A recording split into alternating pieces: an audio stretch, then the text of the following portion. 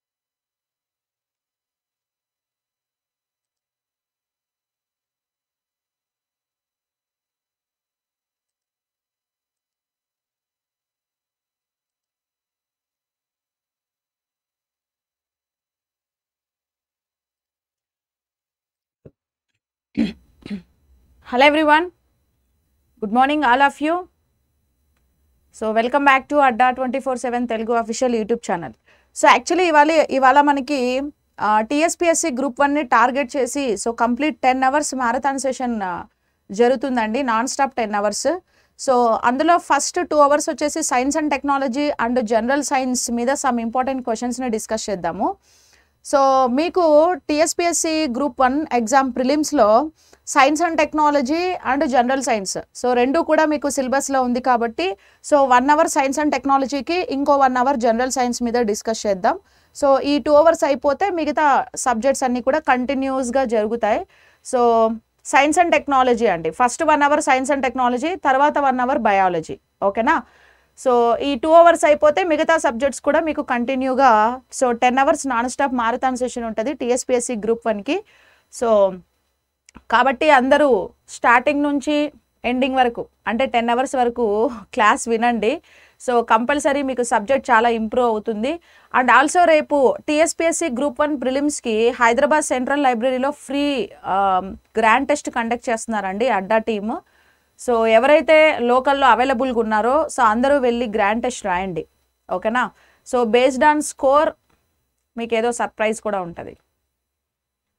Okay అందరూ వెళ్ళి grand test రాయండి. పేపర్ ఎక్స్ప్లెనేషన్ కూడా ఉంటుంది రేపే ఉంటుంది paper explanation.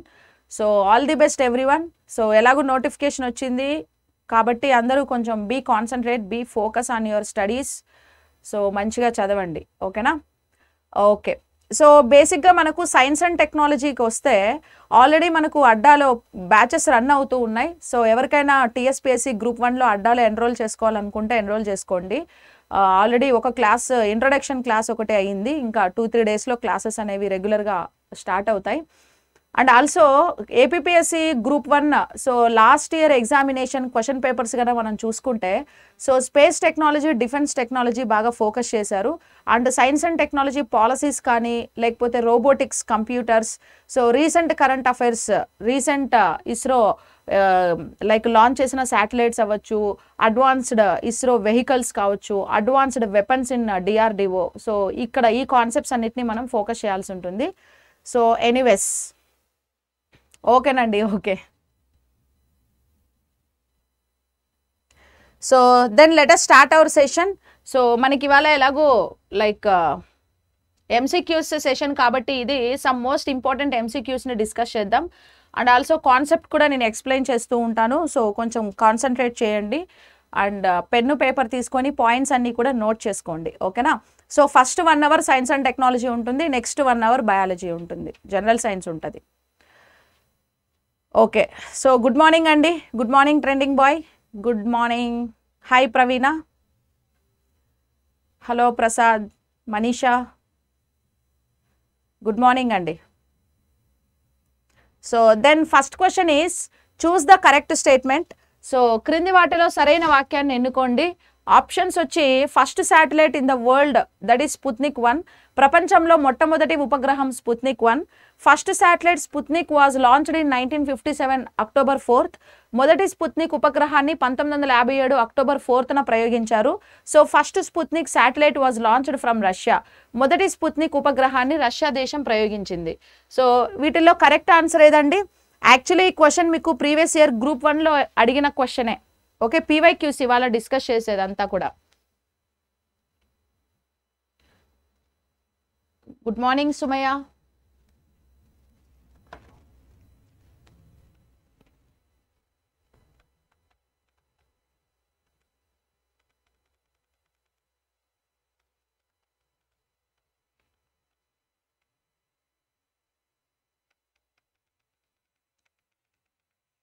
so correct answer ఏంటండి? వన్ టూ త్రీ కరెక్టా hello Venkat good morning Surya okay so most of the people saying option C is correct answer అని. So only one two three correct అంటున్నాం. So చూద్దాం. Actually ఈ ప్రపంచంలో first satellite పంపించిన దేశం ఏది? ఆ శాటిలైట్ ఏది అంటే స్పుత్నిక్ వన్ అన్నారు కదా. So of course Sputnik one is the correct answer అండి. సో ప్రపంచంలోనే మొట్టమొదటిసారిగా స్పేస్లోకి వెళ్ళిన కంట్రీ ఏది అని అంటే రష్యా అన్నమాట. సో రష్యా వాళ్ళు స్పుత్నిక్ వన్ అనే శాటిలైట్ పేరు మీదుగా ఒక శాటిలైట్ని స్పేస్లోకి పంపించారు. అప్పటి వరకు ఏ దేశం కూడా స్పేస్ రీసెర్చ్ చేయలేదు. ఫస్ట్ రష్యానే స్పేస్ రీసెర్చ్ చేసింది. సో స్పేస్ రీసెర్చ్ చేసి రష్యా స్పుత్నిక్ వన్ అనే ఒక శాటిలైట్ని so nineteen fifty seven October ఫోర్త్న స్పేస్లోకి పంపించింది. ఎప్పుడైతే రష్యా స్పుత్నికి పంపించిందో అప్పుడు ప్రపంచ దేశాలన్నీ కూడా ఒక్కసారిగా రష్యా వైపు చూశాయి. సో ఏంటి రష్యా వాళ్ళు స్పేస్లోకి శాటిలైట్ని ఎలా పంపించేశారు? స్పేస్లో ఆర్బిటార్స్లోకి ఎలా పంపించారు? శాటిలైట్ అనేది కింద పడిపోకుండా స్పేస్లో ఎలా తిరుగుతూ ఉంది? రాకెట్ అనేది గ్రావిటేషనల్ ఫోర్స్ పుల్ అయ్యి కిందకు వచ్చేయకుండా రాకెట్ అనేది పైకి ఎలా వెళ్ళిపోయింది? సో ఇలాంటి విషయాలన్నిటి గురించి చాలామందికి తెలియనప్పుడు సో రష్యా ఎప్పుడైతే ఫస్ట్ శాటిలైట్ స్పుత్నిక్ వన్ని సక్సెస్ఫుల్గా స్పేస్లోకి లాంచ్ చేసిందో మిగతా కంట్రీస్ అన్నీ కూడా స్పేస్ రీసెర్చ్ స్టార్ట్ చేశాయండి. యాక్చువల్లీ మన ఇండియాలో మనము నైన్టీన్ సిక్స్టీస్లో స్పేస్ రీసెర్చ్ని మనం స్టార్ట్ చేసాం ఫస్ట్ స్పేస్ ఆర్గనైజేషన్ వచ్చేసి ఇంకోస్పర్ పేరు మీదుగా so Vikram Sarabhai first chairman అండి. ఇంకోస్పర్ పేరు మీదుగా మన ఇండియాలో మనం లాంచ్ చేసుకున్నాం. యాక్చువల్లీ రష్యా వాళ్ళు నైన్టీన్ ఫిఫ్టీ సెవెన్లోనే స్పేస్లోకి వెళ్ళిపోతే మనం ఎందుకు నైన్టీన్ సిక్స్టీ టూ వరకు ఇంకా రాలేదు అని అంటే యాక్చువల్లీ రష్యా యుఎస్ లేకపోతే చైనా ఇవన్నీ కూడా ఆల్రెడీ డెవలప్డ్ కంట్రీస్ సో మనకేంటంటే మన ఇండియాలో మోస్ట్లీ మనము నేషనల్ ఇన్కమ్ ఎక్కడి నుంచి వచ్చేదంటే అగ్రికల్చర్ సెక్టార్ మీద వచ్చేది. మన ఇండియాలో మూఢనమ్మకాలు ఇలాంటివి చాలా ఎక్కువగా ఉండేది. కాబట్టి సైన్స్ టెక్నాలజీ మీద రీసెర్చెస్కి అంత ఫోకస్ లేకుండా ఉండేది. సో ప్లస్ లిటరసీ రేట్ కూడా చాలా తక్కువ ఉండేదండి. And one of the poor country లాగా లైక్ ఏంటంటే మూడు పూట్ల తినడానికి తిండి కూడా ఉండేది కదా అప్పుడు. సో అలాంటిది స్పేస్లోకి వెళ్ళాలంటే కొన్ని లక్షల కోట్లు ఖర్చు అవుతాయి కాబట్టి సో మనం గోయింగ్ ఫార్వర్డ్ స్లో స్లోగానే రావాల్సి వచ్చింది. అది కూడా ప్రైవేట్ సెక్టార్ uh, వాళ్ళ పెట్టుబడులు. ఓకే ప్రైవేట్ వాళ్ళు ఇన్వెస్ట్మెంట్ పెట్టారనమాట నైన్టీన్ సెవెంటీ టూ వరకు ఇస్రో పబ్లిక్ సెక్టార్ కాదు పబ్లిక్ ప్లస్ ప్రైవేట్ సెక్టార్లో ఉండేది. నైన్టీన్ సెవెంటీ టూలో కంప్లీట్గా గవర్నమెంట్ సెక్టార్లోకి ఇస్రో వచ్చేసింది అనమాట ఓకేనా? సో కాబట్టి ఇక్కడ ఉన్న మూడు ఆప్షన్స్ కరెక్ట్ అండి. ఫస్ట్ శాటిలైట్ ఏదంటే స్పుత్నిక్. స్పుత్నిక్ని నైన్టీన్ ఫిఫ్టీ సెవెన్ అక్టోబర్ ఫోర్త్న మనం లాంచ్ చేసాం స్పుత్నిక్ని ప్రయోగించిన దేశం ఏది అని అంటే రష్యా అనేసి చెప్పొచ్చు. యుఎస్ఎస్ఆర్ అనేసి పిలుస్తాం దీన్ని. ఓకేనా? సో కాబట్టి only one two three is the correct answer for this question. So all correct అనేది కరెక్ట్ ఆన్సర్ అండి. ఓకేనా? Yes Covid nineteen Sputnik vaccination రష్యాదే so ఇట్లా మనకి శాటిలైట్ అనేది స్పుత్నిక్ వన్ శాటిలైట్ చూడడానికి ఇలా ఉండేది.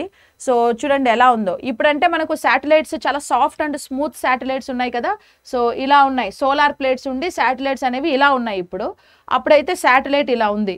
ఓకే స్పేస్లో ఉండడానికి దానికి యాంటీనాస్ కూడా ఇలా పెట్టారు చూడండి. సో ఇది ఫస్ట్ వరల్డ్ ఫస్ట్ శాటిలైట్ ఇదేనండి. ప్రపంచంలో మొట్టమొదటి ఉపగ్రహం ఇలా ఉండేది. ఓకేనా? దిస్ ఈస్ ద శాటిలైట్ ఇది first first question. Next second choose the correct statement so క్రింది వాటిలో సరైన వాక్యాన్ని ఎన్నుకోండి.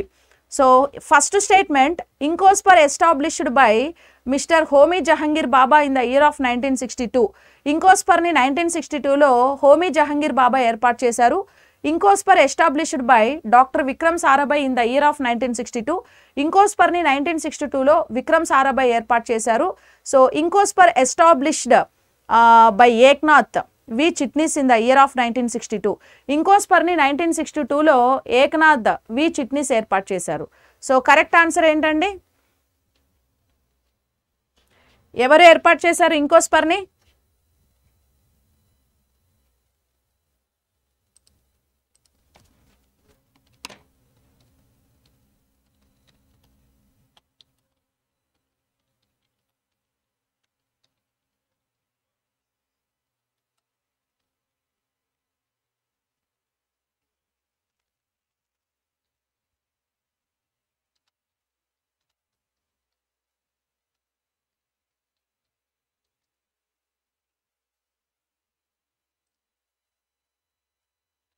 Two త్రీనా hi Arun I had my breakfast what about you good morning Maggi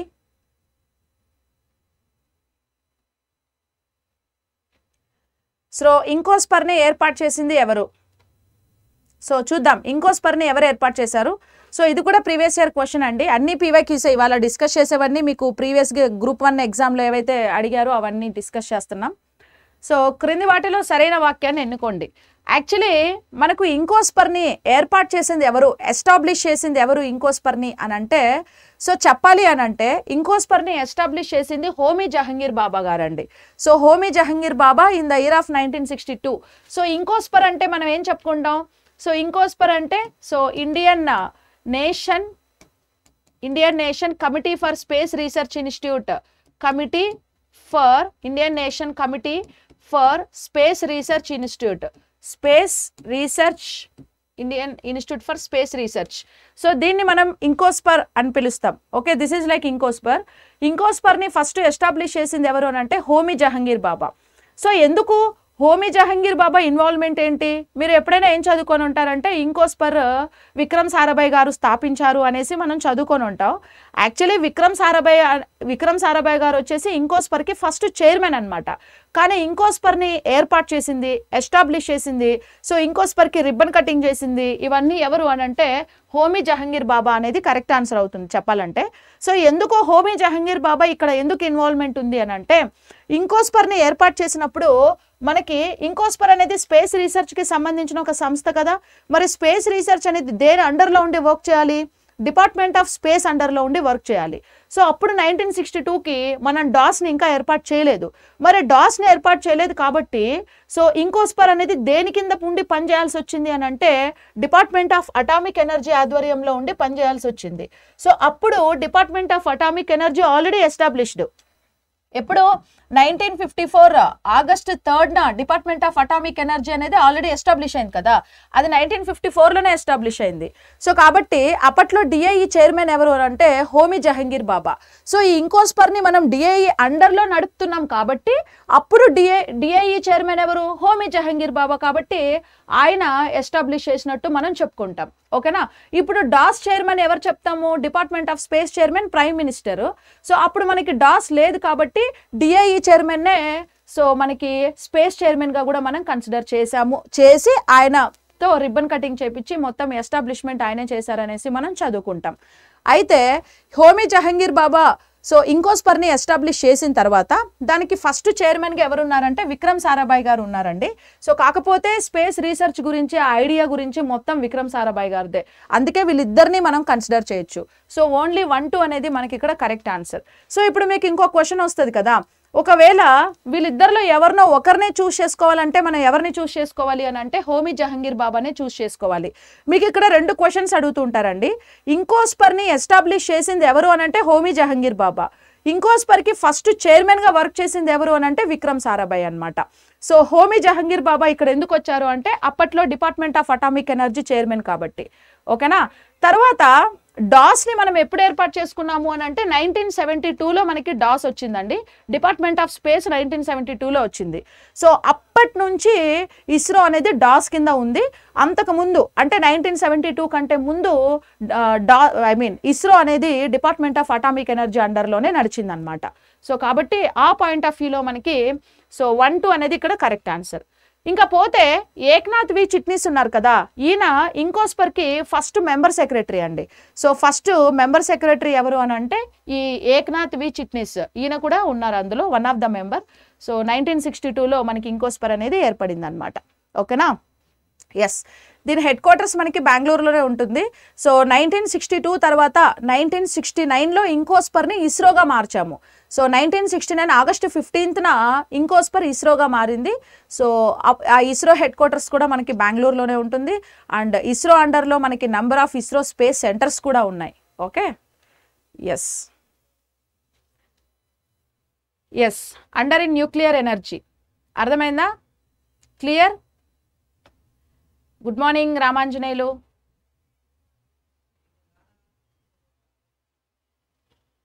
Clarity Venkat okay so shall we move for next question so meanwhile everyone please do like the session session అందరూ like చేయండి so this is మన Indian ISRO అండి space research organisation so ISRO headquarters వచ్చేసి మనకి బెంగళూరులో ఉంటుంది.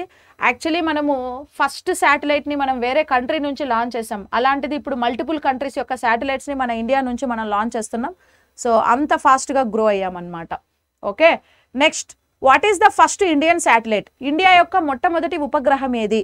So Aryabhata Rohini Bhaskara one Bhaskara two. Actually మీకు TSPSC కానీ ఏపీపీఎస్సి కానీ గ్రూప్ వన్లో అయితే మీకు ప్రిలిమ్స్లో క్వశ్చన్ ఎలా ఉంటుంది? మెయిన్స్లో ఇప్పుడు ఏంటంటే ప్రిలిమ్స్లో what is the first Indian satellite అంటే ఆ క్వశ్చన్ ఏదో మీరు ఆన్సర్ చెప్పేస్తే సరిపోతుంది. సో కానీ మీకు మెయిన్స్లో ఎలా అడుగుతారంటే డిస్క్రిప్షన్ అడుగుతారు. డిస్క్రిప్టివ్ టైప్లో ఫస్ట్ ఇండియన్ శాటిలైట్ ఏది అని అంటే దాని హిస్టరీ మొత్తం రాయాలి. ఓకేనా? ఏ ఇయర్లో మనం దాన్ని పంపించాం? ఏ కంట్రీ నుంచి దాన్ని పంపించాం? ఏ పర్పస్ కోసం దాన్ని పంపించాం? సో ఇలా చాలా ఇన్ఫర్మేషన్ అంతా కూడా మనము తీయాల్సి ఉంటుంది ఓకేనా?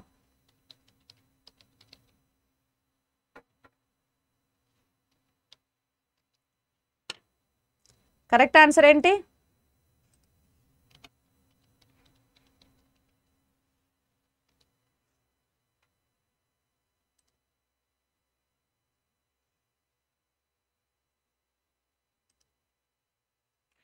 సో ఎస్ మనకి what is the first Indian satellite first Indian satellite ఏదంటే Aryabhata is the first Indian satellite అండి. సో ఈ ఆర్యభట్ట శాటిలైట్ని మనం ఏ ఇయర్లో లాంచ్ చేసాము అంటే నైన్టీన్ సెవెంటీ ఫైవ్ ఏప్రిల్ నైన్టీన్త్న ఏప్రిల్ నైన్టీన్త్న ఆర్యభట్ట శాటిలైట్ని మనం ఫస్ట్ లాంచ్ చేసామన్నమాట okay nineteen seventy five April nineteenth so actually ఈ ఆర్యభట్ట శాటిలైట్ని ఏ కంట్రీ నుంచి మనం లాంచ్ చేసాము అని అంటే రష్యా కంట్రీ నుంచి లాంచ్ చేసామండి ఎందుకు అని అంటే మన ఇండియాలో అప్పటికి ఇంకా మన దగ్గర లాంచింగ్ వెహికల్ లేదు.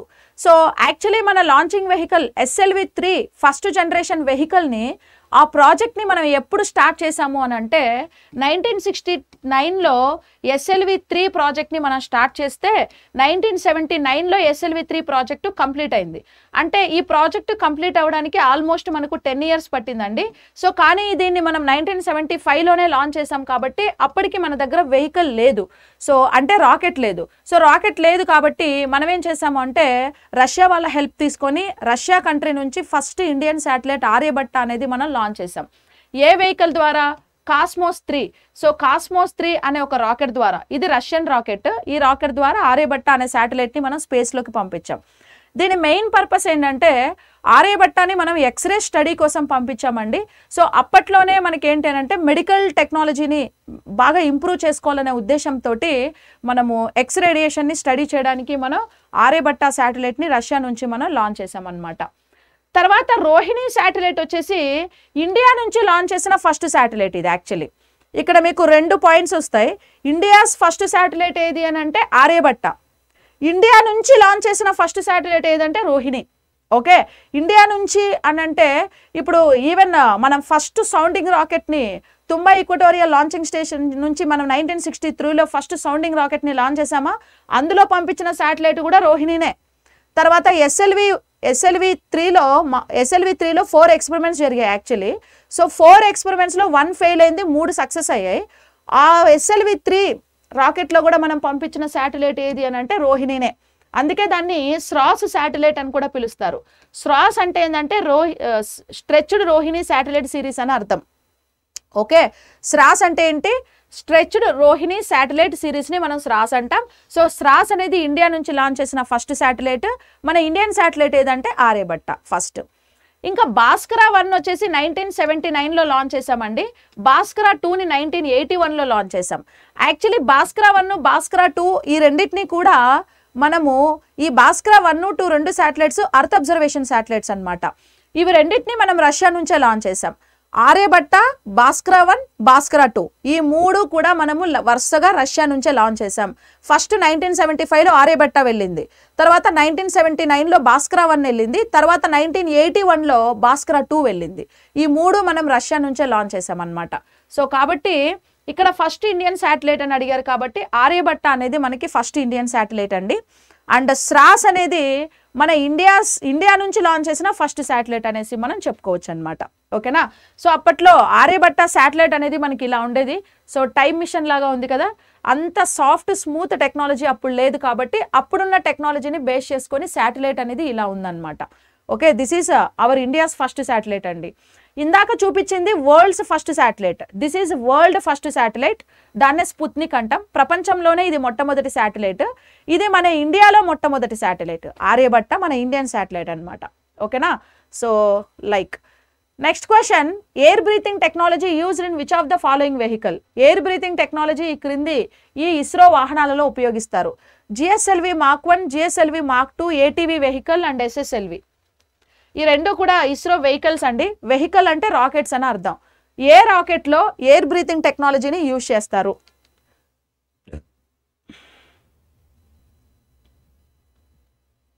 లాస్ట్ క్లాస్ పీడిఎఫ్ రాలేదా? సారీ మర్చిపోయాను. పంపిస్తా ఇవాళ పంపిస్తానండి. పీడిఎఫ్స్ అన్ని పంపించేస్తా వాట్సాప్లోని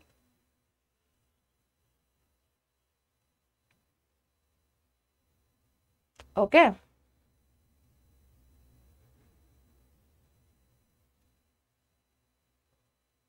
India's first communication satellite ఏది అంటే మనకి Apple.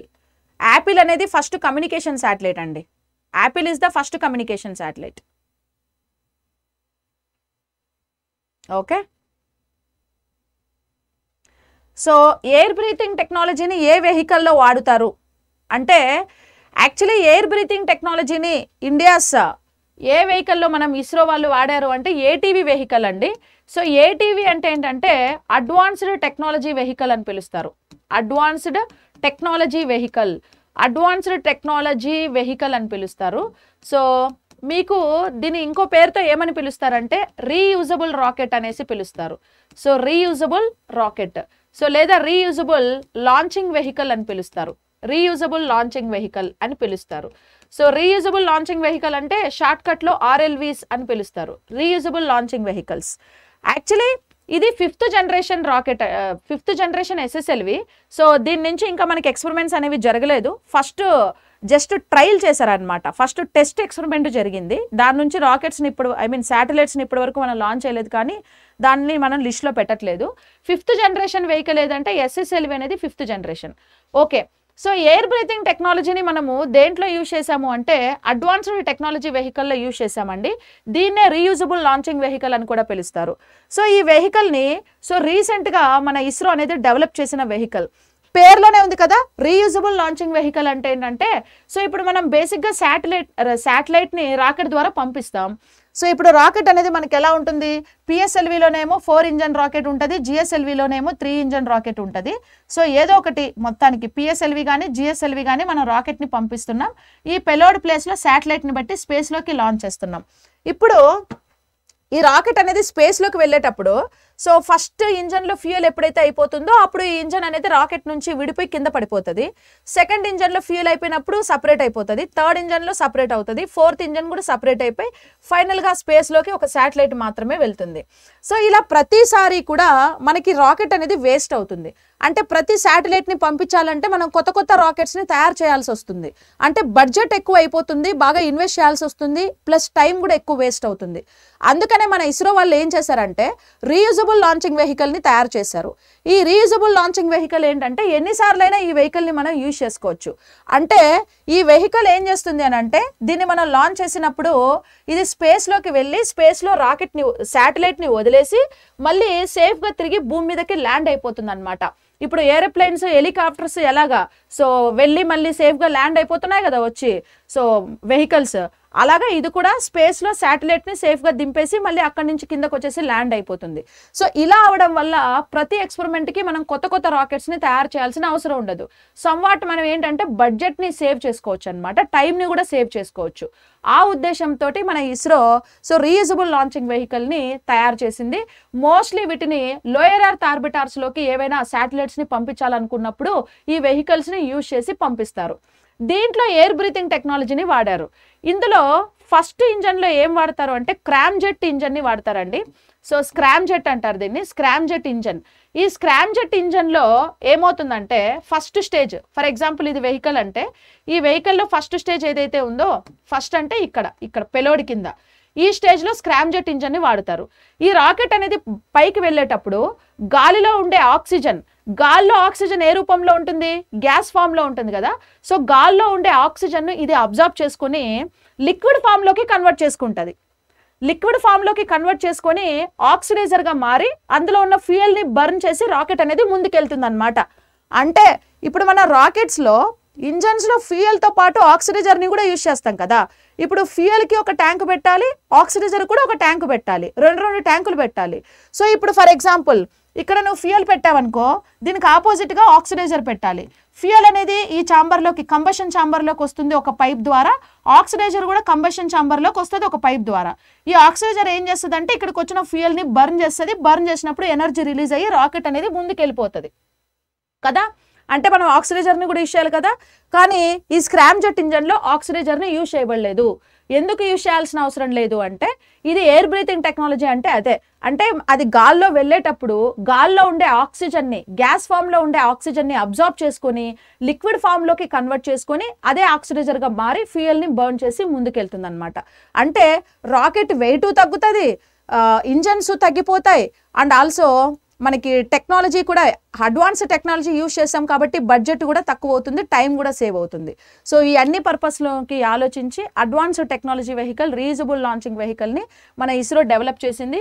So reusable launching vehicle అనేది మనకి ఇలా ఉంటుందండి. సో దాన్ని ఆర్ఎల్వి టీడీ అంటారు.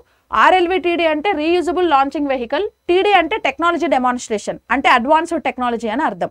ఓకేనా సో ఇలా వెళ్తుంది రాకెట్. ఇక్కడ మనం రాకెట్ని లాంచ్ చేస్తే ఇలా లోయర్ అర్త్ ఆర్బిటార్ స్పేస్లోకి వెళ్ళి అక్కడ శాటిలైట్ని వదిలేసి మళ్ళీ కిందకు వచ్చేస్తుంది అనమాట కిందకు వచ్చేటప్పుడు దీనికి పారాచూట్స్ ఉంటాయి. ఆ పారాచూట్స్ అన్ని ఓపెన్ అయిపోయి సేఫ్ ల్యాండింగ్ అయిపోతుంది అనమాట కిందకి. ఓకేనా? So that is safe landing of RLV reusable launching vehicle అని పిలుస్తాం. సో ఇది అడ్వాన్స్డ్ వెహికల్ అండ్ ఎస్ఎస్ఎల్వి వచ్చేసి స్మాల్ సైజ్ లాంచింగ్ వెహికల్ అంటామండి. స్మాల్ సైజ్ లాంచింగ్ వెహికల్ అని పిలుస్తాం ఎస్ఎస్ఎల్విని ఈ స్మాల్ సైజ్ లాంచింగ్ వెహికల్ని ఫిఫ్త్ జనరేషన్ వెహికల్ అని కూడా పిలుస్తాం. Okay first generation SLV three second generation ASLV third generation PSLV fourth generation GSLV last fifth generation SSLV ఓకేనా జిఎస్ఎల్విలో ఓవరాల్గా త్రీ సిరీస్ ఉంటాయి. Mark one Mark two Mark three series కూడా ఉందన్నమాట. బాహుబలి రాకెట్ లేదా ఫ్యాట్ బాయ్స్ అని వేటిని అంటారంటే మార్క్ త్రీనే అంటారు. మార్క్ వన్ని టూని అనరు. ఓన్లీ మార్క్ త్రీని అంటారు. సో కాబట్టి ఈ క్వశ్చన్కి కరెక్ట్ ఆన్సర్ ఏది అంటే option three is the correct answer for this question ఓకేనా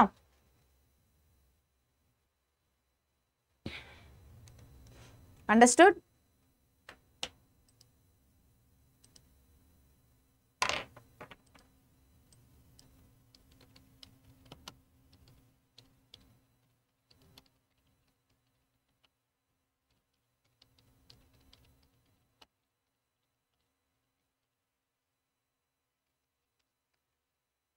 నెక్స్ట్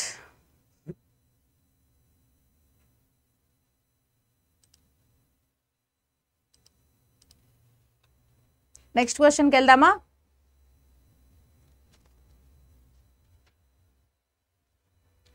ఫస్ట్ రీయూజబుల్ రాకెట్ని లాంచ్ చేసిన కంట్రీయా ఫస్ట్ రీయూజబుల్ రాకెట్ని రష్యా లాంచ్ చేసిందండి. తర్వాత US China okay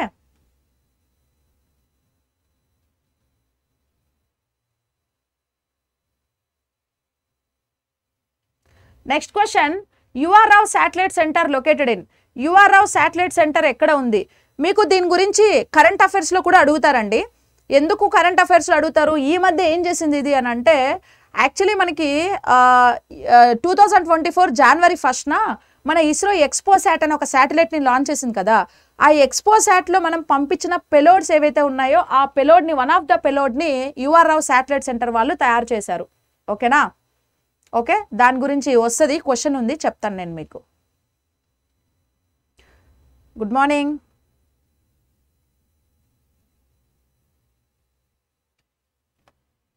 okay? So చూద్దాం. First question I mean options ఏమున్నాయి? హైదరాబాద్ బెంగళూరు అహ్మదాబాద్ కేరళ. యువర్ రావు శాటిలైట్ సెంటర్ అనేది one of the ISRO centre అండి. యుఆర్ రావు అంటే ఏంటంటే Udupi Ramachandra Rao space centre Udupi Ramachandra Rao space centre అని అంటాం. యుఆర్రావు అంటే Udupi Ramachandra Rao satellite space centre అని పిలుస్తారు. ఉడిపి రామచంద్రరావు ఎవరు అంటే he was the ex ISRO chairman అనమాట సో ఒకప్పుడు ఇస్రో చైర్మన్ ఆయన. సో ఆయన పేరు మీదుగా ఎందుకంటే ఆయన నేటివ్ ప్లేస్ బెంగళూరు కాబట్టి బెంగళూరులో ఆయన పేరు మీదుగా ఉడిపి రామచంద్రరావు పేరు మీదుగా ఒక శాటిలైట్ సెంటర్ని ఎస్టాబ్లిష్ చేశాము. సో అది ఎక్కడ ఉంటుందంటే బెంగళూరులోనే ఉంటుంది. యాక్చువల్లీ సరే అది బెంగళూరులో ఉంది. మరి ఏం పని చేస్తుంది యూఆర్ రావు శాటిలైట్ సెంటర్ అని అంటే శాటిలైట్స్కి ఐ మీన్ శాటిలైట్లో మ్యానుఫ్యాక్చరింగ్ ఎవరు చేస్తారు అంటే ఇప్పుడు ఫర్ ఎగ్జాంపుల్ శాటిలైట్స్లో మనం రకరకాల డివైజర్స్ వాడతాం కదా. ఆ డివైజర్స్ లేకపోతే ఆ శాటిలైట్లో యూజ్ చేసే స్పేర్ పార్ట్స్ ప్రిపేర్ చేసేది ఒకరు. ఎవరంటే స్పేస్ అప్లికేషన్ సెంటర్ వాళ్ళు చేస్తారు. స్పేస్ అప్లికేషన్ సెంటర్ ఎక్కడ ఉంటుందంటే అహ్మదాబాద్ గుజరాత్లో ఉంటుంది. Space application centre. వాళ్ళు స్పేర్ పార్ట్స్ని తయారు చేసి ఆ స్పేర్ పార్ట్స్ అన్నిటిని సపరేట్ సపరేట్గా ఎక్కడికి పంపిస్తారంటే యూఆర్ రావు శాటిలైట్ సెంటర్ పంపిస్తారు. వీళ్ళు ఏం చేస్తారంటే ఆ సపరేట్ సపరేట్గా ఉన్న స్పేర్ పార్ట్స్ అన్నిటినీ కలిపి ఆర్డర్లో పెట్టి ఫైనల్గా ఒక శాటిలైట్ని తయారు చేస్తారనమాట ఇది నేను మీకు చాలాసార్లు చెప్పాను. సో ఇప్పుడు మనం శాటిలైట్లో ఏమేమి యూజ్ చేస్తాం? ఇది శాటిలైట్ బాడీ అంటాం దీన్ని. ఈ రెండింటిని థర్మల్ షీట్స్ అని పిలుస్తారండి. సోలార్ ప్లేట్స్ అంటారు యాక్చువల్లీ చెప్పాలంటే. Solar plates. ఈ సోలార్ ప్లేట్స్ ఏం చేస్తాయంటే సన్లైట్ని తీసుకొని చార్జ్ అయ్యి వర్క్ చేస్తుంది అనమాట ఐ మీన్ సోలార్ ప్లేట్స్ ఏం చేస్తాయంటే సన్లైట్ని తీసుకుంటాయి. ఈ శాటిలైట్లో మనకి ఏమేమి ఉంటాయి? సో ఫస్ట్ వచ్చేసి on board. Okay on board battery ఉంటుంది. Okay on board battery. తర్వాత ఆన్ బోర్డ్ కంప్యూటర్ ఉంటుంది. ఆన్బోర్డ్ కంప్యూటర్ని బేస్ చేసుకొని డేటాని కలెక్ట్ చేసుకుంటూ ఉంటారనమాట ఆన్బోర్డ్ కంప్యూటర్ ఉంటుంది. సో తర్వాత సెన్సార్స్ ఉంటాయండి వీటిల్లోని. స్టార్ సెన్సార్స్ ఉంటాయి. ఓకే స్టార్ సెన్సార్స్ ఉంటాయి. సెన్సార్స్ ఏం చేస్తాయంటే శాటిలైట్ ఇప్పుడు ఎక్కడుంది ఏ ఆర్బిటార్లో తిరుగుతుంది ఏంటి ఇన్ఫర్మేషన్ని మొత్తం గెయిన్ చేసుకోవడానికి సో యూజ్ అవుతుంది అనమాట సెన్సార్స్ అన్నీ కూడా. ఓకేనా? తర్వాత బ్యాటరీస్ ఉంటాయి. ఈ బ్యాటరీ ఏం చేస్తుంది అంటే సోలార్ ప్లేట్స్లో ఉన్న సన్లైట్ని అబ్జార్బ్ చేసుకొని బ్యాటరీ ఛార్జ్ అయ్యి వర్క్ చేస్తూ ఉంటుంది. ఆన్బోర్డ్ కంప్యూటర్ నుంచి శాటిలైట్ కలెక్ట్ చేసిన ఇన్ఫర్మేషన్ ఏదైతే ఉందో ఆ డేటాని మన ఇస్రో వాళ్ళు కలెక్ట్ చేసుకోవడానికి కంప్యూటర్ని కూడా పెట్టి పంపిస్తారు. అండ్ ఆన్బోర్డ్ ఫ్యూయల్ని కూడా వేస్తారండి. ఫ్యూయల్ ఎందుకంటే ఫస్ట్ స్పేస్లోకి శాటిలైట్ వెళ్ళిపోయిన వెంటనే సో కొన్ని అవర్స్ వర్క్ చేయడానికి కావాల్సినంత ఫ్యూయల్ అనేది ఆల్రెడీ నింపి పంపిస్తారు. ఆ ఫ్యూయల్ ఎప్పుడైతే అయిపోతుందో అప్పుడు సోలార్ ప్లేట్స్ నుంచి ఎనర్జీని అవి గెయిన్ చేసుకొని బ్యాటరీస్ ఛార్జ్ అయ్యి వర్క్ చేస్తాయన్నమాట. సో ఇట్లా శాటిలైట్ని తయారు చేస్తారు. ఎవరు అంటే ఉడిపి రామచంద్రరావు శాటిలైట్ సెంటర్ వాళ్ళు. ఈ ఈ ఇంజన్స్ ఏమో సపరేట్ సపరేట్గా మనకి ఎక్కడి నుంచి వస్తాయంటే ఇస్రో అప్లికేషన్ సెంటర్ నుంచి వస్తాయి. సపరేట్ సపరేట్గా వస్తాయి అక్కడ. వీళ్ళు ఒక ఆర్డర్లో పెడతారనమాట ఓకేనా? ఏది ఎక్కడ ఉండాలో అక్కడ ఫిక్స్ చేస్తారు. సో కాబట్టి ఆప్షన్ టూ అనేది కరెక్ట్ ఆన్సర్ అవుతుందండి. Next how many communication satellites launched by PSLV vehicle till now ఇప్పటి వరకు ఎన్ని సమాచార ఉపగ్రహాలని పిఎస్ఎల్వి నౌక ద్వారా ISRO ప్రయోగించింది? So forty eight four twenty two forty so correct answer ఏంటండి?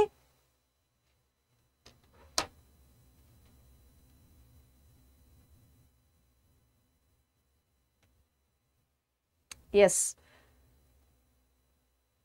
good morning good morning Rajani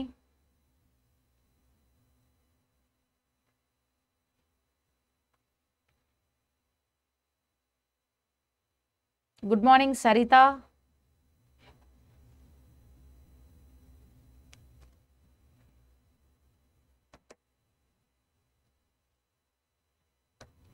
ఎన్ని కమ్యూనికేషన్ శాటిలైట్స్ని ఇప్పటి వరకు లాంచ్ చేసాం మనం?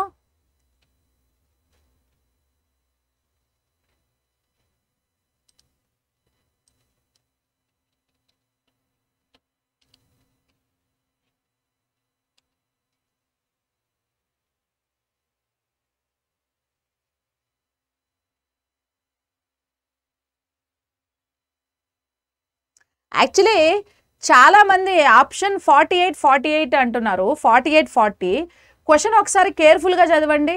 నేను అడిగినా how many communication satellites launched by PSLV vehicle అన్నా నేను.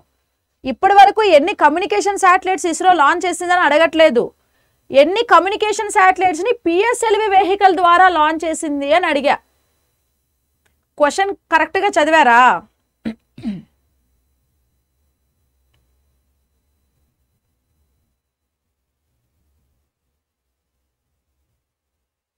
పీడిఎఫ్ ఇస్తా చంద్రశేఖర్ ఐఎమ్ సారీ యాక్చువల్లీ మర్చిపోయా ఒక two days actually two days నేను క్లాస్ తీసుకోలేదు కదా అందుకనే లాస్ట్ టైం క్లాస్ది మర్చిపోయినట్టున్నా. ఇవాళ పెండింగ్ పీడిఎఫ్స్ అన్ని పంపిస్తా. ఓకే సో కాబట్టి క్వశ్చన్ని కొంచెం కేర్ఫుల్గా చదవండి. మనకి ఇలాంటి క్వశ్చన్సే అడుగుతూ ఉంటారు. ఓకేనా సో మళ్ళీ ఏమంటారు? పేపర్ టఫ్ వచ్చింది అనేస్తారు మళ్ళీ. క్వశ్చన్ సరిగా చదవకుండా. Actually good morning Sudheer. Actually ఇప్పటి వరకు మనం ఎన్ని కమ్యూనికేషన్ శాటిలైట్స్ని లాంచ్ చేసామంటే మీరు అన్నట్టు ఫార్టీ ఎయిట్ కరెక్టే ఇప్పటి వరకు ఫార్టీ ఎయిట్ కమ్యూనికేషన్ శాటిలైట్స్ని సమాచార ఉపగ్రహాలని మన ఇస్రో లాంచ్ చేసింది. కానీ నేను ఇక్కడేం అడిగినా? ఎన్ని పిఎస్ఎల్వి వెహికల్ ద్వారా ఎన్ని అని అడిగిన. Out of forty forty eight మీకు ఇక్కడ సమాచార ఉపగ్రహాల స్టోరీ చెప్తా చూడండి. అంటే అసలు ఏంటి? మరి పిఎస్ఎల్వి ద్వారా ఎందుకు వెళ్ళాయి అని అంటే సమాచార ఉపగ్రహాలని అంటే కమ్యూనికేషన్ శాటిలైట్స్ని మనం మోస్ట్లీ ఏ ఆర్బిటార్లోకి లాంచ్ చేస్తాము అంటే సో అర్త్కి థర్టీ సిక్స్ థౌజండ్ కిలోమీటర్ డిస్టెన్స్లో ఉన్న geo stationary orbiter plus geo synchronous orbiters geo stationary geo synchronous ఆర్బిటార్స్లో మాత్రమే కమ్యూనికేషన్ శాటిలైట్స్ని లాంచ్ చేస్తారు. మరి పోలార్ ఆర్బిటార్లో లాంచ్ చేయలేదా? ఈ ఆర్బిటార్లో అంటే చేశారు చాలా తక్కువ చేశారు. ఎక్కువగా వేటిల్లో చేశారంటే జియో స్టేషనరీ జియో సింక్రోనస్లోనే చేశారు. అయితే ఈ కమ్యూనికేషన్ శాటిలైట్స్ని లాంచ్ చేయడానికి మన ఇస్రో డెవలప్ చేసిన వెహికల్ ఏది అంటే జిఎస్ఎల్వి వెహికల్ దీన్నే జియో సింక్రోనస్ లాంచింగ్ వెహికల్ అని పిలుస్తాం. జియో సింక్రోనస్ లాంచింగ్ వెహికల్ అని ఎందుకంటామంటే జియో సింక్రోనస్ ఆర్బిటార్స్లోకే లేదా జియో స్టేషనరీ ఆర్బిటార్స్లోకే కమ్యూనికేషన్ శాటిలైట్స్ని లాంచ్ చేస్తున్నారు కాబట్టి సో దాన్ని ఏమన్నారు అని అంటే వెహికల్ పేరు కూడా జియో సింక్రోనస్ లాంచింగ్ వెహికల్ అన్నారు. జియో సింక్రోనస్ అనేది ఆర్బిటార్ పేరు లాంచింగ్ వెహికల్ అంటే శాటిలైట్ని తీసుకెళ్ళే ఒక వెహికల్ అన్నట్టు అర్థం. సో దాన్ని జిఎస్ఎల్వి అంటాం. అంటే కమ్యూనికేషన్ శాటిలైట్స్ని లాంచ్ చేయడానికి మన ఇస్రో వాళ్ళు డెవలప్ చేసిన వెహికల్ ఏది అని అంటే జిఎస్ఎల్వి వెహికల్ కదా? అంటే ఇదే లాంచ్ చేయాలి. మరి పిఎస్ఎల్వి కూడా కొన్ని చేసింది కదా? ఎన్ని చేసింది పిఎస్ఎల్వి అనేది మనకి ఇక్కడ క్వశ్చన్ అనమాట అయితే పిఎస్ఎల్వి అంటే పోలార్ శాటిలైట్ లాంచింగ్ వెహికల్ అంటారండి. పోలార్ శాటిలైట్ లాంచింగ్ వెహికల్ అంటే పిఎస్ఎల్విని యూజ్ చేసి పోలార్ ఆర్బిటార్లోకి మనము శాటిలైట్స్ని లాంచ్ చేస్తాం. అందుకే ఆ వెహికల్కి పేరు పోలార్ అని పెట్టారు. ఎందుకంటే పోలార్ ఆర్బిటార్లోకి శాటిలైట్ని తీసుకెళ్తుంది కాబట్టి పోలార్ అన్నారు. ఓకేనా? Polar satellite launching vehicle mostly ఈ పోలార్ ఆర్బిటార్లోకి అర్త్ అబ్జర్వేషన్ శాటిలైట్స్ని మనం ఎక్కువగా లాంచ్ చేసాం అయితే కొన్ని కమ్యూనికేషన్ శాటిలైట్ని కూడా లాంచ్ చేసాం ఇప్పుడు పిఎస్ఎల్వి ద్వారా మొత్తం ఫోర్ కమ్యూనికేషన్ శాటిలైట్స్ని మనం లాంచ్ చేసాం ఏంటా ఫోరు అని అంటే ఒకటి వచ్చేసి ఇక్కడ రాస్తున్నా చూడండి. ఒకటి వచ్చేసి Kalpana one. Okay Kalpana one. Kalpana one శాటిలైట్కి first మనం పెట్టిన పేరు మెడ్సాట్. మెట్సాట్ శాటిలైట్ మెడ్సాట్ అనేది ఒక మెట్రలాజికల్ శాటిలైట్ అండి. మెట్రలాజికల్ శాటిలైట్ అనేది వాతావరణ సేవలకు సంబంధించి పంపించిన ఒక శాటిలైట్ అన్నమాట. ఇది దీనికి అటల్ బిహారీ వాజ్పేయి గారు కల్పన అని పేరు ఎందుకు మార్చారో మీకు తెలుసు కదా? సో మన భారత సంతతికి చెందిన కల్పనా చావ్లా గారు కొలంబియా స్పేస్ షటిల్ క్రాష్లో చనిపోవడం వల్ల ఈ మెడ్సాట్ అనే శాటిలైట్కి కల్పన వన్ అనే శాటిలైట్ అని పేరు మార్చాం మనం. ఓకేనా? ఇది కల్పన శాటిలైట్ తర్వాత హమ్సాట్ ఓకే హమ్సాట్ హమ్సాట్ ఒకటి. ఇంకోటి వచ్చి జీ ఇంకోటి వచ్చేసి మనకి CMS one okay CMS zero one అంటే కమ్యూనికేషన్ శాటిలైట్ వన్ అనేసి అర్థం. GSAT twelve GSAT twelve GSAT twelve ఈ నాలుగు శాటిలైట్స్ని మనం పిఎస్ఎల్వి ద్వారా పంపించాం. ఈ నాలుగు కమ్యూనికేషన్ శాటిలైట్స్ అండి. ఈ నాలుగు కమ్యూనికేషన్ శాటిలైట్స్ని మనం పిఎస్ఎల్వి వెహికల్ ద్వారా ఇప్పటి వరకు లాంచ్ చేసాం కల్పన వన్ ఒకటి హమ్సాట్ ఒకటి సిఎంఎస్ ఒకటి జీసాట్ ట్వెల్వ్ ఒకటి. ఓకేనా కాబట్టి ఆప్షన్ ఫోర్ కరెక్ట్ అయితే ఇప్పటి వరకు మనము ఫార్టీ ఎయిట్ కమ్యూనికేషన్ శాటిలైట్స్ని లాంచ్ చేసాం కదా. సో ఫార్టీ ఎయిట్ని మనం లాంచ్ చేస్తే ఫార్టీ ఎయిట్లో ఎన్ని సక్సెస్ ఎన్ని ఫెయిల్ అంటే ఫార్టీ ఎయిట్లో ఎయిట్ ఫెయిల్ ఎయిట్ ఫెయిల్. అంటే ఎన్ని సక్సెస్? Forty success. ఈ ఫార్టీలో ట్వంటీ టూ శాటిలైట్స్ని మనము ఏరియన్ రాకెట్ ద్వారా పంపించాం. ఏరియన్ అంటే ఏది? ఏరియన్ అంటే ఫ్రెంచ్ దేశానికి సంబంధించి ఏరియన్ శాటిలైట్ ద్వారా ఏరియన్ రాకెట్ ద్వారా ట్వంటీ టూ పంపించాం. ఈ ట్వంటీ ఫార్టీలో ట్వంటీ టూ పోతే మిగిలినవి ఎయిటీన్.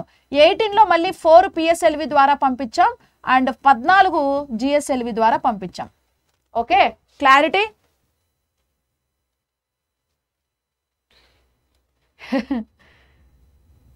అర్థమైందా? మళ్ళీ ఒకసారి చెప్తున్నా చూడండి పాయింట్స్. ఇప్పటి వరకు ఫార్టీ ఎయిట్ కమ్యూనికేషన్ శాటిలైట్స్ని మనం పంపించాం.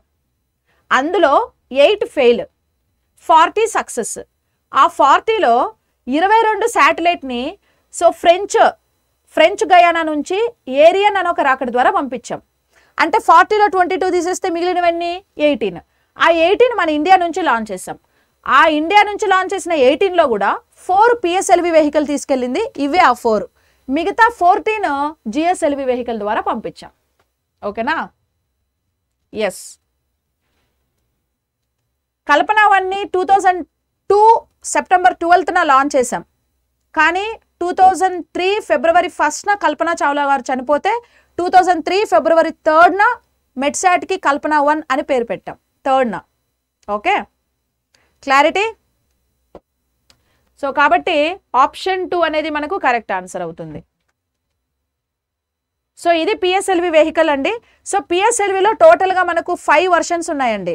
ఏంటా ఫైవ్ వర్షన్ అంటే ఒకటి వచ్చేసి మీకు ఈ వర్షన్స్ కూడా చాలా ఇంపార్టెంట్ టీఎస్బిఎస్సి ఎగ్జామ్లో మీకు ఎక్స్పెషలీ మెయిన్స్ రాసేటప్పుడు మీకు పొరపాటున పిఎస్ఎల్వి వెహికల్ గురించి రాయమని ఒక క్వశ్చన్ అడిగాడు అనుకోండి.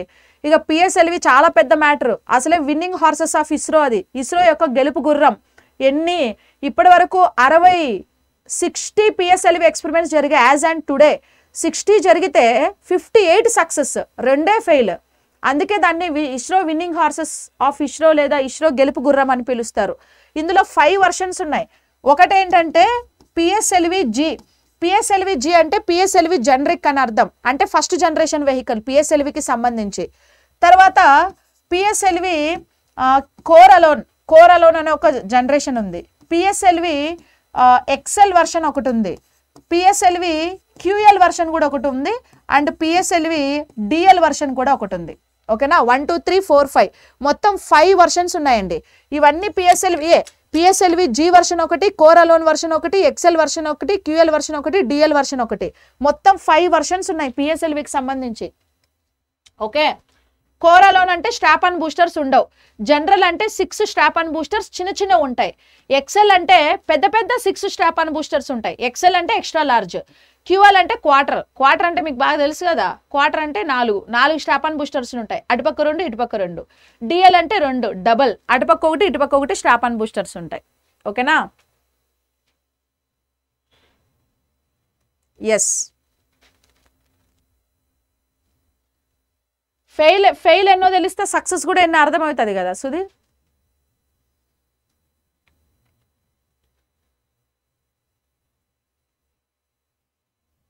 Yes MetSat two thousand two September ట్వెల్త్న launch చేశారు Ekalavya. Ekalavya.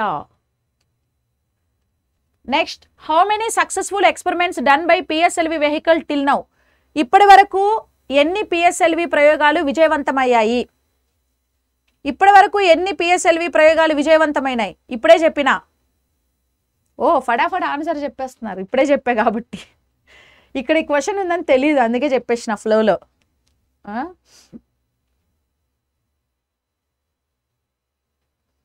ఎస్ ఇప్పటి వరకు పిఎస్ఎల్వి ఎక్స్పెరిమెంట్స్ ఎన్ని జరిగాయి అంటే సిక్స్టీ జరిగాయండి. ఓకేనా? ఫస్ట్ పిఎస్ఎల్వి మనం ఏ పేరుతో లాంచ్ చేసాము అని అంటే పిఎస్ఎల్వి డి వన్ పేరుతో. డి వన్ అంటే డెవలప్మెంటల్ రాకెట్ అనేసి. ఫస్ట్ డి వన్ అనేది ఫెయిల్ అయిందండి. ఫస్ట్ డి వన్ ఫెయిల్ అయింది. తర్వాత డి టూ లాంచ్ చేసాం డి త్రీ లాంచ్ చేసాం డి టూ డి త్రీ ఇవి రెండు సక్సెస్ అయిపోయాయి. సో కాబట్టి పిఎస్ఎల్వి డి వర్షన్ ఎలాగో సక్సెస్ అవుతుందనేసి మన వాళ్ళు ఏం చేశారంటే సి వర్షన్ తీసుకొచ్చారు. సి అంటే ఏంటంటే కంటిన్యూషన్ సో ఈ డి వర్షన్ అయిపోయింది కదా నెక్స్ట్ సి అంటే ఏంటంటే కంటిన్యూషన్ ఎలాగో సక్సెస్ అయింది కాబట్టి ఈ వెహికల్ని కంటిన్యూ చేద్దామని సి వర్షన్ తీసుకొచ్చి మళ్ళీ సిలో ఫస్ట్ నుంచి స్టార్ట్ చేశారు. C one C two C three అట్లా ఇప్పటి వరకు మనము సి సిక్స్టీ వరకు లాంచ్ చేసాం ఎన్ని? C sixty. సిక్స్టీ ఎక్స్పెరిమెంట్స్ జరిగాయి. అయితే ఈ సి వర్షన్లో సి థర్టీన్ అనే ఒక వెహికల్ లేదండి. ఎందుకు లేదు అంటే సి అనేది సమ్వాట్ అన్లక్కీ నెంబర్గా అనుకుంటారు. సో పెద్ద పెద్ద బిల్డింగ్స్లో అపార్ట్మెంట్స్లో కూడా థర్టీన్ ఫ్లోర్ పెట్టరు. ట్వెల్త్ ఫ్లోర్ అయిపోతే ఇమీడియట్గా ఫోర్టీన్త్ ఫ్లోర్ పెడతారు. థర్టీన్ ఫ్లోర్ పెట్టరు. ఎందుకంటే అది కొంచెం అన్లక్కీ నెంబర్గా భావిస్తారనమాట సో మన ఇస్రో వాళ్ళు కూడా ఇది అన్లక్కీ నెంబర్ అని చెప్పేసి సి లెవెన్ తర్వాత సరే సి ట్వెల్వ్ తర్వాత డైరెక్ట్గా సి ఫోర్టీన్కి వెళ్ళిపోయారు. సి థర్టీన్ చేయలేదు మనకి ఇక్కడ కాబట్టి ఓవరాల్గా సిలో సిక్స్టీ ఉన్నాయి కదా. ఈ సిక్స్టీలో సి థర్టీన్ లేనే లేదు కదా. లేదు కాబట్టి మైనస్ వన్ చేస్తే మొత్తం సి ఎక్స్పెరిమెంట్స్ ఎన్నప్పుడు? ఫిఫ్టీ నైన్ అంతేనా సి థర్టీన్ని తీసేసాం కాబట్టి మొత్తం థర్టీ మొత్తం వన్ పోతే ఫిఫ్టీ నైన్ ప్లస్ డి ఎన్ని ఉన్నాయి మూడు. ఫిఫ్టీ నైన్ ప్లస్ మూడు ఎంత? నైన్ ప్లస్ త్రీ ఎంత? ట్వెల్వ్ ఫైవ్ ప్లస్ వన్ ఎంత? సిక్స్ ఓకేనా? అంతేనా? ఇప్పటి వరకు పిఎస్ఎల్వి సిక్స్టీ ఎక్స్పెరిమెంట్స్ కదా జరిగాయి. సి సిరీస్లో సిక్స్టీ ఎక్స్పెరిమెంట్స్ జరిగాయి. పిఎస్ఎల్వి సి సిక్స్టీ సో అయితే ఇప్పుడు ఓవరాల్గా sixty two experiments sixty two ఉన్నాయి కదా. ఇందులో ఎన్ని ఫెయిల్ అయ్యాయి అని అంటే మనకి రెండు ఫెయిల్ పిఎస్ఎల్వి డి వన్ ఒకటి fail and PSLV C thirty nine ఒకటి ఫెయిల్ మైనస్ టూ పోతే ఎన్ని వచ్చినాయి. సిక్స్టీ వచ్చినాయి కరెక్టేనా ఎక్కడో లెక్క తప్పిందా?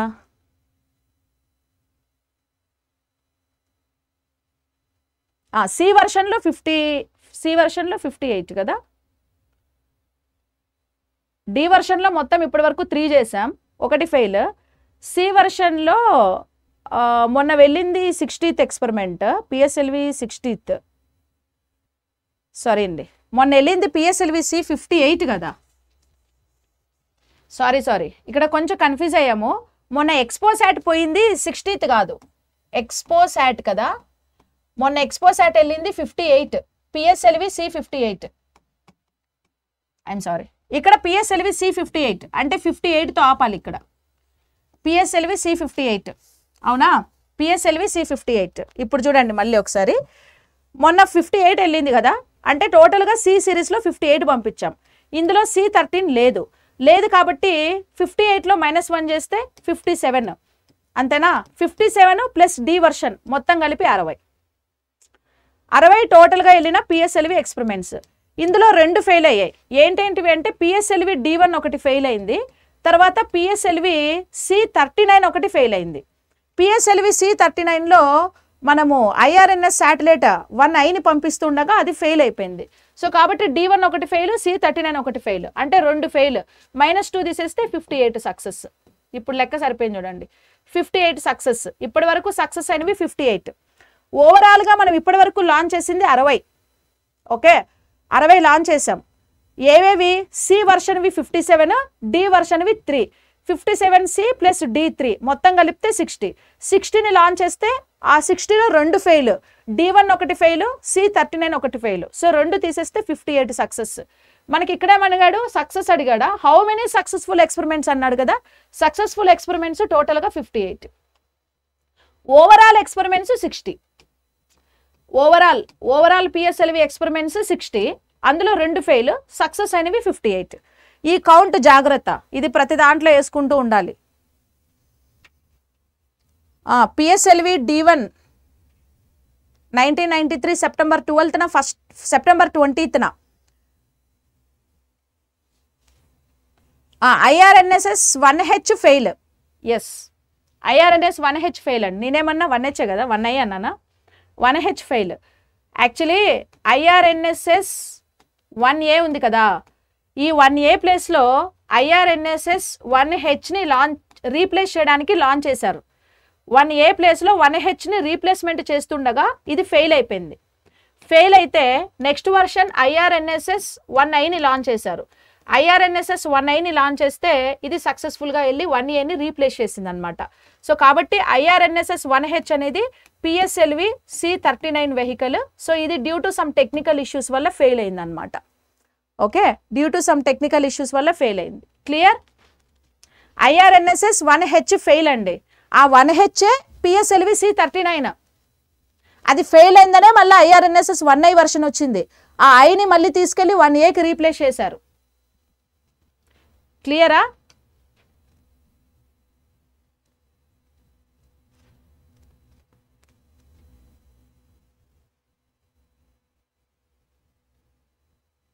క్లియర్ నాని? ఎస్ ఐఆర్ఎన్ఎస్ఎస్ అంటే Indian regional navigation satellite system అంటాం. ఐఆర్ఎన్ఎస్ఎస్ అంటే Indian regional navigation satellite system అంటారండి. Indian regional navigation satellite system అంటే అవే నావిక్ శాటిలైట్ జీపీఎస్ శాటిలైట్స్ అన్నమాట. మీరు ఇప్పుడు జీపీఎస్ యూజ్ చేస్తారు కదా డైరెక్షన్స్ని. సో దానికోసం లాంచ్ చేసిన శాటిలైట్స్ అన్నమాట.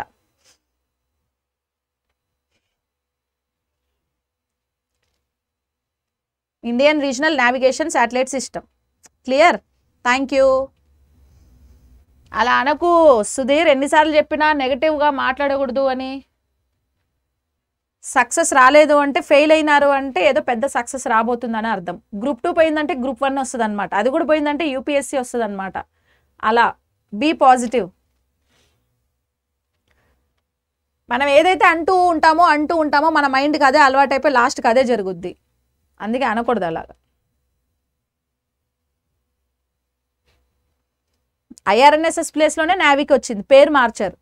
Which of the following missile in anti tank guided missile క్రింది వాణిలో యుద్ధ ట్యాంకుల విధ్వంసక క్షిపణి ఏది? Nag SANT Agni Prithvi. Only one comma two correct one three correct one comma four correct all correct anti tank missile ఏదండి?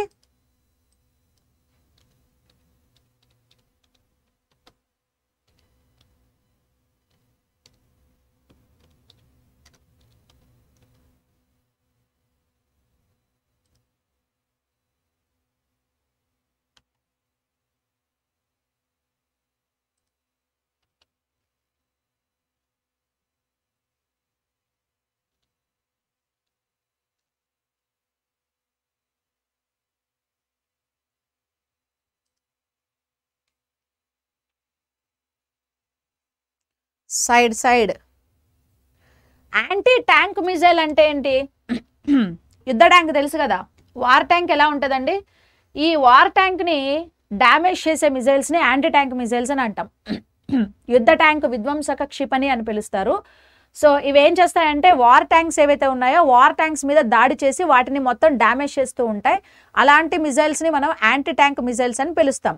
ఈ war ట్యాంక్స్ని use చేసి బుల్లెట్స్ని వదులుతూ ఉంటారు. మిజైల్స్ని బుల్లెట్స్ని అన్నిటినీ కూడా శత్రు దేశాల మీదకి వదులుతూ ఉంటారు కదా. సో ఈ ఈ ట్యాంక్ని ధ్వంసం చేసేస్తే ఓపెన్ అయిపోద్ది. సో అలాంటి మిజైల్స్ ఏవి ఇక్కడ అంటే నాగ్ అండ్ శాంట్. ఇవి రెండు కూడా యాంటీ ట్యాంక్ మిజైల్స్ అండి. యాంటీ ట్యాంక్ గైడెడ్ మిజైల్స్ అవి కూడా. యాక్చువల్లీ మనకు guided missiles non guided missiles అని టూ టైప్స్ ఆఫ్ మిజైల్స్ ఉన్నాయి. సో గైడెడ్ మిజైల్స్ అంటే ఏంటంటే లాంచ్ చేసిన తర్వాత వాటి టార్గెట్ని రీచ్ అయ్యే వరకు so we can able to guide that missiles మీది ట్వెల్వ్కి కదా? So anti tank I mean guided missiles అంటే ఏంటంటే we can able to guide that missile అంటే ఇప్పుడు మనం ఒక్కసారి లాంచ్ చేసేసిన తర్వాత అవి అవి టార్గెట్ని రీచ్ అయ్యే వరకు మనం వాటిని గైడ్ చేయొచ్చు. అంటే due to some technical issues వల్ల మిజైల్ అనేది డైరెక్షన్ తప్పిపోయినా మళ్ళీ వాటి డైరెక్షన్స్ని వాటిని మనం కరెక్ట్గా తీసుకురావచ్చు. నాన్ గైడెడ్ మిసైల్స్ అంటే ఏంటంటే ఒకసారి మనం లాంచ్ చేసేస్తే ఇంకా మనకు వాటితో సంబంధం లేదు. వాటిని ఎట్టి పరిస్థితుల్లోనూ మనం కంట్రోల్లోకి తెచ్చుకోలేం. అలాంటివి. మోస్ట్లీ ఇప్పుడు మనం తయారు చేసుకుంటున్న మిజైల్స్ ఏవంటే గైడెడ్ మిజైల్సే తయారు చేస్తున్నాం. కాబట్టి యాంటీ ట్యాంక్ మిజైల్స్ కూడా ఇవి గైడెడ్ మిజైల్సేనండి నాగు రేంజ్ వచ్చేంత అంటే ట్వంటీ కిలోమీటర్స్ రేంజ్ నాగుకుంటుంది. సో ఈ నాగుని మనము ఎలాగైనా లాంచ్ చేయొచ్చు. సబ్మెరైన్స్ నుంచి లాంచ్ చేయొచ్చు. హెలికాప్టర్స్ నుంచి కూడా లాంచ్ చేయొచ్చు. గ్రౌండ్ స్టేషన్ నుంచి కూడా నాగుని మనం లాంచ్ చేయొచ్చు. హెలికాప్టర్ నుంచి నాగుని కన్నా మనం లాంచ్ చేస్తే దాన్ని మనం హెలీనా అని పిలుస్తారండి. హెలీనా. హెలీనా అంటే ఏంటంటే helicopter. Helicopter Nag. So heli అంటే హెలికాప్టర్ అని నా ఎన్ని అంటే నాగ్ అని. అంటే హెలికాప్టర్ నుంచి పై నుంచి కన్నా ఒకవేళ మనం నాగ్ని లాంచ్ చేస్తే దాన్ని మనము హెలీనా అనేసి మనం పిలుచుకోవచ్చు అనమాట సో అది. ఇంకా శాంట్ అనేది కూడా యాంటీ ట్యాంక్ గైడెడ్ మిసైల్. నాగుకి శాంట్కి డిఫరెన్స్ ఏంటంటే నాగుని మనం లాంచ్ చేస్తే ట్యాంక్ని విధ్వంసం చేస్తుంది. అట్ ది సేమ్ టైం దాని ఇంపాక్ట్ అనేది కొంచెం దూరం వరకు దాని ఇంపాక్ట్ ఉంటుంది. కానీ శాంట్ అనేది కొంచెం అడ్వాన్స్డ్ టెక్నాలజీ మిజైల్ అండి. ఇది ఓన్లీ ట్యాంకును మాత్రమే విధ్వంసం చేస్తుంది. ఒక ఇంచు కూడా ట్యాంకు పక్కన ఉన్న ఏరియాని కానీ అటుపక్క ఉన్న ప్రాణులకి ఎవరికి కూడా ఎటువంటి నష్టం జరగదు. ఓన్లీ ట్యాంక్ మీదే దాని ఇంపాక్ట్ చూపిస్తుంది. అది ట్యాంక్ కంటే ఇంకొంచెం ఎక్కువ కూడా దాని ఇంపాక్ట్ చూపిస్తుంది. అట్లా ఇవి రెండింటిని మనం యాంటీ ట్యాంక్ మిసైల్స్ అని పిలుస్తాం. ఓకేనా సో వన్ టూ అనేది కరెక్ట్ ఆన్సర్ ఇంకా అగ్ని అంటే తెలుసు కదా? సో అగ్నిలో మనకి సో అగ్ని వన్ అగ్ని టూ అగ్ని త్రీ అగ్ని ఫోర్ ఫైవ్ అగ్ని సిక్స్ కూడా తయారవబోతుంది. So inter inter continental ballistic missiles అనేసి మనం అగ్నిని పిలుస్తూ ఉంటాం అనమాట అగ్ని ఫైవ్ని అగ్ని సిక్స్ని ఇంటర్ కాంటినెంటల్ బాలిస్టిక్ మిజైల్స్ అని పిలుస్తాం. Up to eight thousand range వరకు ఎయిట్ థౌజండ్ కిలోమీటర్ రేంజ్ వరకు అగ్ని ఉంటుంది. మనం అగ్ని ఇంటర్ కాంటినెంటల్ మిసైల్స్ని యూజ్ చేసి వేరే కాంటినెంట్ మీద కూడా యుద్ధం జరపొచ్చు. చిన్న చిన్న సిటీస్ని ఐ మీన్ పెద్ద పెద్ద సిటీస్ని చిన్న చిన్న దేశాలను లేపేయచ్చు అనమాట వీటిని యూజ్ చేసి. ఓకేనా? నెక్స్ట్ పృథ్వీ అనేది మనకు ఇది షార్ట్ రేంజ్ మిజైల్ అండి. పృథ్వీలో మళ్ళీ Prithvi one Prithvi two Prithvi three three missiles ఉన్నాయి. పృథ్వీ వన్ రేంజ్ వచ్చి one fifty kilometre Prithvi two range వచ్చేసి two fifty kilometre and Prithvi three range వచ్చేసి త్రీ ఫిఫ్టీ కిలోమీటర్ అనమాట యాక్చువల్లీ అగ్ని పృథ్వీ ఇవన్నీ కూడా అబ్దుల్ కలాం గారి ఆధ్వర్యంలో తయారు చేయబడ్డాయి. సో అందుకే ఆయనని మిజైల్ మ్యాన్ ఆఫ్ ఇండియా అనేసి మనం పిలుచుకుంటూ ఉంటాం. ఓకేనా? సైన్స్ అండ్ టెక్నాలజీ అన్ని ఎగ్జామ్స్కి యూస్ అవుతుంది. ఈచ్ అండ్ ఎవ్రీ ఎగ్జామ్కి మీకు ఎస్ఎన్టీ ఎకాలజీ లేకుండా ఏ ఎగ్జామ్ ఉండదు.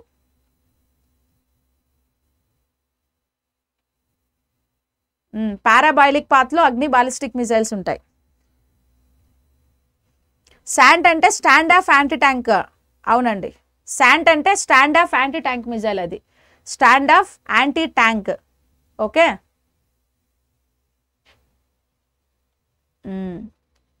So కాబట్టి వన్ టూ అనేది ఈ క్వశ్చన్కి కరెక్ట్ ఆన్సర్ అవుతుంది. మీరు ఇక్కడ చూస్తే వార్ ట్యాంక్ అనేది ఇలా ఉంటుందండి. ఈ వార్ ట్యాంక్ మీదకి మనం మిజైల్స్ని లాంచ్ చేస్తాం. ఈ వార్ ట్యాంక్ మీదకి మిజైల్ని లాంచ్ చేస్తే వార్ ట్యాంక్స్ని అవి విధ్వంసం చేస్తాయి అన్నమాట ఓకేనా? హెలికాప్టర్స్ నుంచి కూడా మనం వాటిని లాంచ్ చేయొచ్చు. Yes surface to air launch చేయొచ్చు. ఎయిర్ టు సర్ఫేస్ కూడా మనము వాటిని లాంచ్ చేయొచ్చు. అంటే హెలికాప్టర్ నుంచి కూడా లాంచ్ చేయొచ్చు అనమాట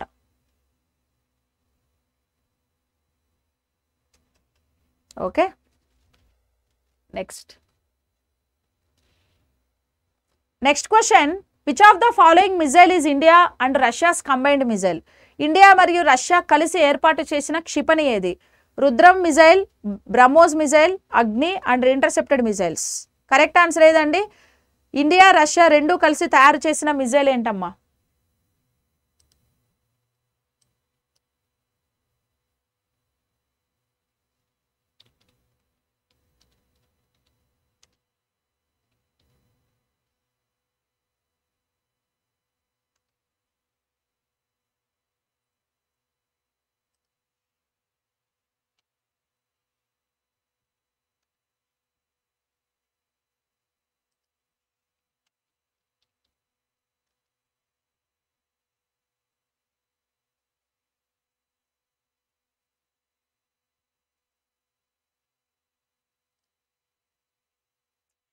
సో ఇండియా రష్యా రెండు కలిసి తయారు చేసిన మిజైల్ ఏది అని అంటే బ్రహ్మోస్ మిజైల్ అనేసి పిలుస్తారండి.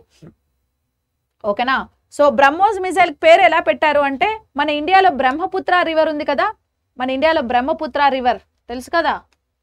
జాగ్రఫీలో చదువుంటారు. ఎక్కడి నుంచి స్టార్ట్ అయ్యి ఎక్కడ ఎండ్ అవుతుంది Brahmaputra? So Brahmaputra river. So ఇండియాలో ఉన్న బ్రహ్మపుత్ర రివర్ రష్యాలో ఉన్న కాస్మోస్ రివర్. ఓకే? కాదు మాస్కో రివర్ అండి. కాస్మోస్ అనేది వెహికల్ పేరు కదా రాకెట్ పేరు. Moscow river. Okay Moscow river. So రష్యాలో ఉన్న మాస్కోవు ఇండియాలో ఉన్న బ్రహ్మపుత్ర.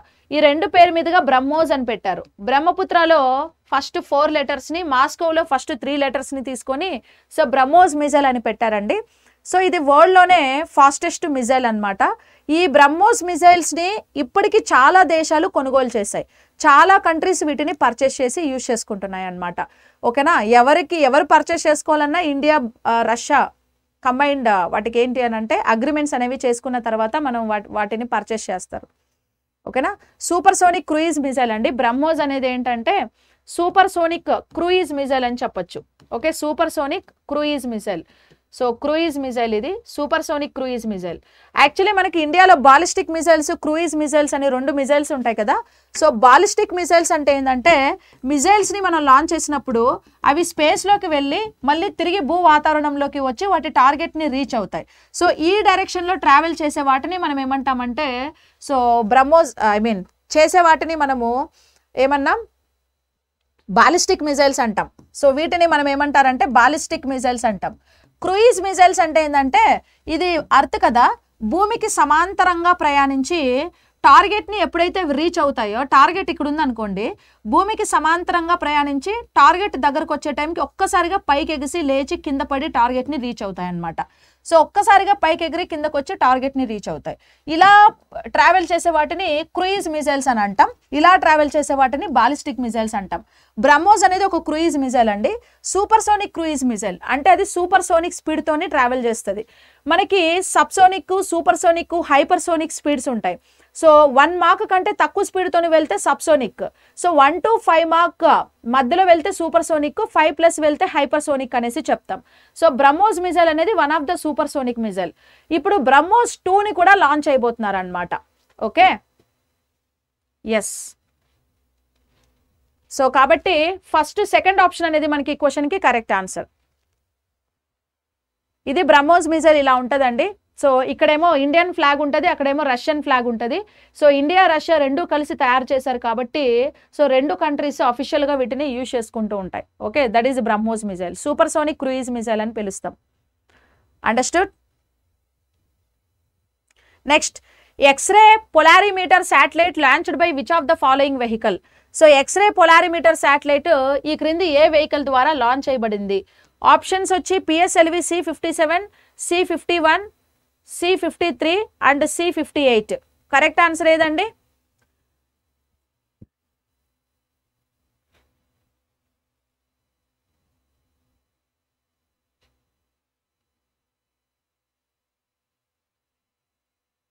అబో ఫైవ్ ఉంటే హైపర్సోనిక్ అండి. Above five hypersonic one to five super sonic one mark కంటే తక్కువ ఉంటే ఇప్పుడు వన్ మార్క్ కంటే తక్కువ ఉన్నది అనుకోండి లెస్ దాన్ వన్ మార్క్ ఉంటే మనకి సబ్సోనిక్ సబ్సోనిక్ స్పీడ్తోని వెళ్తాయి. వన్ టు ఫైవ్ మార్క్ మధ్యలో ఉంటే సూపర్ సోనిక్ స్పీడ్తోని వెళ్తాయి. ఫైవ్ మార్క్ అబో ఉంటే హైపర్ సోనిక్ స్పీడ్తోని వెళ్తాయి. Okay? Clear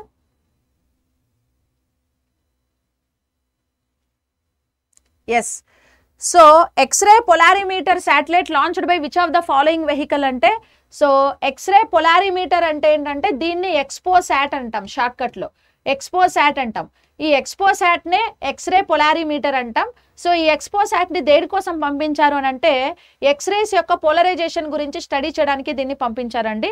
So PSLV C fifty eight అనే వెహికల్ ఇది పిఎస్ఎల్వికి సంబంధించిన లాస్ట్ ఎక్స్పెరిమెంట్ సో జనవరి ఫస్ట్ టూ థౌజండ్ ట్వంటీ ఫోర్న మార్నింగ్ నైన్ ఫిఫ్టీన్కి అనుకుంటా. మార్నింగ్ నైన్ ఫిఫ్టీన్కి ఆ టైంలో దీన్ని మనం లాంచ్ చేశారు. సో ఈ ఇయర్లోనే జనవరి ఫస్ట్న మీరు అందరూ న్యూ ఇయర్ సెలబ్రేషన్స్ చేసుకుంటుంటే మన ఇస్రో వాళ్ళు ఈ ఎక్స్పెరిమెంట్ సక్సెస్ఫుల్గా పైకి పంపించేసినారు. పిఎస్ఎల్వి సి ఫిఫ్టీ ఎయిట్ అనే రాకెట్ ద్వారా.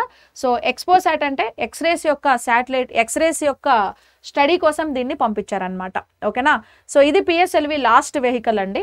సో ఎక్స్పోసాట్ గురించి మనకి ఇక్కడ సమ్ ఇన్ఫర్మేషన్ చూడండి. ఎక్స్పోసాట్ అంటే ఎక్స్రే పొలారిమీటర్ శాటిలైట్ అని పిలుస్తాం.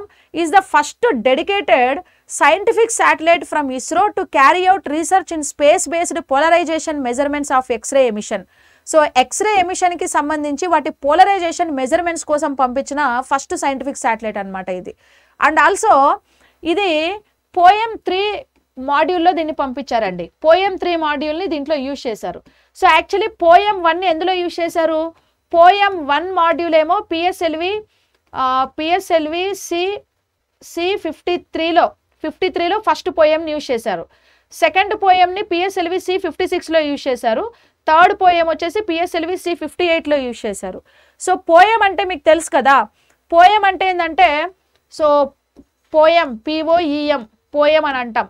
Okay PSLV orbital experimental module అని అర్థం. అబ్రివేషన్ ఏంటంటే పిఎస్ఎల్వి ఆర్బిటార్ ఎక్స్పెరిమెంటల్ మాడ్యూల్ అని పిలుస్తారు. సో పోయంలో మనకేంటంటే బేసిక్గా పిఎస్ఎల్విలో ఫోర్ స్టేజెస్ ఉంటాయండి. వన్ టూ త్రీ ఫోర్ ఇట్లా ఫోర్ స్టేజెస్ ఉంటాయి. పైన పెలోడ్ స్పేస్ అనేది ఉంటుంది. ఈ పోయంలో ఏంటంటే ఈ పెలోడ్ అనే స్పేస్ లేకుండా ఈ ఫోర్త్ ఇంజన్ ఏదైతే ఉందో ఫోర్త్ ఇంజన్లోనే శాటిలైట్స్ని పెట్టి పంపించేస్తారనమాట ఫోర్త్ ఇంజన్లోనే శాటిలైట్ పెట్టి పంపించినప్పుడు మనకి పార్ట్ తయారు చేయాల్సిన అవసరం ఉండదు. సో ఈ మాడ్యూల్ని మనం పోయం అనేసి పిలుస్తాము. సో ఎక్స్పోసాట్ అనేది P PSLV C fifty eight అనేది POEM three module. Okay? POEM three module. ఓకేనా? ఇందులో మనకి ఎస్ ఇందులో మనకి ఏమేమి శాటిలైట్స్ని యూజ్ చేశారు అంటే పెలోడ్స్ వచ్చేసి చూడండి. ఒకటి పోలిక్స్ యూజ్ చేశారు. ఇంకోటి ఎక్స్పెక్ట్ యూజ్ చేశారు. పోలిక్స్ ఎక్స్పెక్ట్. మేబీ మీకు ఎగ్జామ్లో ఈ క్వశ్చన్ వచ్చే ఛాన్స్ ఉంది. పోలిక్స్ ఒకటి ఎక్స్పెక్ట్ ఒకటి. పోలిక్స్ అంటే పొలారిమీటర్ ఇన్స్ట్రుమెంట్ ఇన్ ఎక్స్రేస్ అని పిలుస్తారండి. సో ఎక్స్రేస్ యొక్క పొలార్ పోలరైజేషన్ గురించి స్టడీ చేయడానికి పోలిక్స్ పంపించారు. ఎక్స్పెక్ట్ వచ్చేసి ఎక్స్రే స్పెక్ట్రోస్కోపీ అండ్ టైమింగ్ అని పిలుస్తాం. ఈ పోలిక్స్ని తయారు చేసింది ఎవరు అంటే రామన్ రీసెర్చ్ ఇన్స్టిట్యూట్ వాళ్ళు పోలిక్స్ అనే ఒక పెలోడ్ని తయారు చేశారు. రామన్ రీసెర్చ్ ఇన్స్టిట్యూట్ వాళ్ళు పోలిక్స్ని తయారు చేశారు. ఎక్స్పెక్ట్ని తయారు చేసింది ఎవరు అని అంటే ఇందాక చెప్పుకున్నాం కదా Udupi Ramachandra Rao satellite centre Udupi Ramachandra Rao satellite centre బెంగళూరులో ఉంటుందని చెప్పామా? వీళ్ళు ఎక్స్పెక్ట్ అనే ఒక పెలోడ్ని తయారు చేసి సో ఎక్స్పో శాట్లో పెట్టారు. అండ్ రామన్ రీసెర్చ్ వాళ్ళేమో పోలిక్స్ని తయారు చేశారనమాట ఓకే మ్యానుఫ్యాక్చర్ చేసింది కూడా మనకు అప్పుడప్పుడు important what Nani? Second PSLV C fifty five కాదు ఫిఫ్టీ సిక్స్. యాక్చువల్లీ పోయంని పోయం వన్ పోయం టూ రెండు కమర్షియల్ శాటిలైట్స్లోనే లాంచ్ చేశారు. PSLV C fifty six commercial. PSLV C fifty six commercial కదా? సింగపూర్ శాటిలైట్స్ని మనం పిఎస్ఎల్వి సి ఫిఫ్టీ సిక్స్ ద్వారా పంపించాం.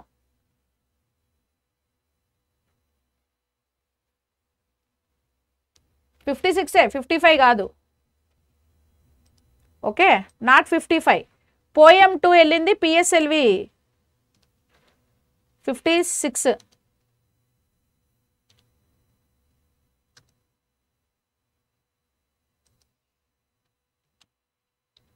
ఫోర్త్ స్టేజ్లో పోయం టూని యూజ్ చేస్తారు.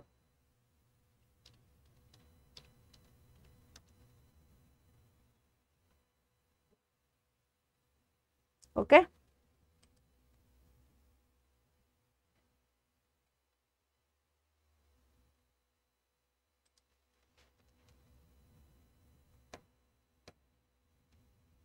ఫిఫ్టీ ఫైవా? పోయం టు ఫిఫ్టీ సిక్స్ అనుకుంటానండి.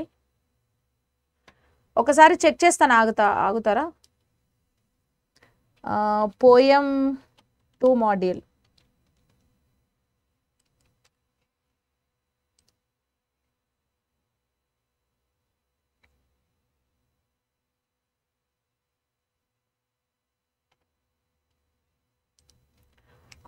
అవునండి. పోయం టూ ఫిఫ్టీ సిక్స్ కాదు fifty five yes yes correct Nani. I'm sorry POEM two PSLV C fifty five correct POEM two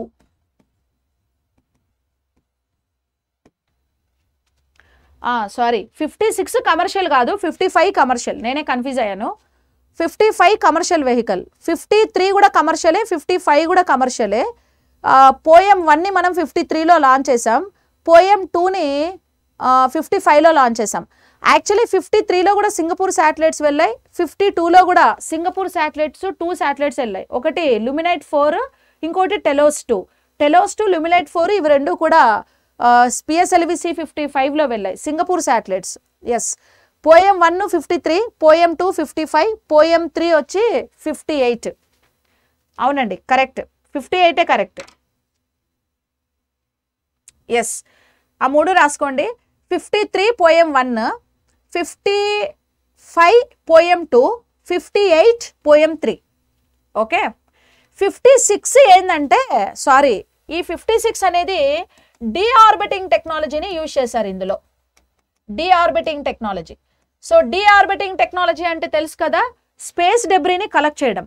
so space debris అంటే స్పేస్లో ఉన్న waste materials ఏవైతే ఉన్నాయో అంటే స్పేస్లో స్పేస్లో పనిచేయని శాటిలైట్స్ కావచ్చు లేకపోతే రాకెట్ని మనం లాంచ్ చేసేటప్పుడు రాకెట్లో స్పేర్ పార్ట్స్ అన్ని విడిపోయినప్పుడు అలాంటి పనికిరాని వేస్ట్ మెటీరియల్స్ అంతా స్పేస్లో ఉంటాయి కదా ఆ స్పేస్లో ఉన్న వేస్ట్ని కలెక్ట్ చేయడానికి తీసుకొచ్చిన మాడ్యూలే మనకు deorbiting technology PSLV C fifty six ద్వారా స్పేస్ డెబ్రీని మనం కలెక్ట్ చేసాం. ఓకేనా ఈ మూడు ఇక్కడ ఇంపార్టెంట్ అండి. పోయం మాడ్యూల్స్ వచ్చి fifty three fifty five fifty eight deorbiting టెక్నాలజీని యూజ్ చేసింది fifty six yes very good understand next ఇవి మనకు సైన్స్ అండ్ టెక్నాలజీ క్వశ్చన్స్ అండి. Ah, తర్వాత జనరల్ సైన్స్కి సంబంధించి కొన్ని క్వశ్చన్స్ చూద్దాం. ఓకే జనరల్ సైన్స్ క్వశ్చన్స్ కూడా మీకు టీఎస్పీఎస్సీ గ్రూప్ వన్ ప్రిలిమ్స్లో ఉంటాయి కదా. సో వాటికి సంబంధించి కొన్ని క్వశ్చన్స్ చూద్దాం. ఇవి మీకు ప్రీవియస్ ఇయర్ ఎగ్జామినేషన్స్లో అడిగిన క్వశ్చన్సే. సో చూడండి. Which of the following joint is smallest joint in the body క్రింది వాణిలో అతి చిన్న కీళ్ళు ఏవి? నీ జాయింట్ తర్వాత హింజ్ జాయింట్ అండ్ ఇంకోటో stapedius joint shoulder joint. So what is the correct answer for this question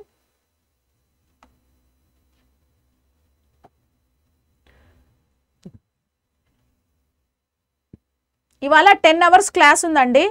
నా క్లాస్ వచ్చి ట్వెల్వ్ వరకు.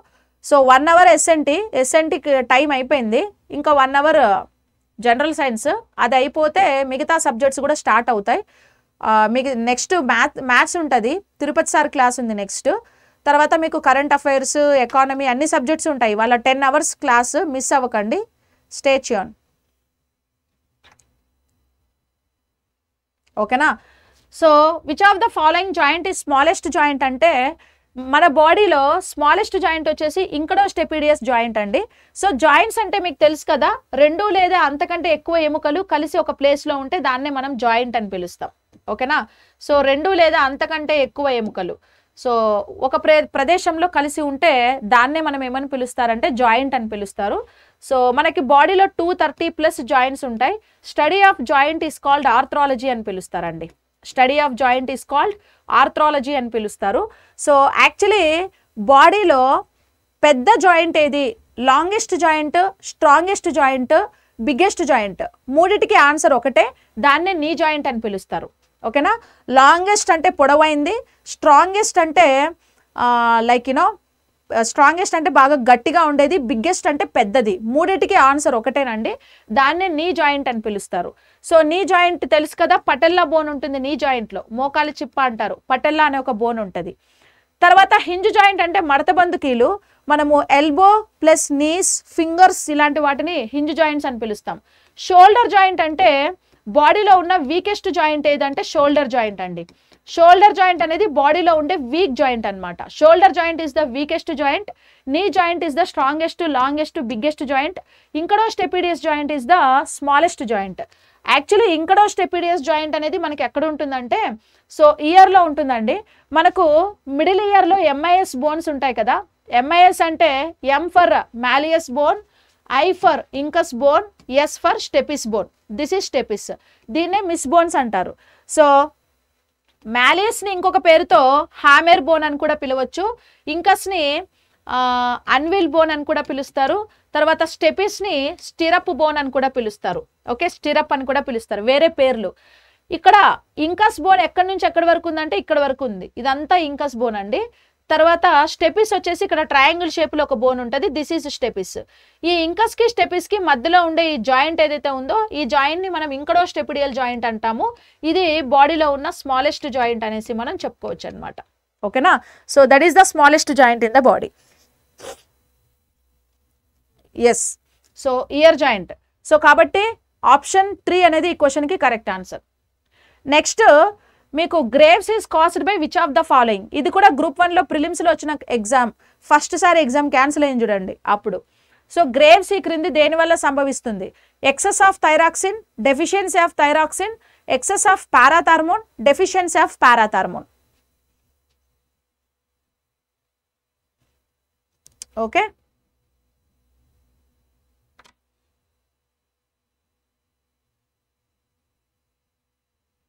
రోజు కాదు ఈరోజు మాత్రమే.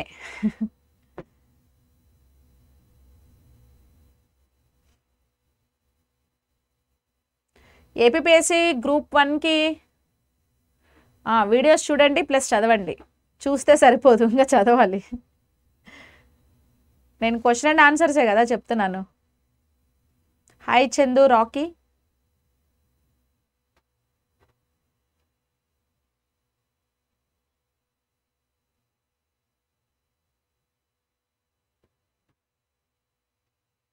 Correct answer ఏంటండి?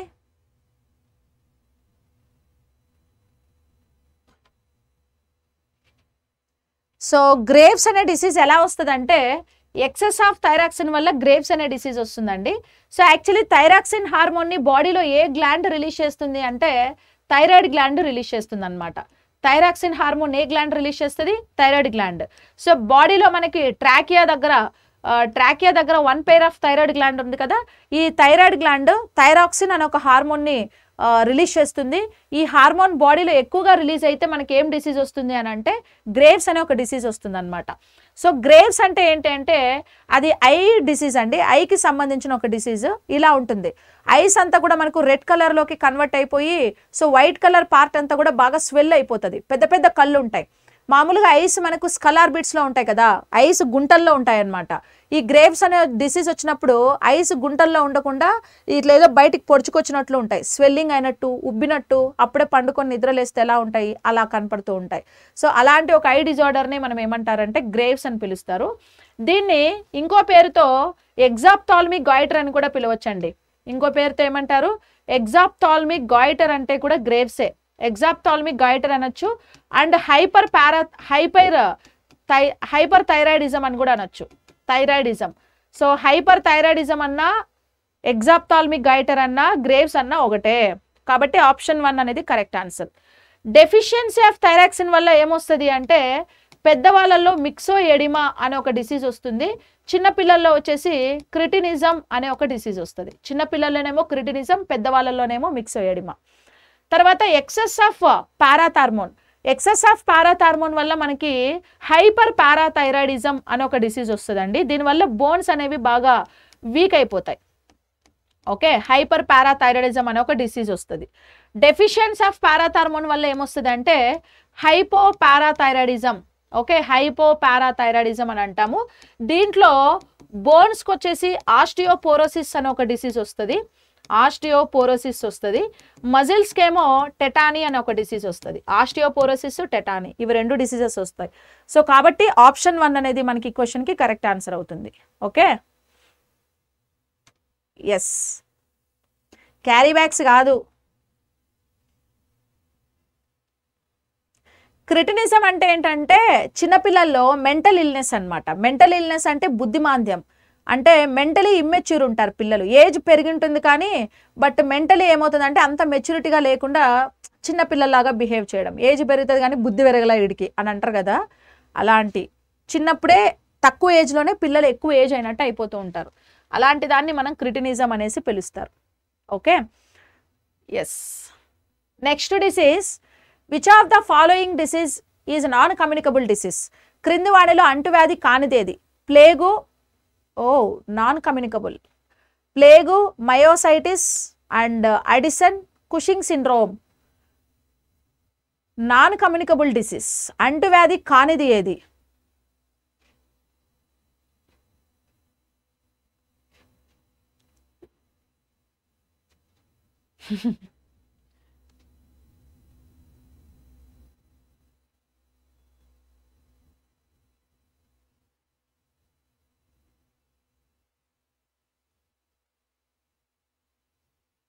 బాడీ పెరిగింది కానీ బ్రెయిన్ పెరగలేదు అంటారా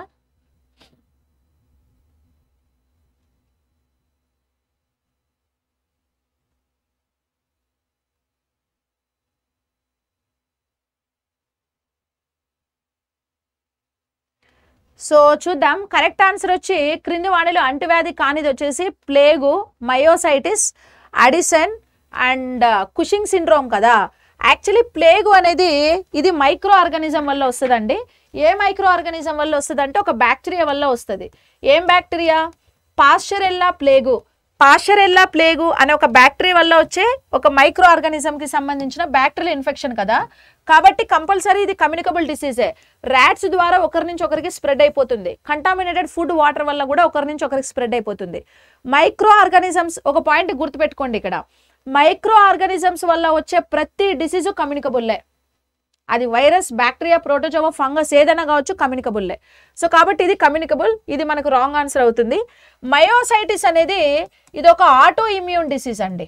ఓకేనా? మయోసైటిస్ అనేది ఆటో ఇమ్యూన్ డిసీజ్ అనమాట so auto immune and disease అంటే ఏంటంటే నథింగ్ బట్ ఇది కూడా ఆటో ఇమ్యూన్ డిసీజ్ అంటే నథింగ్ బట్ అది కూడా one of the hereditary disease type అనమాట హెరిడిటరీ డిసీజ్ అంటే మన బాడీలో ఈ మయోసైటిస్కి సంబంధించిన జీన్స్ ఎప్పుడైతే రెప్లికేట్ అవుతాయో ఆటో అంటే సెల్ఫ్ సెల్ఫ్ రెప్లికేషన్ ఎప్పుడైతే జరుగుతాయో అప్పుడు మనకు ఆ డిసీజ్ వస్తుందన్నమాట. ఇది పెద్ద ప్రాబ్లమాటిక్ డిసీజ్ ఏం కాదు కానీ మజిల్స్ అన్నీ ఏమవుతాయంటే బాడీలో ఉన్నట్టుండి మజిల్ అంతా కూడా వెయిట్ లాస్ అయిపోతాయి. వెయిట్ లాస్ అయిపోయి మజిల్స్ ఎక్కడికక్కడ పట్టేస్తూ ఉంటాయి. ఎక్కువ పెయిన్ వస్తూ ఉంటుంది.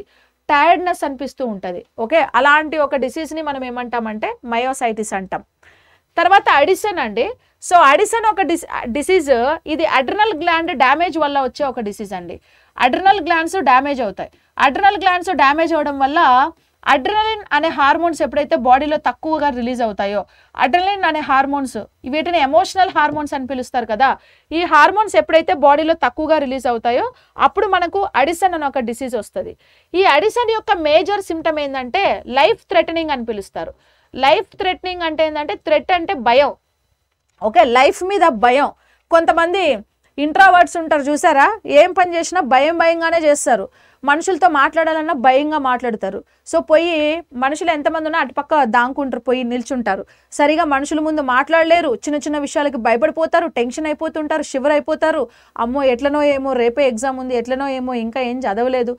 ప్రతి చిన్న విషయానికి టెన్షన్ అయిపోవడం ఎక్కువగా. అంటే లైఫ్ అంటే భయం. ప్రతి విషయానికి భయపడుతూ ఉండడం. Introvert type. సో అలాంటి సిమ్టమ్ అనేది మనము అడిసన్లో గమనిస్తూ ఉంటాం.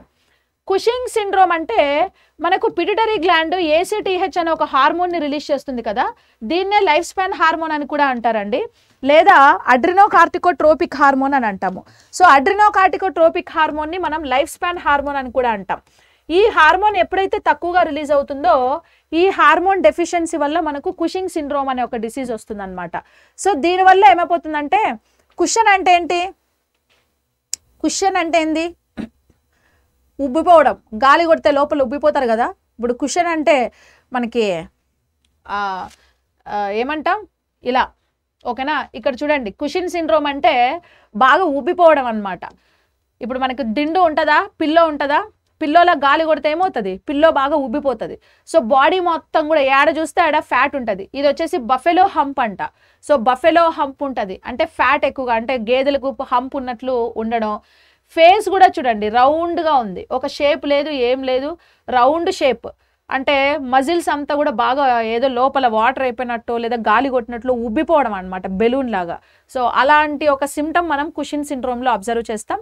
సో ఏసీటీహెచ్ హార్మోన్ డెఫిషియన్సీ వల్ల వస్తుంది దాన్ని పిటిటరీ గ్లాండ్ రిలీజ్ చేస్తుంది. మయోసైటిస్ అంటే ఏంటంటే ఇది ఒక ఆటో ఇమ్యూన్ డిజార్డర్ అండి. So muscle inflammation and weakness ఎక్కువగా ఉంటుంది. ఇన్ఫ్లమేషన్ అంటే మజిల్స్ బాగా వాపుకి గురవడం వీక్నెస్ అంటే మజిల్ బాగా వీక్గా ఉండడం బలహీనంగా ఉండడం. అలాంటి ఒక డిసీజ్ని మనం మయోసైటిస్ అని పిలుస్తారు. ఓకేనా? మజిల్ వీక్నెస్ ఇంకా ఇది వచ్చేసి Addison Addison disease symptoms Addison వల్ల సో మనకి ఏమేమి డిసీజెస్ వస్తాయి చూడండి. సో లెత లెథర్జీ వస్తుంది ఫ్యాటిగ్యూ అండ్ uh, ఇరిటబిలిటీ ఎక్కువగా వస్తుంది మూడ్ స్వింగ్స్ అవుతుంటాయి ఎక్కువగా ర్యాండమ్గా వెయిట్ లాస్ అయిపోతారు మజిల్ కూడా బాగా వీక్ అయిపోతుంది. సో ఇలాంటి సిమ్టమ్స్ అన్ని అడిసిన్స్లో గమనిస్తాం.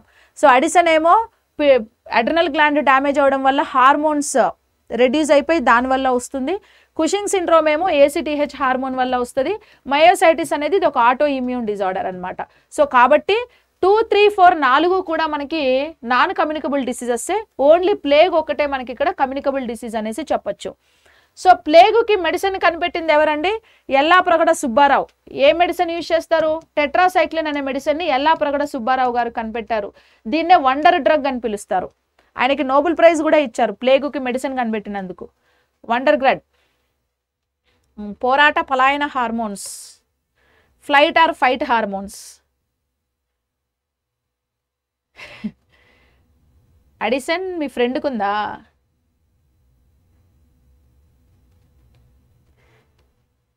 ఏసీటీహెచ్ అంటే adrenocorticotropic hormone. ACTH అంటే అడ్రినో కార్టికో ట్రోపిక్ హార్మోన్. దీన్నే లైఫ్ స్పాన్ హార్మోన్ అని కూడా పిలుస్తారు. జీవితకాల హార్మోన్ అంటాం. అంటే జీవితాంతం రిలీజ్ అవుతూనే ఉండాలి. అలిసిపోయి ఏదో ఒక రోజు ఆగిపోతే ఒక రోజు ఆగిపోతే ఏం కాదు మినిమం సిక్స్ మంత్స్ కంటే ఎక్కువ బతకరంట. ఇది కానీ ఒక ఐదారు రోజులు కంటిన్యూస్గా ఈ హార్మోన్ రిలీజ్ అవ్వడం ఆగిపోతే బాడీ లోపల సిక్స్ మంత్స్ కంటే ఎక్కువ రోజులు ఎవరు బతకరు. సో కాబట్టి హార్మోన్స్ అనేవి రెగ్యులర్గా మనకు రిలీజ్ అవుతూ ఉండాలి కొన్ని హార్మోన్స్ అందుకే దాన్ని మనం లైఫ్ స్పాన్ హార్మోన్ అనేసి పిలుచుకున్నాం. ఓకేనా? నువ్వు అసలు ఇంట్రవర్ట్ కాదు. సుధీర్ నిన్నెవరనుకుంటారు ఎవరు అనుకుంటారు అసలు? బాగా అల్లరి చేస్తుంటావు కదా ఎప్పుడు? Which of the following enzymes are involved in protein digestion క్రింది వాణిలో ప్రోటీన్ జీర్ణక్రియలో పాల్గొనే ఎంజైమ్లు ఏవి pepsin polypeptides trypsin all the above ట్రిప్సిన్లు రెండు సార్లు ఉన్నాయి.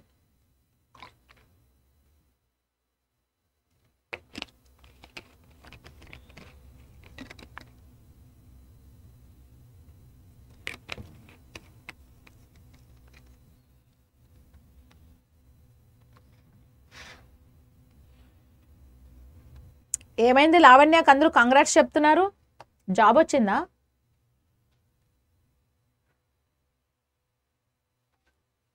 శామ్ అంటే ఎవరు? ఏదో నీ గర్ల్ ఫ్రెండ్ లాగా చెప్తున్నావు. ఆల్ ఇన్ వన్ సమంతా నాలి అలా అనొచ్చా?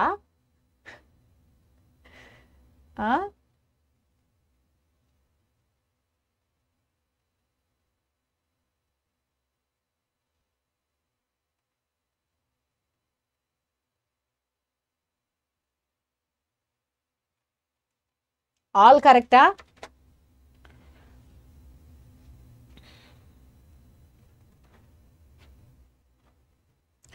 సో ప్రోటీన్ డైజెషన్లో ఇన్వాల్వ్ అయ్యే ఎంజైమ్స్ ఏవి అని అంటే ఇక్కడ ప్రోటీన్ డైజెషన్లో ఇన్వాల్వ్ అయ్యేవి ఆల్ ఎంజైమ్స్ ప్రోటీన్ డైజెషన్లో ఇన్వాల్వ్ అవుతాయండి.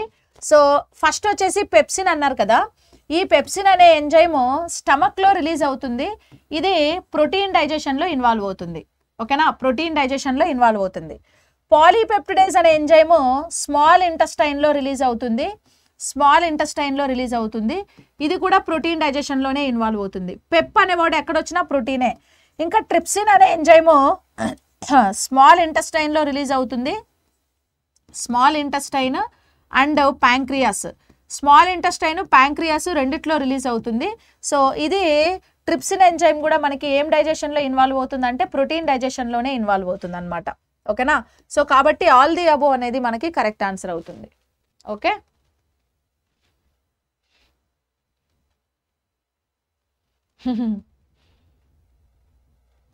మీకు ఒక షార్ట్ కట్ చెప్పా గుర్తుంది కదా? డీపీటీ స్మెల్ డీపీటీ స్మెల్ అనే షార్ట్ కట్ గుర్తుపెట్టుకోండి. ఇది స్మాల్ ఇంటెస్టైన్ రిలీజ్ చేసే ఎంజైమ్స్ లిస్ట్ డీపీటీ స్మెల్ అనేది స్మాల్ ఎంజైమ్స్ రిలీజ్ చేసే enzymes list D for dipeptidase D for dipeptidase P for polypeptidase, T for trypsin S for sucrase M for maltase E for erepsin erepsin L for lipase ఇంకో L for lactase okay L for lactase ఇవన్నీ small intestine release చేసే enzymes అండి.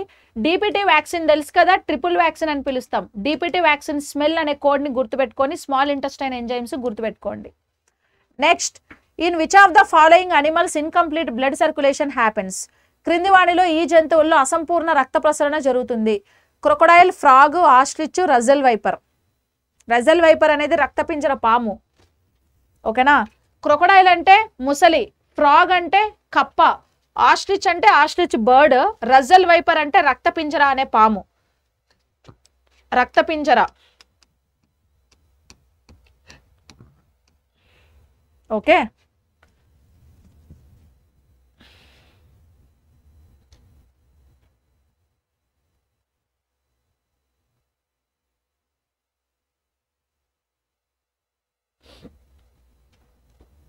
లావణ్యకి ఏమొచ్చిందో చెప్తే నేను కూడా congratulations చెప్తా కదా.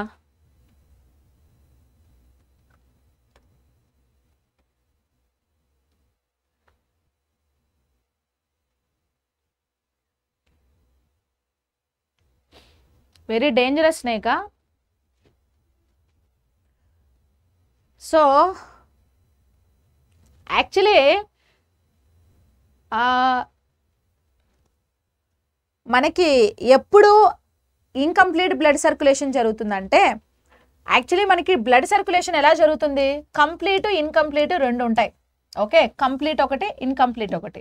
సో ఇప్పుడు ఫర్ ఎగ్జాంపుల్ ఫస్ట్ మనకి హార్ట్ ఉంటుందండి. దిస్ ఈజ్ హార్ట్ కింద ఏముంటాయి? కింద బాడీ పార్ట్స్ పైన ఏముంటాయి?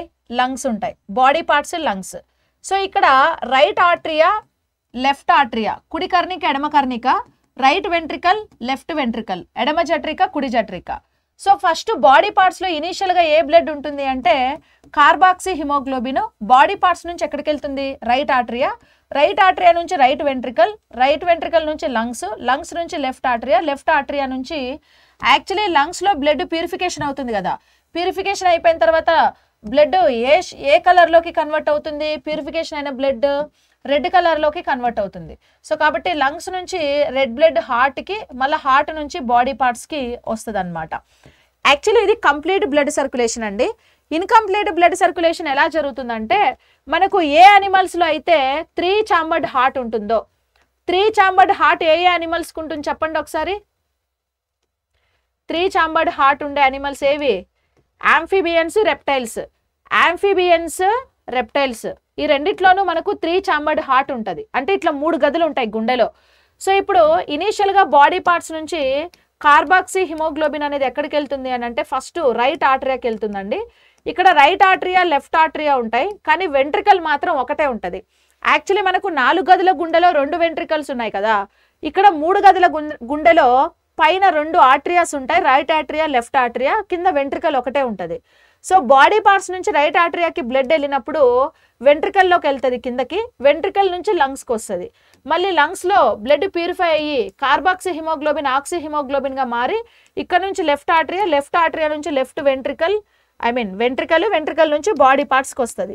మీరు ఇక్కడ చూస్తే ఈ కింద వెంట్రికల్లో బ్లూ బ్లడ్ రెడ్ బ్లడ్ రెండు కలిసి ఒకే ఛాంబర్లో కలిసాయి చూడండి. మీకు ఇక్కడ ఛాంబర్స్ సపరేట్ అయ్యాయి మధ్యలో ఒక గోడ ఉంది ఒక వాల్ ఉంది. ఇక్కడ అలా లేకుండా సో వెంట్రికల్లో మనకి రెడ్ బ్లడ్ బ్లూ బ్లడ్ రెండు కూడా ఇట్లా వెంట్రికల్లో కలిసిపోయాయి. ఓకే? ఇలాంటి సర్క్యులేషన్ని ఇన్కంప్లీట్ సర్క్యులేషన్ అని పిలుస్తారు. యాక్చువల్లీ ఇన్కంప్లీట్ సర్క్యులేషన్ ఎవరిలో జరుగుతుందంటే సో త్రీ చాంబర్డ్ హార్ట్ ఎవరికి ఉంటుందో వాళ్ళల్లో జరుగుతుందండి. త్రీ చాంబర్డ్ హార్ట్ ఎవరెవరికి ఉంటుందంటే యాంఫీబియన్స్ అంటే ఉభయచరాలలో త్రీ చాంబర్డ్ హార్ట్ ఉంటుంది. తర్వాత రెప్టైల్స్ సరీసృపాలలో త్రీ చాంబర్డ్స్ హార్ట్ ఉంటుంది. ఉభయచరాలు సరీసృపాలు యాంఫిబియన్స్ రెప్టైల్స్లో మనకు త్రీ చాంబర్డ్ హార్ట్ ఉంటుంది. సో కాబట్టి ఒక్క క్రొకడైల్ తప్ప ఎందుకంటే క్రొకడైల్లో నాలుగు గదుల గుండె ఉంటుందండి. క్రొకడైల్ తర్వాత బర్డ్స్ మమ్మల్స్ మమ్మల్స్ వీటన్నిటిలో నాలుగు గదుల గుండె ఉంటుంది. సో ఫిషెస్లో అయితే టూ చాంబర్స్ కాక్రోచ్లో థర్టీన్ చాంబర్స్ అర్తువామ్లో ఎయిట్ పేర్స్ లేదా సిక్స్టీన్ చాంబర్స్ ఉంటుంది. మరి క్రొకడైల్లో ఫోర్ ఛాంబర్స్ ఉంది కాబట్టి కంప్లీట్ సర్క్యులేషన్ అవుతుంది. ఫ్రాగ్లో త్రీ చాంబర్ ఉంది కాబట్టి ఇన్కంప్లీట్ సర్క్యులేషన్ అవుతుంది. ఆస్ట్రిచ్ అనే బర్డ్లో ఫోర్ చాంబర్స్ ఉన్నాయి కాబట్టి కంప్లీట్ అవుతుంది. రజల్ వైపర్ అనే స్నేక్లో త్రీ చాంబర్స్ ఉన్నాయి కదా రెప్టైల్ కాబట్టి ఇందులో కూడా ఇన్కంప్లీట్ అవుతుంది. సో టూ ఫోర్లో ఇన్కంప్లీట్ బ్లడ్ సర్క్యులేషన్ అవుతుంది. మిగతా వాటిల్లో కంప్లీట్ బ్లడ్ సర్క్యులేషన్ అవుతుంది అనేసి మనం చెప్పుకోవచ్చు అనమాట ఓకేనా? ఎస్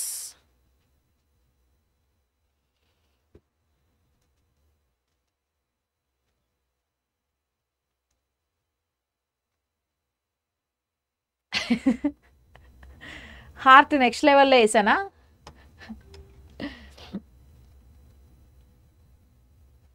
పార్టీ లేదా లావణ్య?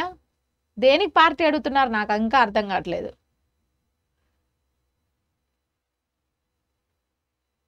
జాబ్ వచ్చిందా?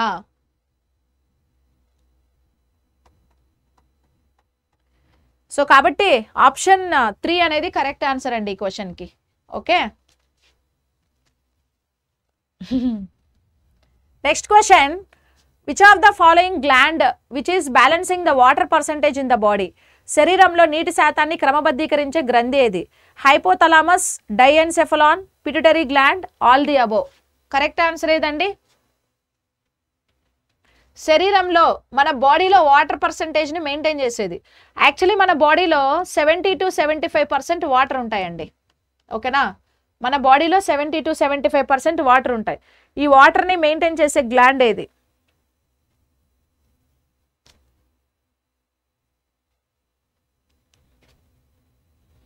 ఓకే గవర్నమెంట్ జాబ్ వచ్చిందా? Nice congratulations. అసలు లావణ్య ఉందా ఈడ? పలకర పలకదేంటి? కంగ్రాట్స్ అంటే థ్యాంక్స్ కూడా చెప్పట్లేదు. Congratulations Lavanya. God bless you.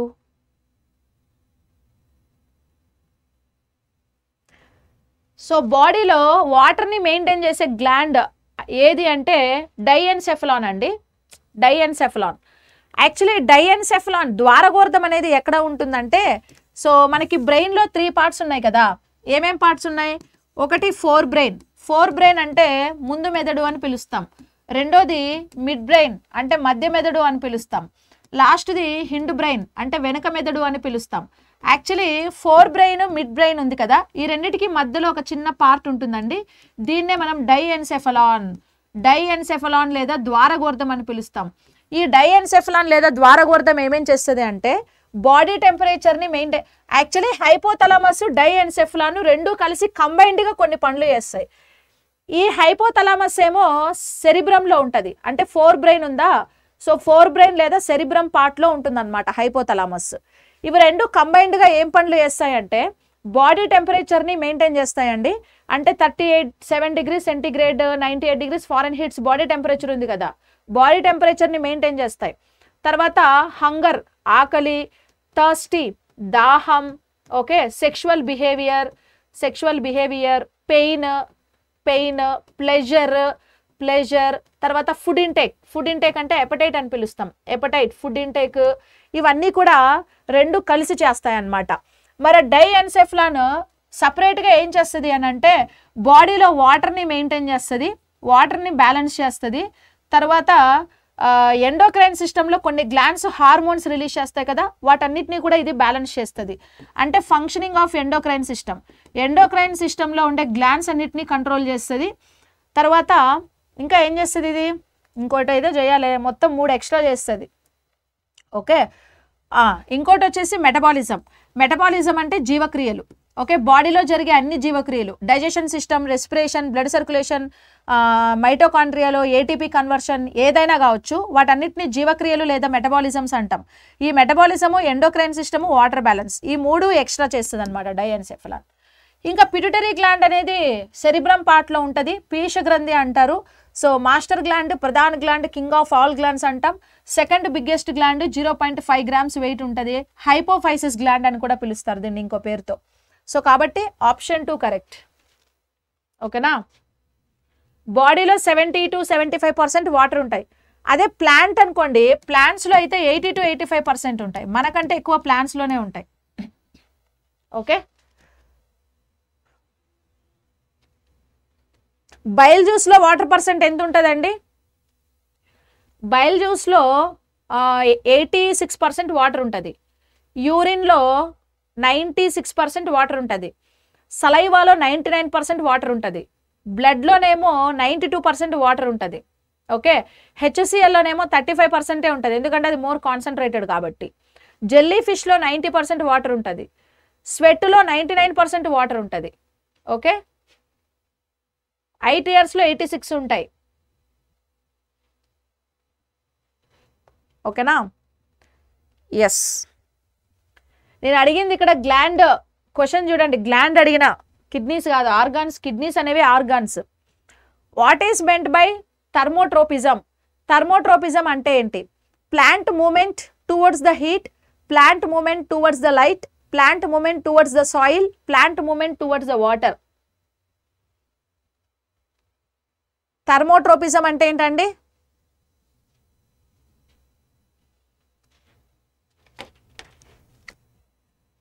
నాకు ఎప్పుడో తెలుసు మరి జాబ్ రాలేదే.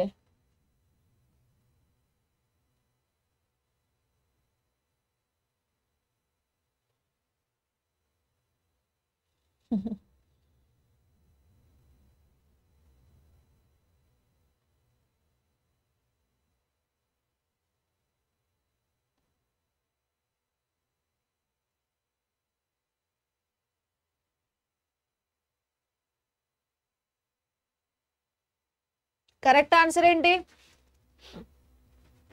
వన్నా యాక్చువల్లీ థర్మోట్రోపిజం అంటే థర్మోట్రోపిజం అంటే పేరులోనే ఉంది కదా. So plant movement towards the heat. So ప్లాంట్కి సరిపడా హీట్ ఉంటేనే ప్రాపర్ ఫోటోసింథసిస్ జరిగి ప్లాంట్ అనేది గ్రో అవుతుంది లేకపోతే ఏమవుతుంది? నీరసపడిపోతుంది. ఓకే ఫోటోసింథసిస్ సరిగా జరగకపోతే ఫుడ్ ఉండదు కదా. సో ఫుడ్ సరిగా లేకపోతే ప్లాంట్లో గ్రోత్ అనేది ఉండదు. యాక్చువల్లీ మనకి కొన్ని మొక్కలు కొన్ని చిన్న చిన్న మొక్కలు పెద్ద పెద్ద మొక్కల మీద సర్ మొక్కల కింద అంటే నీడలో పెరుగుతూ ఉంటాయి. సో నీడలో పెరిగే మొక్కలు సరిగా పెరగవు. ఎందుకనంటే నీడలో పెరుగుతున్నాయి కాబట్టి వాటికి ఏమవుతుందని అంటే ప్రాపర్ సన్లైట్ అనేది తగలక ఫుడ్ అనేది సరిగా తయారు చేసుకోలేవు. సో ఫుడ్ని ఎప్పుడైతే స- సరిగా తయారు చేసుకోలేవో అప్పుడు ఏమవుతుందంటే ప్లాంట్ గ్రోత్ అనేది తగ్గిపోతుంది అనమాట సో ఫర్ ఎగ్జాంపుల్ మీకు ఇక్కడ రిలేటెడ్ ఇమేజ్ ఇచ్చాను చూడండి. సో థర్మోట్రోపిజంకి ఇది బెస్ట్ ఎగ్జాంపుల్ ఇక్కడ హాట్ టెంపరేచర్ సన్లైట్ అనేది బాగా వస్తుంది హీట్ కొడుతుంది కాబట్టి మొక్క అనేది బాగా పెరిగిందనమాట. కోల్డ్ టెంపరేచర్ అంటే బాగా చలి చలిలో ఏసీలో పెట్టి పెంచితే ఇలాగే ఉంటుంది. సో కోల్డ్ టెంపరేచర్లో మొక్కలు పెరగవు. ఎందుకు అని అంటే టెంపరేచర్ ఎక్కువగా లేకపోతే హీట్ లేకపోతే ఆకులన్నీ చూడండి ఇలా పడిపోయాయి. ఓకే ఇలా పడిపోయాయి. ఇవేమో బాగా ఫ్రెష్గా హెల్దీగా మంచిగా గ్రో అవుతుంది. ఇదేమో మొద్దుబారిపోయినాయి పడిపోయినాయి చూడండి ఇలాగ. దీనికి దీనికి తేడా ఉంది కదా? సో దీన్ని మనము థర్మోట్రోపిజం అని పిలుస్తాం. ఓకే? Based on heat. ఇదేమో పాజిటివ్ థర్మోట్రోపిజం అని పిలుస్తాం. దీన్నేమో నెగటివ్ థర్మోట్రోపిజం అనేసి పిలుస్తాం అన్నమాట ఓకేనా? సో కోల్డ్ టెంపరేచర్లో సర్వైవ్ అయితే మొక్కలు ఇలా పెరుగుతాయి. కాబట్టి ఆప్షన్ వన్ అనేది కరెక్ట్ ఆన్సర్ అవుతుంది. Next plant towards the light.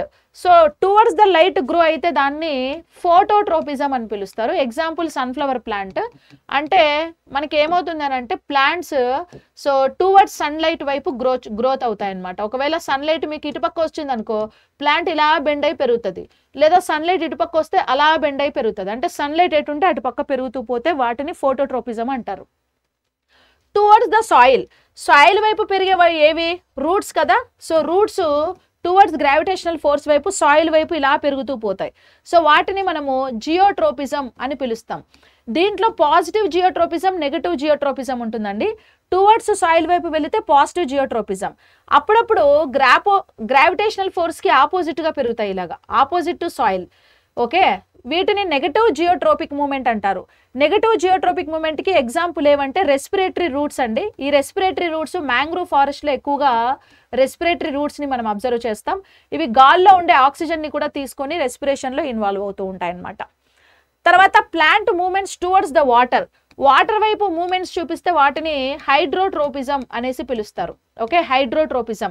అంటే ఈ చుట్టుపక్కల ఎక్కడైనా వాటర్ బాడీస్ ఉన్నాయనుకోండి సో ఇక్కడ బావిలో చెరువులో ఏమన్నా ఉంటే ఈ మొక్కల యొక్క వేర్లు ఏమవుతాయంటే బావుల వైపు ఇలా పెరుగుతూ పోతుంటాయి అంటే వాటర్ వైపు పెరుగుతూ పోతాయి. ఎగ్జాంపుల్ మిర్చి టొమాటో ప్లాంట్స్ ఇవన్నీ కూడా హైడ్రోట్రోపిక్ ఎగ్జాంపుల్ ట్రోపిజంకి ది బెస్ట్ ఎగ్జాంపుల్గా మనం చెప్పొచ్చు. ఓకేనా? సో కాబట్టి ఆప్షన్ వన్ అనేది కరెక్ట్ ఆన్సర్ అవుతుంది. ఓకే?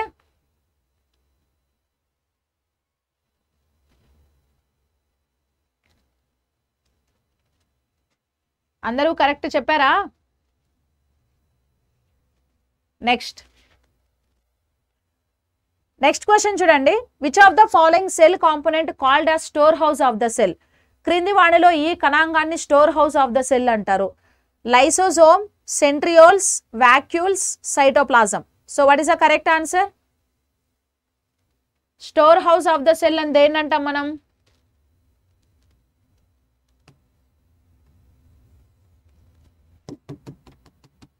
సెల్ స్ట్రక్చర్ ఇలా ఉంటుంది మనకి. మధ్యలో న్యూక్లియస్ ఉంటుంది. న్యూక్లియస్కి అటు ఇటు ఎండోప్లాస్మిక్ రెటికులం. ఇవి రైబోజోమ్స్ పైన ఉంటాయి. ఇది రఫ్ ఎండోప్లాస్మిక్ అది స్మూత్ ఎండోప్లాస్మిక్. తర్వాత క్లోరోఫిల్ ఇది. ప్లాంట్ సెల్ అయితే ఇది క్లోరోఫిల్ పిగ్మెంట్. అనిమల్ సెల్స్లో క్లోరోఫిల్ ఉండవు అండ్ మైటోకాండ్రియా అండ్ న్యూక్లియస్కి కింద one pair of centrosomes and vacuoles Golgi body Golgi body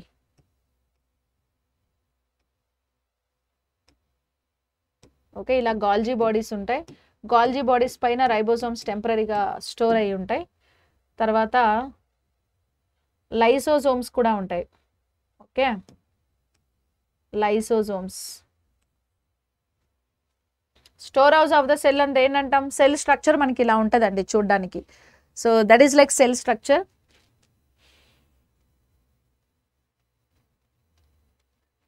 Previous క్వశ్చన్కి హైపోతలామస్సా ఏం క్వశ్చన్? వాటర్ బ్యాలెన్స్ చేసేదా? వాటర్ బ్యాలెన్స్ చేసేది హైపోతలామస్ కాదు diencephalon. Okay diencephalon. Actually diencephalon అంటే హైపోతలామస్ తలామస్ ఆ మూడు పార్ట్స్ని కలిపి మనం డైఎన్సెఫలాన్గా కన్సిడర్ చేస్తాం. కానీ మీకు ఫంక్షన్ అడిగినప్పుడు ఎగ్జాక్ట్గా హైపోతలామస్ అనకూడదు. డైఎన్సెఫలానే చెప్పాలి. Okay? Okay. So which of the following cell component is called store house of the cell అంటారు? So store house of the cell అని ఏంటంటామంటే లైసోజోమ్స్ని స్టోర్ లైసోజోమ్స్ కాదు సెంట్రియోల్స్ని store house of the cell అంటారు. సెంట్రియోల్స్ ఎక్కడున్నాయంటే న్యూక్లియస్ కింద ఒక జత సెంట్రియోల్స్ ఉన్నాయి కదా వాటిని store house of the cell అంటాం. ఈ సెంట్రియోల్స్ ఓన్లీ అనిమల్స్లోనే ఉంటాయండి ప్లాంట్స్లో ఉండవు. అంటే సెల్ లోపల ఏమైనా పనికిరాని వ్యర్థ పదార్థాలు కానీ ఇన్ఫెక్షన్స్ కానీ ఇంప్యూరిటీస్ కానీ ఏమైనా సెల్ లోపలికి వెళ్ళినప్పుడు అలాంటి ఇంప్యూరిటీస్ ఇన్ఫెక్షన్స్ అన్నీ కూడా టెంపరీగా ఎక్కడికి వెళ్ళి స్టోర్ అవుతాయి అంటే సెంట్రియోల్స్లో వెళ్ళి స్టోర్ అయిపోతాయి. ఇప్పుడు మీ ఇంట్లో స్టోర్ హౌస్ ఉందనుకోండి స్టోర్ హౌస్ లేదా స్టోర్ రూమ్ ఉంటే స్టోర్ రూమ్లో ఎత్తుకుపోయి ఏమేస్తారు? పని ప్రజెంట్ పనికిరాని వస్తువులన్నీ కూడా లేదా పాడైపోయిన వస్తువులన్నీ ఎత్తుకెళ్ళి స్టోర్ రూమ్లో పడేస్తారు కదా. సో అట్లా మన బాడీ సెల్ లోపల కూడా సెంట్రోజోమ్స్ అనేవి store house of the cell. అంటే సెల్లులో ఏమైనా డెడ్ బాడీస్ కానీ డెడ్ బాడీస్ అంటే వైరస్ బ్యాక్టీరియాస్ ఇలాంటి డెడ్ బాడీస్ కానీ ఇన్ఫెక్షన్ ఇంప్యూరిటీస్ ఏమైనా వచ్చినప్పుడు టెంపరీగా ఇందులో స్టోర్ అవుతాయి. ఈ ఓన్లీ అనిమల్స్లో ఉంటాయి ప్లాంట్స్లో ఉండవు. లైసోజోమ్స్ని సూసైడ్ బ్యాగ్స్ అని పిలుస్తారండి. ప్లాంట్ అనిమల్స్ రెండిట్లో కూడా ఉంటాయి. సో సెల్ ఆటోలైసిస్ ఇందులో జరుగుతుంది. సెల్స్ అన్నీ కూడా అందులో వెళ్ళి చనిపోతూ ఉంటాయి. తర్వాత వాక్యూల్స్ని మనము సెల్ ఎక్స్క్రీషన్ సిస్టమ్ అని పిలుస్తారు. అంటే సెల్లులో వేస్ట్ ఏదైతే ఉందో అది సెల్ నుంచి బయటకు ఎక్స్క్రీట్ చేయడానికి యూజ్ అయ్యేవే వాక్యూల్స్. అనిమల్స్లో చిన్న చిన్న వ్యాక్యూల్స్ ఉంటాయి. ప్లాంట్స్లో పెద్ద పెద్ద వ్యాక్యూల్స్ ఉంటాయి. సో ప్లాంట్స్లో గమ్స్ లాటిక్స్ ఇలాంటి వేస్ట్ మెటీరియల్స్ అన్నీ కూడా వ్యాక్యూల్స్ ద్వారానే రిలీజ్ అవుతూ ఉంటాయి. ప్లాంట్ బాగా గట్టిగా స్ట్రాంగ్గా ఉంటుంది కదా.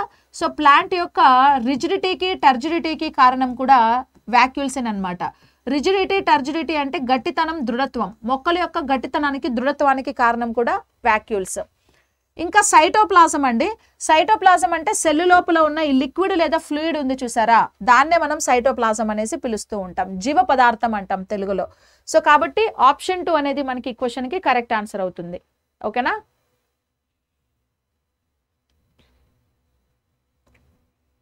ఎస్ సో అవి మనకి ఇవాళ బయాలజీ క్వశ్చన్స్ అండి. ఓకేనా? సో ఇది biology science and technology two hours next వచ్చేసి మీకు మ్యాథ్స్ క్లాస్ స్టార్ట్ అవుతుంది. సో స్టేచ్యూన్ ఇక్కడే ఉండండి.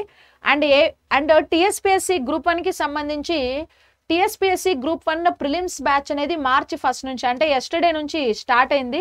సో అడ్మిషన్స్ ఇంకా జరుగుతూ ఉన్నాయండి. So anybody are interested in to TSPSC group one batch?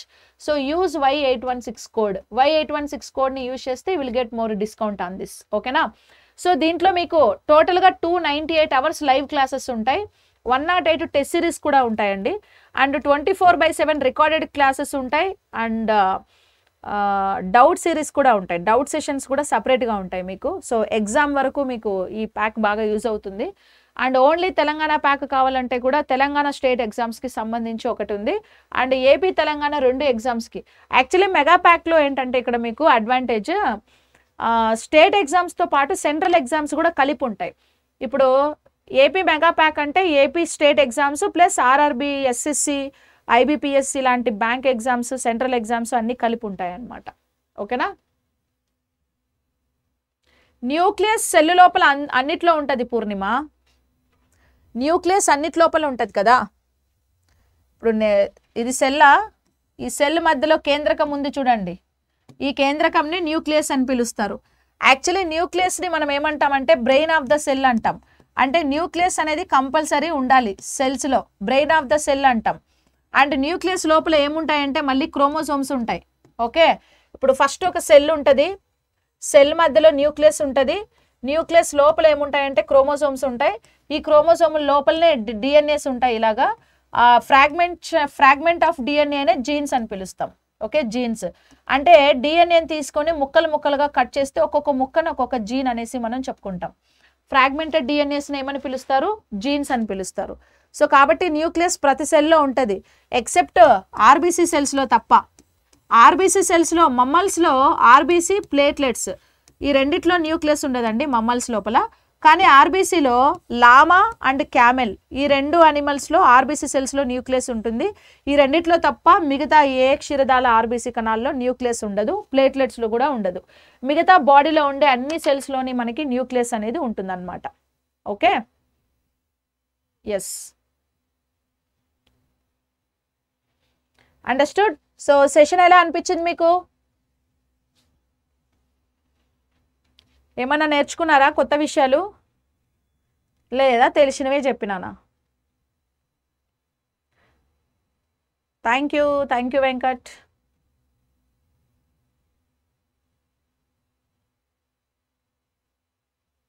thank you Hari so ఎవరైతే వాట్సాప్ గ్రూప్లో లేరో నేను లింక్ షేర్ చేస్తాను ఆ గ్రూప్లో జాయిన్ అవ్వండి. మీకు పీడిఎఫ్స్ నేను ఆ గ్రూప్లో సెండ్ చేస్తూ ఉంటాను ఓకే?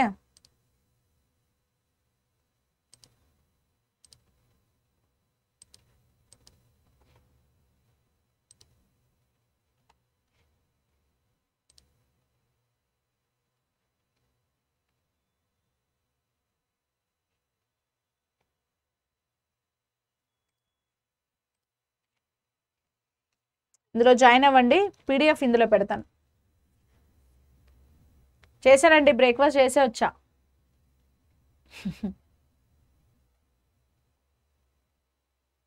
న్యూక్లియస్ క్యామెల్ లామాలో ఉంటుంది మిగతా అనిమల్స్లో ఉండదు. Okay? Okay.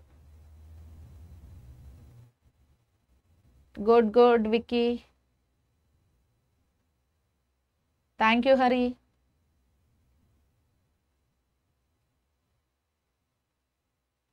So thank you అండి thank you so much so ఇట్లే ఉండండి. సో సార్ వస్తారు. సేమ్ కంటిన్యూ చేసేస్తారు class okay okay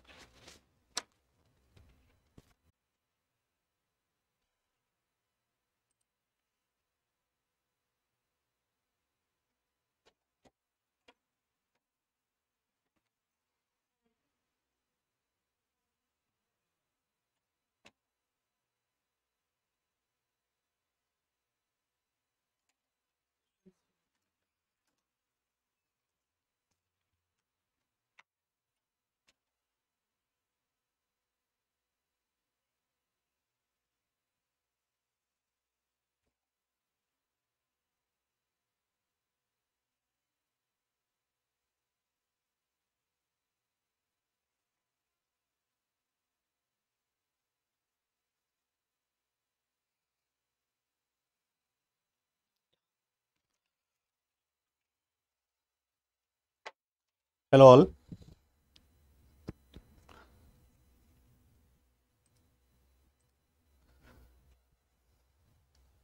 So next class reasoning అండి సో ఎవరైనా మిస్ అవుతే జాయిన్ అవ్వండి ఫాస్ట్గా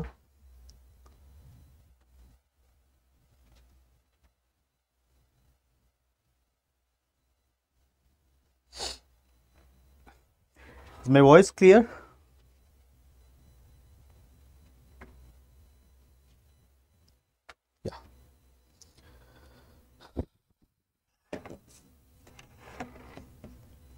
ya good afternoon all of you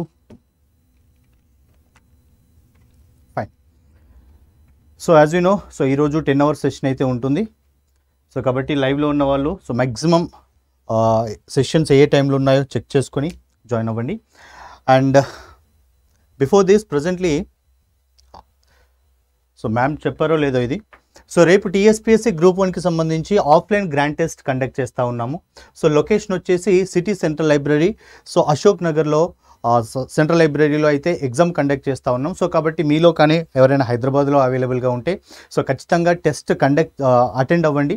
so దీనికి సంబంధించినటువంటి మొత్తం ఆఫ్లైన్ ఏదైతే బుక్లెట్ మోడల్ ఉంటుందో సేమ్ అలాగే విత్ ఓఎంఆర్ షీట్ బేస్డ్లో అయితే ఎగ్జామ్ కండక్ట్ చేయడం జరుగుతుంది. దీ ఇందుకు దీనిలో మీకు స్మాల్ ఫస్ట్ టాప్ ఫిఫ్టీ వాళ్ళకి స్మాల్ గిఫ్ట్స్ కూడా ఉంటాయి.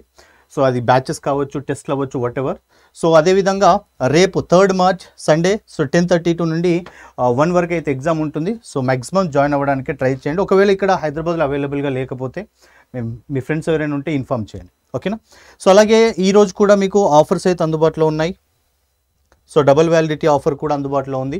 సో మీరు ఏదైనా ప్రోడక్ట్ పర్చేస్ చేయాలంటే use code Y two one two for discount okay now let start with the first question yes here we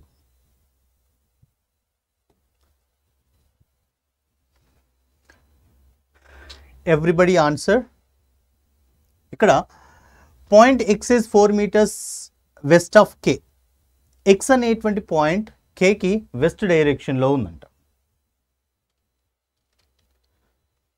Suppose if we take k is here x is 4 meters west so this side.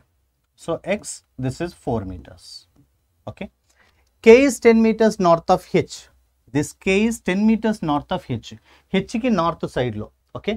So, h ki north side సైడ్లో ante h should be this side. So, h ఇక్కడ వస్తుంది.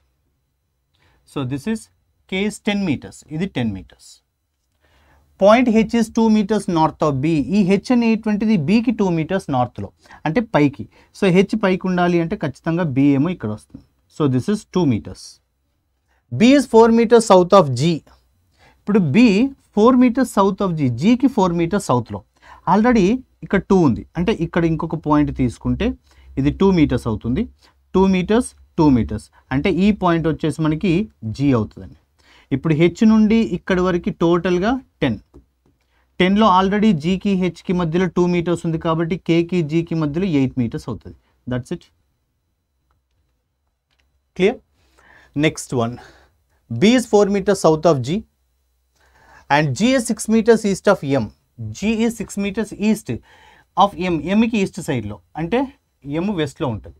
So M should be here six meters ఇప్పుడు already ఇక్కడ నుండి ఇక్కడికి ఇది four meters కాబట్టి approximately here to here we can take M ఇది ఫోర్ ఇది టూ టోటల్గా six done M is nine meters west of T that point M is nine meters west side of T టీకి west సైడ్లో అంటే ఇది point G కదా.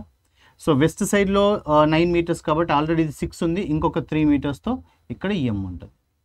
So not M T కదా T so two plus four six plus three nine done right so ఇక దీనికి సంబంధించి the first question if point O ఈ seven meters north of M O E seven meters north of M M ఇక్కడ ఉంది ఓకేనా ఇప్పుడు ఈ length కంప్లీట్గా ఎయిట్ కదా సెవెన్ మీటర్స్ అంట. అంటే అప్రాక్సిమేట్లీ ఇక్కడ వరకు. దిస్ ఈజ్ సెవెన్ మీటర్స్ ఎవరు? O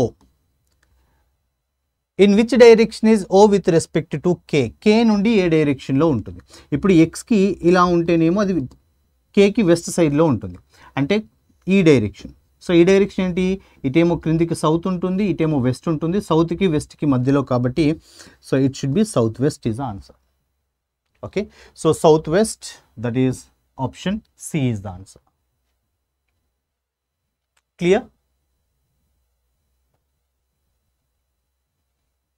every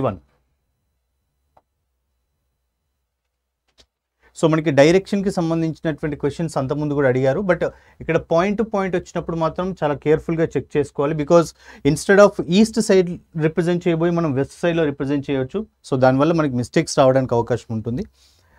Now next one syllogism related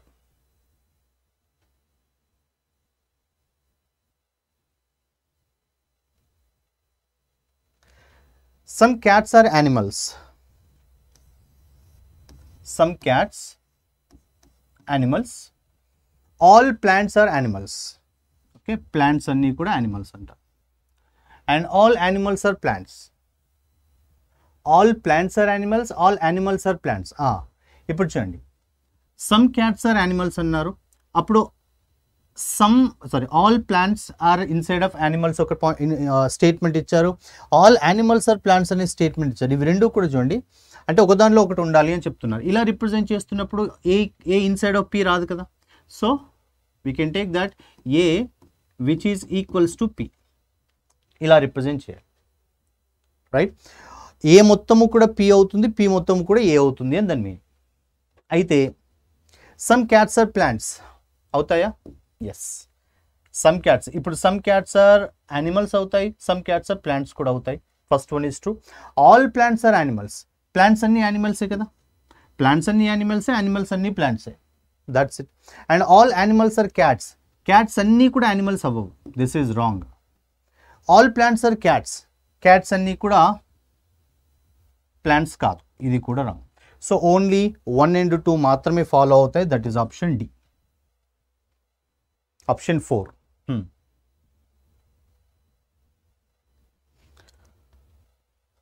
Okay. Next one. Puzzle question. Don't worry, I will give you 1 minute time An answer.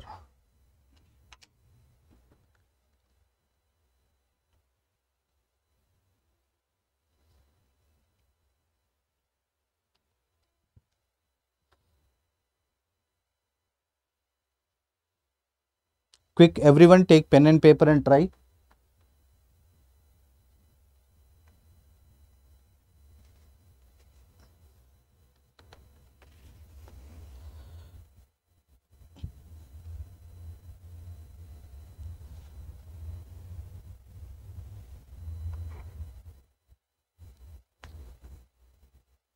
Twenty seconds.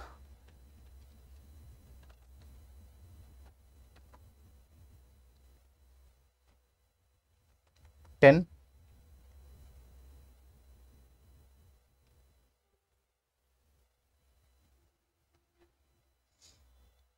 Okay, almost time up.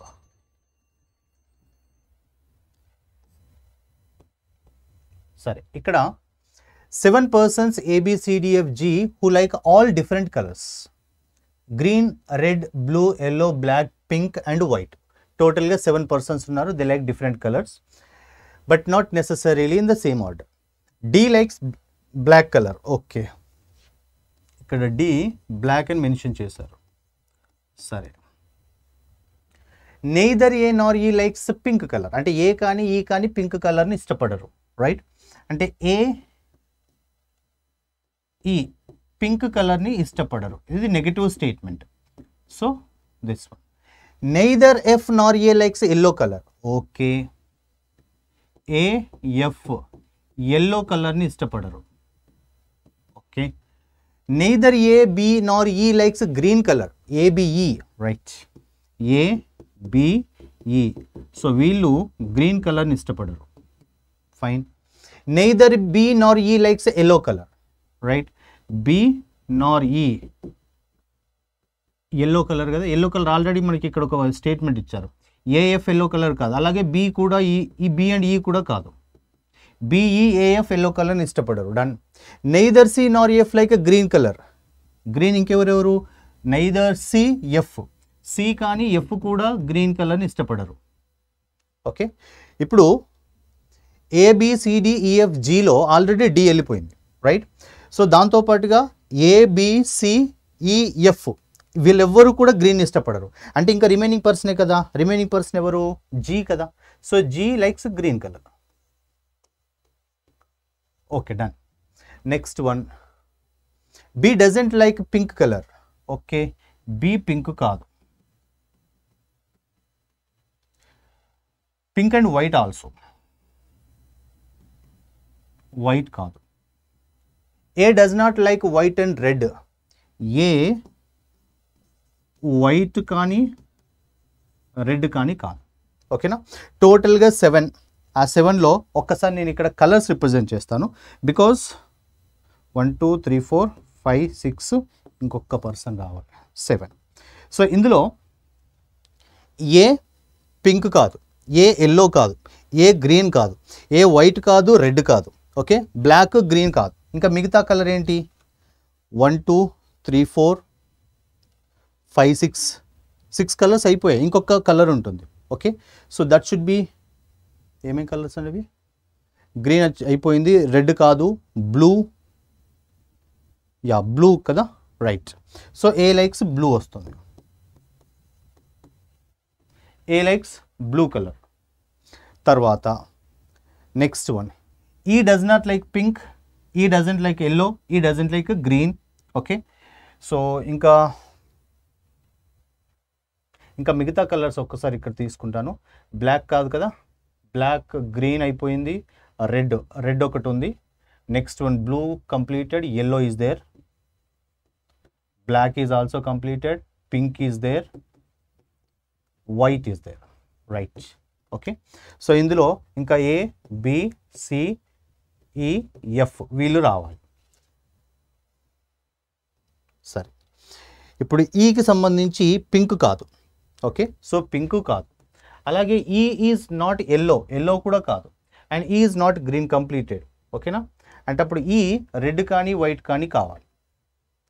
Okay? Red or white. సరే E వచ్చేసి red or white. అలాగే తీసుకుందాం. Next one. ఏ completed కదా? బీకి సంబంధించి చూడండి. B green కాదు yellow కాదు పింక్ వైట్ కాదు. ఓకే? పింక్ కాదు బి చెక్ చేస్తే B is not pink not white B is not green completed B is not yellow also so B compulsory red వస్తుంది. బి కంపల్సరీ రెడ్ వచ్చినప్పుడు E కంపల్సరీగా remaining white వస్తుంది. ఓకేనా C and F సికి సంబంధించి F is not yellow so F yellow కాదు అంటే C yellow వస్తుంది. ఇంకొకటి రిమైనింగ్ పింక్ కదా? So pink should be F ఇది okay so A is blue so D black వచ్చింది దెన్ ఏ వచ్చేసి it's a blue E white then F is a pink and B red C yellow E white done satisfied So మీరు అంతకుముందు exam కనుక చూస్తే ఇలాంటి questions ఇచ్చారండి. అంటే some పర్సన్స్కి సంబంధించి ఇన్ఫర్మేషన్లో నెయిదర్ లైక్స్ అని ఇస్తారు. సో నెయిదర్ కాదు అని. నెగిటివ్ స్టేట్మెంట్స్ ఇచ్చినప్పుడు సో ప్రాపర్గా ఒక్కొక్కటి ఏది సాటిస్ఫై అవుతుందో చెక్ చేసుకోవాలి. Which of the following combination is incorrect A blue కరెక్టే this is correct C yellow this is also correct G green this is also correct E pink E actually white కదా. So this is not satisfied the relation so this is different option D right next calendar question compulsory అండి. So last time కూడా అడిగారు. So ఇందులో on fifteenth March two thousand six Sunday falls then what was the day of the week on fifteenth March two thousand seven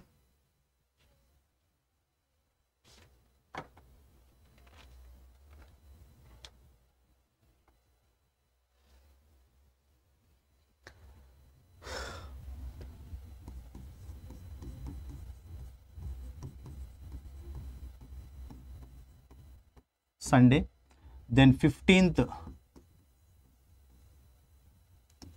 March two thousand seven కావాలి. ఎప్పుడైతే మనకి date same ఉండి month same ఉండి immediate next year అవుతుందో దీనికి plus one చేస్తాం. That's it so Sunday plus one Monday option B that's it ఎప్పుడైతే date same ఉండి మంత్ కూడా సేమ్ ఉండి ఇమ్మీడియట్ నెక్స్ట్ ఇయర్. అది కూడా ఆర్డినరీ ఇయరే అయితే సో జస్ట్ ప్లస్ వన్ చేస్తాం. ఓకేనా? If in case leap year అనుకోండి ఒకవేళ fifteenth March two thousand eleven this is Tuesday అనుకుందాం. Okay? And fifteenth March two thousand twelve. ఇప్పుడు fifteen fifteen date same month same immediate next year but ఈ year leap year leap ఇయర్లో March వరకు వెళ్తున్నాం right leap ఇయర్లో March వరకు calculate చేస్తున్నప్పుడు ఆ లీప్ ఇయర్లో ఫిబ్రవరిని క్రాస్ చేస్తేనే కదా మనం మార్చ్ వరకు వెళ్తాం.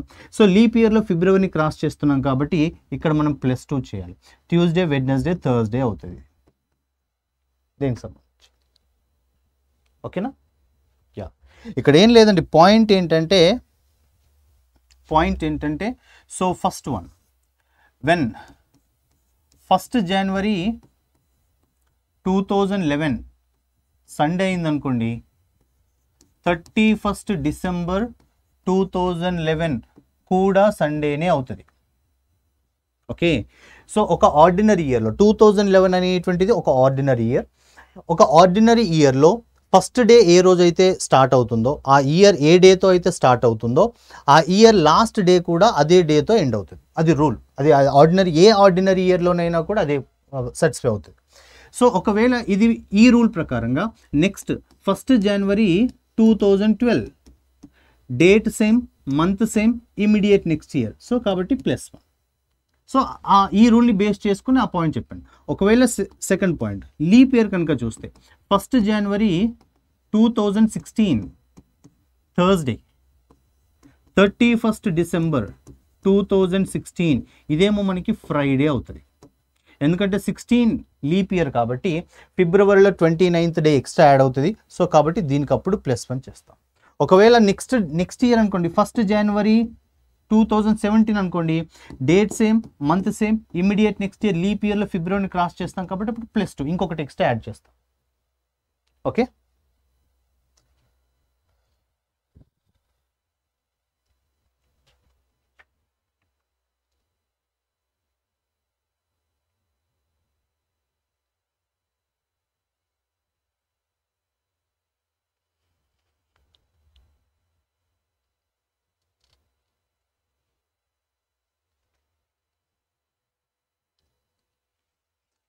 Pointing to a woman, a girl says, Her daughter in law is married to the only son of my husband's mother in law.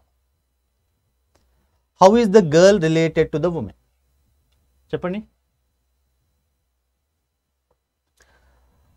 her daughter in law is married to the only son of my husband's mother in law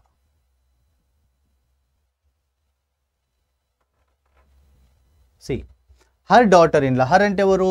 ఆ woman ఎవరైతే ఉన్నారో. Okay ఆ women వాళ్ళ daughter in-law అంట. ఆ women వాళ్ళ daughter in-law daughter in law అంటే ఎవరు? సన్ వాళ్ళ వైఫే కదా. Right her daughter in law is married వాళ్ళ కోడలు పెళ్ళి చేసుకుందంట. ఎవరిని పెళ్ళి చేసుకుంది?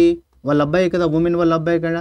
అంటే ఈ అబ్బాయి ఎవరంటే is married to the only son of my husband's mother in law my husband my అంటే ఎవరు? దట్ గర్ల్ గర్ల్ వాళ్ళ హస్బెండ్ వాళ్ళ mother in law mother in law అంటే ఆ గర్ల్ వాళ్ళ మదర్ కదా?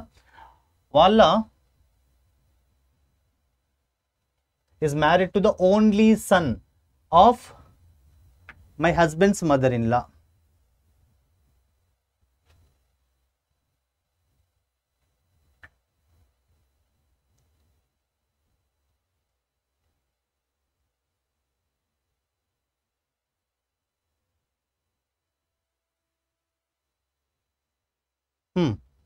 See, married to the only son of my husband's mother in law మా husband వాళ్ళ మదర్ ఇన్ లా వాళ్ళ ఓన్లీ సన్ అంట. ఓన్లీ సన్ అంట గర్ల్ వాళ్ళ బ్రదర్ ఆ గర్ల్ వాళ్ళ బ్రదర్ని మ్యారేజ్ చేసుకుంది. అంటే ఇక్కడ ఈ పర్సన్ ఎవరు? ఆ గర్ల్ వాళ్ళ బ్రదర్ వస్తారు. గర్ల్ వాళ్ళ బ్రదర్ వస్తారు. ఇది క్వశ్చన్ చూడండి. మళ్ళొకసారి చెప్తాను. Her daughter in law her అంటే ఎవరు? ఆ ఆ ఉమెన్ వాళ్ళ డాటర్ ఇన్ లా కోడలు పెళ్ళి చేసుకుంది. ఎవరిని పెళ్ళి చేసుకుంది? మా హస్బెండ్ వాళ్ళ. మా హస్బెండ్ వాళ్ళ. మా అంటే ఎవరు? ఆ గర్ల్. మా హస్బెండ్ వాళ్ళ మదర్ ఇన్ లా మా హస్బెండ్ వాళ్ళ మదర్ ఇన్ లా వాళ్ళ ఓన్లీ సన్ని పెళ్ళి చేసుకుంది అని అంటున్నారు. ఓకే? అంటే గర్ల్ ఏమో ఇక్కడ ఉన్నారు ఆ స్టేట్మెంట్ చెప్తున్నటువంటి పర్సన్ ఆ ఫోటో ఏమో ఇక్కడ ఆ ఉమెన్ ఏమో చూపిస్తున్న పర్సన్ ఏమో ఇక్కడ ఉన్నారు అయితే క్వశ్చన్ ఏంటి? How is that girl related to the women? ఈ గర్ల్ ఆ ఉమెన్కి ఏమవుతుంది? So she the daughter granddaughter కాదు daughter is answer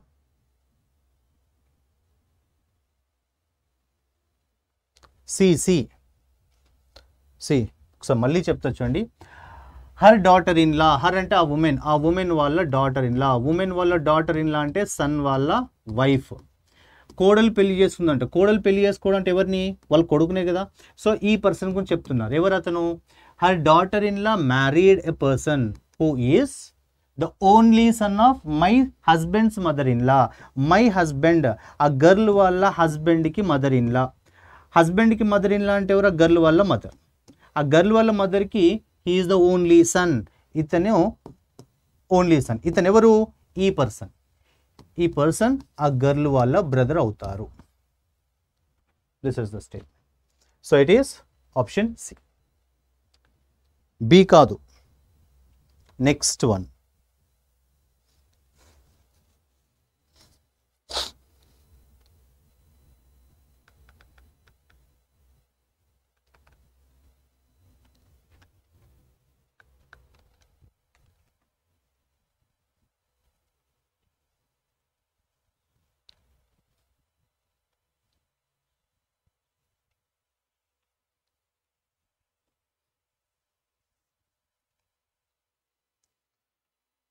In the following question, select the number which can be placed at the sign of question mark.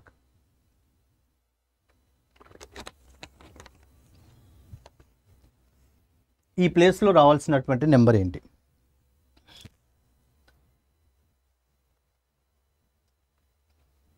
So here ఇక్కడ big numbers ఉన్నాయి ఈ మనకి middle number find out చేయాలి కదా సరే ఇప్పుడు ఈ రెండు నెంబర్స్ చెక్ చేయండి 336 748 right okay suppose this 7 into 4 into 8 తీసుకోండి 7 4s are 28 28 8s are 28 8s are కదా 28 168 8s 64 సో అంటే మనకి టూ ట్వంటీ ఫోర్ వస్తుంది. ఓకేనా? ఈ త్రీ త్రీ సిక్స్ ఈ త్రీ డిజిట్స్ని మల్టిపుల్ చేయండి. నైన్ సిక్స్ ఫిఫ్టీ ఫోర్ ఈ టోటల్ డిఫరెన్స్ వచ్చేసి మనకి వన్ సెవెంటీ కదా? ఆ వన్ సెవెంటీ ఇక్కడ మిడిల్లో ఉంది. Okay? First number last number ఆ digits multiplication difference second number check చేయండి. సెకండ్ నెంబర్ ఏంటి ఇక్కడ? Three forty nine three into four into nine minus five into two into three three four జా twelve twelve nine జా one nought eight minus and here two three six five జా thirty so that is the seventy eight satisfied? In the same pattern there it is. 328 3 into 2 into 8 minus 4 into 3 into 1 so eh, 3 2s are 6 8s are 48 minus 12 it is 36 it is option c is the answer. 36 36 okay done. Fine next.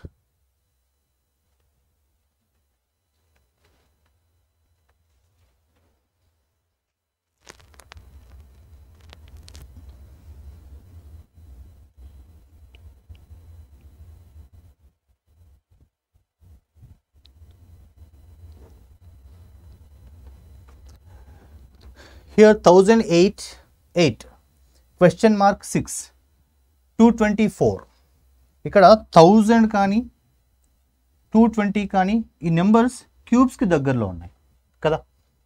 ఎంత? Six cube two one six right plus four add చేస్తే మనకి two twenty వస్తుంది. అంటే six cube plus four ఈ four ఏదైతే extra add చేసామో అది సపరేట్గా రిప్రజెంట్ చేస్తాం రైట్ ఇక్కడ కూడా ఇది ten cube thousand plus eight కదా? ఓకేనా? అంటే ఏ నెంబర్ క్యూబ్ చేసి ప్లస్ సిక్స్ చేస్తే మనకి సాటిస్ఫై అవుతుందో ఆ క్యూబ్ వాల్యూ ఇక్కడ అవుతుంది. Five one eight. Eight cube ఎంత? ఫైవ్ వన్ టూ కదా? Five one two plus six. Five one eight. So అప్పుడు సిక్స్ అని ఎయిట్ సపరేట్గా రిప్రజెంట్ చేస్తారు so five one eight will be are also. Right. Option A.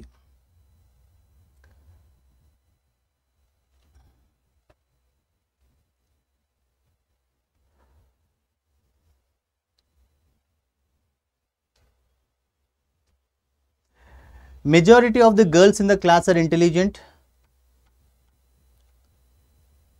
there are no boys in the class conclusions some of the girls are uh, girls in the class are not so intelligent majority ante majority ante all are no it representing some only okay so majority అంటే మనకి maximum అని చెప్పొచ్చు so అంటే ninety percent plus అని చెప్పొచ్చు but అక్కడ percent value ఏం తీసుకోలేము. So majority in the sense మనకి సమ్గానే తీసుకో అందరినీ కన్సిడర్ చేయలేము. అంటే కొంతమంది గర్ల్స్ ఇంటెలిజెంట్ అంట. అంటే అందులో బాయ్స్ ఉన్నారా లేదా అనేటువంటి తెలియదు మనకి. సో అక్కడ బాయ్స్ గురించి మెన్షన్ చేయలేదు కాబట్టి నో బాయ్స్ అని మనం కన్ఫర్మ్ చేయలేము. Some of the girls are not so intelligent as ninety plus intelligent అయినప్పుడు so even ten percent of girls are not so intelligent అనే కదా. So that's we can take it as second one second is true.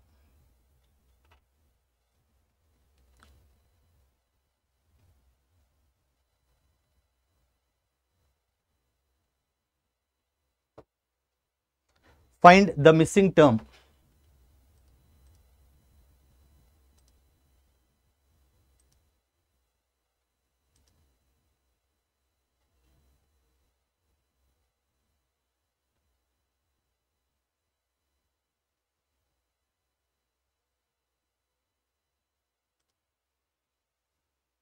Yeah travelling soldier what's your doubt here first letter కనుక check చేస్తే here D and H ఏంటి ఇది plus four కదా.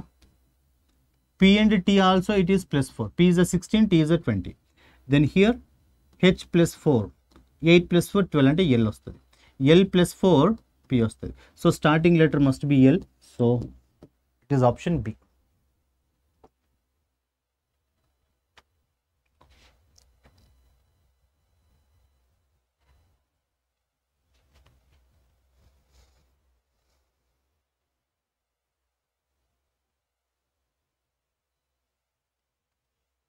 yeah yeah.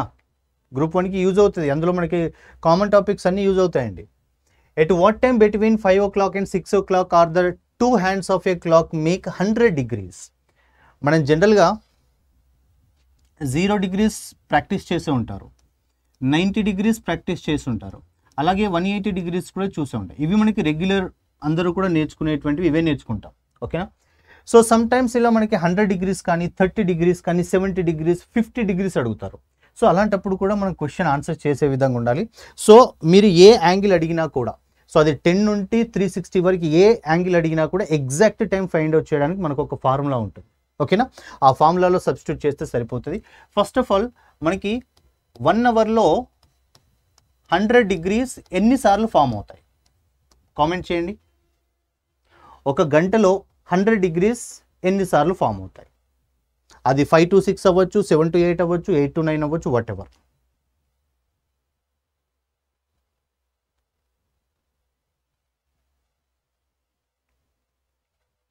one time two time eleven times twenty two times చెప్పండి. So formula వచ్చేసి దీనికి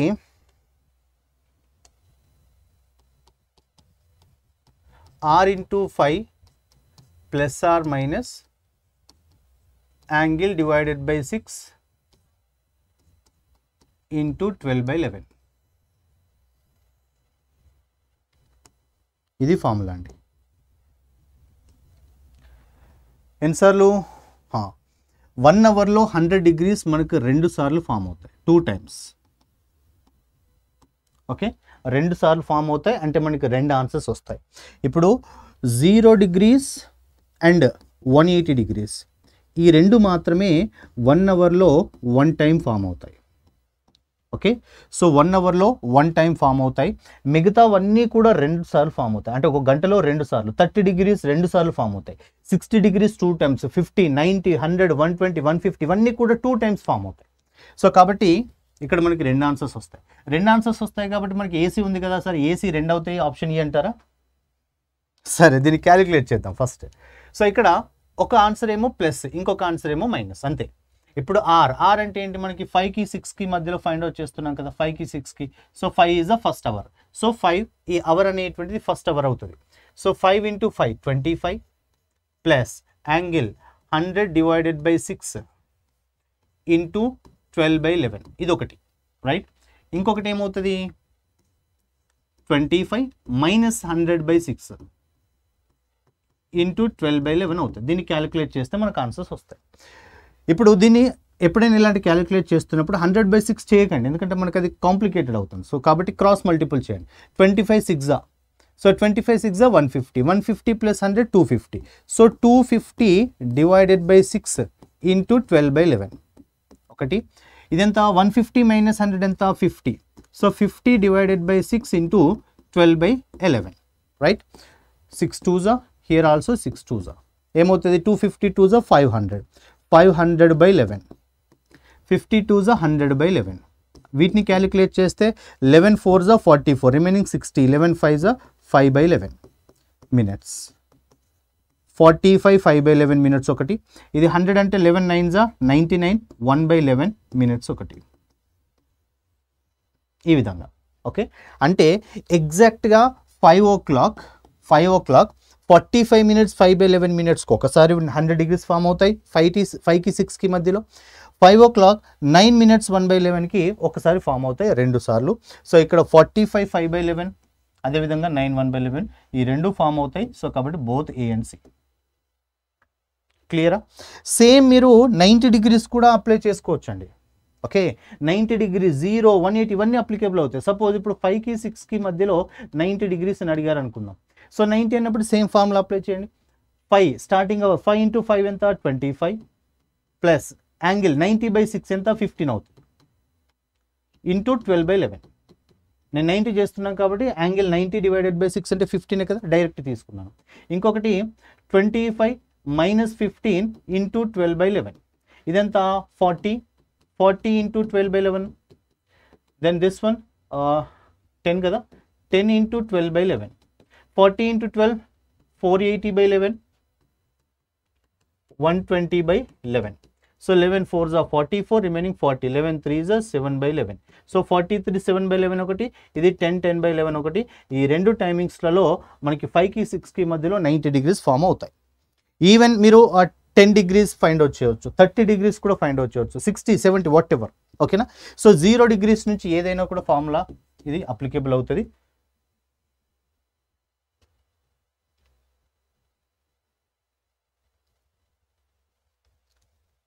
next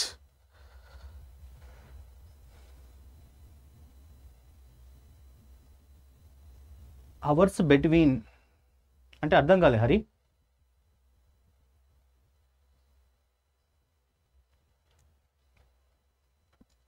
which letter cluster will replace the question mark to complete the given series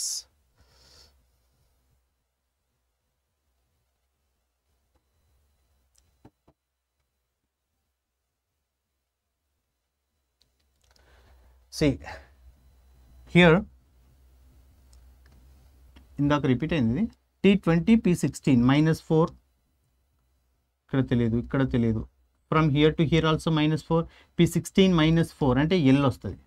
starting letter L ఇక్కడే ఉంది. మళ్ళీ L minus four H okay B I think ఇందాక same క్వశ్చనా L H okay twelfth one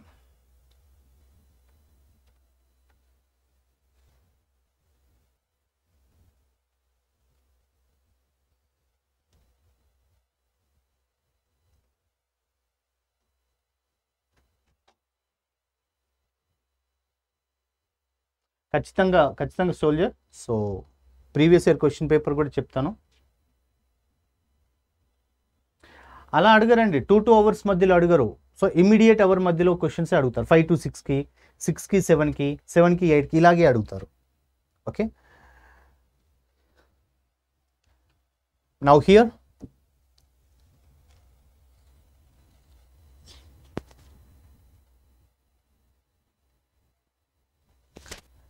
fifteen three one five seven.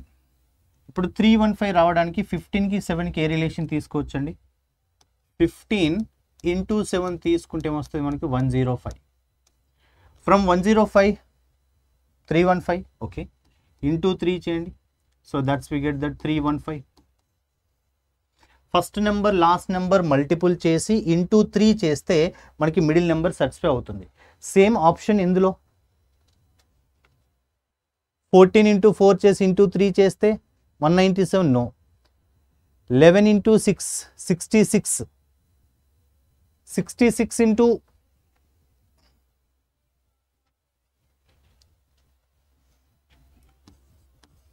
into three. Sixty three జా one eighty six three జా eighteen. One eighty plus eighteen one ninety eight అవుతుంది. One eighty eight కాదు. Okay? తర్వాత eighteen nine జా one sixty two. One sixty two into three okay? Sixteen three జా forty eight. Two three జా six. అంటే one four sorry forty eight six. Satisfied option C అవుతుంది. Right option C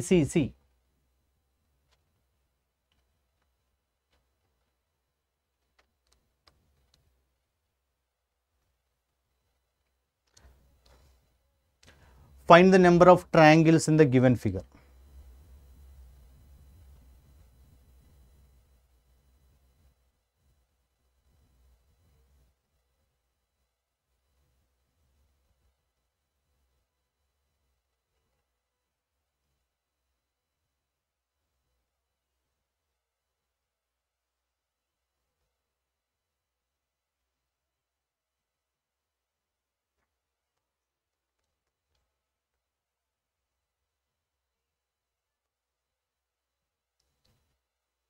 Answer ఇక్కడ మిడిల్లో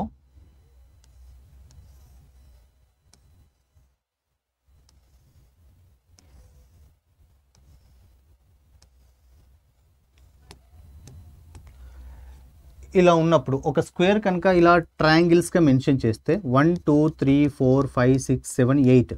Eight డబల్గా తీసుకుంటాం. Sixteen. ఓకేనా? ఇప్పుడు మీరు క్లియర్గా అబ్జర్వ్ చేయండి. ఇందులో కూడా సేమ్ అలాగే ఉంది కదా? This one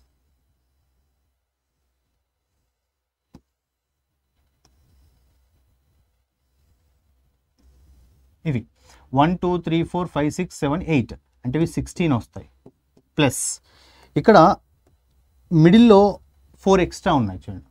one two three four మనం కవర్ చేసింది ఏంటి? సిక్స్టీన్ అంటే ఈ పార్ట్ కవర్ చేసాం. ఓకే ఈ పార్ట్ కవర్ చేసాం బట్ ఇలా ఇండివిజువల్ కవర్ చేయలేదు. ఇవి four along with here four అంటే టోటల్గా ఇవి ఎయిట్ వస్తాయి. ప్లస్ తర్వాత. ఇప్పుడు మీరు చూడండి ఈ పార్ట్ కవర్ చేసాం ఈ పార్ట్ కవర్ చేసాం బట్ అంతేగాని మనకి పైన పార్ట్ కవర్ చేయలేదు. దిస్ వన్ ఇదొకటి అండ్ హియర్ దిస్ వన్ ఇవి రెండు. And here it is one here it is one అంటే అవి ఫోర్ వస్తాయి. ప్లస్ ఇక్కడ బయట వన్ టూ త్రీ ఫోర్ ఇవి ఫోర్ ఓకే? సో టోటల్గా ఎన్ని వస్తున్నాయండి twenty twenty eight plus four thirty two. So టోటల్గా thirty two is the total number of triangles clear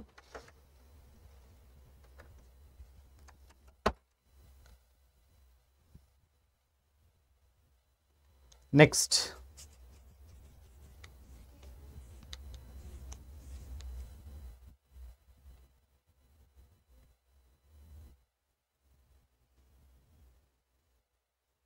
select the option that is related to the fourth number in the same way as the first number related to the second number and fifth number related to the sixth number.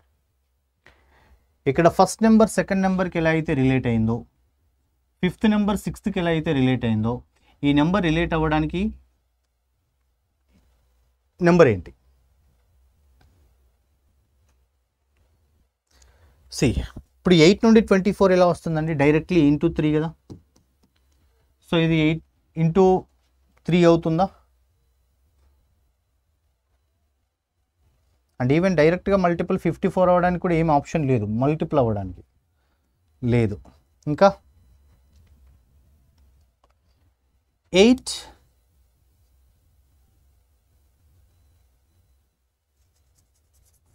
into three. Eight into next number చూడండి. Seventy two కదా? దాన్ని divided by three చేస్తే twenty four వస్తుంది. Okay? Eight nine జా seventy two divided by three will be twenty four. Okay? In the same way అక్కడ eighteen ఉంది. Eighteen into nineteen divided by three. Three six జా one one four nineteen six జా right in the same way ఇక్కడ కూడా. అంటే ఇక్కడ ఇచ్చినటువంటి ఆప్షన్స్లలో ఆ number into immediate next number divided by three చేస్తే సాటిస్ఫై అవుతాయి. సపోజ్ ఇప్పుడు twenty into twenty one twenty one divided by three అంటే ఇది సెవెన్ వస్తుంది. ట్వంటీ ఇంటూ సెవెన్ ఫిఫ్టీ ఫోరా కాదు. సిక్స్టీన్ ఇంటూ సెవెంటీన్ అవి రెండు కూడా ఏది త్రీతో డివిజిబుల్ కాదు. ఇది fourteen into fifteen divided by three so three Faiza fifteen fourteen ఫైవ్జా ఫిఫ్టీ ఫోర్ కాదు. అంటే మనకి ఇది అవ్వాలి. అంటే twelve into thirteen divided by four. Sorry divided by three కదా? త్రీ. త్రీ ఫోర్జా సో థర్టీన్ ఫోర్జా అచ్చా ఇది ఫిఫ్టీ టూ అండి. సారీ. Fifty two. చలో ఆప్షన్ డి. ఫిఫ్టీ ఫోర్ కాదు. ఫిఫ్టీ టూ ఉండాలి. So typing mistake.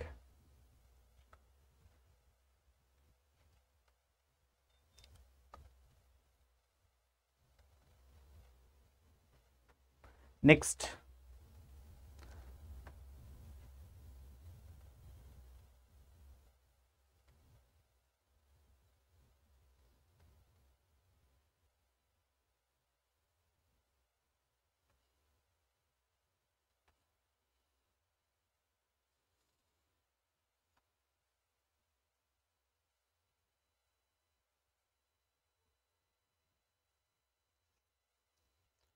what is the answer? 7105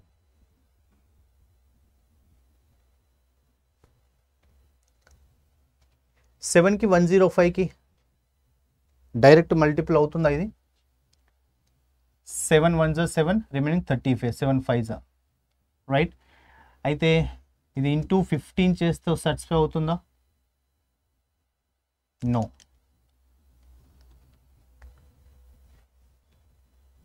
but ఇది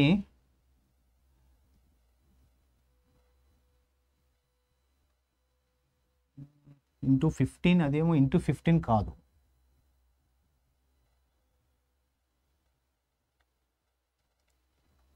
సో ఇదేమో ఇంటూ సెవెంటీన్ అవుతుంది. సో ఇక్కడ ఫిఫ్టీన్ సెవెంటీన్ కాబట్టి ఇక్కడ థర్టీన్ చేయాలా?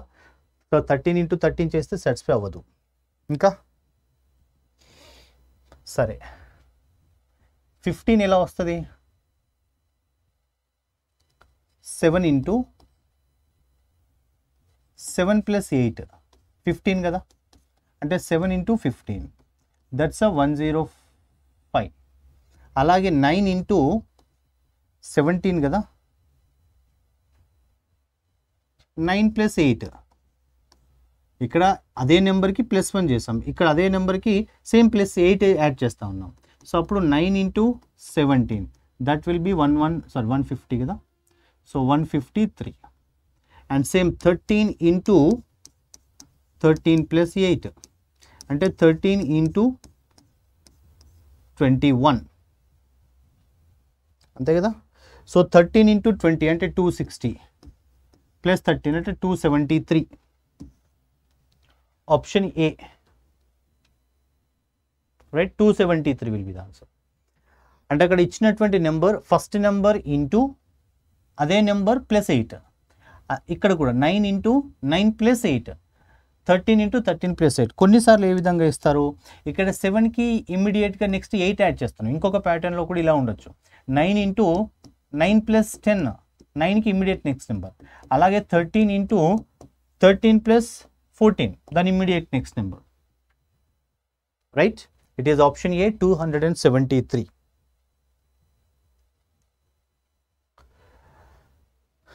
Now here, syllogism.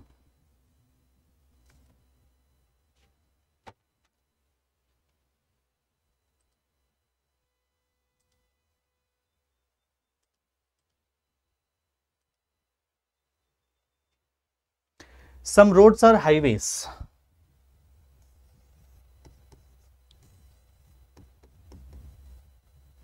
some highways are seaways some seaways are airplanes so airways airways సరే ఇందులో సమ్ ఎయిర్వేస్ ఆర్ రోడ్ ఎయిర్వేస్కి రోడ్డుకి రిలేషన్ లేదు so we can take this some seaways are roads సీవేస్కి రోడ్డుకి రిలేషన్ లేదు. ఇది కూడా చెప్పలేము. సమ్ ఎయిర్వేస్ ఆర్ హైవేస్ ఎయిర్వేస్కి హైవేస్కి కూడా మనకి ఎలాంటి రిలేషన్ లేదు. That is also wrong some roads are airways రోడ్కి ఎయిర్వేస్కి రిలేషన్ లేదు. సో అన్నీ కూడా రాంగే none of the above follows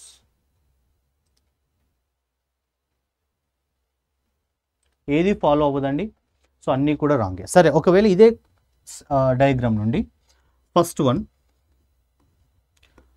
no roadways no roads are airways ఇచ్చారు. ఇది ఫాలో అవుతుందా? కాదా? కామెంట్ చేయండి. Second one some highways are not airways ఇది ట్రూ అవుతుందా? ఫాల్స్ అవుతుందా? Third one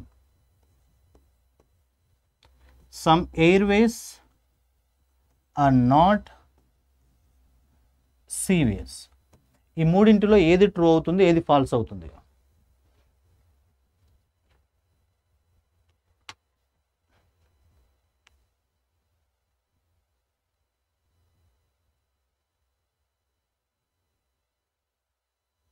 క్విక్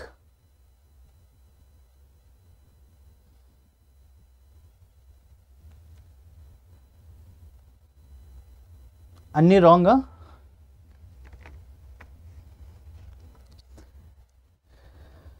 ఇప్పుడు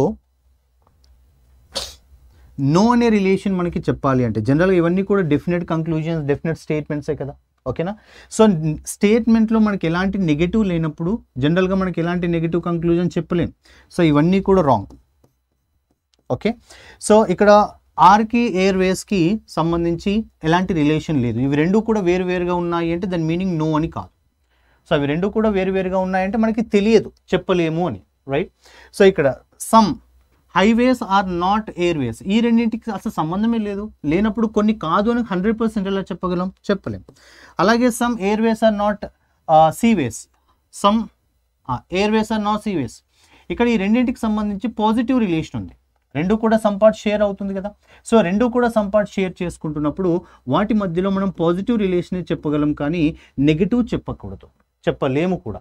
సో ఇది కూడా రాంగే సో ఇవన్నీ కూడా రాంగ్ స్టేట్మెంట్లో పాజిటివ్ ఉంటే పాజిటివ్ కంక్లూజనే వస్తుంది. నెగిటివ్ ఉంటే నెగిటివ్ వస్తుంది. నెగిటివ్ లేనప్పుడు నెగిటివ్ చెప్పలేము.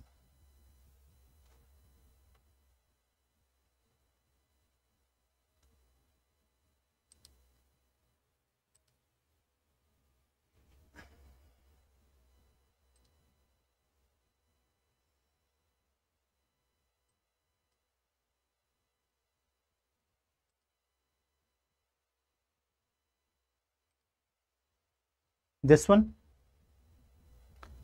All boots are sandals.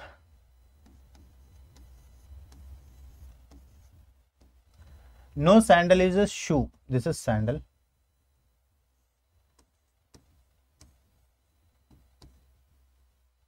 All shoes are rings.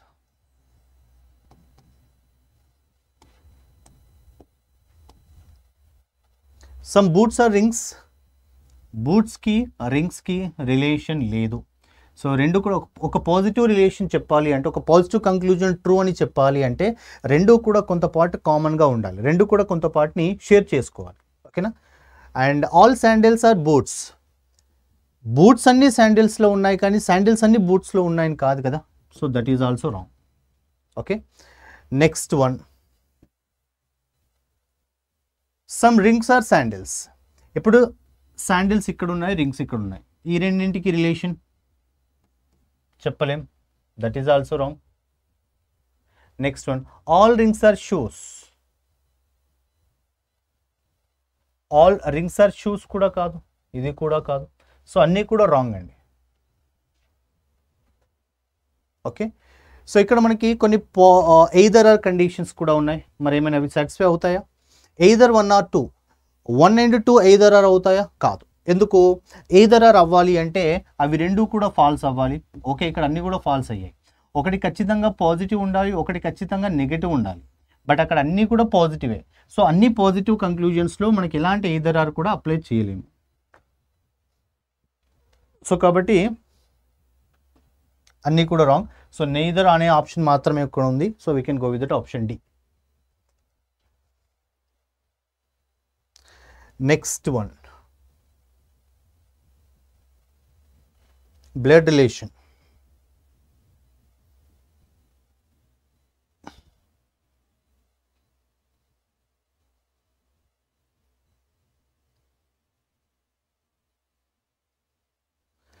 P is the son of R,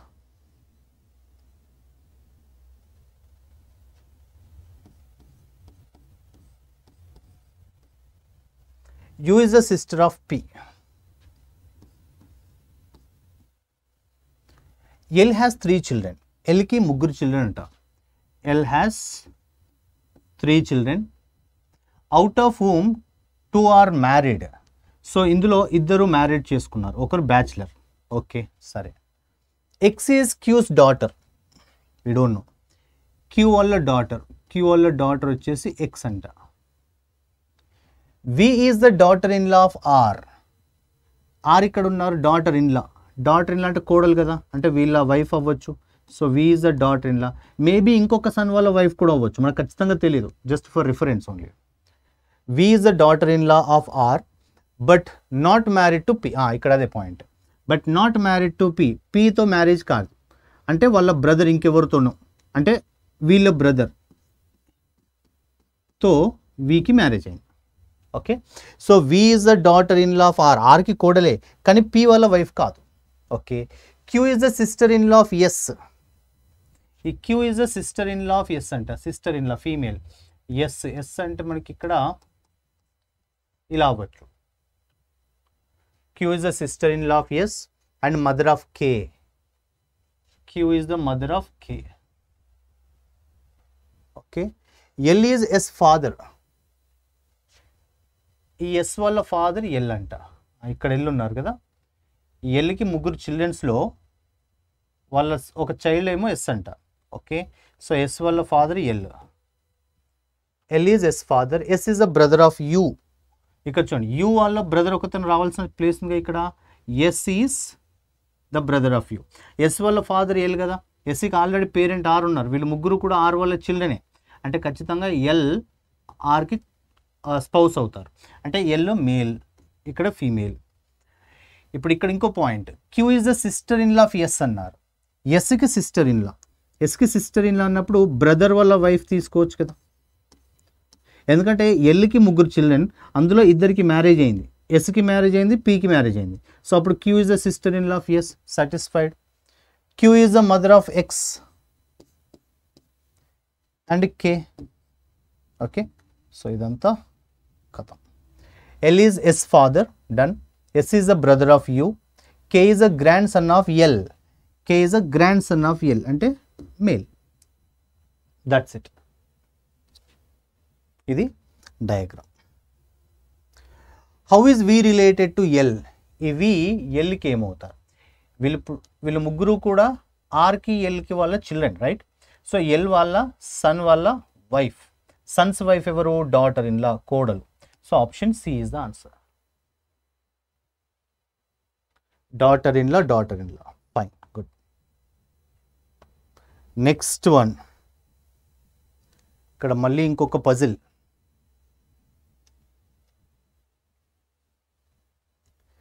seven persons J K L M N O and P are going for a holiday on seven different months of the same year that is January, March. చూడండి first months ఇచ్చారు కాబట్టి January March April May April May June July August one two three four five six seven months ఎప్పుడైనా మనకి months mention చేశారు అంటే ఖచ్చితంగా దానికి సంబంధించిన డేస్ నెంబర్ ఆఫ్ డేస్ కూడా ఇంపార్టెంట్ ఆ మంత్లో సో జనవరిలో మనకి థర్టీ వన్ ఇది మేనా March March thirty one April thirty May thirty one June thirty July thirty one August thirty one so వీటిని బేస్ చేసుకొని మనం ఇప్పుడు రిప్రజెంట్ చేయాలి. Now first statement M goes in the month which have even number of days even number ఏంటి ఇక్కడ? ఏ August April అవ్వచ్చు June అవ్వచ్చు. రెండు పాసిబిలిటీస్ ఉన్నాయి. అంటే ఎం ఇక్కడ. ఒక పాజిబిలిటీ ఇంకొక పాజిబిలిటీతో వెళ్తే ఎం ఇక్కడ కూడా రావచ్చు. Okay one person goes between M and P ఎంకి పికి మధ్యలో వన్ పర్సన్ ఇప్పుడు పి పైకి అవ్వచ్చు క్రిందికి అవ్వచ్చు. ఇక్కడ కూడా పైకి అవ్వచ్చు క్రిందికి అవ్వచ్చు. అంటే మళ్ళీ ఇంకా రెండు పాజిబిలిటీస్ ఎక్స్ట్రా వస్తున్నాయి. సరే మనకి ఎగ్జాక్ట్ తెలియదు కాబట్టి ఎంకి పికి మధ్యలో one person K goes after M ఎంకి తర్వాత కే అంట. సరే K goes after M after అంటే ఇమ్మీడియట్ ఆఫ్టర్ అవ్వచ్చు మేబీ తర్వాత అవ్వచ్చు మనకు ఖచ్చితంగా తెలియదు right more than one person go between M and L ఎంకి ఎల్కి మధ్యలో మోర్ దెన్ వన్ పర్సన్ అంటే ఒకరికంటే ఎక్కువ ఉండాలి. అంటే ఇద్దరు కానీ ముగ్గురు కానీ. So more than one person అంటే ఇద్దరు అంటే ఇక్కడ కానీ ఇక్కడ కానీ వస్తుంది. హియర్ హియర్ రెండు పాసిబిలిటీస్ ఎవరెవరికి మధ్యలో? ఎంకి ఎల్కి మధ్యలో. ఎంకి ఎల్కి మధ్యలో మోర్ దెన్ వన్ పర్సన్ ఉండాలి రైట్ తర్వాత O goes just after L ఇప్పుడు ఒకవేళ నేను ఈ కేసులో ఈ పాజిబిలిటీలో ఇక్కడ ఎల్లు తీసుకున్నాను అనుకుందాం. ఎంకి ఎల్కి మధ్యలో మోర్ దాన్ వన్ పర్సన్ కాబట్టి నేను ముగ్గురిని తీసుకున్నాను. ఇక్కడ తీసుకుంటే O goes just after L L తర్వాత ఓ వచ్చే ఛాన్స్ ఉందా? లేదుగా. ఖచ్చితంగా ఎల్ ఇక్కడ వచ్చి ఇక్కడ ఓ తీసుకోవచ్చు. ఓకే? ఇప్పుడు ఇక్కడ ఎల్ఓ కావచ్చు ఇక్కడ ఎల్ఓ కావచ్చు. రెండు పాసిబిలిటీస్ మళ్ళీ అక్కడ. సరే. Not more than two persons goes between K and P కేకి పీకి మధ్యలో not more than two persons. అంటే నాట్ టూ కంటే ఎక్కువ ఉండకూడదు. So not more than two persons కదా? అంటే టూ కంటే తక్కువే ఉండాలి. టూ కంటే తక్కువ ఇక ఉండాలి. టూ ఆర్ టూ కంటే తక్కువగా కేకి పీకి మధ్యలో ఉండాలి. రైట్? తర్వాత J does not go in the month which has odd number of days. J odd number of days కదా? అంటే ఈవెన్ నెంబర్ డే అని కదా? అంటే జే ఇక్కడ వస్తుంది. ఈ పాజిబిలిటీలో ఇంకొక ఈవెన్ నెంబర్ ఇక్కడే కదా. ఈ పాజిబిలిటీలో జే అంటే ఇక్కడే కదా. రైట్ ఇక్కడ ఒక పాజిబిలిటీ ఉంది. ఏదది? ఎల్ఓ ఎల్ఓ కంపల్సరీగా ఇక్కడే రావాలి అంతే కదా? ఎల్కి ఇమ్మీడియట్గానే ఓ ఉండాలి. ఎల్కి ఎమ్కి మధ్యలో మోర్ దెన్ వన్ పర్సన్ ఉండాలి. సాటిస్ఫైడ్ ఓకే తర్వాత ఎం తర్వాత కే రావాలి. ఎం తర్వాత కే ఇక్కడే వస్తుంది ఇక. ఓకే ఎంకి పీకి మధ్యలో వన్ పర్సన్ గ్యాప్ కదా? ఎంకి పీకి మధ్యలో వన్ పర్సన్ ఇక్కడ ఎంకి పి మధ్యలో వన్ పర్సన్ ఓకే తర్వాత ఎం తర్వాత కే ఉండాలి. ఎం తర్వాత కే ఇప్పుడు ఇక్కడ పాయింట్ చూడండి. కేకి పీకి మధ్యలో లెస్ దెన్ టూ పర్సన్స్ ఉండాలి. కేకి పీకి మధ్యలో less than two where it is? Not more than two persons goes between K and P K and P కంటే మధ్యలో not more than two persons two persons కంటే ఎక్కువ ఉండకూడదు. సార్ ఇక్కడ ఇద్దరు వచ్చారు. హియర్ జీరో వచ్చారు. N does not go in May ఇక్కడ రిమైనింగ్ ఎన్ కదా? రిమైనింగ్ ఎన్ ఈ రెండు కేసెస్లో ఎన్కి పీకి మధ్యలో లెస్ దెన్ టూ పర్సన్సే ఉన్నారు. ఓకే టూ టూ కంటే తక్కువ ఉండొచ్చు టూ ఉండొచ్చు. ఇక్కడ ఎన్ మేలో కాదంటున్నారు. బట్ ఇక్కడ ఎన్ మనకి మేలోనే వచ్చింది. సో కాబట్టి ఈ second possibility wrong so we can go with that first possibility.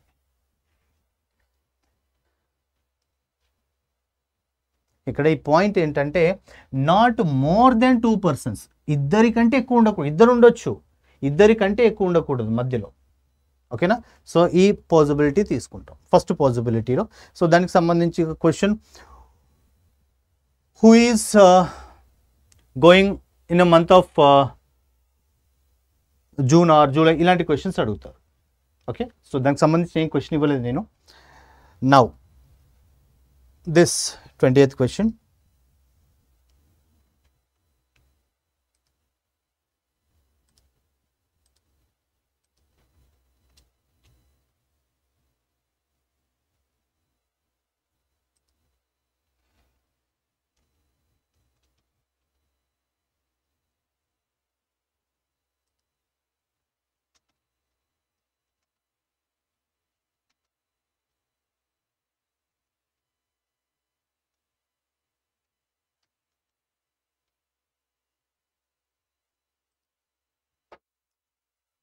twelve thirty eight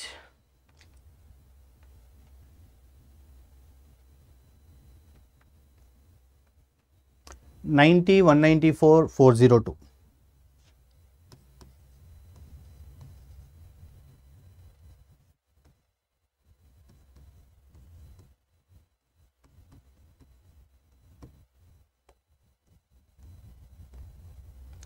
now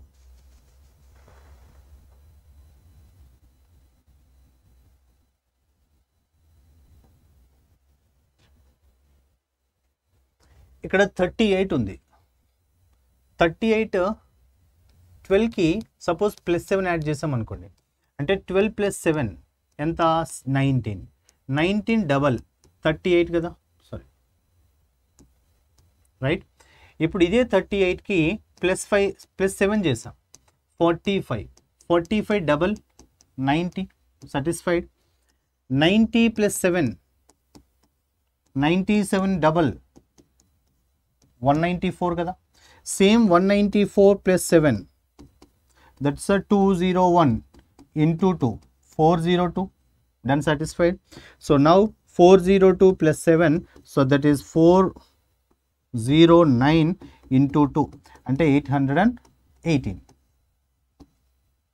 option C or else మీరు డిఫరెన్స్ తీసుకున్నా okay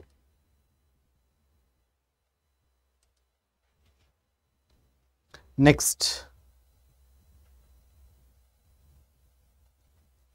Identify the number of cubes in the given figure ఇచ్చిన డయాగ్రామ్లో ఎన్ని cubes ఉంటాయి? ఇది three D diagram కాబట్టి inside cubes కూడా మనం కన్సిడర్ చేస్తాము. So here we have one two ఇది మొత్తం కలిపి three four five six seven eight ఇవి నైన్ మనకి డైరెక్ట్గా కనిపించేటువంటివి నైన్ ఓకేనా? ఇది బేస్ ఇది ఫస్ట్ స్టెప్ ఇది సెకండ్ స్టెప్ సో ఇస్ ఈ స్టెప్లో లేకపోతే ఇక్కడ నుంచి పైనుంచి చూస్తే దీని క్రింద ఈ స్టెప్లో ఒకటి ఉంటుంది అండ్ గ్రౌండ్లో ఒకటి ఉంటుంది. అంటే దీని క్రింద ఇంకా రెండు ఉంటాయి. రెండు. ప్లస్ వీటి కింద ఈ ఫస్ట్ స్టెప్లో దీని క్రింద ఒకటి and here it is bottom and beneath of this. So అంటే అక్కడ త్రీ ఉంటాయి. టోటల్గా మనకి లెవెన్ ప్లస్ త్రీ ఫోర్టీన్ వస్తాయి.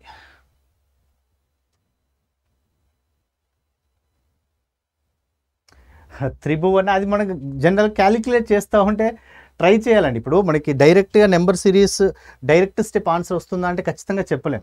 మనం ఒక ఒక ప్యాటర్న్లో చెక్ చేస్తాం ఆన్సర్ సాటిస్ఫై అవ్వకపోవచ్చు మళ్ళీ ట్రై చేస్తాం. సో అలా ట్రై చేస్తూ ఉంటే ఏదో ఒక ప్యాటర్న్లో అయితే మనకి స్ట్రైక్ అవుతాయండి. మోస్ట్లీ మనకి నెంబర్ సిరీస్లో డిఫరెన్సెస్ తీసుకుంటే చాలా పాసిబిలిటీస్ సాటిస్ఫై అవుతాయి. బట్ ఎగ్జామ్లో కొన్నిసార్లు డిఫికల్టీ లెవెల్ పెంచినప్పుడు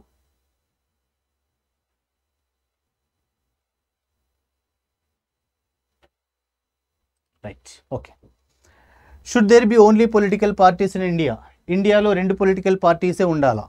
ఎస్ ఉండాలి. In many developed countries there are only two political parties ఎప్పుడైనా కూడా మెనీ డెవలప్డ్ కంట్రీస్లో ఉన్నాయి కదా అని చెప్పేసి మనకు కూడా ఉండాలని చెప్పడం కరెక్ట్ కాదు. బికాజ్ ఎప్పుడైనా ఏ ఆర్గ్యుమెంట్ అయినా కూడా వేరే వాటితో వేరే వాళ్ళతో వేరే కంట్రీస్తో వేరే ఆర్గనైజేషన్స్తో వేరే పర్సన్స్తో మనం ఎప్పుడు కూడా కంపేర్ చేసి ఆర్గ్యుమెంట్ చెప్పకూడదు. Second one no Indian electorate is not mature to select between only two political parties so ఇద్దరు రెండు పొలిటికల్ పార్టీస్ మధ్యలోనే మనం డిసైడ్ చేసే అంత మెచ్యూరిటీ లేదు అని చెప్తా ఉన్నారు. We can't decide about the maturity here so రెండు కూడా wrong this is neither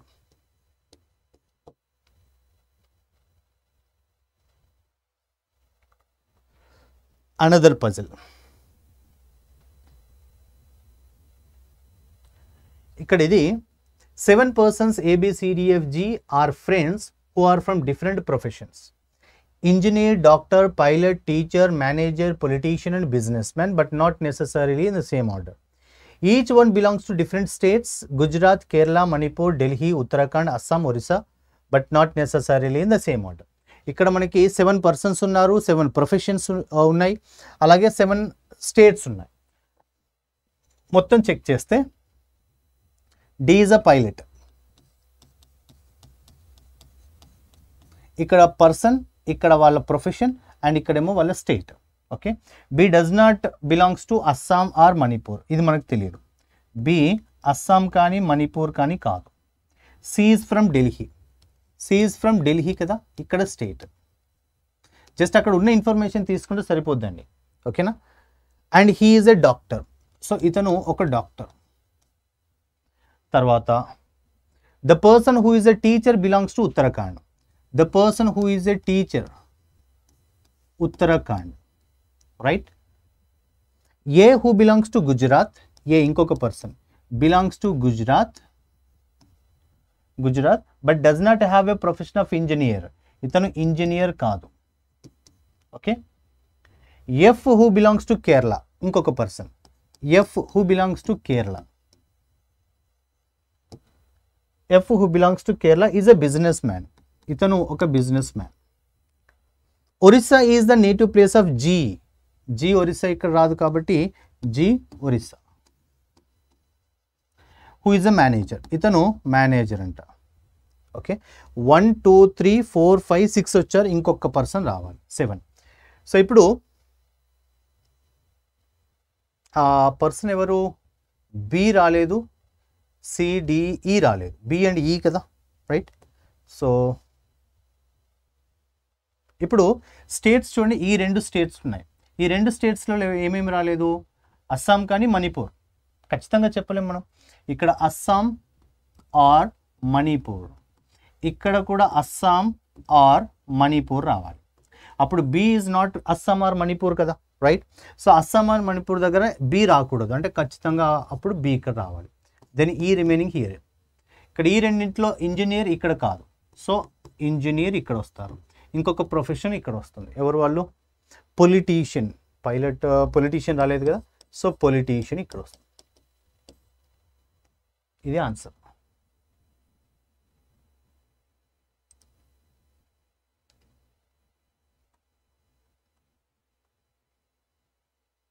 clear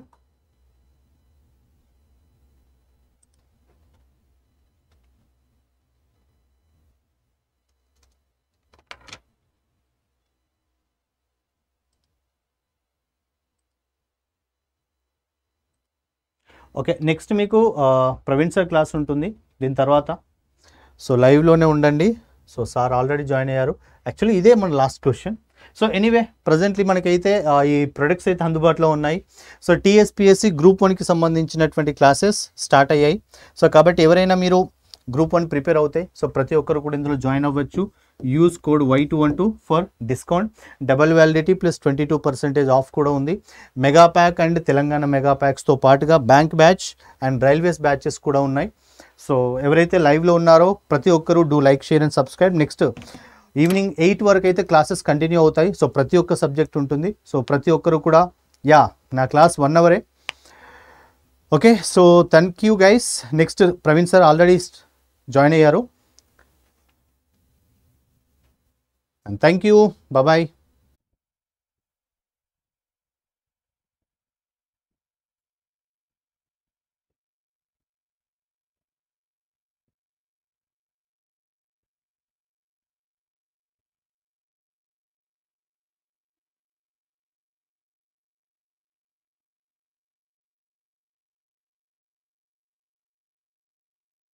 hello all guys once again welcome to Adda twenty four seven official Telugu ఛానల్కి స్వాగతం yes I me audible yes I me audible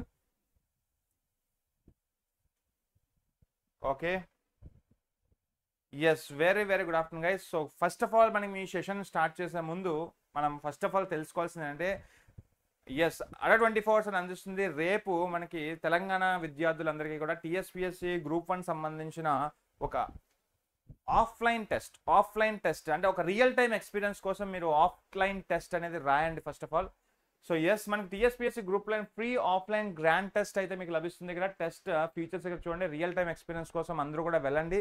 examination centres కూడా మనకి అందుబాటులోనే so ఇక్కడ దిల్సుఖ్ నగర్లో మనకి ఆఫీస్ దగ్గర ఎస్ సెంటర్ uh, అందరూ వెళ్ళండి. Dilsukhnagar bus office bus bus stop దగ్గర మనకు ఉంటుంది ఆఫీస్ అలాగే మనకి సిటీ సెంట్రల్ లైబ్రరీ యాక్చువల్గా మనకి one of the Ashok Nagar okay so test venue యాక్చువల్గా మీకు ఏమైనా డౌట్స్ వస్తే మాత్రం దిల్సుఖ్ నగర్ ఆఫీస్కి వెళ్ళండి. ఒకవేళ మీరు టెస్ట్ రాయాలనుకుంటే ఖచ్చితంగా మీరు సిటీ సెంట్రల్ లైబ్రరీ ఎక్కడండి మనకి? వన్ ఆఫ్ ది అశోక్ నగర్లోకి వెళ్ళండి. నియర్ త్యాగరాజ్ జ్ఞానసభ అశోక్ నగర్. సోహిమయాత్ నగర్ అశోక్ నగర్. సో ఖచ్చితంగా మీకు థర్డ్ మార్చ్ పది నుంచి పదిన్నర నుంచి ఒకటి వరకు పదిన్నర నుంచి వన్ పిఎం వరకు ఎగ్జామ్ అయితే జరగబోతుంది. సో ఖచ్చితంగా ఇంకా డీటెయిల్స్ ఏమైనా కావాలనుకుంటే స్కాన్ చేయండి. Adda twenty four seven app నుంచి స్కాన్ చేస్తే will get the details. So ఖచ్చితంగా మనకి రేపు అశోక్ నగర్ సెంట్రల్ లైబ్రరీలో మీకు టెన్ థర్టీ నుంచి వన్ వరకు మీకు ఎగ్జామ్ జరుగుతుంది. ఇంకా ఏమైనా డౌట్స్ ఉన్నా మీరు దిల్సుఖ్ నగర్ ఆఫీస్కి వెళ్ళండి. సో నియర్ బస్ స్టాప్ మీకు దిల్సుఖ్ నగర్ ఆఫీస్ మనకి అర ట్వంటీ పర్సెంట్ ఆఫీస్ ఉంది. Okay? So very good afternoon very good afternoon అందరికీ పేరు పేరున. సో వితౌట్ లేట్ మనం ఫస్ట్ క్వశ్చన్కి వెళ్ళిపోదాం. సో ఎకానమీ క్వశ్చన్స్ చూద్దాం. ఇండియన్ ఎకానమీ క్వశ్చన్స్ ఎలా వస్తాయి అనేది చూద్దాం. Yes first question on the screen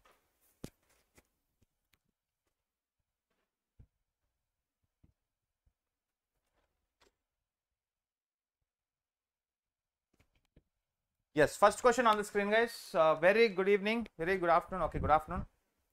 Which of the following is the essential feature of a barter system అంటున్నాడు ఎస్ రైట్ ఆన్సర్ ఏంటి ఫ్రెండ్స్ ఇక్కడ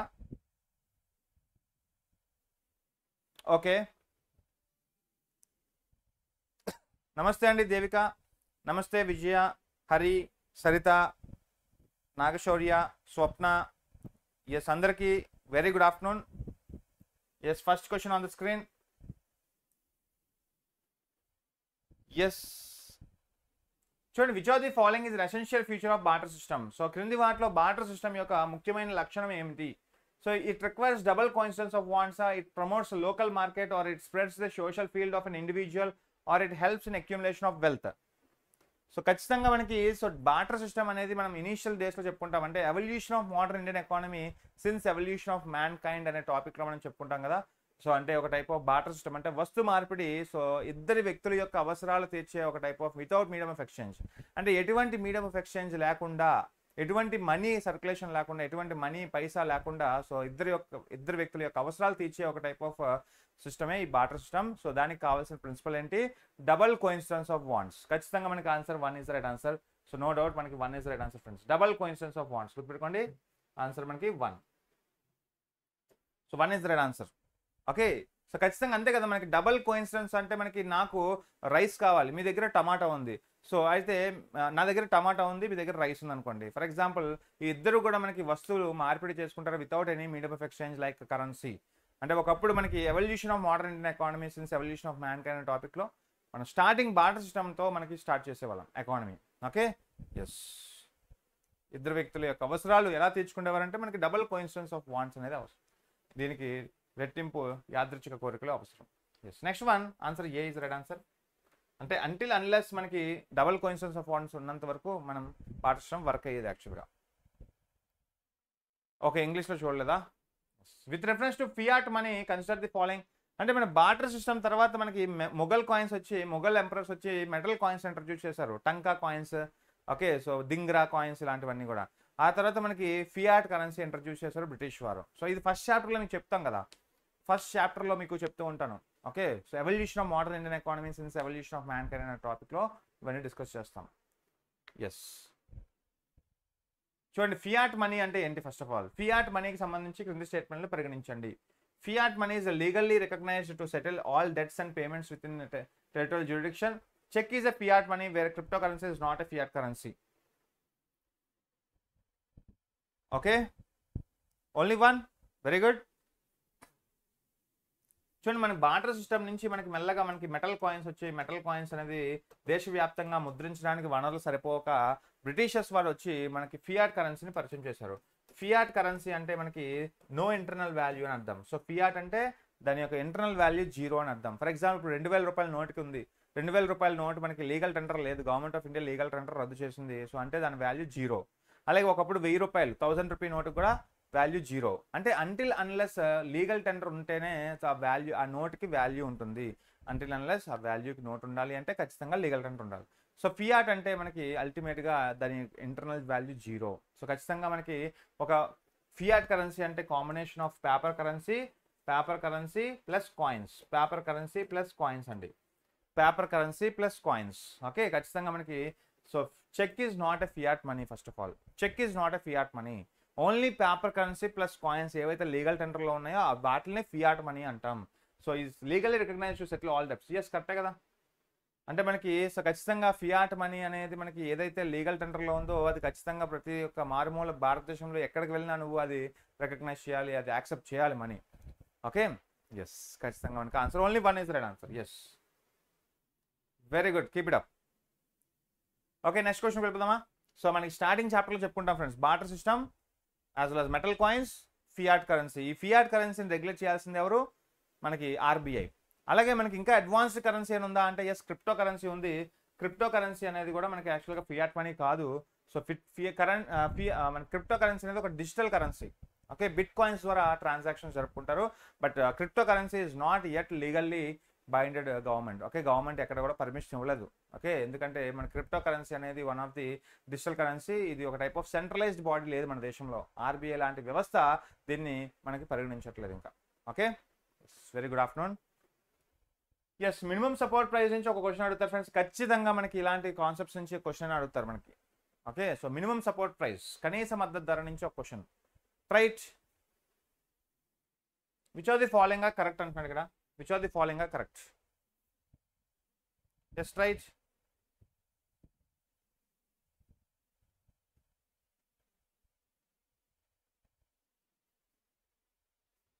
so offline test కూడా ఉంది ఫ్రెండ్స్ మనకి రేపు టెన్ థర్టీ నుంచి వన్ పిఎం వరకు మీకు సెంట్రల్ లైబ్రరీ అశోక్ నగర్ వెళ్ళి రాయండి. ఎగ్జామ్స్ అలా ట్వంటీ ఫోర్ సెవెన్ కండక్ట్ చేస్తుంది. TSPSC group one exam. So ఖచ్చితంగా రాయండి వెళ్ళి. ఓకే? ఎవరు మిస్ అవ్వద్దు.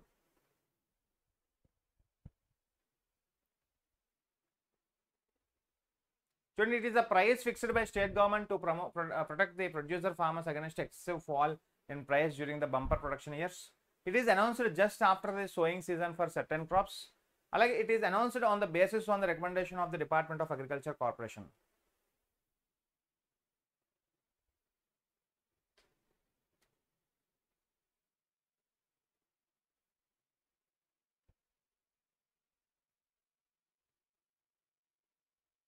Answer Actually, first of all, it is price fixed by state government to protect the producer farmer against excessive fall for example first మనకి state government కాదు central government will fix friends MSP అనేది కనీస మద్దతు ధర అనేది మనకి central government మనకి fix చేస్తుంది ఒక ధర. అది కూడా before sown season okay after sown season కాదు before sown season before sown season రెండు కూడా తప్పే.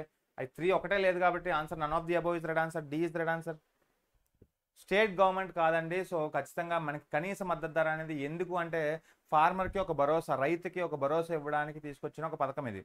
ఓకే. సో అంటే కనీస మద్దతు ధర ఫర్ ఎగ్జాంపుల్ మనకి ఖరీఫ్ పంటలు ఉంటాయి ఖరీఫ్ పంటలు అనేవి rice okay. So groundnut చెరుకు ఇవన్నీ కూడా మనకి పండించే పంట పండించక ముందే అంటే జూన్లో పండిస్తారు. జూన్లో స్టార్ట్ చేస్తారు పంట. కానీ దానికన్నా ముందు ఏప్రిల్ మే మంత్లోనే దానికి కనీస మద్దతు ధరని ప్రకటిస్తారు. ఒక క్వింటాల్ రైస్కి వెయ్యి రూపాయలు ఇస్తామని. ఒకవేళ మీకు అక్టోబర్లో పంట చేతికి వచ్చిన తర్వాత మార్కెట్లో మీకు ధర నైన్ హండ్రెడ్కే ఉందనుకోండి. So instead of selling to the market farmer will sell the procurement అంతా కూడా గవర్నమెంట్కి అమ్మేస్తారు అనమాట సో వెయ్యి రూపాయల కోసం.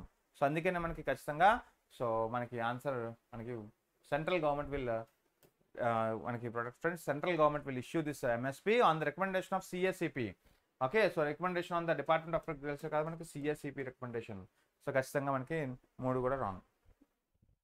ఓకే అర్థమవుతుంది ఫ్రెండ్స్? ఎంఎస్పి అనగానే మనకి క్వశ్చన్స్ ఎలా అడుగుతారంటే బిఫోర్ సోన్ సీజన్ అండి.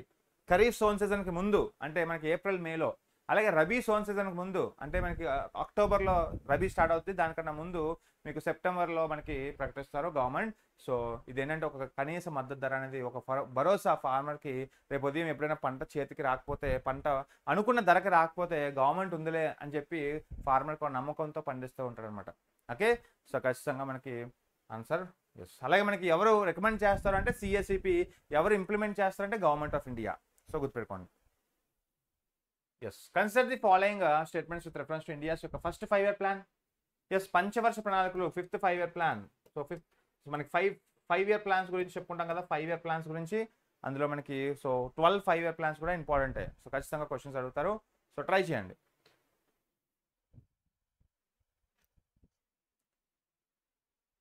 సో భారతదేశం యొక్క మొదటి పంచవర్ష ప్రణాళికకి సంబంధించి ఇక్కడ ఫస్ట్ ఫైవ్ ఇయర్ ప్లాన్ అడుగుతున్నాడు. First five year plan yes twenty two plus twenty two plus one twenty three క్రాప్స్కి ఇప్పుడు ఇంప్లిమెంట్ చేస్తుంది ఎంఎస్పి మన దేశంలో. ఎక్స్ట్రా ఇన్ఫర్మేషన్ కూడా పాస్ చేస్తున్నది.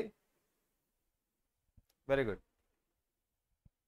ఇక్కడ చూడండి మనకి the plan made huge allocations for large scale irrigation projects అలాగే the focused on land reforms as the key to the country development so ఖచ్చితంగా మనకి so first five year plan అనగానే మనకి నైన్టీన్ ఫిఫ్టీ వన్ నుంచి fifty six guys so మనకి IPS court అని చెప్పుకుంటాం కదా ఐపీఎస్ కోర్ట్ అనే దాంట్లో మనకి I for irrigation I for irrigation power as well as మనకి social security as well as communication agriculture అలాగే టీ ఫర్ ట్రాన్స్పోర్టేషన్ అంటే మనకి ఇలా చిన్న చిన్న చీట్ కోడ్స్తో మనం చెప్పుకుంటాం కదా ఐపీఎస్ కోడ్ అంటే ఏంటి? So irrigation power communication socialist pattern of society as well as T for transportation A for agriculture so మేజర్గా మనకి ఫస్ట్ ఫైవ్ ఇయర్ ప్లాన్ దృష్టి పెట్టింది మనకి మేజర్గా అగ్రికల్చర్ మీద. యాజ్ వెల్ యాజ్ మనకి ల్యాండ్ రిఫార్మ్స్ పై దృష్టి పెట్టింది కూడా మనకి నైన్టీన్ ఫిఫ్టీ వన్ ఎస్ రెండు కూడా correct answers answer C is right answer answer both of the above is right answer yes answer అర్థమవుతుంది friends so nineteen fifty one fifty six టైంలో మనకి వేటి మీద దృష్టి పెట్టారు? సెకండ్ ప్లాన్లో six fifty six to sixty one దేని మీద దృష్టి పెట్టారు? ఇండస్ట్రీస్ పై దృష్టి పెట్టారు? ఇవన్నీ కూడా తెలుసుకోవాలి మీరు. ఓకే సో ఫస్ట్ ప్లాన్ మేజర్గా మనకు దృష్టి పెట్టింది అగ్రికల్చరల్ డెవలప్మెంట్ ఓకే ఇరిగేషన్ మీద దృష్టి పెట్టారు. ట్రాన్స్పోర్టేషన్ మీద దృష్టి పెట్టారు. అలాగే మనకి ల్యాండ్ రిఫార్మ్స్ తీసుకొచ్చింది కూడా నైన్టీన్ ఫిఫ్టీ వన్ కదా నైన్త్ షెడ్యూల్ ఎస్ ఖచ్చితంగా మనకి తెలియాలి ఫ్రెండ్స్ బేసిక్ క్వశ్చన్స్ ఇవన్నీ ఎస్ ఎకానమీలో అడుగుతుంటారు నెక్స్ట్ క్వశ్చన్ ఎస్ ఇన్ఫ్లేషన్ నుంచి ఒక క్వశ్చన్ ట్రై చేయండి. సో చూడండి అన్ని టాపిక్స్ నుంచి కవర్ చేస్తున్నాను. అంటే ఇక్కడ మనకి అన్ని టాపిక్స్ నుంచి ఎలాంటి క్వశ్చన్స్ వస్తాయి అనేది తెలుసుకోండి. సో ఈ క్లాస్ యొక్క మెయిన్ ఉద్దేశం ఏంటంటే ఎకానమీ నుంచి అన్ని టాపిక్స్ నుంచి ఎలాంటి క్వశ్చన్స్ వస్తాయి అనేది మీకు ఖచ్చితంగా తెలుసుకోవాలి. ప్రిపరేషన్లో భాగస్వామ్యం అవ్వండి okay yes both are correct so ద్రవ్యోల్బణానికి సంబంధించి క్రింది ప్రకటనలు పరిగణించండి. ఎస్ రైట్ అందరూ. Inflation is the decline of purchasing power of a given currency over time అలాగే generally a decrease in money supply triggers inflation okay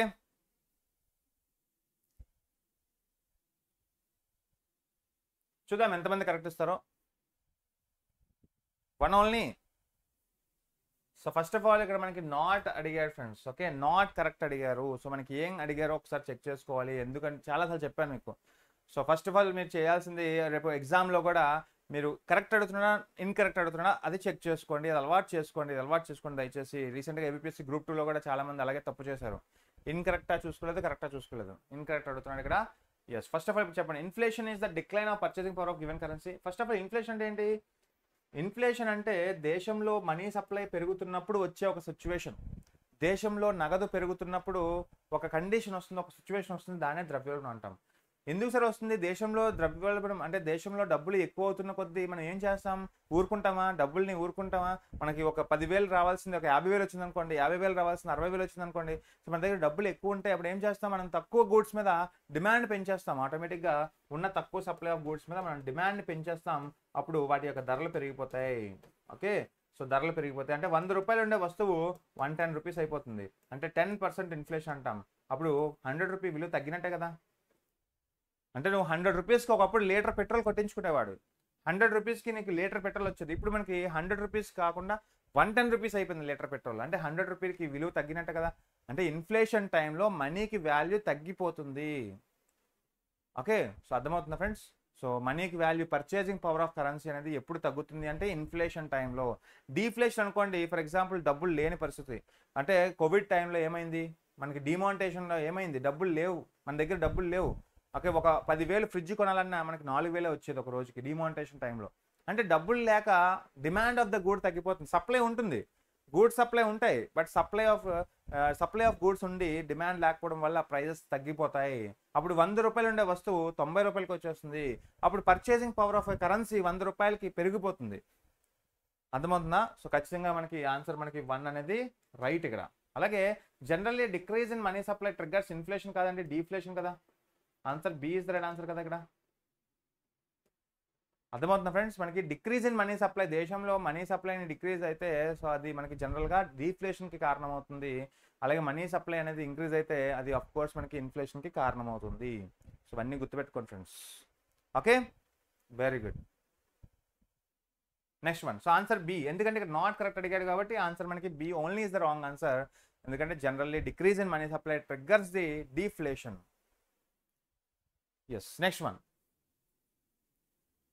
అలాగే with reference to wholesale price index yes మనకి ఇన్ఫ్లేషన్లో ఒక type of indexes అనేవి చదువుకుంటాం WP and CPI so friends ఈ చెప్పిన questions అన్నీ కూడా మోస్ట్ ఎక్స్పెక్టెడ్ క్వశ్చన్స్ నేను చెప్పిన ఈరోజు క్వశ్చన్స్ అన్నీ కూడా మనకి మోస్ట్ ఎక్స్పెక్టెడ్ క్వశ్చన్స్ ఒకసారి మీరు గమనించండి దాని చుట్టూ మీరు ఆన్సర్స్ చేయండి.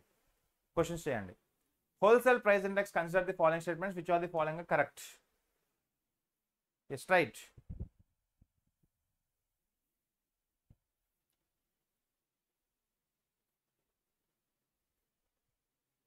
with reference to WPI consider the following statements wholesale price ఇండెక్స్కి సంబంధించి క్రింది స్టేట్మెంట్లు పరిగణించండి. The Reserve Bank of India users WPI as a key measure of inflation to set monetary and credit policy అలాగే WPS published by ministry of commerce and industry quarterly answer A answer one first of all మనకి there are two types of indexes friends indexes of ఇన్ఫ్లేషన్లో మనం చెప్పుకుంటాం two types of two types of indexes ఒకటి CPI ఇంకోటి WPI నేను చాలాసార్లు చెప్పాను ఇక్కడ మనకి మొట్టిగా కూడా పెట్టేస్తానని చెప్పాను. డబ్ల్యూపీఐ మనకి ఏం చెప్పాను? డబ్ల్యూపీఐ అనగానే మనకి one type of office of economic adviser ఎన్నోసార్లు చెప్పాను. Office of economic adviser release చేస్తుంది. Okay and department of promotion of industrial internal trade CPI release చేసేది సిఎస్ఓ అని చెప్పాను మనకి మినిస్ట్రీ ఆఫ్ ఎస్ఎన్పిఐ సో మనకి published by ministry of commerce కాదండి. So మనకి department of promotion of industrial internal trade అలాగే Reserve Bank of India users CPI as a బేస్గా తీసుకుంటుంది not WPI so రెండు కూడా రాంగే సో రెండు కూడా రాంగే డి ఇస్ రైట్ ఆన్సర్ ఎన్నోసార్లు చెప్పాను మీకు ఎన్నోసార్లు చెప్పాను. సో ఒక టైప్ ఆఫ్ మనకి సో ఇన్ఫ్లేషన్ అనే చాప్టర్ చెప్పుకున్నప్పుడు మనకి ఇలాంటి క్వశ్చన్స్ బేసిక్గా ఎన్నోసార్లు రిపీట్ అవుతూ ఉంటాయి. మళ్ళీ మళ్ళీ మీరు తప్పు చేయొద్దు. చేసిన తప్పే మళ్ళీ మళ్ళీ చేయొద్దు. రిపీట్ చేయొద్దు. కొంచెం కరెక్ట్ చేసుకోండి. Okay yes WPR released by office of economic adviser under department of promotion of industrial internal trade అలాగే మనకి one of the ministry of statistics and programme implementation మనకి సిఎస్ఓ రిలీజ్ చేసేది CPI yes very good next one అలాగే మనకి Reserve Bank of India monitor చేస్తుంది. Inflation టార్గెట్ని ఇచ్చేది government of India అయితే ఆ ఇన్ఫ్లేషన్ టార్గెట్ని రీచ్ అయ్యేటట్టు చేస్తుంది మనకి ఆర్బీఐ ఆర్బీఐ ఈ మోనిటర్ చేస్తున్నప్పుడు సిపిఐ ఇండెక్స్ని పరిగణలోకి తీసుకొని మోనిటర్ చేస్తుంది friends yes next one primary deficit అంటే ఏంటి ఫ్రెండ్స్? Primary deficit. మళ్ళీ ఇప్పుడు చూడండి ఇన్ఫ్లేషన్ నుంచి ఒక రెండు క్వశ్చన్లు చూసాం. ప్లానింగ్ కమిషన్ నుంచి ఒక క్వశ్చన్ చూసాం. అలాగే మనకి బాటర్ సిస్టమ్ నుంచి రెండు క్వశ్చన్లు చూసాం. ఓకే? అలాగే పబ్లిక్ ఫైనాన్స్ నుంచి ఒక క్వశ్చన్ చూద్దాం. అర్థమవుతుందా? అంటే మనం ప్రతి టాపిక్ని కవర్ చేసుకుంటూ వెళ్దాం. ఎస్ గుడ్ ఆఫ్టర్నూన్ అండి. ఎస్ పబ్లిక్ ఫైనాన్స్ నుంచి ఒక క్వశ్చన్ మళ్ళీ. పబ్లిక్ ఫైనాన్స్ అంటే బడ్జెట్. పబ్లిక్ ఫైనాన్స్ అంటే బడ్జెట్ నుంచి ఒక question. Primary deficit is defined as a difference between WhatsApp link provide A WhatsApp అండి మనకి? అంటే కరెంట్ అఫైర్స్ వాట్సాప్ గ్రూప్ ఉంది యాక్చువల్గా. టీఎస్పిఎస్సి గ్రూప్ వన్ స్పెషల్గా మీకు వాట్సాప్ గ్రూప్ అయితే పెట్టలేదు ఇంకా. కరెంట్ అఫైర్స్ బ్యాచ్లో యాడ్ చేయమంటే చేద్దాం. సో ఎవరైనా లింక్ ఫార్వర్డ్ చేయండి. ఇక్కడ ఎవరైనా అడ్మిన్స్ ఉంటే.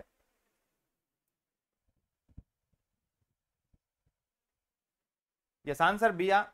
ప్రైమరీ డెఫిసిట్ అంటే ఏం లేదు ఫ్రెండ్స్. ప్రైమరీ డెఫిసిట్ అంటే difference between the net interest yes liabilities ఖచ్చితంగా మనకి answer B is right answer కదా.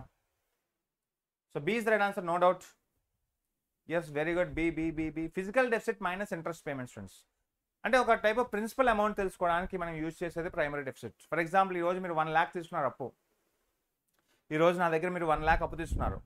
సో ఒక త్రీ ఇయర్స్ తర్వాత అది వడ్డీ కాస్త వన్ ల్యాక్ థర్టీ థౌసండ్ అయిపోయింది అనుకోండి. సో ఆ త్రీ ఇయర్స్ తర్వాత నాకు ప్రైమరీ డెఫిసిట్ ఎంత తెలుసుకోవాలి అంటే so one lakh thirty thousand minus thirty thousand అంటే వన్ ల్యాక్. అంటే అర్థమైందా? సో నేను మీకు వన్ ల్యాక్ అప్పు ఇచ్చాను. సో మీరు త్రీ ఇయర్స్ తర్వాత అది నాకు వన్ ల్యాక్ థర్టీ థౌసండ్ అయిపోయింది. అంటే థర్టీ థౌసండ్ ఇంట్రెస్ట్ అనేది ఇంకా మీరు కట్టలేదు. సో మొత్తం కలిపి మీరు వన్ ల్యాక్ థర్టీ థౌసండ్ ఇవ్వాలి నాకు. అంటే మీ యొక్క ప్రైమరీ డెఫిసిట్ ఏంటి అంటే ఇక్కడ one lakh thirty thousand minus thirty thousand. So one lakh is the primary. అంటే ప్రిన్సిపల్ అమౌంట్. సో ఖచ్చితంగా మనకి physical deficit minus interest payments వచ్చేసరికి మనకి ఫిజి ప్రైమరీ డెఫిసిట్ అంటాం. So B's right answer. Yes అలాగే వరల్డ్ ట్రేడ్ ఆర్గనైజేషన్ నుంచి ఒక క్వశ్చన్ ట్రై చేయండి. World trade organisation okay so ప్రపంచ వాణిజ్య సంస్థ ఓకే సో మనకి which all the following correct so WTO అనేది ఒక UN specialised ఏజెన్సీయా decision making at WTO is consensus based rather than majority voting yes first of all మీకు current అఫైర్స్లో ఎక్కువగా వింటూ ఉంటే డబ్ల్యూటీఓ గురించి ఎన్నోసార్లు ప్రస్తావిస్తారు. డబ్ల్యూటీఓ అనేది నైన్టీన్ నైన్టీ ఫైవ్లో మనకి ఏర్పడింది యాక్చువల్గా సో దానికి ముందు పేరు గ్యాట్ అనేవారు. General agreement on trade and tariffs general agreement on trade and trade and tariffs trade and tariffs so దీన్ని కాస్త మనకి డబ్ల్యూటీఓగా మార్చారు నైన్టీన్ నైన్టీ ఫైవ్లో okay so general agreement on trade and టారిఫ్స్నే మనకి గ్యా డబ్ల్యూటీఓగా మారిపోయింది. సో డబ్ల్యూటీఓ యొక్క ముఖ్య ఉద్దేశం ఏంటంటే రెండు దేశాల యొక్క వాణిజ్యాన్ని కంట్రోల్ చేస్తుంది. అంటే రెండు దేశాల మధ్య వాణిజ్య గొడవల్లో ఏమైనా ఉంటే సో డిస్ప్యూట్ రిజాల్వ్ చేస్తుంది. Okay so answer one only is right answer friends yes UN agency but decision making at WTO is consensus based అంటున్నాడు. It is not a consensus based decision making అనేది majority based కాదు. Okay so ఇటువంటి based కాదు. So ఖచ్చితంగా మనకి consensus based అంటున్నాడు. It is not a consensus based rather than majority yes majority ఓటింగే కానీ it is not a consensus based so ఇవి ఒక టైప్ ఆఫ్ అప్లికేషన్ క్వశ్చన్స్ ఒక type of current affairs questions so ఖచ్చితంగా మనకి answer only A is right answer గుర్తుపెట్టుకోండి. డబ్ల్యూటీఓకి ముందు పేరు ఏంటని అడుగుతుంటే గ్యాట్ నైన్టీన్ నైన్టీ ఫైవ్లో దీన్ని మనకి డబ్ల్యూటీఓగా మార్చారు. Next one with reference to reserve ratio yes మళ్ళీ మోనిటరీ పాలసీ నుంచి ఒక క్వశ్చన్ ఆర్బీఐ మోనిటరీ పాలసీ నుంచి ఒక క్వశ్చన్ చూడు అన్ని టాపిక్స్ నుంచి కవర్ చేస్తున్నాను. ఓకే ట్రైట్ రాంగ్ అయినా పర్లేదు బట్ ట్రై చేసుకోండి. చక్కగా రివిజన్ చేసుకోండి. With reference to reserve ratio and banking sector consider the following statements banking సెక్టార్లో రిజర్వ్ రేషియోకి సంబంధించి క్రింది స్టేట్మెంట్లు పరిగణించండి. Which are the following correct yes it is the percentage of deposits that bank is mandated to keep with RBI higher reserve ratios tends to lower the credit supply in economy which are the following are correct monetary policy నుంచి ఒక question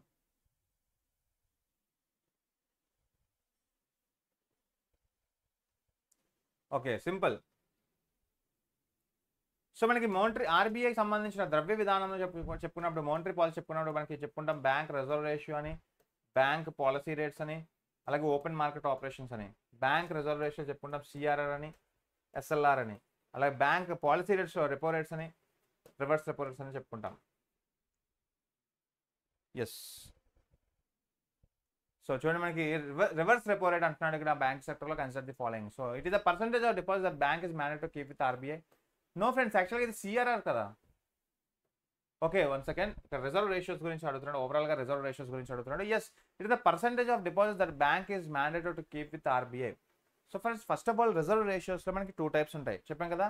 open market మనకి ఆర్బీఐకి సంబంధించిన monetary పాలసీలో మనకి bank reserve ratios అంటాం. Bank reserve రేషియోస్లో CRR SLR అంటాం. సిఆర్ఆర్ ఎస్ఎల్ఆర్ అయితే ఖచ్చితంగా మనకి it the percentage of deposits that bank is mandated to keep with RBI అంటున్నాడు. బట్ ఇక్కడ సిఆర్ఆర్ ఒకటే కదా మనకి ఆర్బీ దగ్గర ప్లేస్ చేయాల్సింది. బట్ ఎస్ఎల్ఆర్ uh, వచ్చేసరికి బ్యాంక్ ఇట్ సెల్ఫ్ మెయింటైన్ చేయాలి. బ్యాంక్ ఇట్ సెల్ఫ్ మెయింటైన్ చేయాలి. సో ఆన్సర్ మనకి వన్ రాంగ్ వన్ రాంగ్ అర్థమవుతుందా? సో ఏ అనేది రాంగ్ ఎందుకంటే the percentage of deposits compulsory CRR అనేది ప్రతి కమర్షియల్ బ్యాంక్ అనేది ఆర్బీఐ దగ్గర దాల్సిన ఒక నిల్వ. అది కూడా క్యాష్ రూపంలోనే దాయాలి. అర్థమవుతుంది ఫ్రెండ్స్ ఫర్ ఎగ్జాంపుల్ మనకి సిఆర్ఆర్కి ఎస్ఎల్ఆర్కి డిఫరెన్స్ ఏంటంటే సో ఫర్ ఎగ్జాంపుల్ మనకి for example four point five percent of cash cash reserve with RBI cash only అదే ఎస్ఎల్ఆర్ వస్తానికి ఫర్ ఎగ్జాంపుల్ మనకి ఎయిటీన్ పర్సెంట్ ఆఫ్ క్యాష్ అవ్వచ్చు గోల్డ్ అవ్వచ్చు బాండ్స్ అవ్వచ్చు షేర్స్ అవ్వచ్చు ఏదైనా అవ్వచ్చు మనకి బ్యాంక్ ఇట్సెల్ఫ్ దాచుకోవాలన్నమాట. అంటే ఎస్బీఐ బ్యాంక్ ఎస్బీఐ బ్యాంక్లో దాచుకోవాలి. Okay so ICICI bank ICICI బ్యాంక్లో దాచుకోవాలి. అంటే ఏ బ్యాంక్ అయితే ఆ బ్యాంక్లో దాచుకోవాలి. సో ఇది ఎస్ఎల్ఆర్ సంబంధించింది. సో ఇక్కడ రిజర్వ్ రేషియోస్ అనేవి రెండు అడుగుతున్నాడు కాబట్టి రిజర్వ్ రేషియోస్ అనేవి మనకి percentage of deposits that bank must maintain with RBI CRR అయితే bank maintain should bank itself మనకి ఎస్ఎల్ఆర్ అంటే రెండు కంబైన్ చేస్తారు అక్కడ. Okay? Yes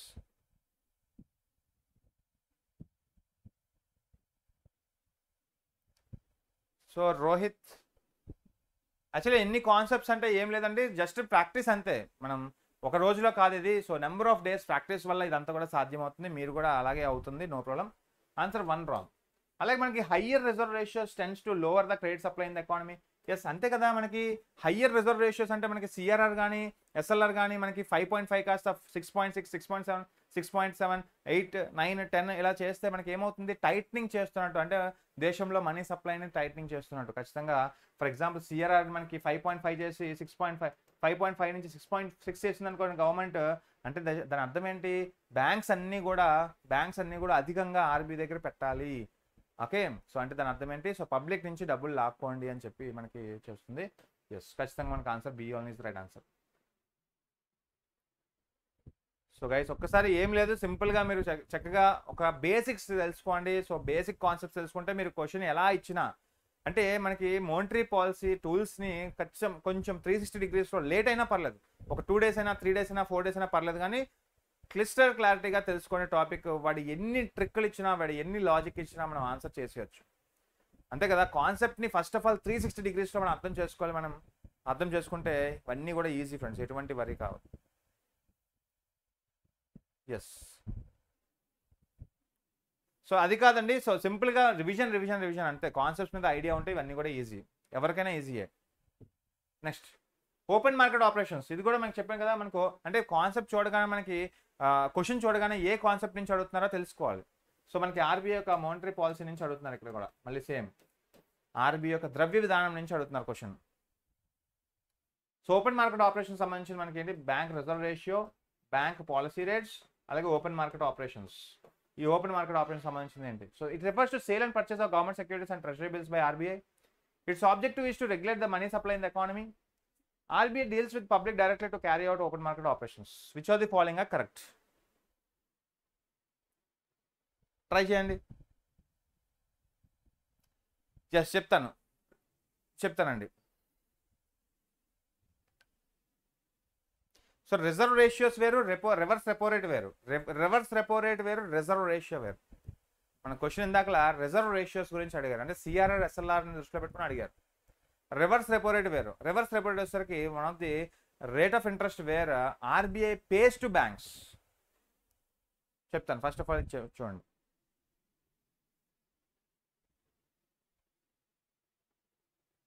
yes open market operations అనేది ఖచ్చితంగా selling and purchasing of government securities and treasury bills by RBI అంటే ఏం లేదు ఫ్రెండ్స్ దేశంలో మనీ సప్లై ఎక్కువ ఉందనుకోండి సో అదేం చేస్తుంది? ద్రవ్యోల్బణానికి దారితీస్తుంది.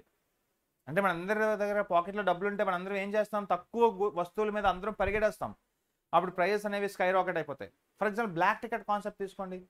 ఫస్ట్ రోజు ఏదైనా సలార్ మూవీకి వెళ్ళారు ప్రభాస్ది సో ఆ టైంలో మీరు ఏం చేస్తారు? సో టికెట్స్ అనేవి చాలా తక్కువ ఉంటాయి. డిమాండ్ హ్యూజ్గా ఉంటుంది. మనీ సప్లై విపరీతంగా ఉంటుంది జనాల దగ్గర.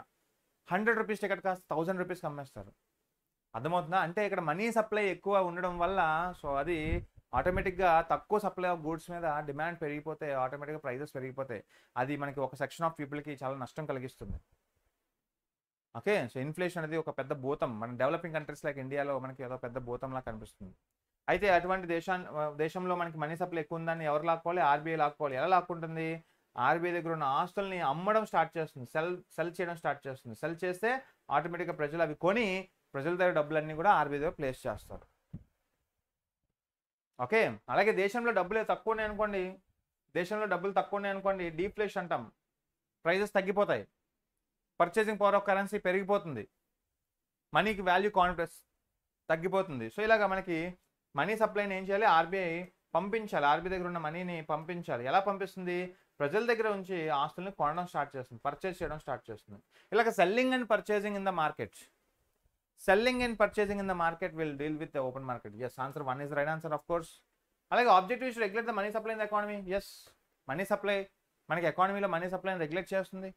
అలాగే RBI deals with public directly to carry out so no friends యాక్చువల్గా డీలర్స్ ఉంటారు.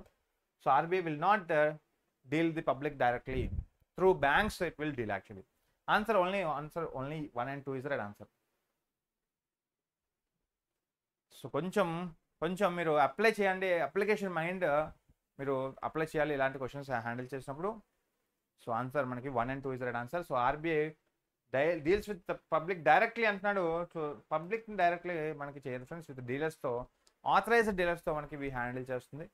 Okay by using banks next with reference to NBFC in India consider the following statements which are the following correct చూడండి NBFC అనేది ఏంటి? బ్యాంకింగ్కి ఎన్బిఎఫ్సికి difference ఏంటో తెలియాలి. ఇవన్నీ basics నుంచి మనం వెళ్ళాలి యాక్చువల్లీ. మన కోర్సెస్లో చెప్పుకుంటాం ఇవన్నీ. Don't worry.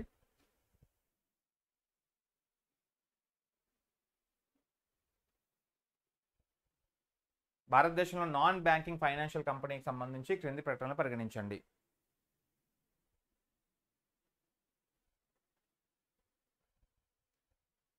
Yes just try it try it try it try it అంటే మనకి మోడల్ ఆఫ్ క్వశ్చన్స్ తెలియాలి ఇక్కడ మనకి మోడల్ ఆఫ్ క్వశ్చన్స్ తెలియాలి. ఫస్ట్ ఆఫ్ ఆల్ ఎన్బిఎఫ్సి అనేది మనకి ఒక టైప్ ఆఫ్ ఎల్ఐసి కానీ ముతూట్ ఫైనాన్స్ కానీ ఓకే సో మనకి అంటే ఒక టైప్ ఆఫ్ బ్యాంక్స్ కానివి and non banking financial companies అంటే ఇవి ఒక టైప్ ఆఫ్ మనకి కెనాట్ యాక్సెప్ట్ డిమాండ్ డిపాజిట్స్ కరెక్టే కదా? NBFC cannot accept demand deposits like మనకి బ్యాంక్స్ చేస్తున్నట్టు డిమాండ్ డిపాజిట్స్ మనకి చేయదు. అలాగే ఎన్బిఎఫ్సి కెనాట్ ఇష్యూ చెక్స్ కూడా. ఎస్ మనకి ఇది కూడా కదా. అలాగే deposit insurance facility of deposit insurance rate guarantee corporations available to depositors of NBFC no యాక్చువల్గా సో డిఐసిజిసి అనేది deposit insurance rate guarantee corporation అనేది మనకి one of the subsidy of RBI friends RBI అనుసంధానంలో నడుస్తుంది. ఆర్బీఐ హోల్గా మెయింటైన్ చేస్తుంది డిఐసిజిసిని ఇక్కడ మనకి DICGC అనేది one type of మనకి ఓన్లీ బ్యాంక్స్కి మాత్రమే వర్తిస్తుంది. ఫర్ ఎగ్జాంపుల్ మీరు ఒక బ్యాంక్లో మీరు ఒక టెన్ ల్యాక్స్ డిపాజిట్ చేశారండి. ఒక బ్యాంక్లో టెన్ ల్యాక్స్ డిపాజిట్ చేశారు. ఆ బ్యాంక్ అనుకోకుండా దివాలా ఎత్తేసింది. ఆ బ్యాంక్ అనుకోకుండా దివాలా ఎత్తేసింది. సో ఆ టైంలో మీకు పది లక్షలు అనేది ఎక్కడి నుంచి వస్తాయి? డిఐసిసిసి అనే corporation ఇస్తుందన్నమాట.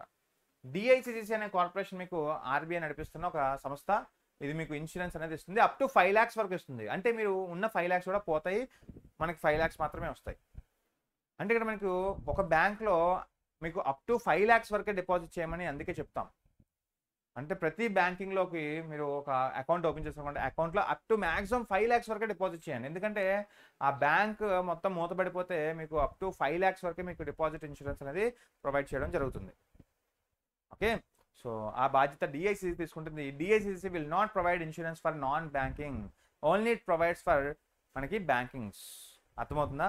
So one two is right answer yes so NBFC అంటే ఏంటి? కంపెనీస్ యాక్ట్ నుంచి ఉద్భవించింది ఇది. సో కంప ఎన్బిఎఫ్సి ఎక్కడి నుంచి స్థాపించారు అంటే మనకి ఒక companies act nineteen fifty six నుంచి తీసుకోవడం జరిగింది. బ్యాంకింగ్స్ వచ్చేసరికి మనకి RBI act nineteen thirty four నుంచి వచ్చాయి. ఓకే? ఎస్ ఎస్ అలాగే మనకి fair and remunerative price FRP ఖచ్చితంగా అడుగుతారు ఫ్రెండ్స్. మనకి MR MSP minimum support price కానీ ఎఫ్ఆర్పి కానీ ఇలాంటివి గవర్నమెంట్ ఒక ఇనిషియేటివ్స్ ఖచ్చితంగా అడుగుతారు మనకి. Yes right with reference to fair and remunerator price consider the following statements which are the following are correct yes FRP తెలుసుకోండి ఇవన్నీ కూడా రెగ్యులర్గా న్యూస్లో కూడా కవర్ అవుతూ ఉంటాయి. ఓకే ఎస్ యాక్చువల్గా మనకి it is determined on the basis of commission for agriculture and cost price and after consultation of state governments and stakeholders యాక్చువల్గా ఎఫ్ఆర్పి అనేది షుగర్ కేన్ లాంటి పంటలకి మనకి వర్తిస్తుంది. ఎంఎస్పి అనేది మనకి ఖరీఫ్ పంటలు రబీ పంటలకి ఎలాగైతే మనకి రైస్ పప్పు దినుసులు మిల్లెట్స్ ఇలాంటి వాటికి వర్తిస్తుందో. సో ఎస్పెషల్గా షుగర్ కేన్ లాంటి ఒక టైప్ ఆఫ్ పంటకి ఫెయిర్ అండ్ రెమ్యూనేటివ్ ప్రైస్ ఎఫ్ఆర్పిని ప్రకటిస్తాయి. సో ఖచ్చితంగా మనకి ఆన్సర్ ఒకటి కరెక్టే. So determined on the basis of ఖచ్చితంగా CSCP cost commission for agriculture and cost price recommendations ద్వారా ఆఫ్టర్ కన్సల్టేషన్ విత్ స్టేట్ అంటే సెంట్రల్ గవర్నమెంట్ ఇంప్లిమెంట్ చేస్తుంది. Recommendation by CSCP after consultation with state governments. Okay? Yes one is right answer as well the FRP of sugarcane is determined by cane control order yes nineteen sixty six ఖచ్చితంగా. చూడండి ఇటువంటి questions అనేవి ఖచ్చితంగా important ఎందుకంటే మనకి years అనేవి అడుగుతాడు. Answer C is right answer both of the above is right answer so sugar కేన్కి మాత్రమే వర్తిస్తుంది ఎఫ్ఆర్పి అనేది. ఎంఎస్పి అనేది మిగతా పంటలకు వర్తిస్తాయి కానీ ఎఫ్ఆర్పి అనేది ఒక special fair and remunerative price మనకి. సో కనీస మద్దతు ధర లాంటిదే ఇది కూడా. సో షుగర్ కేన్ పంటకు వర్తిస్తుంది. షుగర్ కేన్ అనగానే మనకి యూపీ గుర్తు రావాలి. Sugar bowl of India UP ఎక్కువ పంటలు పండించేది మనకి యూపీ. యూపీ అనగానే అల్యూవియల్ సాయిల్ గుర్తు రావాలి alluvial soil. Which are the following statements are correct regarding the national bank for agriculture and rural development NABARD ఎన్నో సార్లు మనకు క్వశ్చన్ అడిగారు. ఎన్నో సార్లు అడిగారు క్వశ్చన్ సో చూడండి ఈ రోజు క్వశ్చన్స్ అన్ని కూడా మనకి మోస్ట్ ఎక్స్పెక్టెడ్ క్వశ్చన్స్ అండి. ఓకే సో ట్రై చేయండి.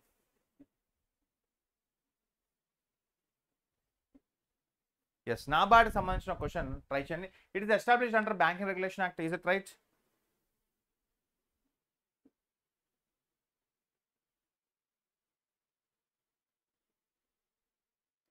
yes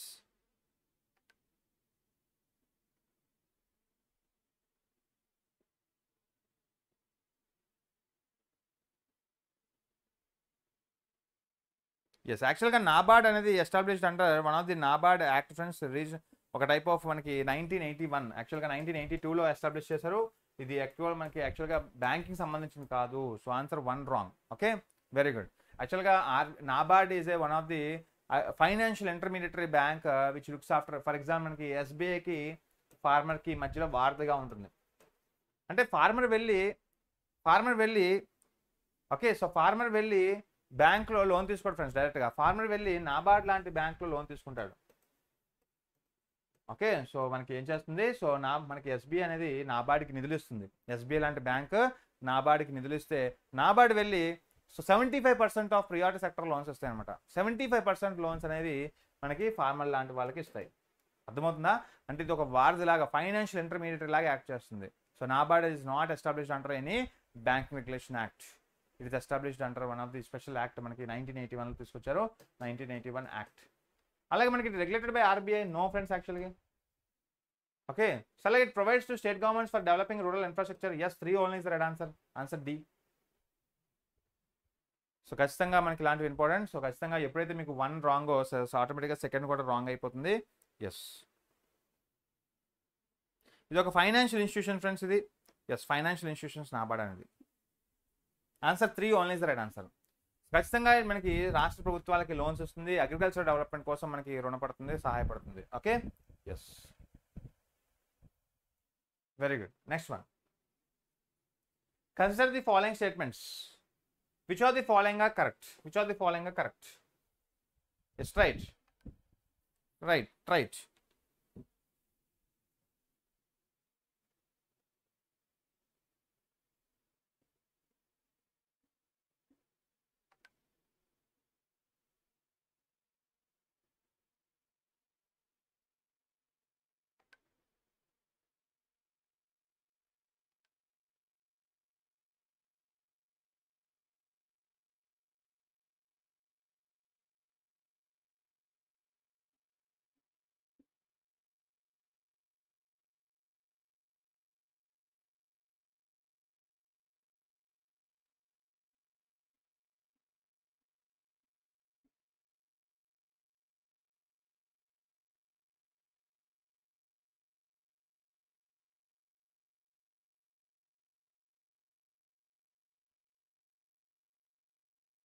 Yes simple so చెప్పాం కదా మనకి ఇండెక్సెస్ ఆఫ్ ఇన్ఫ్లేషన్లో మనకి సిపిఐ ఇన్ఫ్లేషన్ డబ్ల్యూపీఐ ఇన్ఫ్లేషన్ చెప్పుకున్నాం. Yes right answer answer A answer is it A చూడండి CPI covers both goods and services yes యాక్చువల్గా కరెక్ట్ కదా మనకి. ఖచ్చితంగా మనకి CPI covers both goods and services while WPI covers only goods ఖచ్చితంగా correct ఎన్నోసార్లు చెప్పుకున్నాం. As well food inflation is better reflected in WPI rather మనకి రివర్స్ ఇచ్చాడు యాక్చువల్గా ఫుడ్ ఇన్ఫ్లేషన్ మనకి సిపిఐలో రిఫ్లెక్ట్ అవుతుంది when compare to WPI so CPI మనకి goods and services including food and fuel okay so అలాగే సిపిఐ రిలీజ్ చేసేది ఎవరు? సిఎస్ఓ డబ్ల్యూపీఐ రిలీజ్ చేసేది office of economic adviser WPI yes answer only A is right answer next one which are the following are eligible instruments of statutory liquid ratio yes మనకి ఆర్బీఐకి సంబంధించిన monetary పాలసీలో చెప్పుకుంటాం కదా. Bank reserve రేషియోస్లో మనకి CRR SLR అని. CRR అంటే ఏంటి? ఎస్ఎల్ఆర్ అంటే ఏంటో చెప్పుకుంటాం ఎస్ఎల్ఆర్ ఇన్స్ట్రుమెంట్స్ ఏంటని అడుగుతున్నాడు. సింపుల్గా ట్రై చేయండి. Yes yes right cash with banks gold reserves or investments in SDL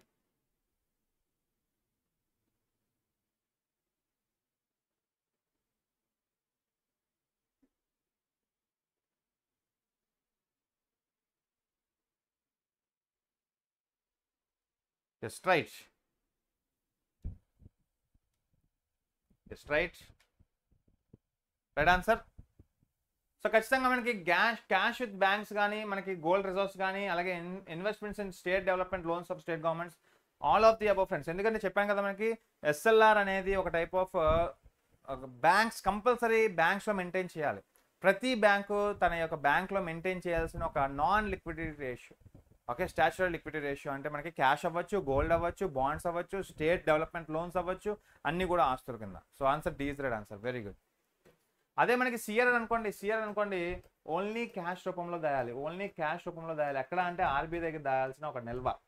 okay so ప్రతి బ్యాంకు ఆర్బీఐ దగ్గర దాయాల్సిన ఒక నిల్వ అది కూడా క్యాష్ రూపంలోనే. Yes next one yes white label ATMs ఉన్నారా ఎప్పుడైనా? వైట్ లేబుల్ ఏటీఎంస్ ఉన్నారా? వైట్ లేబుల్ ఏటీఎంస్ గురించి ఒక question try so try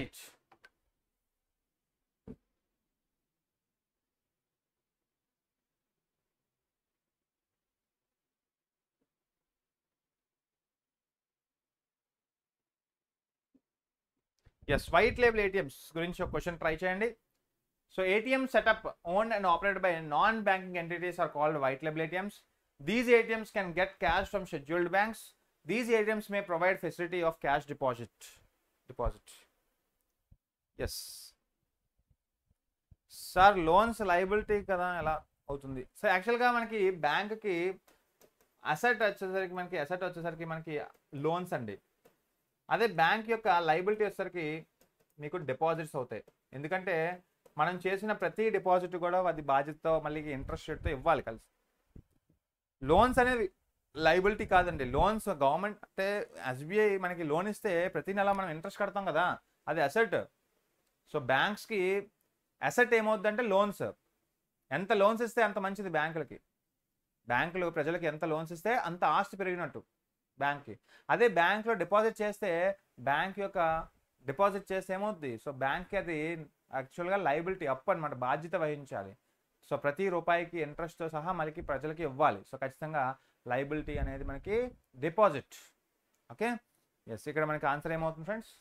white label ATMs అనేవి ATMs which are provided by NBFC యాక్చువల్గా so ATM setup own and operate by NBFC for example మనకి టాటా ఇండికాష్ ఉంది కదా టాటా ఇండికాష్ అని మీకు కనబడుతూ ఉంటుంది. వన్ టాటా ఇండికాష్ ముతూట్ ఫైనాన్స్ ఏటీఎంస్ మీకు కనబడుతూ ఉంటాయి. స్పెషల్గా ఏటీఎంస్లో ఎటువంటి బ్యాంక్ లోగో కనబడదు మీకు. సో వాటి యొక్క స్పాన్సర్డ్ బ్యాంక్ సంబంధించిన డీటెయిల్స్ అంతా కనబడుతుంది.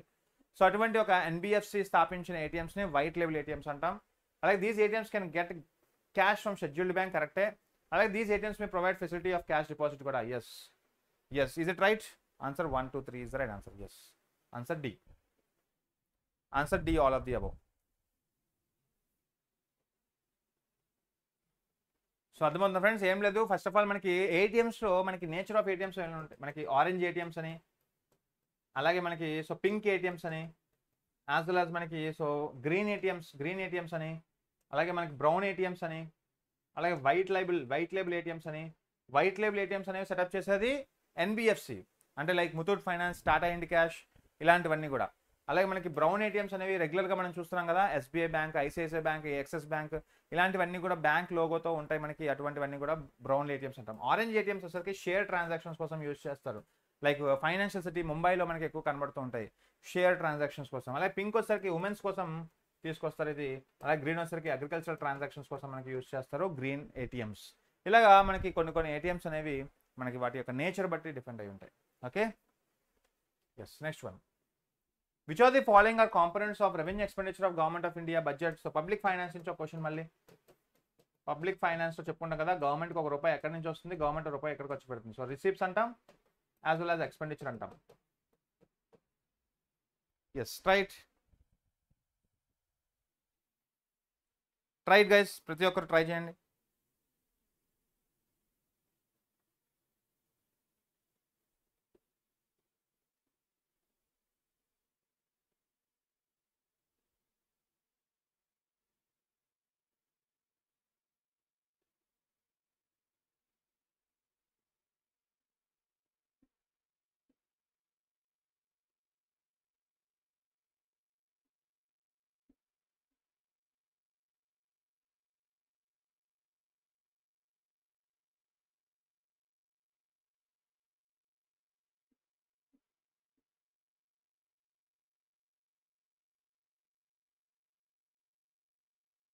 ఎస్ సింపుల్ కదా. ఫస్ట్ ఆఫ్ ఆల్ మనకి రెవెన్యూ ఎక్స్పెండిచర్ అడుగుతున్నాడు ఇక్కడ. రెవెన్యూ ఎక్స్పెండిచర్ అడుగుతున్నాడు. సో ఖచ్చితంగా మనకి రెవెన్యూ రిసిప్ట్స్ మనకి చూడండి. రిసీప్ట్స్లో మనకి revenue receipt as well as capital receipt expenditure అడుగుతున్నాడు కాబట్టి yes revenue as well as capital so revenue expenditure అంటే ఏంటి? రెగ్యులర్గా ఖర్చు పెట్టేది. రెగ్యులర్గా ఖర్చు పెట్టేది ఏంటి ఫ్రెండ్స్ మనకి one of the interest payments as a subsidies investments in shares అనేది ఒక టైప్ ఆఫ్ రిసిప్ట్ కదా ఇది. నాట్ ఎక్స్పెండిచర్ సో ఫోర్ని క్యాన్సిల్ చేసేయండి.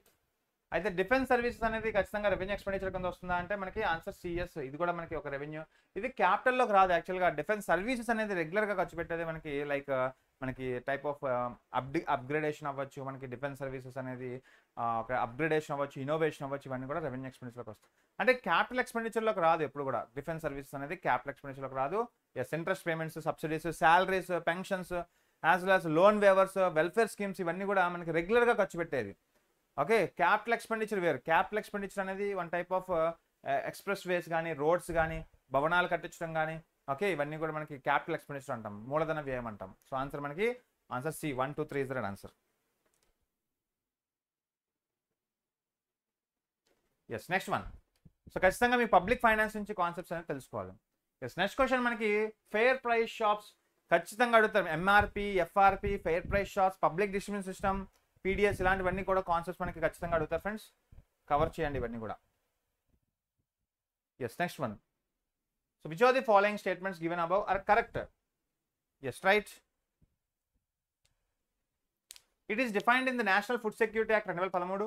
It is the licensed shop for distributing essential commodities under the essential commodities act nineteen fifty five to ration card holders అంటే yes answer C yes no doubt friends యాక్చువల్గా answer yes yes very good అంటే మనకి defence అనేది ఖచ్చితంగా దానికి కూడా ఒక revenue మనం ఎక్స్పెండ్ చేయాలి ఓకే రెగ్యులర్గా మనకి దాన్ని కూడా అప్గ్రేడేషన్ కోసం రెవెన్యూని కేటాయించాలన్నమాట. ఫర్ ఎగ్జాంపుల్ రీసెంట్ బడ్జెట్గా మనం చూస్తున్నాం కదా eight percent of revenue expenditure has been allotted to defence ఖచ్చితంగా దానికి కూడా ఎక్స్పెండిచర్ పెట్టాలి ఖర్చు ఎస్ రెండు కూడా కరెక్ట్ ఫ్రెండ్స్ యాక్చువల్గా సో మనకి ఫేర్ ప్రైస్ షాప్స్ అనేవి ఎక్కడి నుంచి డిరైవ్ చేశారంటే ఖచ్చితంగా defined and national food security act రెండు వేల పదమూడు ఓకే ఇది మనకి టీఎస్పీసీ గ్రూప్ వన్లో అడిగారు last time as well as మనకి it is a licensed shop for distributing essential commodity ration shops అనమాట సింపుల్గా రేషన్ షాప్స్ మనకి ఎసెన్షియల్ కమోడిటీస్ అందిస్తూ ఉంటాయి కదా మనకి? ఎస్ అది కూడా మనకి important so essential commodities act ఎప్పుడు అంటే మనకి నైన్టీన్ ఫిఫ్టీ ఫైవ్ రెండు కూడా కరెక్టే మనకి ఫేర్ ప్రైస్ షాప్స్ గురించి గుర్తుపెట్టుకోండి. Answer C's right answer yes next one which of the following items are created into consolidated fund of India మనకి పబ్లిక్ ఫైనాన్స్లో వస్తుంది మనకి. Consolidated fund of India contingency fund of India public accounts of India చెప్పుకుంటాం కదా article two sixty six of one consolidated fund of India two sixty six of two public account public account of India two sixty seven articles ఇవి articles articles మనకి ఏమంటాం? Contingency fund contingency fund అంటాం. అయితే మనం కట్టే ప్రతి రూపాయి కూడా మనం కట్టే ప్రతి ట్యాక్స్ రూపాయి కూడా మనకి ఎక్కడికి వెళ్తుందంటే కన్సాలిడేటెడ్ ఫండ్ ఆఫ్ ఇండియాలోకి వెళ్తుంది. ఓకే సో ప్రతి రూపాయి కూడా మనకి కన్సాలిడ్ ఫండ్ ఆఫ్ ఇండియాకి వెళ్తుంది. అయితే revenue received from government of India the loans obtain from government foreign governments provident fund deposits or remittances ఏది రైట్ ఆన్సర్ ఏది wrong answer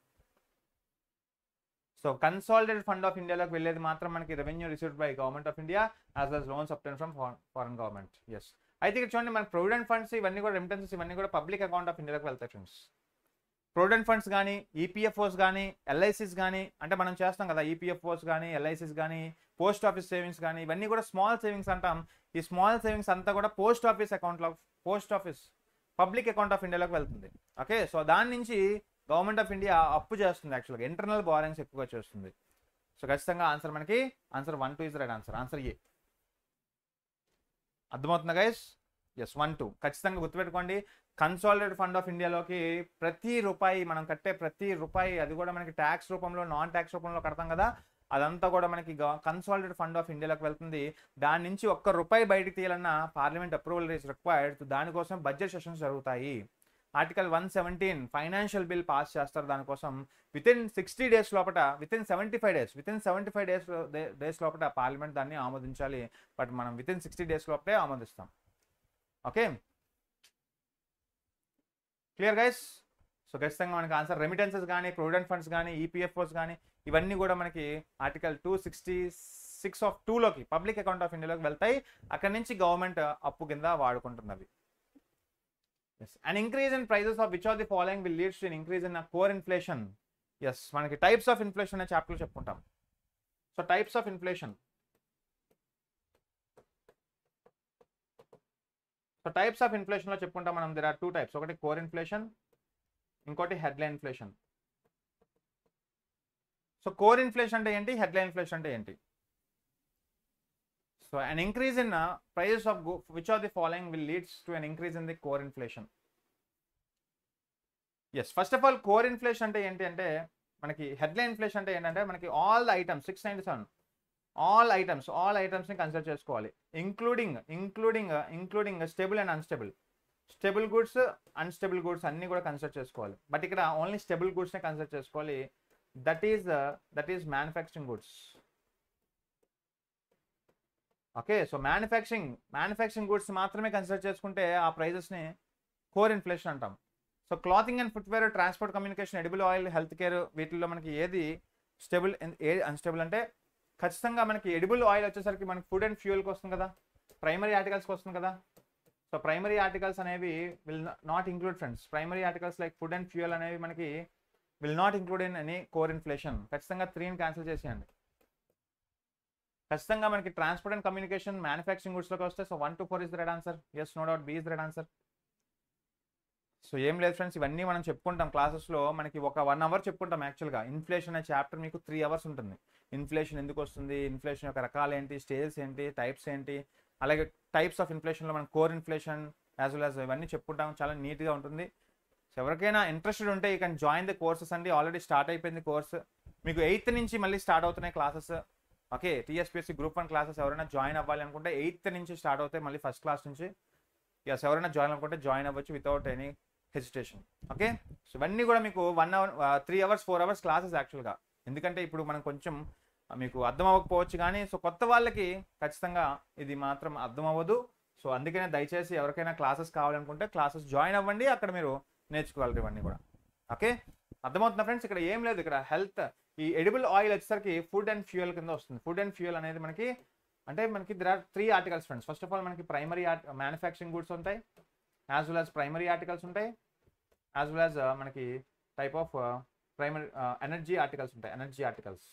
So manufacturing goods వచ్చేసరికి ఫైవ్ సిక్స్టీ ఫోర్ ఉంటాయి టోటల్గా ప్రైమరీ ఆర్టికల్స్ వచ్చేసరికి one sixteen ఉంటాయి. Energy articles వచ్చేసరికి మనకి sixteen articles ఉంటాయి. సో ఇలా మనకి కలిపి సిక్స్ నైంటీ సెవెన్ ఆర్టికల్స్ మొత్తం okay yes next one which are the following companies was constituted to review the implementation of FRBM act and give its recommendations on the way forward అంటే కొన్ని కొన్ని committees కొన్ని కొన్ని ప్రత్యేకత ఉంటాయి. మనకు తెలుసు కదా? For example Vijay Kelkar committee అనగానే జిఎస్టీ గుర్తుపెట్టుకోండి. మనకి జిఎస్టీ రెండు వేల పదిహేడు జూలై ఫస్ట్ వచ్చింది సో అసలు ఆ జిఎస్టీ అనే కాన్సెప్ట్ మనకి రెండు దశాబ్దాల ముందు కాన్సెప్ట్. అటల్ బిహారీ వాజ్పేయి టైంలో ఉంచిన కాన్సెప్ట్ ఇది. బట్ మనకి అప్పుడు చట్ట రూపంలో దాల్చలేదు కానీ ప్రధానమంత్రి మోడీ వచ్చాక మనకి సో తీసుకొచ్చారు చట్ట రూపంలో. సో విజయ్ కేల్కర్ కమిటీ అనగానే thirteenth finance commission chairperson. So ఇతను మనకి తీసుకొచ్చారు జిఎస్టీ కాన్సెప్ట్ యాక్చువల్గా. మనకి యాజ్ వెల్ యాజ్ మనకి వన్ ఆఫ్ ది ఎఫ్ఆర్బిఎం అనగానే మనకి one of the NK Singh no doubt మనకి one of the fifteenth finance commission chairperson NK Singh. So మనకి నేతృత్వంలో మనకి వచ్చింది ఈ టైప్ ఆఫ్ ఎఫ్ఆర్బిఎం ఎఫ్ఆర్బిఎం అంటే ఏం లేదు ఒక ఫిజికల్ డిసిప్లైన్ సో ఖచ్చితంగా మనం గవర్నమెంట్ ఎంత అప్పు చేయాలి ఎంత లిమిట్గా ఉండాలి ఎంత ఎఫ్డి ఉండాలి ఎంత ఆర్డి ఉండాలి సో రెవెన్యూ డెఫిసిట్ ఎంత ఉండాలి ఇవన్నీ చెప్పేది మనకి one of the FRBM FRBM అంటే ఒక fiscal discipline of budget management okay according to NK Singh committee so FRBM act అనేది తీసుకురావడం జరిగింది. ఎస్ రెండు వేల పదమూడు రెండు వేల పదమూడు ఎఫ్ఆర్బిఎం. అలాగే with reference to second five year plan మనకి ఫైవ్ ఇయర్ ప్లాన్స్లో ఇలాంటి క్వశ్చన్ కూడా అడుగుతారు మళ్ళీ. So second five year plan గురించి ఒక క్వశ్చన్ ట్రై చేయండి. Which are the following are correct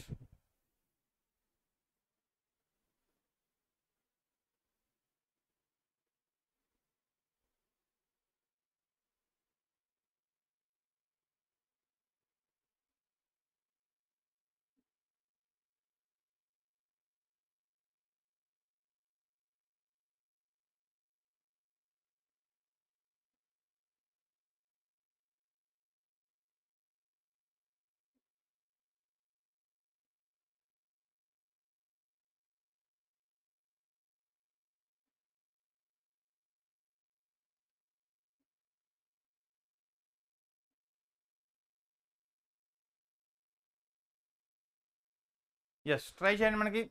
Answer what is right answer is it answer A or B or C or D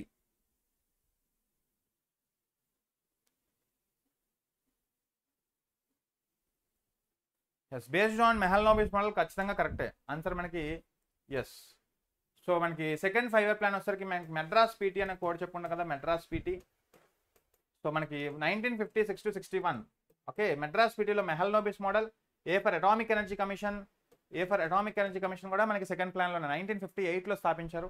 Durgapur steel company with the help of British Rourkela with the help of Germany agriculture socialistic pattern society Panchayati Raj institution PRI nineteen fifty నైన్లో మనకి నగోర్ రాజస్థాన్ జిల్లాలో మనకి రావడం జరిగింది. రాజస్థాన్ స్టేట్లో మనకి నగోర్ జిల్లాలో మనకి రావడం జరిగింది లోకల్ పంచాయత్ దాని తర్వాత ఆంధ్రప్రదేశ్లో వచ్చింది. అలాగే T for Tata institute of fund research Tata institute of fund research TIFR Bhabha atomic Homi J Bhabha అందించారు కదా? హోమిజే బాబా. ఓకే? ఎస్ ఖచ్చితంగా మనకి మెడ్రాస్ పీటీ ఇవన్నీ కూడా గుర్తుపెట్టుకోండి. మెహల్నోవిస్ మోడల్. అలా industry and mining sector sir. యాక్చువల్గా మైనింగ్ సెక్టర్ కాదు కానీ మనకి ఇండస్ట్రీ ఒకటే మనకి ఫోకస్ చేస్తుంది యాక్చువల్గా సో ఆన్సర్ మనకి only A is right answer కదా? సో గమనించండి చిన్న లాజిక్ ఏంటంటే ఇక్కడ మనకి ఇండస్ట్రీ అండ్ మైనింగ్ రెండూ ఇచ్చాడు. బట్ మనకి ఓన్లీ ఇండస్ట్రీ సెక్టర్ మీద దృష్టి పెట్టింది మనకి అగ్రికల్చర్ అనేది అంటే మైనింగ్ అనేది ఒక టైప్ ఆఫ్ ప్రైమరీ సెక్టర్ కదా? సో మైనింగ్ సెక్టర్ మీద దృష్టి పెట్టలేదు second five year plan only industry sector మీద దృష్టి పెట్టింది సో ఇలాంటి ఒక టైప్ ఆఫ్ క్వశ్చన్స్ మనకు అడుగుతారు లాజికల్గా answer only A is right answer అర్థమవుతుందా guys so is it clear yes next one which are the following statements are correct regarding the demand pull inflation so ఇన్ఫ్లేషన్లో causes of inflation అనే topic ఉంటుంది. Causes of inflation so causes of ఇన్ఫ్లేషన్లో మనకి రెండు రకాల మనకి రెండు రకాలుగా వస్తుంది ద్రవ్యోల్బణం. ఒకటి మనకి core cost push inflation and demand pull inflation cost push and demand pull అదే క్వశ్చన్ ఏం అడుగుతున్నాడు? డిమాండ్ పుల్ ఇన్ఫ్లేషన్ గల కారణాలు ఏంటని అడుగుతున్నాడు. It exist when aggregate demand for goods and services outstrips the aggregate supply అలాగే in case demand pull inflation the economy breaks out the Phillips curve యాక్చువల్గా కొంచెం లాజికల్గా ఇచ్చాడు క్వశ్చన్ సో ఇక్కడ చూడండి మనకి డిమాండ్ ఫుల్ ఇన్ఫ్లేషన్ అంటే ఏంటి అంటే మన దేశంలో డబ్బులు ఎక్కువ అవుతున్నాయి అనుకోండి ఇన్ ఫార్మ్ ఆఫ్ శాలరీస్ అవ్వచ్చు ఇన్ ఫార్మ్ ఆఫ్ డిఎస్ అవ్వచ్చు.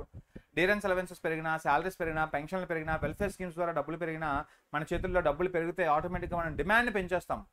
Okay so it exi it exist when aggregate demand for a good or services outstrips the aggregate supply అంతే కదా? కరెక్టే కదా?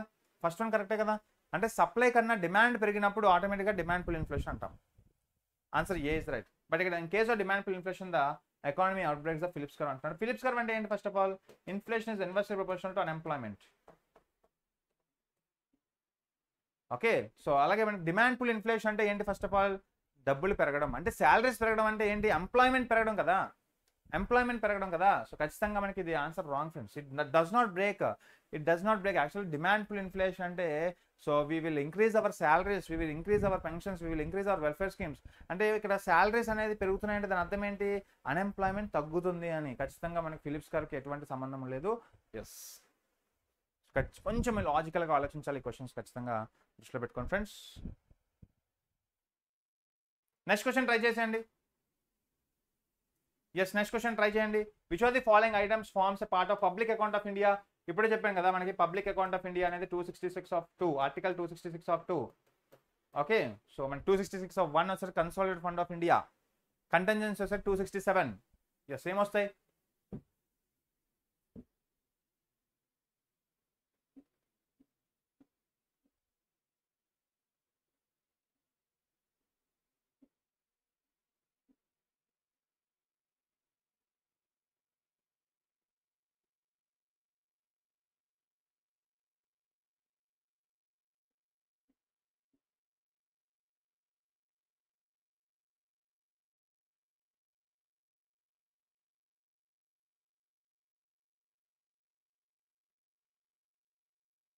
Yes provident funds reserve bank deposits made by outside agencies treasury bills small saving schemes అంటే యాక్చువల్గా T bills T bills T bills అనేది వస్తుందా అంటే S T bills తప్ప మిగతావన్నీ కూడా. ఎందుకంటే టీ బిల్స్ అనేవి ఒక type of consolidate fund of ఇండియాలోకి వెళ్తాయి ఫ్రెండ్స్ టీ బిల్స్ అనేది యాక్చువల్గా ఒక మనీ మార్కెట్ ఇన్స్ట్రుమెంట్స్ అంటే ఆర్బీఐ యూజ్ చేసే ఒక మనీ మార్కెట్ ఇన్స్ట్రుమెంట్ అది. ఖచ్చితంగా మనకి స్మాల్ సేవింగ్స్ కానీ reserve funds deposits made by outside agency provident funds ఇవన్నీ కూడా ఒక type of public account of వెళ్తాయి. Small savings okay which are the following forms a component of capital account అంటారు balance of payment balance of payment అనే topic చెప్పుకున్నాం చెప్పుకుంటాం. There are two types of account ఒకటి current account ఇంకోటి capital account what is right answer అలాగే T bills అనేవి గుర్తుపెట్టుకోండి. T bills అనేవి గవర్నమెంట్ ఆఫ్ ఇండియా మాత్రమే ఇష్యూ చేయగలదు. No state government will issue T bills T bills అనేది ఒక ఇన్స్ట్రుమెంట్ విచ్ కమ్స్ అంటారు money market instruments which is regulated by RBI so financial market అనే టాపిక్లో వస్తుంది. So money market and capital market capital market regulate చేసేది SEBI long term short term వచ్చేసరికి T bills repo rate reverse repo rate commercial papers certificate of deposits yes చాలా matter ఉంటుంది actually అలాగే మనకి capital account అంటున్నాడు మనకి balance of పేమెంట్లో capital account అంటే ఏంటి? సో ఖచ్చితంగా మనకి కరెంట్ అకౌంట్లోకి ఏమొస్తాయి? Exports imports services primary income secondary income secondary income అంటే రెమిటెన్సెస్ వస్తుంది. రెమిటెన్సెస్ అలాగే క్యాపిటల్ ఇన్కమ్లోకి ఏమొస్తాయి? క్యాపిటల్ అకౌంట్లోకి foreign direct investments foreign portfolio investments offshore loans as well as borrowings external commercial borrowings ఇవన్నీ వస్తాయి. సో ఇక్కడ ఏమడుతున్నాడు క్యాపిటల్ అంటున్నాడు కాబట్టి ఎస్ ఖచ్చితంగా మనకి బయలాటరల్ లోన్స్ కానీ సో ఎక్స్టర్నల్ కమర్షియల్ బారింగ్స్ కానీ ఎఫ్ ఇన్స్టిట్యూషనల్ ఇన్వెస్ట్మెంట్స్ అంటే ఆన్సర్ మనకి all of the above friends all of the above one two three four is the right answer yes one two three four is the right answer okay? So ఇక్కడ చూడండి మీకు అన్ని గమనించండి. ఇవన్నీ capital market capital అకౌంట్లోకి ఏమొస్తాయి current అకౌంట్లోకి ఏమొస్తాయి కరెంట్ అకౌంట్లోకి exports imports services services okay? As well as primary income second income primary income అంటే మనకి డివిడెండ్స్ అండ్ డీల్స్ వస్తాయి కదా అవి. Yes next one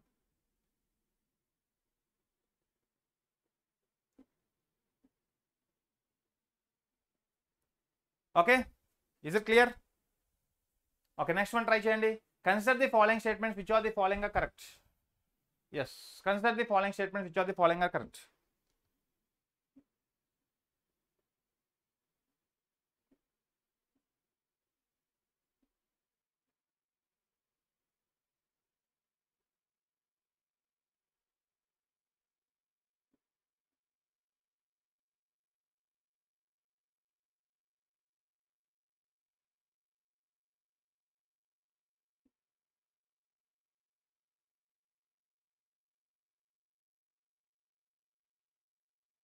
Yes చూడండి మనం జీడిపిలో చెప్పుకున్నప్పుడు టూ టైప్స్ ఆఫ్ జీడిపి చెప్పుకుంటాం కదా సో జీడిపి చెప్పుకున్నప్పుడు టూ టైప్స్ ఆఫ్ జీడిపి చెప్పుకుంటాం okay so real GDP nominal GDP అని చెప్పుకుంటాం కదా సో జీడిపిలో two types of GDP real GDP and nominal GDP so real GDP అంటే ఏంటి అట్ కరెంట్ అట్ కాన్స్టెంట్ ప్రైజెస్తో లెక్కిస్తాం యాజ్ వెల్ యాజ్ మనకి నామినల్ జీడిపి అంటే అట్ కరెంట్ ప్రైజెస్తో లెక్కిస్తాం ప్రస్తుతం ఉన్న ధరలతో మనం కొలుస్తాం ఓకే అయితే ఇక్కడ మనకి జీడిపిలో nominal GDP is the value of GDP at current prices అంటున్నాడు ఈజ్ ఇట్ రైట్ ఖచ్చితంగా నామినల్ జీడిపి అంటే current prices it includes inflation కదా.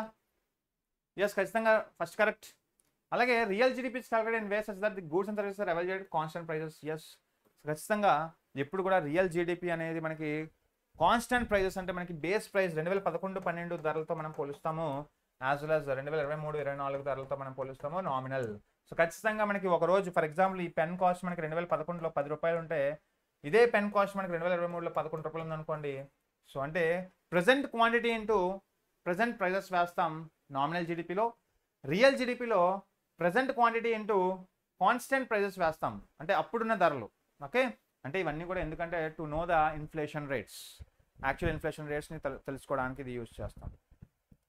ఎస్ ఖచ్చితంగా ఇంపార్టెంట్ ఫ్రెండ్స్ ఆన్సర్ మనకి C is right answer all of the above is right answer అర్థమవుతుందా? ఎప్పుడైనా గుర్తుపెట్టుకోండి real GDP అని విన్నారు అంటే అట్ కాన్స్టెంట్ ప్రైజెస్ రెండు వేల పదకొండు పన్నెండు ధరలతో మనం కొలుస్తాము జీడిపి నామినల్ జీడిపి అంటే మనకి కరెంట్ ప్రైజెస్తో కొలుస్తాము. ఇట్ ఇంక్లూడ్స్ ఇన్ఫ్లేషన్ రేపు మడతారు మనకి ఏ జీడిపిలో ఇన్ఫ్లేషన్ యాడ్ అవుతుందంటే nominal GDP of course nominal GDP అనేది డామినేట్ చేస్తుంది కంపేర్ టు రియల్ జీడిపి అంతే కదా? అంతే కదా? కానీ కోవిడ్ టైంలో మనకి ఏమైంది? మనకి రియల్ జీడిపి డామినేట్ చేస్తుంది నామినల్ జీడిపితో ఎందుకంటే ప్రొడక్షన్ లేదు అప్పుడు. ప్రైజెస్ తగ్గిపోయి డిమాండ్ లేదు గూడ్స్ మీద. సప్లై ఉన్న డిమాండ్ లేదు. Okay yes okay next question last question చూడండి. Shift code is required for an yes right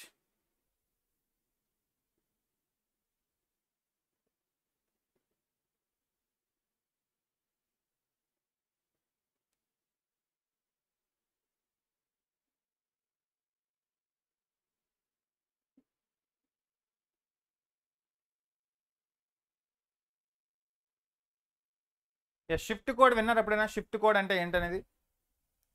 shift code అంటే ఏంటో విన్నారా? షిఫ్ట్ కోడ్ అనేది procure of QR code reading international banking transaction మనకి one of the shift code యాక్చువల్గా ఒక type of మనకి international messaging transactions friends answer B is right answer so ఇది మనకి బ్రెజిల్స్లో ఉంది. బ్రెజిల్స్ బెల్జియంలో ఉంది. ఓకే మనకి ఐఎఫ్ఎస్సి ఎలాగైతే ఉంటుందో ఐఎఫ్ఎస్సి అనేది ఇండియన్ ఫైనాన్షియల్ సిస్టమ్ కోడ్ ఎలాగైతే ఉంటుందో అలా ఇంటర్నేషనల్ వైడ్గా మెసేజింగ్ సర్వీసెస్ మెసేజింగ్ ట్రాన్సాక్షన్స్ కోసం యూజ్ చేసేదే ఈ షిఫ్ట్ కోడ్ ఓకే ఖచ్చితంగా మనకి ఆన్సర్ సో ఆన్సర్ మనకి one of the international bank transactions answer B ఇంకో క్వశ్చన్ చూసేద్దాం. What are the services are facilities not available to white label ATMs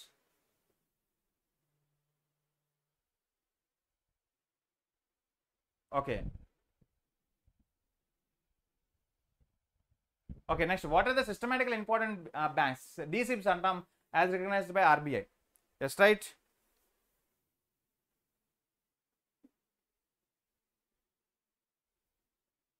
చూడండి మనకి రిజర్వ్ బ్యాంక్ ఆఫ్ ఇండియా చే గుర్తించబడిన వ్యవస్థ వ్యవస్థగతంగా వ్యక్తి మనకి ముఖ్యమైన బ్యాంకులు ఏవి? అంటే డీసిప్స్ విన్నారు ఎప్పుడైనా? So like SBI HDFC ICICI ఈ మూడు కూడా వన్ ఆఫ్ ది డీసిప్స్గా పరిగణిస్తాం. డొమెస్టికల్ ఇంపార్టెంట్ బ్యాంక్స్ అనేవి మనకి మూడు బ్యాంక్స్ మన ఇండియాలో అయితే ఇక్కడ ఎస్ ఎస్ మనకి డీసిప్స్ అనేవి వన్ ఆఫ్ ది రెగ్యులేట్ చేసేది ఆర్బీఐ ఫ్రెండ్స్ మనకి ఆర్బీఐ ఎందుకంటే మనకి టూ రిస్కీ అనమాట అవి. మన దేశంలో ఎస్బీ లాంటి బ్యాంక్ అనేది చాలా టూ రిస్కీ అనమాట అటువంటి బ్యాంక్ని డిఫాల్ట్ అయిపోతే ఖచ్చితంగా అటువంటి బ్యాంక్ కానీ డిఫాల్ట్ అయిపోతే ఖచ్చితంగా ఏమవుతుంది? ఖచ్చితంగా మిగతా దాన్ని ఆనుకుని ఉన్న బ్యాంకులన్నీ కూడా పోతాయి. అంటే ఎస్బీఐలో ఎయిట్ అసోసియేట్ బ్యాంక్స్ ఉన్నాయి. లైక్ మనకి బ్యాంక్ ఆఫ్ పటియాలా కావచ్చు బ్యాంక్ ఆఫ్ హైదరాబాద్ కావచ్చు బ్యాంక్ కార్పొరేటివ్ బ్యాంక్ కావచ్చు. ఇలాంటి బ్యాంక్స్ అన్ని కూడా ఒక అసోసియేట్ అయి ఉన్నాయి ఎస్బీఐలో అటువంటి ఎస్బీఐ బ్యాంక్ కానీ కొలాప్స్ అయిపోతే దానికి ఉన్న అనుకున్న ఉన్న బ్యాంక్స్ అన్ని కూడా కొలాప్స్ అయిపోతుంది దాన్నే సిస్టమేటికల్లీ ఇంపార్టెంట్ బ్యాంక్స్ అంటాం అందుకనే. So domestically systematical important banks అనేవి so these banks are exempt from CR SLR regulations is it right is it right అలాగే మనకి these are perceived as perceived too big to fail ఖచ్చితంగా మనకి రెండోది correct అలాగే the RBI determines the cut off score beyond the which banks are considered as a DSIBs అంటే DSIBs ప్రకటించాలంటే RBI నిర్ణయిస్తుంది అనమాట అంటే ఏ bank domestically systematical important bank అని నిర్ణయించేది? Yes one of the RBI okay so అలాగే మనకి these banks are not exempted from CRS అంటే ఎస్బీఐ లాంటి బ్యాంక్ హెచ్డిఎఫ్సి లాంటి బ్యాంక్ ఐసిఐసిఐ లాంటి బ్యాంక్ ఈ బ్యాంక్స్ కూడా సిఆర్ఆర్ని మెయింటైన్ చేయాలి ఎస్ఎల్ఆర్ని మెయింటైన్ చేయాలి కదా. సో ఖచ్చితంగా మనకి డీసిప్స్ అనేవి ఖచ్చితంగా మెయింటైన్ చేయాలి ఇవి. Okay yes answer one wrong so answer two three is the right answer okay ఈరోజు లాస్ట్ క్వశ్చన్ చూసేద్దాం. ఎస్ ఓకే లాస్ట్ క్వశ్చన్ చూసేద్దాం ఈ రోజుకి. Liquidity adjustable facility so next వచ్చేది మీకు నెక్స్ట్ సబ్జెక్ట్ కూడా మీకు కంటిన్యూ అవుద్ది friends so don't go away next subject కూడా మీకు వచ్చి మీకు ఫ్యాకల్టీ అనేది డిస్కస్ చేస్తారు క్వశ్చన్స్ అనేవి. ఎస్ టీఎస్పీఎస్సీ గ్రూప్ వన్కి పనికొచ్చే టైప్ ఆఫ్ క్వశ్చన్స్ మనం డిస్కస్ చేస్తున్నాం. ఖచ్చితంగా ఈ సెషన్ని మ్యాక్సిమం మీ ఫ్రెండ్స్ అందరికి కూడా షేర్ చేయండి ఓకే షేర్ చేయండి లైక్ చేయండి. Yes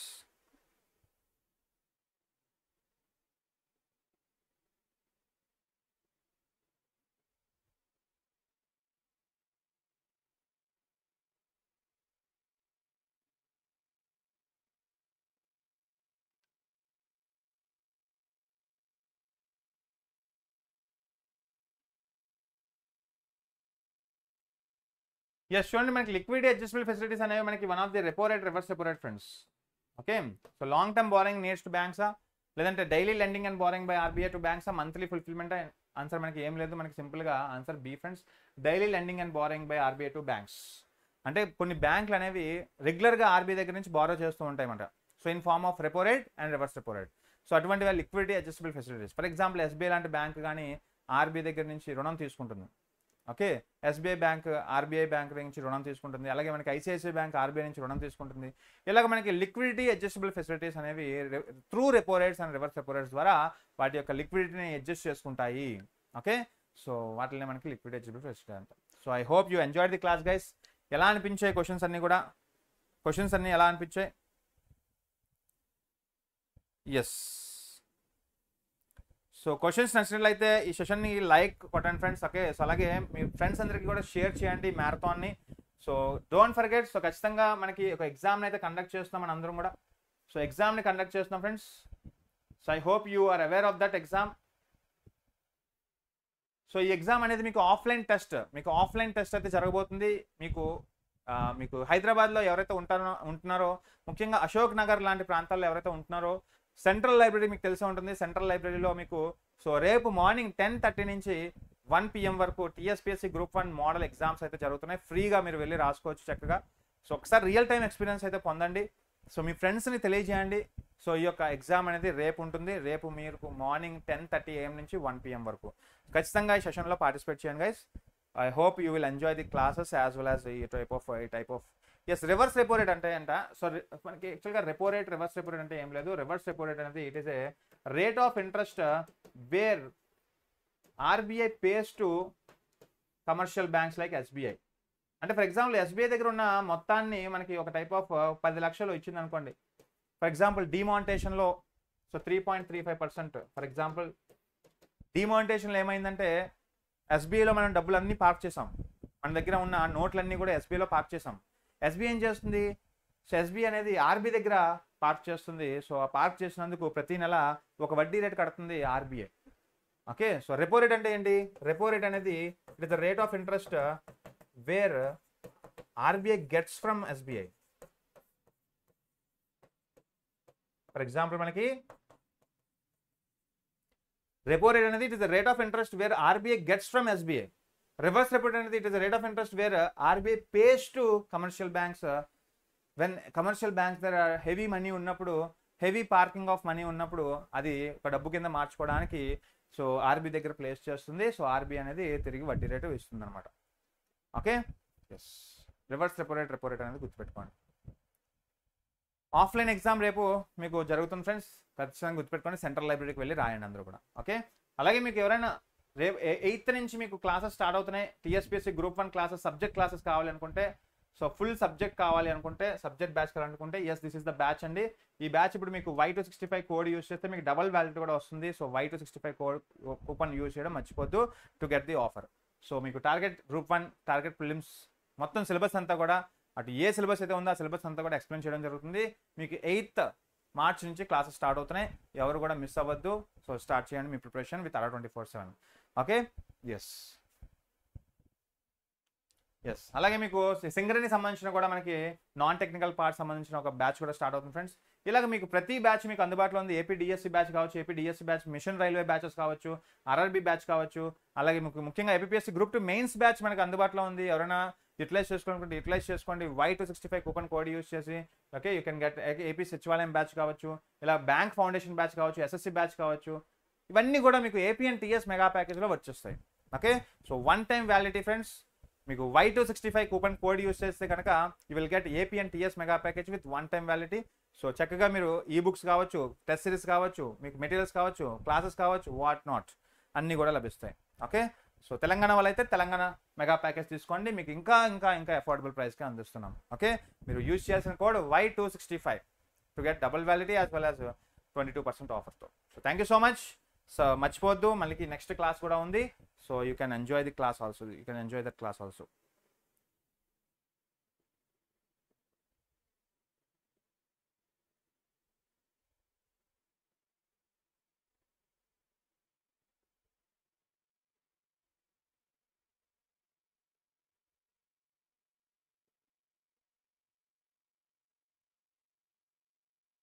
okay so thank you so much guys and have a next day మర్చిపోవద్దు. నెక్స్ట్ క్లాస్ మీకు ఫ్యాకల్టీ వచ్చి క్లాస్ డిస్కస్ చేస్తారు. So don't worry thank you and have a nice day bye all the best thank you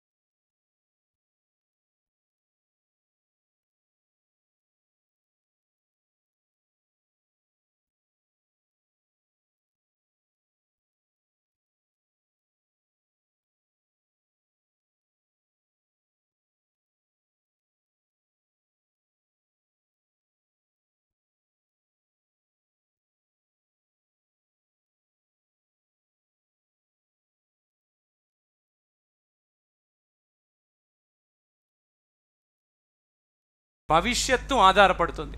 The future depends on what you do today అలాగే ఇంకేమైనా యాప్ని download చేసుకోకపోతే ఇప్పుడే download చేసుకోండి by using the code Y four one six అలాగే Telegram ఛానల్లో కూడా join అవ్వండి. అండ్ మీ అందరికీ తెలుసు కదా మనం రాబోతున్న పరీక్షలలో ఖచ్చితంగా తెలంగాణ కరెంట్ అఫైర్స్ చాలా కీలకంగా ఉంటాయి. సో వాటి గురించి గ్యారంటీగా ప్రశ్నలు అయితే వస్తాయి.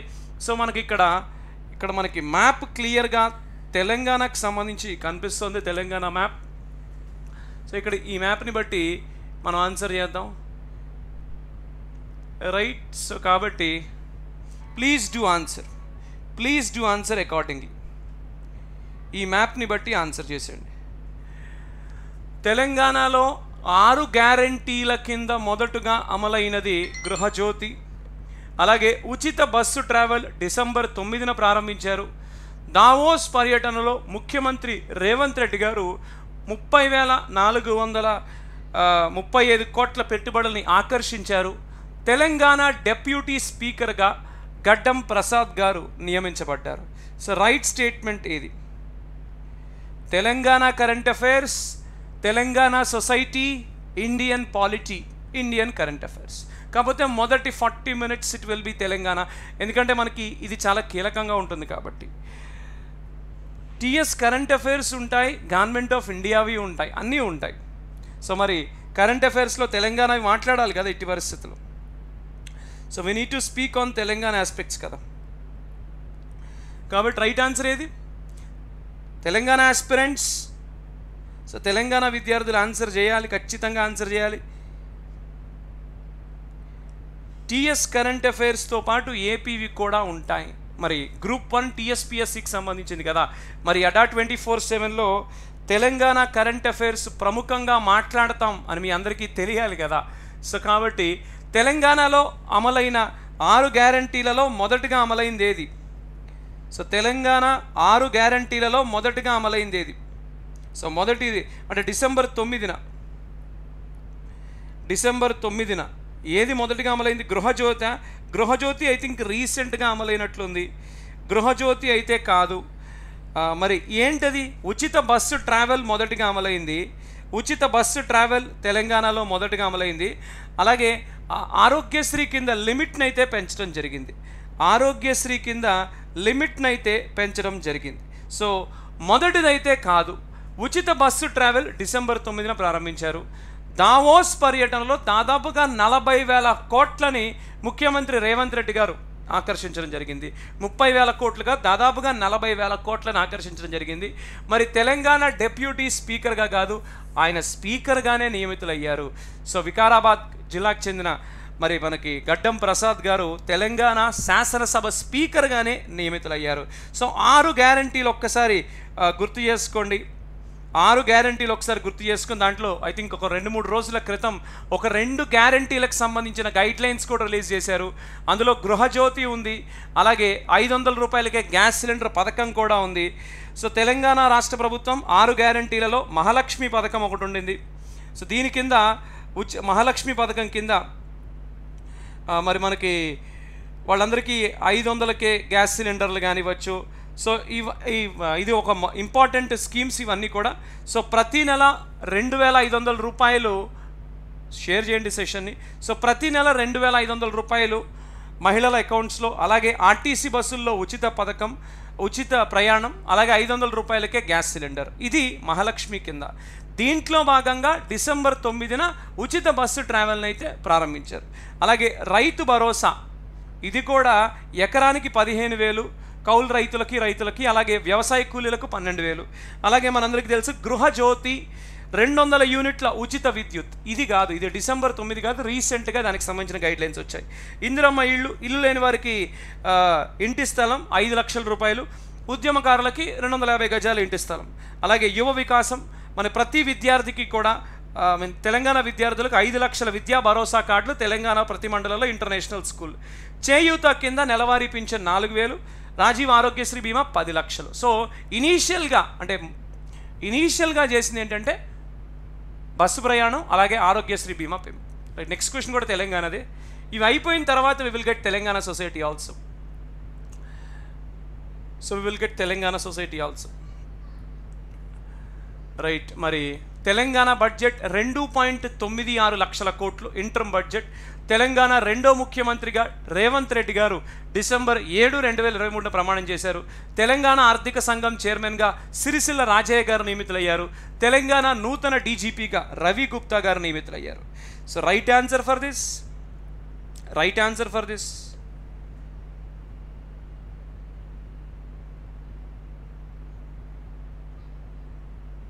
English ఉన్నాయి. We also have English we also have English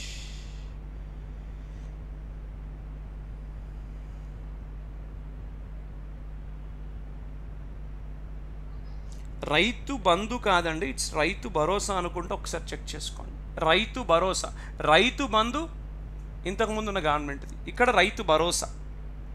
ఇక్కడ రైతు భరోసా. రైతు బంధు ఇంతకుముందు ప్రభుత్వం. ఇక్కడ రైతు భరోసా. రైతులకి కౌలు రైతులకి పదిహేను వేలు.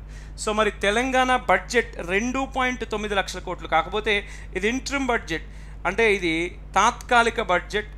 సో ఇది తాత్కాలిక బడ్జెట్ కాబట్టి మరి ఎంత? రెండు పాయింట్ తొమ్మిది ఆరు లక్షల కోట్ల అంతేనా? So two point two point seven six lakh crores. మరి తెలంగాణ ఆర్థిక మంత్రిగా ఉన్న ఎవరు? తెలంగాణ ఆర్థిక మంత్రిగా ఎవరున్నారు? మల్లు బట్టి విక్రమార్క గారు రెండు పాయింట్ ఏడు ఆరు లక్షల కోట్లతో తెలంగాణ రాష్ట్ర బడ్జెట్ని అయితే ప్రకటించడం జరిగింది. ఇది ఎలక్షన్కి ముందు కాబట్టి ఓట్ ఆన్ అకౌంట్ బడ్జెట్గా అనుకోవచ్చు. సో ఫిబ్రవరి పదో తారీఖున. అలాగే తెలంగాణ రెండో ముఖ్యమంత్రిగా రేవంత్ రెడ్డి గారు డిసెంబర్ ఏడున ప్రమాణం చేశారు. తెలంగాణ ఫైనాన్స్ కమిషన్ చైర్మన్గా ఎక్స్ ఎంపీ వరంగల్ మాజీ ఎంపీ సిరిసిల రాజయ్య గారు ప్రమాణం చేశారు. Telangana డీజీపీగా Ravi Gupta garu నియమించబడ్డారు. So two three four are the right answers. Two three four are the right answers. కాబట్టి వీటి నుంచి క్వశ్చన్లు అడిగే ఛాన్సెస్ అయితే పుష్కలంగా ఉంటాయి ఎగ్జామినేషన్ పాయింట్ ఆఫ్ వ్యూలో. సీఎంగా సెకండ్ పర్సన్. థర్డ్ టైమా? రేవంత్ రెడ్డి గారు ఇది ఫస్ట్ టైమే కదండి. రేవంత్ రెడ్డి గారు ఫస్ట్ టైమే కదా. కేసీఆర్ గారు రెండు సార్లు మొదటి ముఖ్యమంత్రి. రేవంత్ రెడ్డి గారు రెండో ముఖ్యమంత్రి. రేవంత్ రెడ్డి గారు రెండవ ముఖ్యమంత్రి. రేవంత్ రెడ్డి గారు కూడా మొదటిసారి కదా. Right two three four are the right answers so yeah మరి తెలంగాణ రాష్ట్రంలో ఉన్న నృత్యాలు ఏవి? Dappu Lambadi Perini Shivatandavam Gussadi dance all of the above. Telangana రాష్ట్రంలో ఉన్న తెలంగాణ రాష్ట్రంలో ఉన్న నృత్యాలు ఏవి? డప్పు లంబాడి పేర్ని శివతాండవం గుస్సాడి డ్యాన్స్ ఏది సార్ ఏదుంది? అంటే నృత్యాలు. తెలంగాణ స్టేట్ డ్యాన్సెస్ అంటే మనకి తెలంగాణ సొసైటీ కూడా ఉండింది కాబట్టి ఎగ్జామినేషన్లో అది కూడా అడగచ్చు. ఆలా? ఆర్ యూ షూర్ ఆలా ఆలా Telangana folk dances Telangana dances అంటారు. మరి తెలంగాణ డ్యాన్సెస్ ఏది గుస్సాడి దీంస లంబాడి పేర్ని శివతాండవం డప్పు ఇవన్నీ కూడా తెలంగాణ రాష్ట్రంలో ఉన్న నృత్యాలే. So all of these are the dances of Telangana state all of these are the dances of Telangana state all of the above is the right answer right next one అలాగే ఏ సంవత్సరంలో? ఇంకా మాట్లాడితే ఏ తేదీన? ఏ తేదీన? బతుకమ్మ పండుగని రాష్ట్ర పండుగగా ప్రకటించారు. సో బతుకమ్మ పండుగని డేట్ కూడా చెప్తే చాలా బాగుంటుంది. Very helpful so Bathukamma festival as a state festival of Telangana ఏ తేదీన?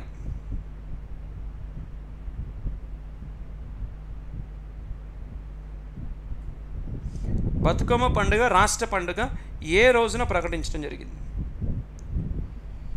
రెండు వేల పద్నాలుగులోనే ప్రకటించారు. సో ఏ తేదీన?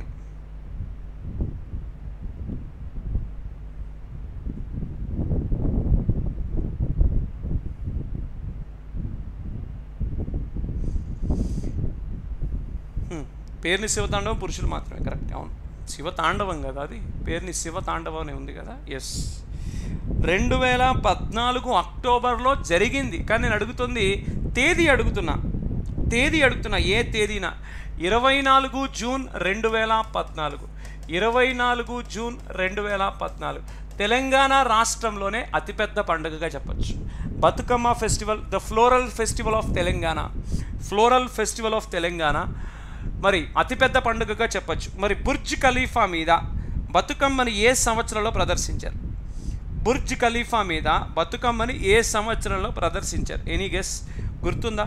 అంటే దాదాపుగా అది it is going on it is being showcased so Burj Khalifa మీద విశ్వవేదికగా చెప్తారు మనకి బుర్జ్ ఖలీఫా సో రెండు వేల ఇరవై ఒకటిలో బుర్జ్ ఖలీఫా మీద బతుకమ్మని ప్రదర్శించడం జరిగింది.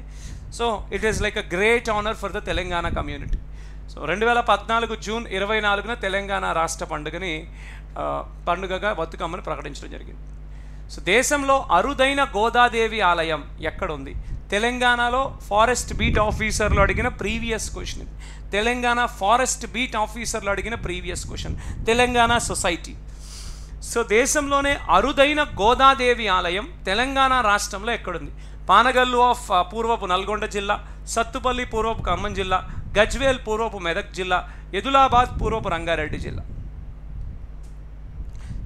సో గోదాదేవి ఆలయాలు దేశంలో చాలా ప్రముఖమైనది ఒకటి మనకి తెలంగాణ రాష్ట్రంలో ఉండిందండి. సో మరి గోదాదేవి ఆలయం తెలంగాణలో ఏ ప్రాంతంలో ఉండింది? ఏ ప్రాంతంలో ఉండింది? చాలా ప్రముఖంగా చేసుకునే ఒక ఉత్సవాల్లో గోదాదేవి కళ్యాణం కూడా ఒకటి. మరి ఆండాళ్ళ అమ్మవారు అంటారు గోదాదేవి అమ్మవారు అంటారు సో మరి రైట్ ఆన్సర్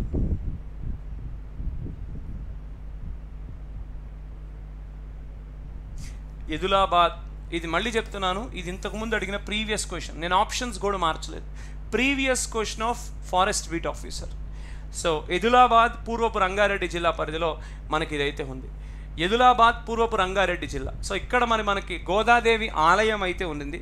సో గోదాదేవి ఆలయాలు దేశవ్యాప్తంగా ఎక్కువ లేవండి. అందులో ఒకటి మన తెలంగాణ రాష్ట్రంలో దేశవ్యాప్తంగా ప్రముఖమైంది. ఇక్కడ ఒక నమ్మకం ఏంటంటే పెళ్ళి కాని ఆడపిల్లలు అమ్మవారికి కనుక అమ్మవారికి తాంబూలం అంటే గాజులు ఇవి ఇస్తే వాళ్ళకి త్వరగా పెళ్ళి అవుతుందని ఒక నమ్మకం ఇక్కడ అలా చేస్తూ ఉంటారు కూడా చాలామంది.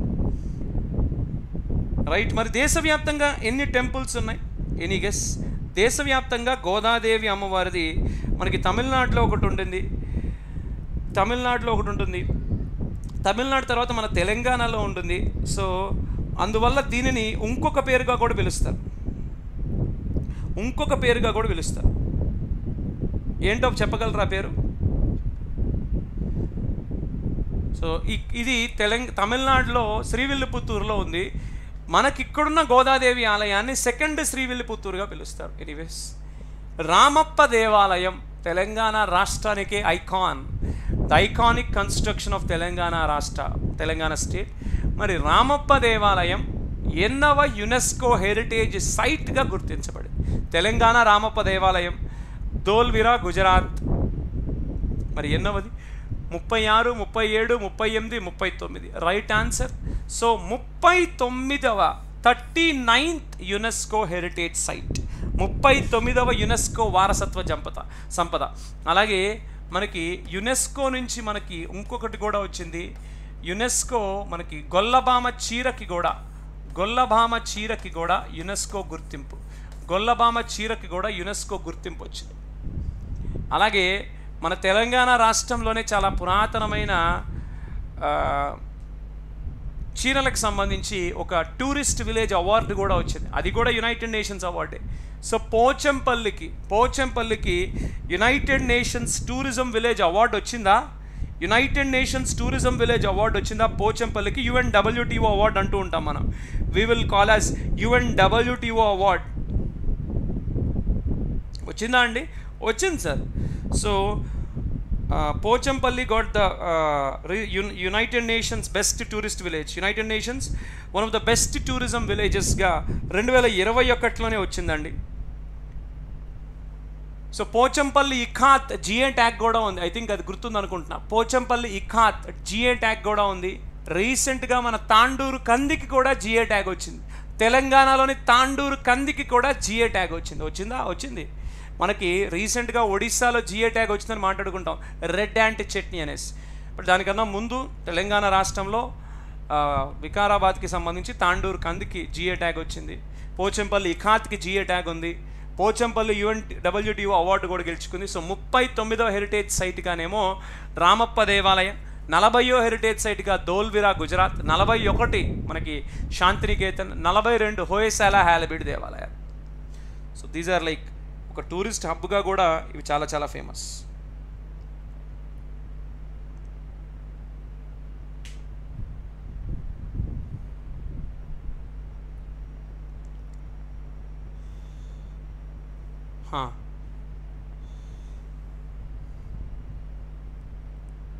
తాండూరు ఇప్పుడు కాదు తాండూరు లాస్ట్ ఇయరే వచ్చింది కదా ఇప్పుడేంటి? రెండు వేల ఇరవై రెండులోనే వచ్చింది సార్ తాండూరు కంది. ఇప్పుడేంటి? తాండూరు కందికి రెండు వేల ఇరవై రెండు ఫిబ్ర డిసెంబర్లో వచ్చిందండి. రెండు వేల ఇరవై రెండు డిసెంబర్లో వచ్చింది. మరి ఇది కూడా ఒక తెలంగాణ రాష్ట్రానికి సంబంధించి అమరవీరుల స్తూపం తెలంగాణ సొసైటీ. నేను అడిగింది ఏంటంటే నేను అడిగింది ఏంటంటే తెలంగాణ రాష్ట్ర అమరవీరుల స్తూపానికి సంబంధించి సరి అయినది ఏంటి? ఇట్ రిజంబుల్స్ సంచి స్తూప ఇది సంచి స్తూపాన్ని తలపించేలా ఉంటుంది. Upper part of the statue carved with Dharmachakra దీని పై భాగాన అశోకుని ధర్మచక్రాన్ని చెక్కారు. It was built in memorial of martyr skilled during the Telangana peasant movement nineteen forty six to fifty one it is carved by Ekka Yadagirirao దీనిని ఎక్క యాదగిరిరావు గారు చెక్కారు. రైట్ స్టేట్మెంట్ ఏంటి? మనకి అసెంబ్లీ దగ్గర ఉంటుంది. మనకి అసెంబ్లీ దగ్గర ఉంటుంది ఇది గన్ పార్క్. చాలా చాలా ఎమోషనల్ ఇది. ఎందుకంటే మూడు వందల అరవై తొమ్మిది మంది అమర వీరులు చనిపోయారు. చాలా emotional. Telangana is like the state was full of emotions Telangana అమరవీరుల స్తూపం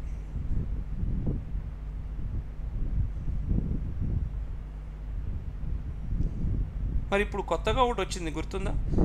కొత్తగా ఒకటి వచ్చింది. సో మరి తెలంగాణ అమరవీరుల స్థూపం ఇది రాంగ్ అండి.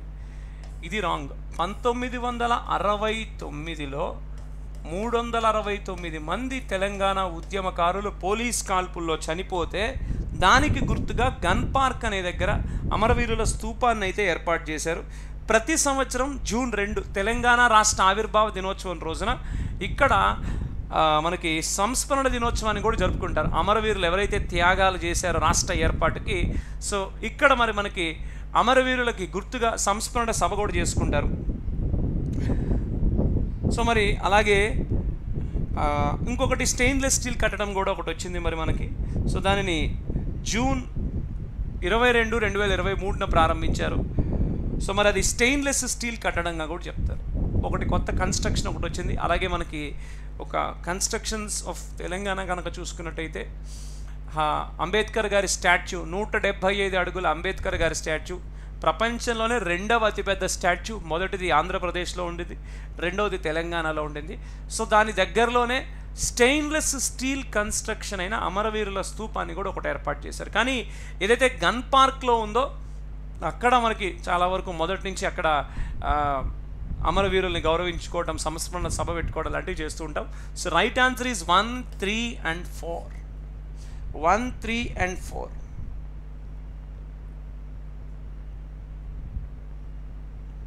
right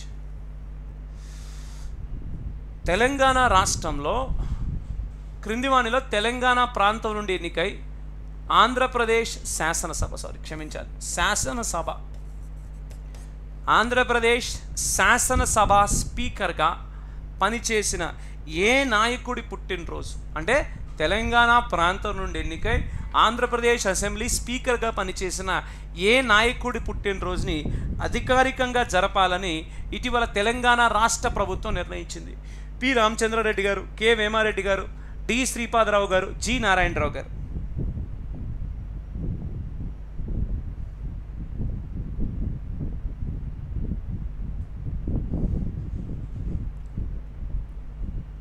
సో ఇక్కడ ది ఈ నియోజకవర్గానికి ఒక అంటే దీనికి ఒక చరిత్ర కూడా ఉందండి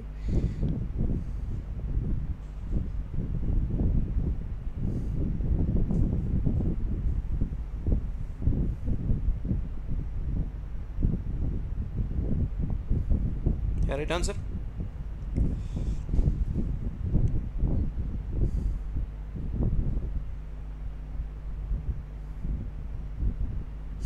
right answer sir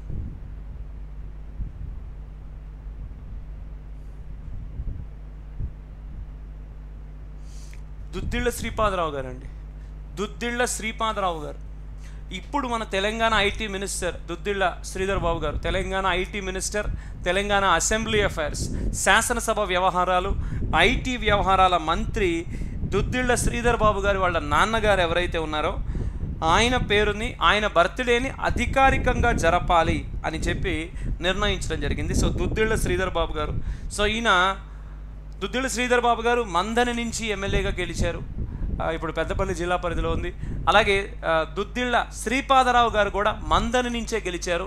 సో మరి ఆయన పుట్టినరోజుని అధికారికంగా జరపాలని ఇటీవలే గవర్నమెంట్ నిర్ణయించడం జరిగింది. మరి మరి ఇదే నియోజకవర్గంలో మహానుభావుడు కొంతమంది మహానుభావులు కూడా ఉన్నారు సార్. ఇదే నియోజకవర్గంలో మనకి రీసెంట్గా భారతరత్న వచ్చిన పివి నరసింహారావు గారు కూడా పివి నరసింహారావు గారు కూడా పంతొమ్మిది వందల యాభై ఏడు నుంచి పంతొమ్మిది వందల డెబ్బై రెండు వరకు ఇదే నియోజకవర్గం నుంచి పివి నరసింహారావు గారు కూడా ఎమ్మెల్యేగా గెలిచారు. ఆయన ఉమ్మడి రాష్ట్రంలో ముఖ్యమంత్రిగా చేశారు. ఇదే నియోజకవర్గం మందని ఇదే నియోజకవర్గానికి చెందిన దుద్దిళ్ళ శ్రీధర్ శ్రీపాదరావు గారి పుట్టినరోజున అధికారికంగా జరపాలని నిర్ణయించారు. ఇదే నియోజకవర్గానికి చెందిన దుద్దిళ్ళ శ్రీధర్ బాబు గారు ఇప్పుడు ఐటీ అసెంబ్లీ అఫైర్స్ మినిస్టర్గా ఉన్నారు. ఇదే నియోజకవర్గం నుంచి ఎమ్మెల్యేగా గెలిచిన పివి నరసింహారావు గారు ఆ తర్వాత జాతీయ స్థాయి రాజకీయాల్లోకి వెళ్ళారు. డెబ్బై రెండు డెబ్బై ఎనిమిది డెబ్బై ఏడు తర్వాత డెబ్బై ఎనిమిదిలో ఆయన అక్కడ పోటీ చేయలేదు. సో డెబ్బై ఎనిమిది నుంచి ఆయన జాతీయ రాజకీయాల్లో ఉన్నారు. సో డెబ్బై రెండు ఎన్నికలు ఆయన ఈ నియోజకవర్గంలో పోటీ చేసిన చివరి ఎన్నికలుగా చెప్పచ్చు. ఎవరు? పివి నరసింహారావు గారు. అంటే దాదాపుగా దాదాపుగా పివి నరసింహారావు గారు ఇక్కడ నుంచి ఇక్కడ నుంచి దాదాపుగా నాలుగు సార్లు ఎమ్మెల్యేగా గెలిచారు. నాలుగు సార్లు ఎమ్మెల్యేగా గెలిచారు. దుద్దిళ్ళ శ్రీపాదరావు గారు కూడా నాలుగు సార్లు ఎమ్మెల్యేగా గెలిచారు. అలాగే ఇప్పుడు దుద్దిళ్ళ శ్రీధర్ బాబు గారు ఇది ఐదవసారి ఎమ్మెల్యేగా గెలవడం ఈ నియోజకవర్గం నుంచి. సో కాబట్టి చాలా చాలా ఇంపార్టెంట్. సో పివి నరసింహారావు గారు కంటెస్ట్ చేసిన నియోజకవర్గం కదా. తెలంగాణలో ఏది పివి నరసింహారావు గారు నియోజకవర్గం అని అడగచ్చు. నేను now moving to the national current affairs ninety one to ninety six PM ఆయన. Ninety one to ninety six PM minority ప్రభుత్వాన్ని కూడా నడిపించిన వ్యక్తి పివి నరసింహారావు గారు. అలాగే మన్మోహన్ సింగ్ గారిని ఆర్థిక మంత్రిగా పెట్టుకున్నారు. ఆయన చేపట్టిన LPG reforms liberalisation privatisation globalisation వల్ల దేశం చాలా ముందుకు వెళ్ళింది సో మరి ప్రపంచ ఇమ్యునైజేషన్ వారాన్ని ఏ రోజుల్లో పాటిస్తారు? వరల్డ్ ఇమ్యునైజేషన్ వీక్ అంట. సో ఏప్రిల్ ఇరవై నాలుగు నుంచి ముప్పై ఫిబ్రవరి పదమూడు నుంచి పదిహేడు మార్చి ఒకటి నుంచి ఏడు అక్టోబర్ ముప్పై ఒకటి నుంచి నవంబర్ ఆరు. సో ఏ రోజున అలాగే ఇప్పుడు ఈ రోజున మనం ఏదైనా వీక్లో ఉన్నామో అది కూడా చెప్పేసేయండి. ఇప్పుడు మనం ఏదైనా వీక్లో ఉన్నామో అది కూడా చెప్పేసేయండి. అలాగే ఇందాకటి క్వశ్చన్లో ఒకటి అడగటం మర్చిపోయాను. పివి నరసింహారావు గారు ఎప్పుడు ఆంధ్రప్రదేశ్ ముఖ్యమంత్రిగా ఉన్నారు? పివి నరసింహారావు గారు ఎప్పుడు ఆంధ్రప్రదేశ్ ముఖ్యమంత్రిగా ఉన్నారు? ఆయన జన్మదినం ఏ ప్రాంతంలో ఉంది? అంటే రీసెంట్గా ఆయనకి అవార్డు వచ్చింది. మరి గౌరవించుకోవాలి. పివి నరసింహారావు గారు ఎక్కడ జన్మించారు?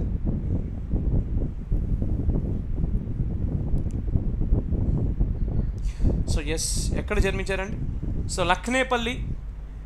సో పంతొమ్మిది వందల డెబ్బై ఒకటి నుంచి ఇందాటి క్వశ్చన్ ఇందాటి క్వశ్చన్ ఒకసారి మర్చిపోయాను ఇది అడగటం. ఇందాటి క్వశ్చన్ పంతొమ్మిది వందల డెబ్బై ఒకటి నుంచి డెబ్బై మూడు వరకు కూడా పివి నరసింహారావు గారు ఆంధ్రప్రదేశ్ రాష్ట్ర ముఖ్యమంత్రిగా ఉన్నారు. ఆంధ్రప్రదేశ్ రాష్ట్ర ముఖ్యమంత్రిగా ఆ తర్వాత పార్టీలో వివిధ హోదాల్లో పనిచేస్తూ పార్టీలో వివిధ హోదాల్లో పనిచేస్తూ వచ్చారు. సో మరి ఆ తర్వాత ఆయన లోక్సభ ఎన్నికల్లో కంటెస్ట్ చేశారు. లోక్సభ ఎన్నికల్లో కంటెస్ట్ చేశారు. డెబ్బై ఏడు నుంచి ఎనభై నాలుగు మధ్య. సో మరి భారతదేశానికి తొమ్మిదో ప్రధానమంత్రిగా పనిచేశారు. So AP CM ninety one to ninety six వచ్చేసి పిఎంగా పనిచేశారు. పిఎంగా పనిచేశారు. Right right answer right answer.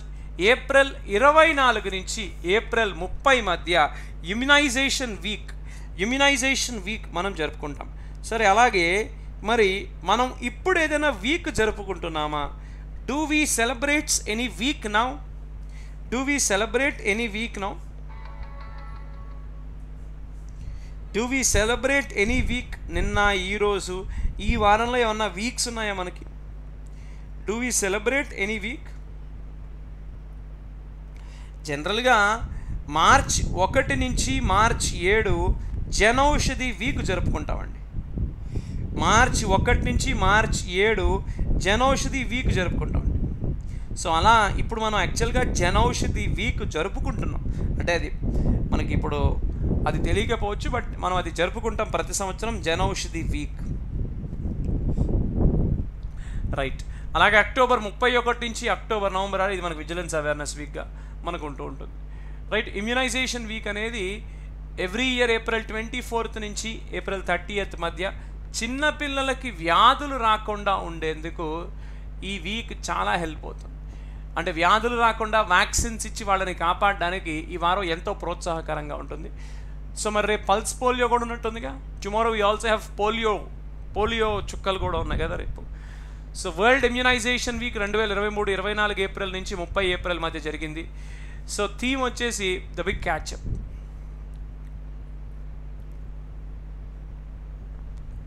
మరి మనకి చివరిసారిగా లాస్ట్ ఇయర్ గవర్నర్ల నియామకం జరిగింది సార్. చివరిసారిగా లాస్ట్ ఇయర్ గవర్నర్ల నియామకం జరిగింది సార్. దాదాపుగా పన్నెండు పదమూడు రాష్ట్రాల గవర్నర్లను మార్చారు. ఆ తర్వాత మరి మనకి త్రిపురకి మన తెలుగు వ్యక్తి తెలంగాణ వ్యక్తి ఇంద్రసేనారెడ్డి గారిని గవర్నర్గా పంపించారు. అది మినహాయిస్తే పెద్ద మార్పులు చేర్పులు గవర్నర్స్ ఈ రఘుబర్ దాస్ గారిని ఏమో వచ్చేసి ఒడిశా గవర్నర్గా పంపించారు. సో అది మినహాయిస్తే పెద్ద మార్పులు చేర్పులు అయితే గవర్నర్లకు ఏమీ లేవు. ఎప్పటి తర్వాత? రెండు వేల ఇరవై మూడు ఫిబ్రవరి తర్వాత. మరి రెండు వేల ఇరవై మూడులో ఫిబ్రవరిలో నియమించిన గవర్నర్లకు సంబంధించి సరి అయినది ఏంటి?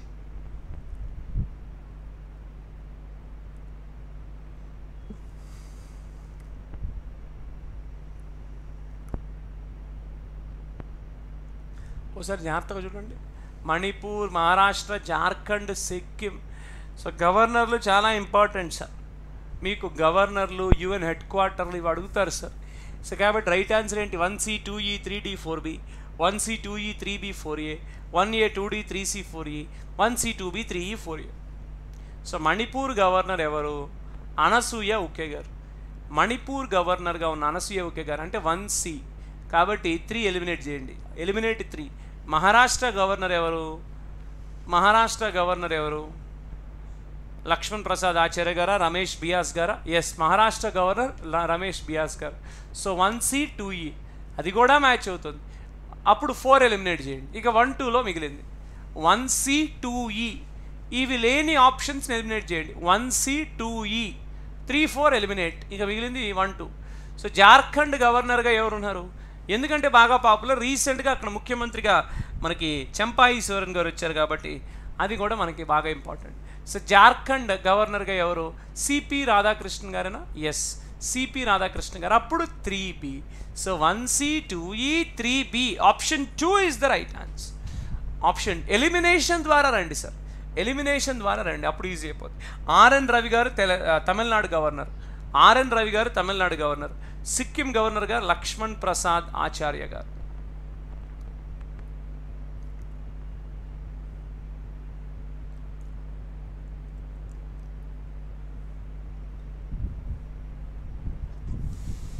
ఈ తేదీలు చాలా ఇంపార్టెంట్ సార్. వాటి నుంచి అప్పుడు అడుగుతూ ఉంటాం మనం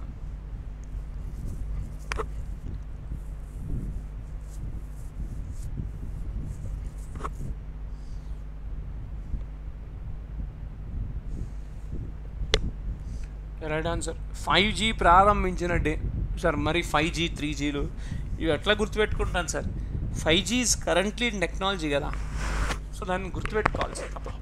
ఫైవ్ జీ మనకి అవుట్డేటెడో లేదా అయిపోయిందో కాదు. It is currently on going కాబట్టి అది గుర్తుపెట్టుకుని తీరాల్సింది.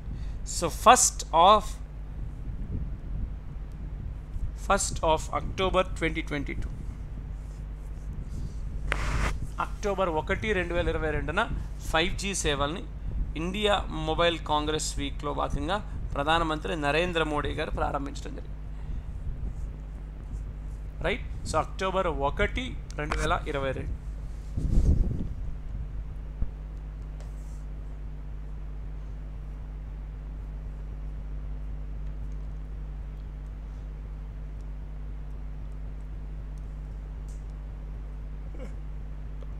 ఈజీ క్వశ్చన్ ఇందాక కూడా పెయిడ్ క్లాస్లో అడిగాను.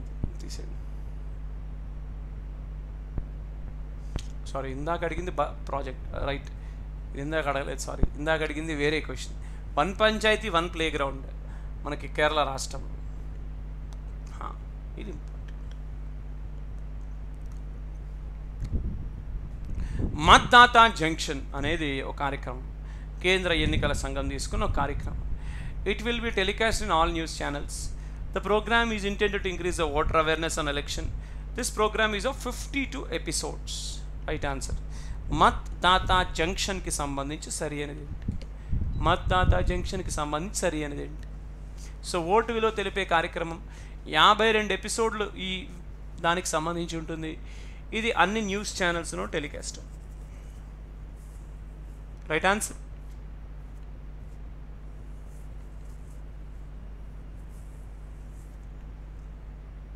so right answer sir గుర్తు చేసుకోండి కంగారు లేదు. అసలు ఛానల్లో వస్తుందా రేడియోలో వస్తుందా మద్దాతా జంక్షను? అసలు వచ్చేది ఛానల్స్లోనా రేడియోలోనా? ఇది వచ్చేది రేడియోలో. సో ఇది ఎన్నికల అవగాహన కార్యక్రమం. ఎన్నికలు ఎంత ఇంపార్టెంట్ ఎన్నికల్లో ఎవరికైనా ఎవరికి నచ్చకపోతే నోటాకైనా ఎందుకు ఓటు వేయాలి అనేది మనం చూస్తూ ఉంటాం.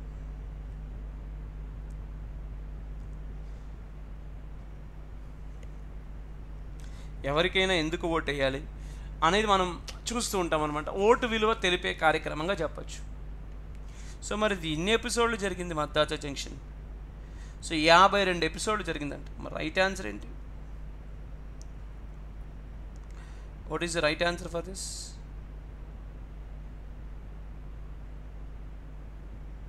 so right answer right answer so మద్దాత junction ఒక ఆల్ ఇండియా రేడియో సిరీస్ అండి. This a radio series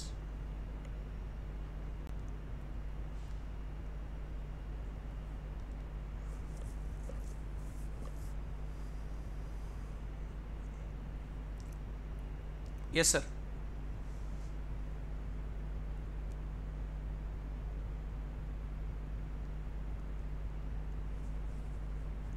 యాభై రెండు ఎపిసోడ్లు. ఇది కూడా correct. Right answer is two three right answer is two three let be help go with bit faster option two three is the right answer కొద్దిగా speed పెంచుదాం.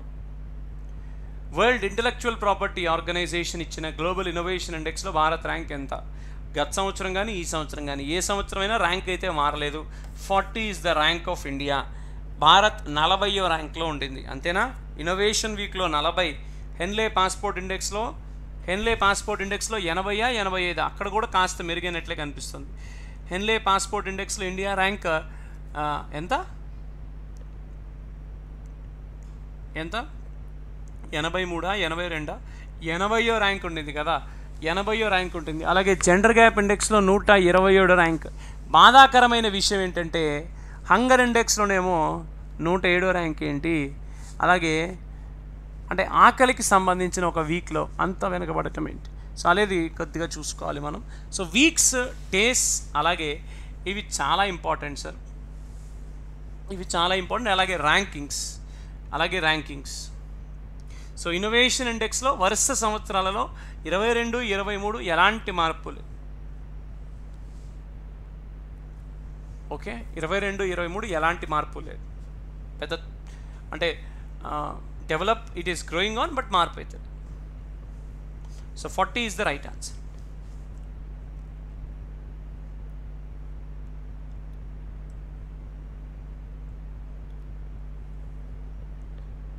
అది international relation question సావధానంగా చూసి ఆలోచించి అందరు ఆన్సర్ చేయాలి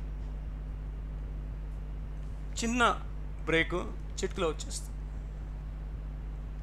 బ్రేక్ అంటే break just water దాకా వచ్చేస్తుంది. చిన్న వాటర్ దాకా వచ్చేస్తాను అనమాట ఈలోపు మీరు ఆన్సర్ చేస్తారనమాట మీరందరూ గుడ్ బాయ్స్.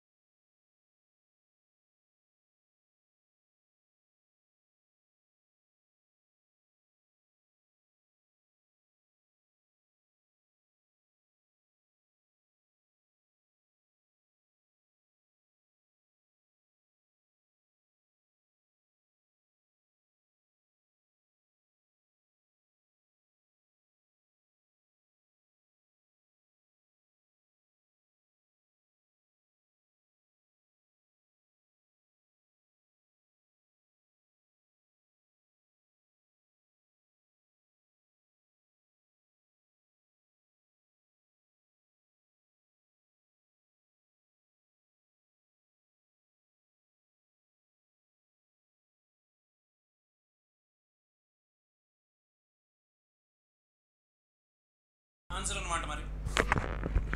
ఆన్సర్ అన్నమాట మరి. సో యూరోపియన్ యూనియన్కి సంబంధించి సరి అయినది ఏంటి? ఇరవై ఏడు దేశాలు ఉన్నాయంట. ఈయూ పార్లమెంట్ ఫ్రాన్స్లో ఉందంట. అక్టోబర్లో EU parliament first single charger రూల్ని అయితే తీసుకొచ్చిందంట. అంటే మనకి ఈ సీ పోర్టు అంటే మనకి మామూలు పోర్ట్ ఛార్జర్స్ ఇలా ఉంటాయి కదా. సో అలాగే ఈయూ పార్లమెంట్ ఏం చేసిందంటే సింగిల్ ఛార్జర్ రూల్ని అయితే తీసుకొచ్చిందనమాట so EU parliament single charger rule అది త్వరలో ప్రపంచవ్యాప్తంగా వస్తుంది. ఇన్ని ఛార్జర్లు వద్దు అన్ని ఎలక్ట్రానిక్ గ్యాడ్జెట్స్కి ఒకే ఛార్జర్ ఉండాలి అనే ఒక దానిని ఈయూ పార్లమెంట్ రాటిఫై చేసిందంట. అన్ని స్మార్ట్ ఫోన్స్ ట్యాబ్లెట్స్ కెమెరాస్ రెండు వేల ఇరవై నాలుగు మధ్యలో కానీ రెండు వేల ఇరవై నాలుగు చివరిలో కానీ దీనికి అడాప్ట్ చేయాలి అనే ఒక దానికి సంబంధించి ఓటింగ్ కూడా పెట్టారు. సో దాంట్లో ఓటింగ్లో కూడా ఇది నెగ్గింది. ఓటింగ్లో కూడా ఇది నెగ్గింది. కాబట్టి which is very important so మరి ఈయూ పార్లమెంట్ చాలా వరకు కూడా ఈయూ పార్లమెంట్ అంటే మనం అనుకుంటాం అది మనకి ఎక్కడుంది అంటే అది ఏ యూకేలోనో లండన్లోనో ఉందనుకుంటాం. బట్ అది ఉంది స్టార్స్బర్గ్ స్టార్స్బర్గ్ ఫ్రాన్స్ సో అది ఎక్కడుంది అంటే Strasbourg France so Strasbourg France మరి ఈయూ ఎన్ని దేశాలు? ఇరవై ఏడు దేశాలు ఈయూ ఇరవై ఏడు దేశాలు ఉన్నాయి twenty seven countries are there in European union మరి నాకు డౌట్ ఏంటంటే దీనిలో యూరో కరెన్సీ దేశాలు ఎన్ని? దీనిలో యూరో కరెన్సీ దేశాలు ఎన్ని? దీనిలో యూరో కరెన్సీ దేశాలు ఎన్ని? యూరోపియన్ యూనియన్ అది బెల్జియం ఫ్రాన్స్ అది నాటో కదా. బెల్జియం ఫ్రాన్స్ నాటో కదా. అది వేరు కదా. బెల్జియం ఫ్రాన్స్ నాటో కదా నాకు గుర్తున్నంత వరకు. North Atlantic treaty organisation. నేను అడుగుతుంది యూరోపియన్ యూనియన్ కదా.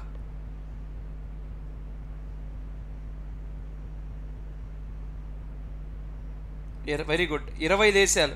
ఇరవై దేశాలు. ఇరవయో దేశంగా ఇరవయో దేశంగా క్రోయేషియా వచ్చింది. ఇరవై దేశాలు.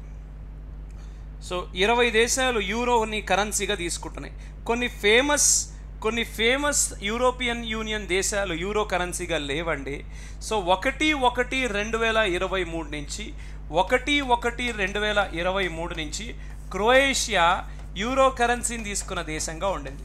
క్రొయేషియా యూరో కరెన్సీని తీసుకున్న దేశంగా ఉండింది. సి గమనించాలి మీకు ఒక్క ఒక చిన్న లెక్క చెప్తాను జాగ్రత్తగా చూసుకోండి. ఎందుకంటే మనకి ఎగ్జామ్లు అడుగుతారు. సో గుర్తుపెట్టుకోండి బెల్జియం బ్రజల్స్ రాజధాని ఇక్కడ బ- బెల్జియం దేశం బ్రజల్స్ రాజధాని. ఇక్కడ నాటో ప్రధాన కార్యాలయం ఉంది. అలాగే వార్సా. ఇదేంటిది? వార్సా ఏంటి? వార్సా ప్యాక్ట్ అంటాం. ఇదేంటిది? ఇది ఎక్కడుంది ఇది పోలాండ్లో ఉంది. ఇది పోలాండ్లో ఉంది. అలాగే ఈక్వెడార్.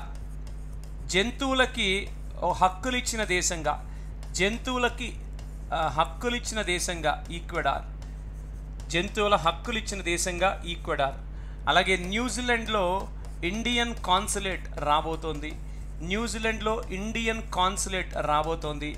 అలాగే ప్రపంచంలో ఎనిమిదో వింతగా కంబోడియా ఆలయం వార్తలో నిలిచింది. Cambodia temple world's largest Hindu temple eighth wonder of the world eighth wonder of the world. అలాగే మరి మనకి యూఏఈలో రీసెంట్గా ఆ దేశంలోని టెంపుల్ యూఏఈలో మొదటి టెంపుల్ ఫస్ట్ టెంపుల్ని రీసెంట్గా ప్రధానమంత్రి గారు ఇనాగరేట్ చేశారు. మరి నాకు ఇక్కడ ఏ దేవుడు ఉన్నారు? ఏ దేవుడు? అంటే ఏ ఆలయం ఇది? అదొకసారి చెప్పేసేయండి. ఏ దేవుడు? యూఏఈలో ఏర్పాటు చేసిన దేవాలయంలో ఏ దేవుడు ఆర్ ఏ ఆలయం అది? అంటే మనకి అయోధ్య రామాలయం కాశీ విశ్వనాథుడు అంటూ ఉంటాం కదా. సో యూఏఈ టెంపుల్ ఏ దేవుడికి సంబంధించిన టెంపుల్? యూఏఈకి సంబ యూఏఈ టెంపుల్ ఏ దేవుడికి సంబంధించిన టెంపుల్? అదొకసారి చెప్పేసేయండి.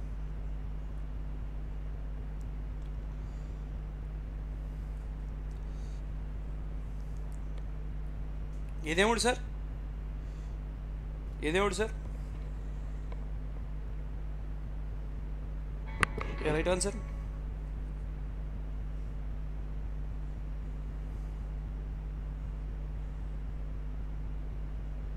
గుర్తుకు రావు కదా సడన్గా గుర్తుకు రావు ఇవి సడన్గా గుర్తుకు రావు ఇవి సడన్గా గుర్తుకు రావు అవునా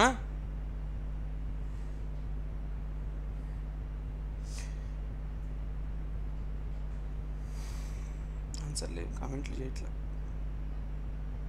మహావిష్ణు అవతారాలే అన్నీ అన్నీ కూడా మహావిష్ణు అవతారాలే. అక్షర్ పురుషోత్తం కరెక్టే మహావిష్ణు అవతారాలే అన్నీ. సో ఒక్కోసారి అలా గుర్తు ఉంటా గుర్తు ఉంటుంటాయి. మరి అలాగే ఇక్కడ గుర్తుపెట్టుకోండి. సరే మళ్ళీ నేను ఎంసీక్యూలోకి వెళ్తే మళ్ళీ కాన్సెప్ట్ ఇవి అయిపోతుంది. రైట్ సో కాబట్టి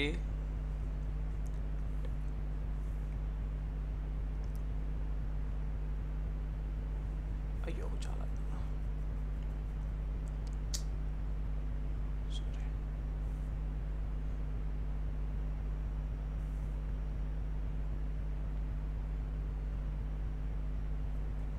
So all one two three అండి. All one two three is the right answer oh simple question very simple question Arunachal Pradesh Arunachal ప్రదేశ్లో కూడా ఏ గ్రామం కిబూతు గ్రామం కిబూతు గ్రామం అరుణాచల్ ప్రదేశ్లో కూడా ఏ గ్రామం కిబూతు గ్రామం అలాగే మణిపూర్కి సంబంధించి ఎథనిక్ ఎథనిక్ కమ్యూనిటీస్ మధ్య ఓ రకంగా ఒక డిస్ప్యూట్ అయితే వచ్చింది. అంటే మణిపూర్లో జాతుల మధ్య వైరం. ఇదే మిటి కుకి ఈ జాతులు ఉన్నాయి కదా. ఈ జాతుల మధ్య వైరానికి సంబంధించి ఒక కమిటీ వేశారు సార్. ఆ కమిటీ ఎవరి అధ్యక్షతన పనిచేస్తుంది? మణిపూర్ కాన్ఫ్లిక్ట్కి సంబంధించి ఒక కమిటీ వేశారు సార్. ఆ కమిటీ ఎవరి అధ్యక్షతన పనిచేస్తుంది?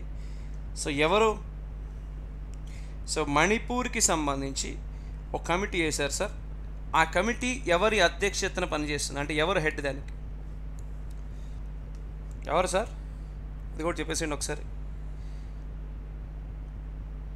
మన అది వేరు. వస్తున్నా వస్తున్నా వస్తున్నా వస్తున్నా. గీతా మిట్టల్ గీతా మిట్టల్ అజయ్ లాంబా గారి కమిటీ కదా? మణిపూర్ అల్లర్లకు సంబంధించి రెండు వేల ఇరవై మూడు జూన్లో రెండు వేల ఇరవై మూడులో అజయ్ లాంబా గారి అధ్యక్షతన కదా కమిటీ కదా అజయ్ లాంబా అధ్యక్షతన కమిటీ కదా అజయ్ లాంబా కదా ఎస్ రీసెంట్గా ఆర్టికల్ మూడు వందల యాభై ఐదు పాలిటీ కూడా మనకుంది కాబట్టి పాలిటీ కూడా మనం మాట్లాడతాం కాబట్టి ఆర్టికల్ త్రీ ఫిఫ్టీ ఫైవ్ని మణిపూర్లో అమలు చేస్తున్నారు. అంటే ఏదైనా రాష్ట్రంలో పోలీస్ కనుక అక్కడ లా అండ్ ఆర్డర్ని కంట్రోల్ చేయనప్పుడు కేంద్రం ఆ రాష్ట్ర భద్రతని తమ ఆధీనంలోకి తీసుకుంటుంది. కేంద్రం తమ రాష్ట్రం తమ భద్ తమ ఆధీనంలోకి ఆ రాష్ట్ర భద్రతను తీసుకుంటుంది. దానికోసం కేంద్ర బలగాలు దిగుతాయి ఆ రాష్ట్రంలో. సో ఆర్టికల్ మూడు వందల యాభై ఐదు దాని గురించి అయితే చెప్తుంది. సో అజయ్ లాంబా గారి అధ్యక్షతన ఓ అధ్యక్షతన ఒక కమిటీ ఏర్పడింది. సో మరి అలాగే మనా విలేజ్ అన్నారు. మనా అనేది ఉత్తరాఖండ్ సార్. టిబెట్ ఇండియా బోర్డర్లో మనా అనే ఒక గ్రామం ఉంది. ఇది ఫస్ట్ ఇండియన్ విలేజ్గా కూడా అంటారు this is considered as first Indian village vibrant village programme ఎందుకు అంటే ఆ ప్రాంతంలో నివసిస్తున్న వారికి వంద శాతం ప్రభుత్వ ఫలాలు అందుతున్నాయో లేవో తెలుసుకోవడానికి. ఓ very simple question. Hubli Hubli is the right answer. ప్రపంచంలోనే అతి పెద్దదైన ఆర్ అతి పొడవైన ప్లాట్ఫామ్ జాతికి ఎక్కడ అంకితం చేశారంటే హుబ్లీ. అంటే ఏ ప్రదేశంలో రాబోతోంది అంటే హుబ్లీ. ఓకే కోల్కతా వచ్చేసి most busiest in fact large number of platforms. అత్యధిక ప్లాట్ఫామ్స్ ఇరవై మూడు ప్లాట్ఫామ్స్ ఏ రైల్వే స్టేషన్లో ఉంటాయి చెప్పండి. ఇరవై మూడు ప్లాట్ఫామ్స్ ఏ రైల్వే స్టేషన్లో ఉంటాయి? కోల్కతాలో ఉంటాయి. అలాగే most busiest CST Mumbai church station terminus most busiest station. Dibrugarh of Assam longest distance travelling train Vivek express Vivek express is from Assam. New Delhi దేశంలో అతిపెద్ద రైల్వే జోన్ నార్థరన్ రైల్వే ప్రధాన కార్యాలయం న్యూఢిల్లీలోనే ఉంది. దేశంలోనే అతిపెద్ద railway zone northern railway.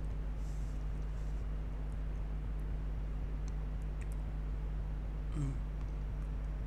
Okay members చెప్పారా?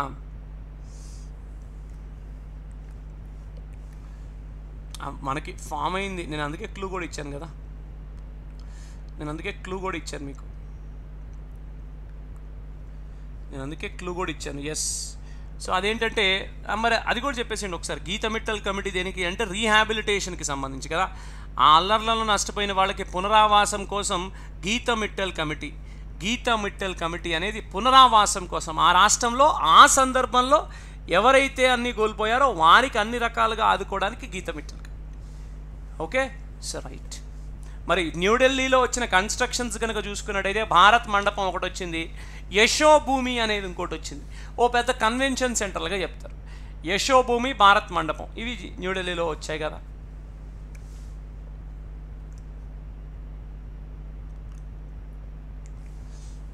అది international relations again super super super answer మళ్ళీ చెప్తున్నాను కంగారు పడద్దు.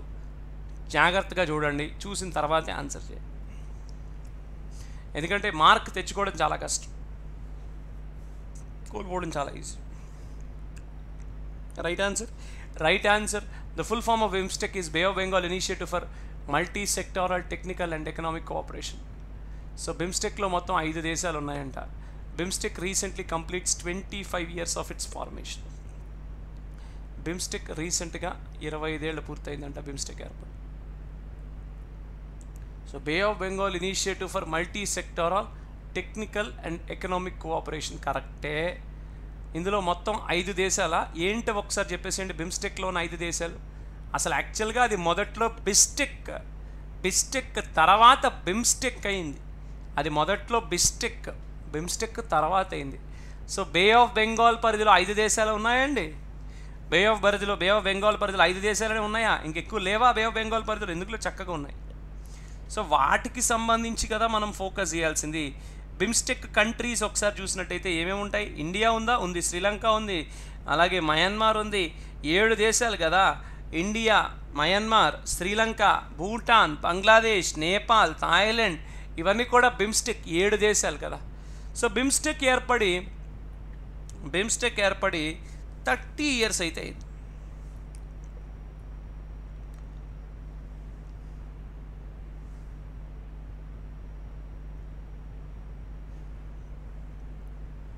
సో బిమ్స్టెక్ ఏర్పడి థర్టీ ఇయర్స్ అయితే అయింది అంతేనా? అంతేగా థర్టీ ఇయర్స్ అయిపోయింది ఇంకా BIMSTEC ఏర్పడిపోయి? Twenty five years is the right answer ఎందుకంటే twenty five years is the right answer so examination point of వ్యూలో మనల్ని అడుగుతారు సార్ సార్ ఇలాంటి బిట్ల దగ్గర మనం కొద్దిగా ఆగినా తప్పులేదు సార్ ఎందుకంటే బిమ్స్టెక్ తొంభై ఏళ్ళు ఏర్పడిందండి. తొంభై ఏళ్ళు సో రీసెంట్గా ఇరవై ఐదేళ్ళు పూర్తయినాయి కూడా దానికి వచ్చి సో ఇలాంటి ప్రశ్నలు ఇచ్చినప్పుడు జాగ్రత్తగా మార్క్ పోతుందని కాకుండా ఇలాంటివి ఇచ్చినప్పుడు ఖచ్చితంగా ఆప్షన్స్ అయితే ఇస్తారు. Only one two only two three అనేసి. సో జాగ్రత్తగా చూసుకుంటే సార్ రైట్ ఫస్ట్ ఆప్షన్ కరెక్టే సెకండ్ ఆప్షన్ ఏడు దేశాలు థర్డ్ ఆప్షన్ కరెక్టే పాతికేడు.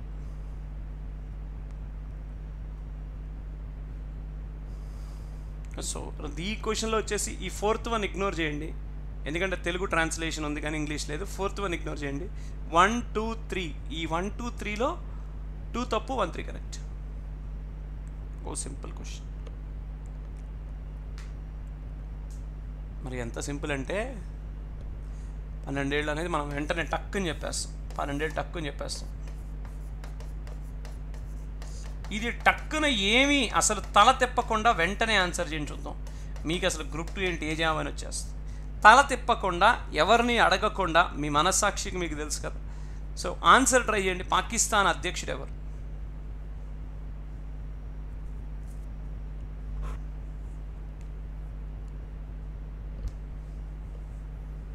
Let me check the comments ఎంతమంది ఆన్సర్ చేస్తారు చూద్దాం.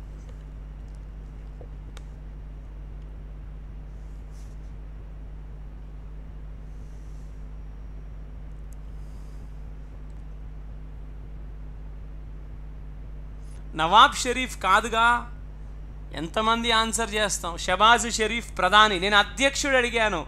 ఐ హ్యావ్ ఆస్డ్ అబౌట్ అధ్యక్షుడు ప్రెసిడెంట్ ప్రెసిడెంట్ ప్రెసిడెంట్ అడిగాను. పిఎంలు కాదు. నవాజ్ షరీఫ్ ఇప్పుడు లేరు ఆయన. వాళ్ళ తమ్ముడు షబాజ్ షరీఫ్ ప్రెసిడెంట్ అయ్యారు మళ్ళీ. నేను అడిగింది ప్రెసిడెంట్ కదా మీరేంటి పిఎంలు చెప్తున్నారు? అందుకే సార్ క్వశ్చన్ చూడమనేది. నేను అందుకే క్వశ్చన్ నేను అడిగింది పిఎం మీరు ఎక్కడా చూడకుండా తల తిప్పకుండా ప్రెసిడెంట్. ఇట్లాంటి ఇట్లాంటివి వస్తే ఎగ్జామ్లో టఫ్నెస్ ఉంటుంది. ఒక్క నిమిషం సార్. సో ఆన్సర్ కమెంట్ చేయండి.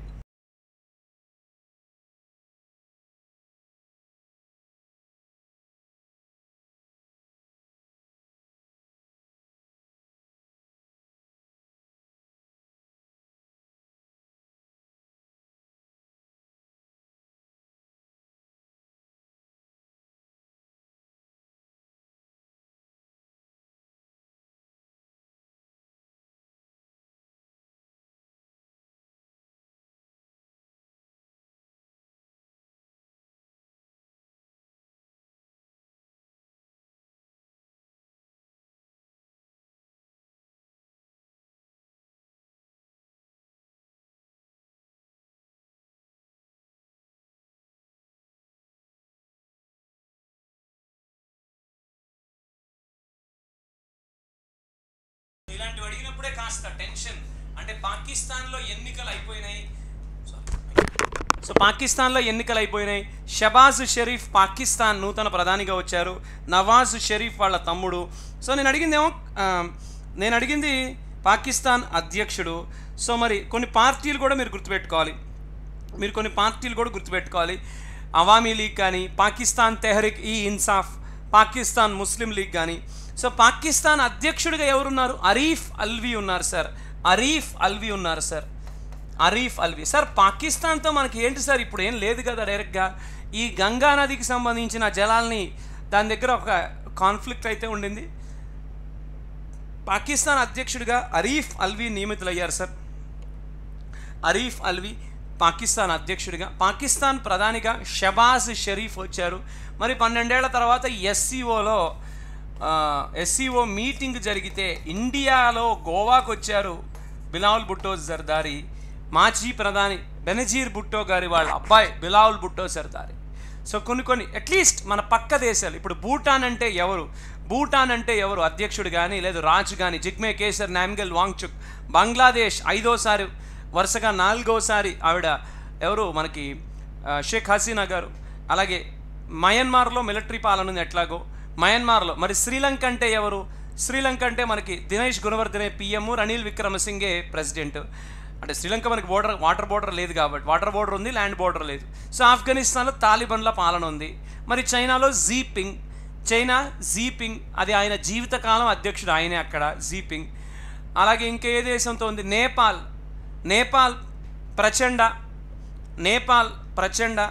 నేపాల్లో ఇటీవల గడిచిన ఒకటిన్నర సంవత్సరంలో అధ్యక్ష ఎన్నికలు జరిగాయి ప్రధాని ఎన్నికలు జరిగాయి. సో నేపాల్ అధ్యక్షుడిగా అంటే మన పక్కనున్న బోర్డర్ దేశాల్లో ఎవరెవరు ఉన్నారు మనకి అనుకూలంగా ఉన్నవాళ్ళు ఉన్నారా? మనకి కొద్దిగా వ్యతిరేకంగా ఉన్నవాళ్ళు ఉన్నారా? సో నేపాల్లో ప్రెసిడెంట్గా రామచంద్ర పౌడేల్ కానీ అలాగే నేపాల్ ప్రైమ్ మినిస్టర్గా అదే ప్రచండ పుష్పకమాల్ దహాల్ పుష్పకమాల్ దహాల్ సో మన దేశాలకి సరిహద్దుగా నేపాల్ పాకిస్తాన్ శ్రీలంక నేపాల్ పాకిస్తాన్ చైనా మయన్మార్ భూటాన్ బంగ్లాదేశ్ సరే మాల్దీవ్స్ అంటే మనందరికీ తెలుసు మహమ్మద్ మొయిజు. ఇప్పుడు మాల్దీవ్స్ మారిషస్ ఇక్కడ కన్ఫ్యూజన్ వస్తుంది. మాల్దీవ్స్ మారిషస్ ప్రవీణ్ జుగన్నాథ్ ఈయన ఎవరు? ఈయన మారిషస్ అధ్యక్షుడు. ఈయన మారిషస్ అధ్యక్షుడు. ప్రవీణ్ జుగన్నాథ్. ఎందుకంటే నిన్న ఈ ప్రవీణ్ జుగన్నాథ్ అలాగే ధనేంద్ర మోడీ గారికి మధ్య ఒప్పందం ఒక దాని మీద అయింది. సో అందువల్ల అది కూడా మనకి వార్తలో నిలిచింది సో ప్రవీణ్ జుగన్నాథ్ మారిషస్ మారిషస్కి సంబంధించిన అధ్యక్షుడు. ప్రైమ్ మారిషస్ ప్రధాని సార్. మారిషస్ ప్రధాని అవునండి. మారిషస్ ప్రధానమంత్రి ప్రవీణ్ జుగన్నాథ్. కాబట్టి ఒక్కసారి అలాంటివి ఒకసారి చూసుకోవచ్చు. A very simple question. But మరి మనం ఇంత సింపుల్ క్వశ్చన్స్ అడిగితే ఎట్లా? మరి మనం ఇది అడగం కదా తీసేయండి. ఇది అడగం మనం. సింపుల్ క్వశ్చన్ ఎందుకంటే చాలాసార్లు చెప్పాను. So ignore this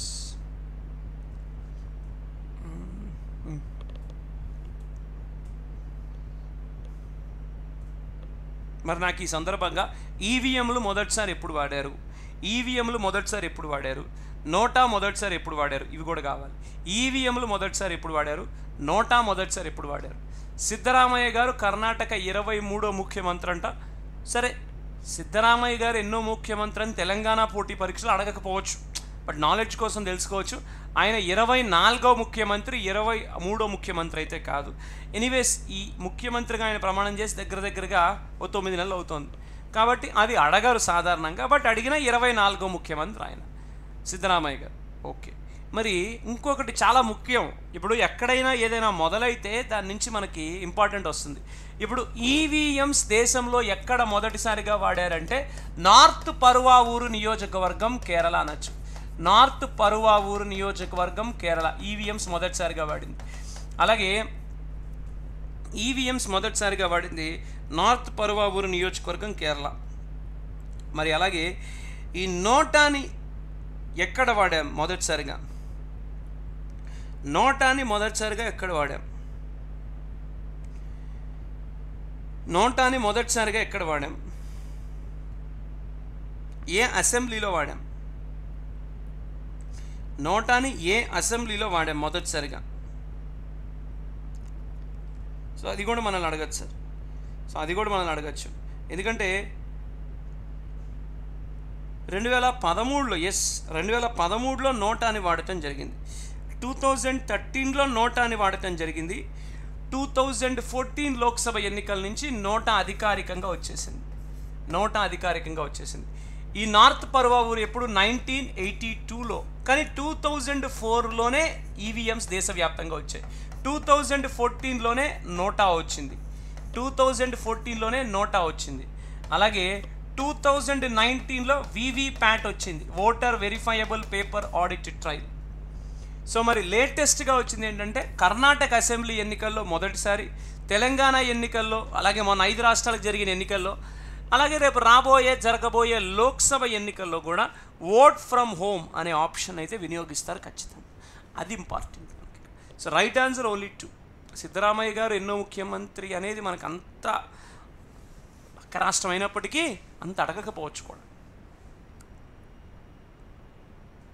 Right answer. అప్పుడప్పుడు ఇటువంటి మ్యాచ్ ద ఫాలోయింగ్ లెక్క వస్తూ ఉంటాయి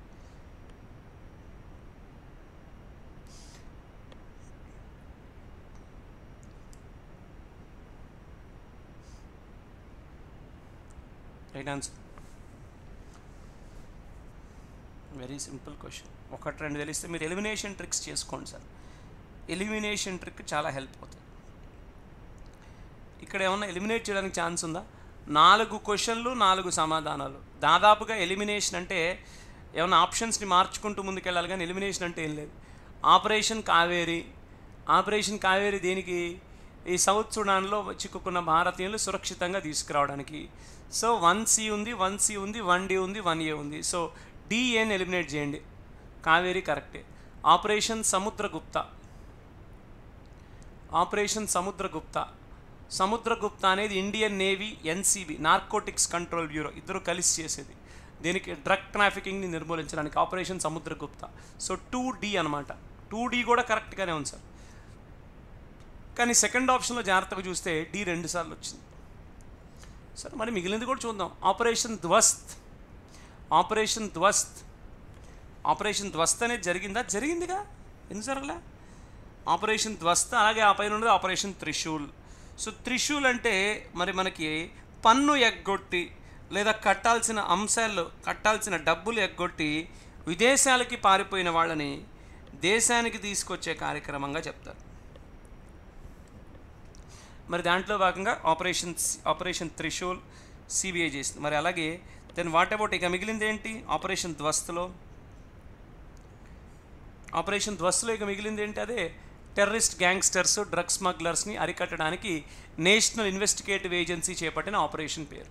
సో కాబట్టి వన్ సి టూ డి అలాగే three B to be frank operation Dhvast three B four A four A one C two D three B four A. అది ఎక్కడా లేదనుకుంటా? సో కాబట్టి none is the answer.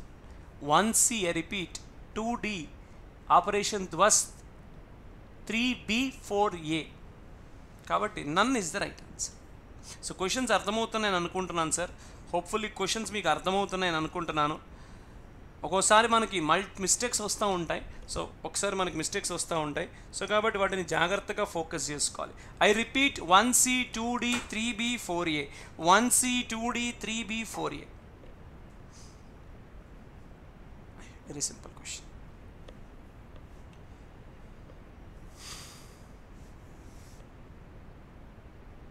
operation Karuna operation Karuna Myanmar correct.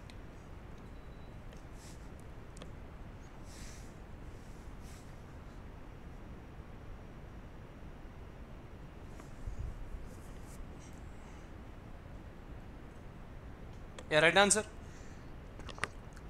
right answer భారతదేశం నుండి మూడు వందల వికెట్లు tea ట్వంటీలో తీసుకున్నది ఎవరు?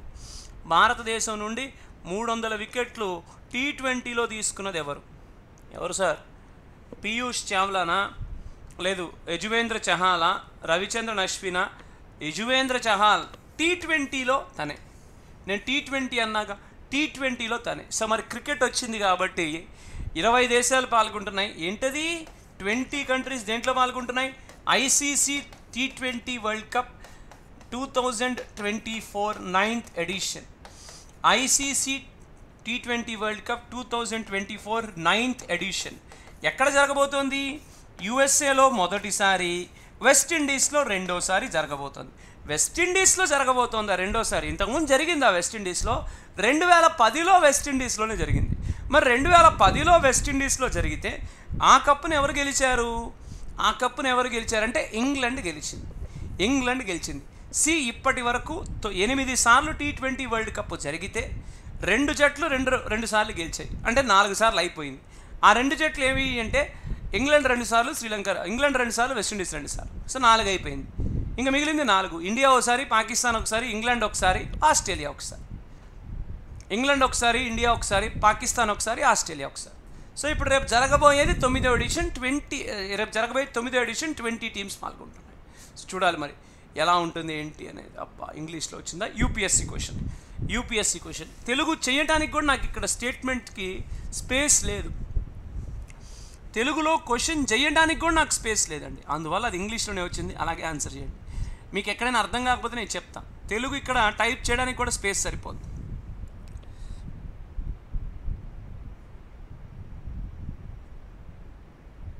ఐపీఎల్లో ఎస్. ఐపీఎల్లో పది టీమ్సా? Are you sure ten teams ఐపీఎల్లో టెన్ టీమ్స్ అండ్ ఐపీఎల్లో ఐపీఎల్లో టెన్ టీమ్సా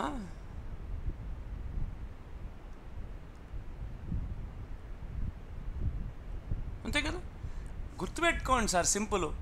ఐపీఎల్లో పది టీమ్స్ రెండు వేల ఇరవై మూడులో జరిగిన ఇండియాలో జరిగిన వరల్డ్ కప్లో పది వెన్యూలు రెండు వేల ఇరవై మూడు వరల్డ్ కప్ ఇండియాలో జరిగింది కదా పది వెన్యూలు. ఐసీసీ వరల్డ్ కప్లో ఐసీసీ వరల్డ్ కప్ పది వెన్యూలు అలాగే ఐపీఎల్లో పది టీములు. ఏంటా టీములు? CSK Mumbai Indians Kolkata Knight Riders Kings Eleven Punjab Rajasthan Royals SRH అదే సన్ రైజర్స్ అలాగే మరి మనకి Royal Challengers Bengaluru Mumbai Indians Kolkata Knight Riders. ఇవే కదా? గుజరాత్ లయన్స్. ఇవే కదా? పది జట్లు ఐపీఎల్లో పది ప్లేసుల్లో వరల్డ్ కప్ జరిగింది. రైట్ ఆన్సర్ ఇది ఒక్కసారి జాగ్రత్తగా చూడండి సార్ కొద్దిగా లెందీ క్వశ్చన్లు జాగ్రత్తగా చూసిన తర్వాత ఆన్సర్ చేయాలి. రిస్క్ వద్దు.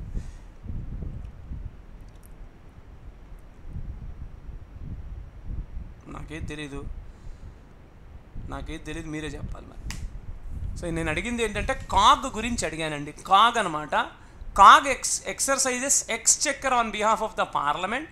when the President of India declares national emergency, financial emergency. COG reports on the execution of projects or programs by the ministries are discussed by the Public Accounts Committee. Information from COG reports can be used by investigative agencies to press charges against those who violated the law managing the public finances. While dealing the audit and accounting of the government companies, COG has certain judicial powers for those who prosecute uh, for those prosecuting them who violate law. Right answer ఏంటి? చూడండి జాగ్రత్త చూడండి. కాగుకు సంబంధించండి. కాగుకు సంబంధించి. So మనం Telangana society cover చేసాం current affairs cover చేసాం IR cover చేసాం so నేను ఏదైతే ప్రామిస్ చేశానో నేను ఏదైతే ప్రామిస్ చేశానో అన్నీ డిస్కస్ చేస్తామని అవన్నీ డిస్కస్ చేశాం. మీరు సెషన్ని షేర్ చేయట్లా. మీరు సెషన్ని షేర్ చేయట్లా. చెయ్యాలి. వంద మంది లైవ్లోకి రావాలి.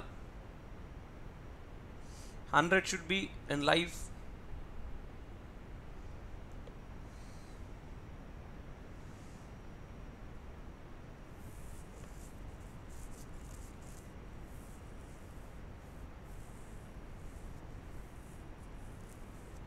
Yeah right answer ఇప్పుడు CAG exercises exchequer control on behalf of parliament when the president of India declares అసలు కాగ్కి ఏ సంబంధం? కాగ్ అనేది ఆడిటింగ్ బాడీ అంతేగాని ప్రభుత్వం ఎంత ఖర్చు పెట్టాలో కాగ్కి ఏంటి సంబంధం?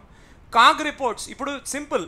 కాగ్ రిపోర్ట్ పిఏసి ముందు పని చేస్తుంది. ఎందుకంటే పిఏసి పని సగం చేసేది కాగే అదేంటి సార్? పిఎస్సి అంటే ఏంటి? ప్రజాపద్దుల కమిటీ. మేము ఐదు వందల కోట్లు డబ్బులు ఇచ్చాం. మీరు ఏం చేశారు? ఐదు వందల కోట్లు. మేము డబ్బులు అయితే ఇచ్చాం. మీరు ఏం చేశారు? నేను హాస్పిటల్ కట్టాను సార్. ప్రూఫ్ ఏది? ఇదిగోటి ప్రూఫ్. బిల్డింగ్ ఏది? ఫొటోస్ ఏవి? కాగ్ అడుగుతుంది. అందుకని ప్రజాపద్దుల కమిటీ ఏం చేస్తుందంటే కాగ్ రిపోర్ట్ని ముందు చేస్త చదువుతుంది. అందువల్ల ప్రజాపద్దుల కమిటీకి కాగ్ అనేది ఫ్రెండ్ ఫిలాసఫర్ అండ్ గైడ్గా ఉంటుంది. పిఎస్సికి కాగ్ అనేది ఫ్రెండ్ ఫిలాసఫర్ అండ్ గైడ్ కరెక్టే. Information reports can be used by investigative agencies. అంటే ED enforcement directorate income tax investigative agencies to press charge against those who violated managing the public finances so ఖచ్చితంగా. అలాగే while dealing with audit and accounting of government companies CAG has attain judicial powers for prosecuting judicial powers ఏం లేవు. వాళ్ళు ప్రభుత్వంలో ఎవరైతే వాళ్ళని search చేయమన్నారో వారిని search చేస్తుంది లేదు ఆడిట్ చేస్తుంది. అంతేగాని కాగుకేం జుడిషియల్ పవర్స్ లేవండి. ఎవరి అకౌంట్స్ని ఆడిట్ చేయమన్నారో ఆడిట్ చేస్తుంది. So only two three is right answer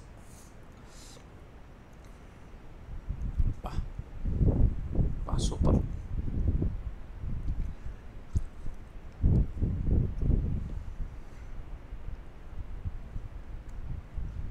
ఎక్కడ కార్యనిర్వాహక శాఖ నుంచి న్యాయ శాఖని వేరు చేయాలి అనే ప్రొవిజన్ చెప్పబడిందంట. ఈ ఆర్టికల్ నుంచి ఈ ఆర్టికల్ మధ్య.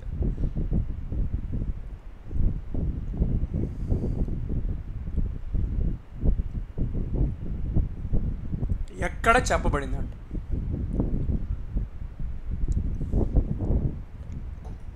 ఎక్కడ sir? Twelve to thirty five thirty six to fifty one fifty two to seventy eight seventy nine to one twenty three.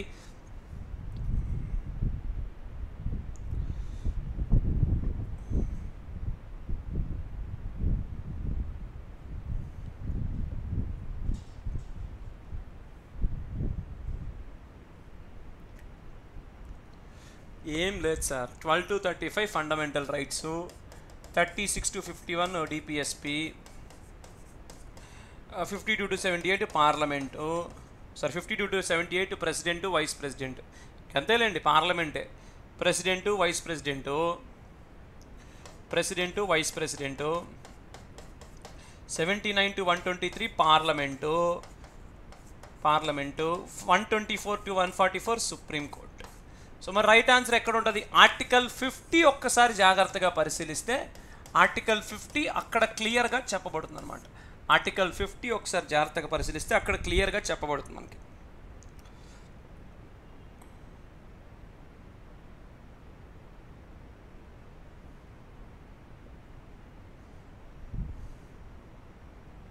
Article fifty is the right answer. నేను అడిగింది ఏంటంటే ఎక్కడ చెప్పారు అని అడిగాను నేను. ఎక్కడ చెప్పారు? ఎక్కడ చెప్పారు అని అడిగాను.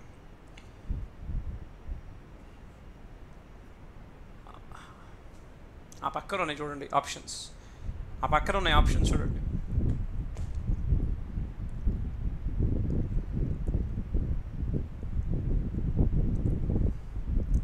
సెంట్రల్ అడ్మినిస్ట్రేటివ్ ట్రిబ్యునల్కి సంబంధించి.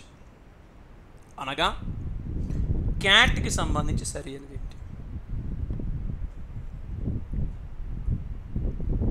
క్యాట్కి సంబంధించి సరి అనేది మీ ఎగ్జామ్లో అడిగిన క్వశ్చన్ టీఎస్పిఎస్సి గ్రూప్ వన్లో అడిగిన క్వశ్చనే ఇట్లాంటివి వచ్చినప్పుడు ఏం చేయాలంటే కంగారు పడిపోకూడదు. మళ్ళీ చెప్తున్నాను. టీఎస్పిఎస్సి గ్రూప్ వన్ అయినా ఏబిపిఎస్సి గ్రూప్ వన్ అయినా మీరు ఫస్ట్ ఆప్షన్స్ని చూడండి. మీకు అందుకే ప్రీవియస్ పేపర్స్ హెల్ప్ అవుతాయి. మనం ఏంటంటే మనకి చదివింది కనిపిస్తేనే ఆన్సర్ చేస్తాం కాన్ఫిడెన్స్ వస్తుంది. చదవంది కనిపిస్తే భయం వేస్తుంది. దాంతో వచ్చినవి కూడా పోతాయి.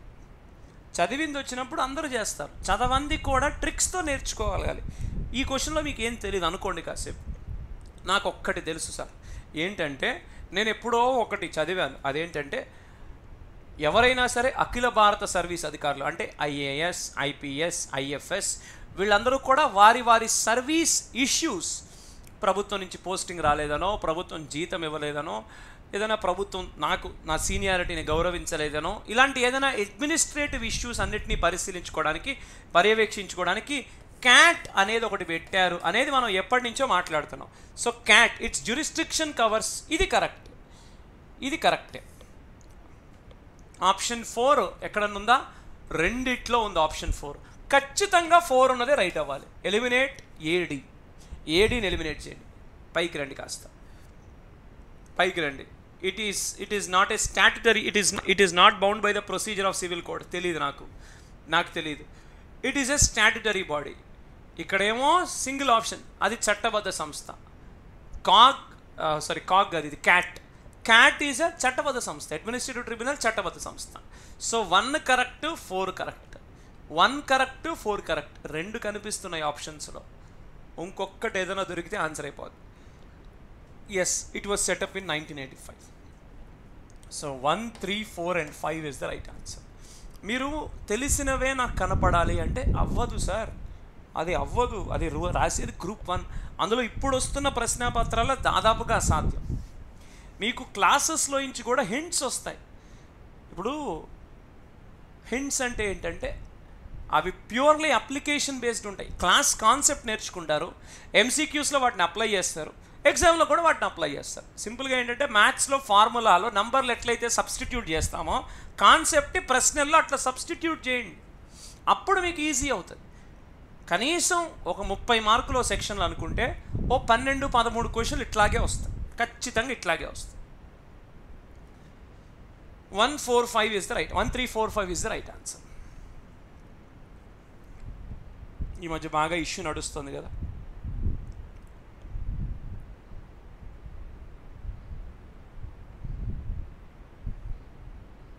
నేను చూడాల కమెంట్స్ చూడాల.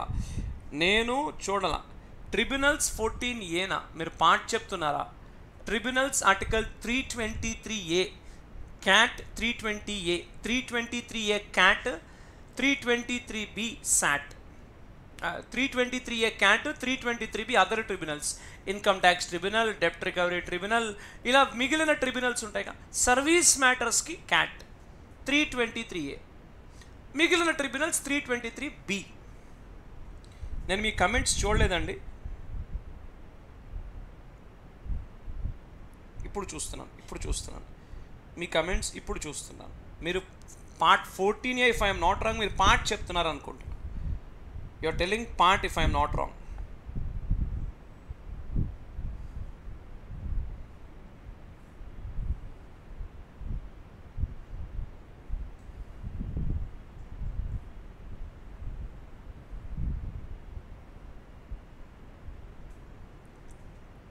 ఇలా ఒకసారి ఆన్సర్ చేయండి సార్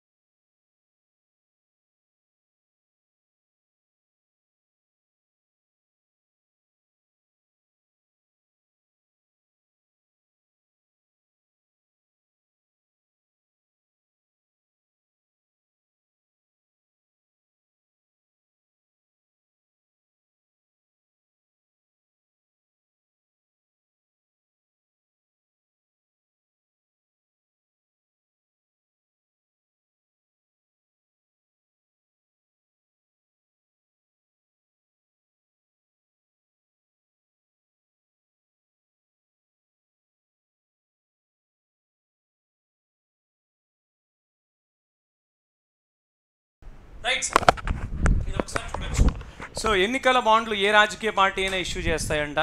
ఎన్నికల బాండ్లు are issue to any political party తప్పు. అదేంటి సార్?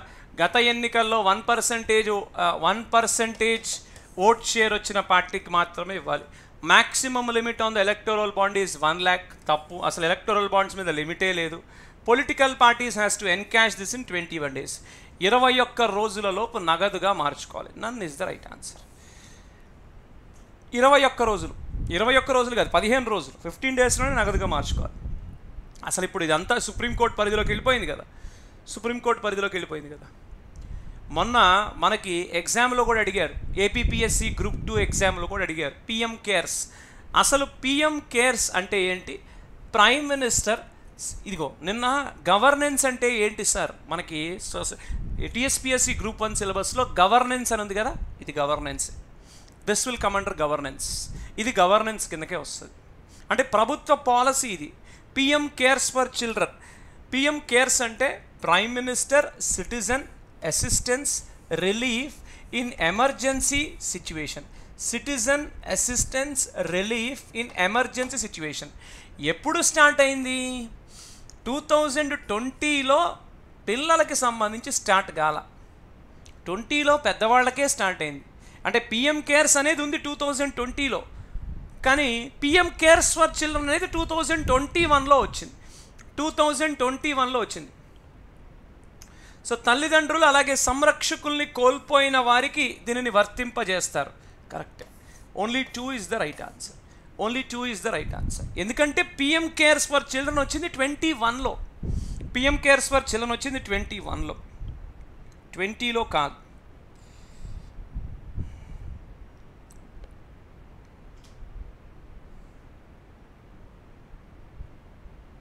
బోత్ ఎట్లవుతాయి? నేను అడిగింది పిఎం కేర్స్ ఫర్ చిల్డ్రన్. అక్కడ ఉంది కదా. గవర్నెన్స్ ఇవే వస్తాయి. ఇది ఎట్లాంటి ఎక్కడి నుంచే గవర్నెన్స్ ప్రశ్నలు వచ్చేది.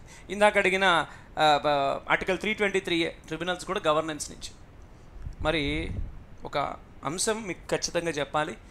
రేపు చిక్కడపల్లి నారాయణగూడ మీన్స్ నారాయణగూడ లైబ్రరీలో రేపు మనకి టెస్ట్ అయితే ఒకటి జరుగుతుంది. Mock test TSPSC group one offline free mock test మీరు చేయాల్సింది టెన్ ఫిఫ్టీన్ కల్లా అక్కడ ఉంటే టెన్ థర్టీ కల్లా ఎగ్జామ్ స్టార్ట్ అవుతుంది. Ten thirty to one exam అయిపోగానే ఆ ఎగ్జామ్కి సంబంధించిన క్వశ్చన్స్ ఎక్స్ప్లెనేషన్ మన యూట్యూబ్ ఛానల్లో ఉంటుంది. మీకు ఆ క్లాసులు కూడా ఆల్రెడీ మీకు కనిపిస్తూ ఉంటాయి. ఆ క్లాసెస్ కూడా ఆల్రెడీ క్రియేట్ చేయబడి చే క్రియేట్ చేసేసారు సో మీరు జస్ట్ వాటి మీద నోటిఫై మీ అని క్లిక్ చేస్తే క్లాస్ స్టార్ట్ అవ్వగానే మీకు నోటిఫికేషన్ వస్తుంది. మీకు ఏ క్లాస్ కావాలంటే ఆ క్లాస్ మీద నోటిఫై మీ అని క్లిక్ చేయండి. క్లాస్ స్టార్ట్ అవ్వగానే మీకు నోటిఫికేషన్ వస్తుంది. మీరు వెయిట్ చేయాల్సిన అవసరం లేదు. ఎప్పుడైనా ఒక ఫైవ్ మినిట్స్ ఎయిట్ మినిట్స్ ఒక్కోసారి డిలే అవుతుంది. సో మీరు వెయిట్ చేయాల్సిన అవసరం లేదు. నోటిఫై మీ మీద క్లిక్ చేస్తే క్లాస్ స్టార్ట్ అవ్వగానే మీకు నోటిఫికేషన్ వస్తుంది. సో రేపు morning ten thirty to one PM exam. AP అభ్యర్థులు కూడా రాయండి. ఏపీ అభ్యర్థులకి రేపు పదిహేడో తారీఖు గ్రూప్ వన్ ఉంది కాబట్టి ఇది చాలా హెల్ప్ఫుల్గా ఉంటుంది ఏపీ అభ్యర్థులకి.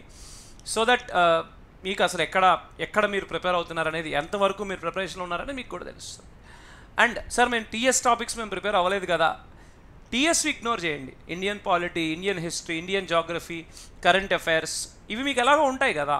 వీటి మీద ఫోకస్ చేసి వాటి వరకు సెలెక్టివ్గా పట్టుకోండి. ఇక్కడ మీరు ఒకటి గుర్తుపెట్టుకోవాలి టీఎస్పిఎస్ ఏపీఎస్సి గ్రూప్ వన్ అభ్యర్థులు.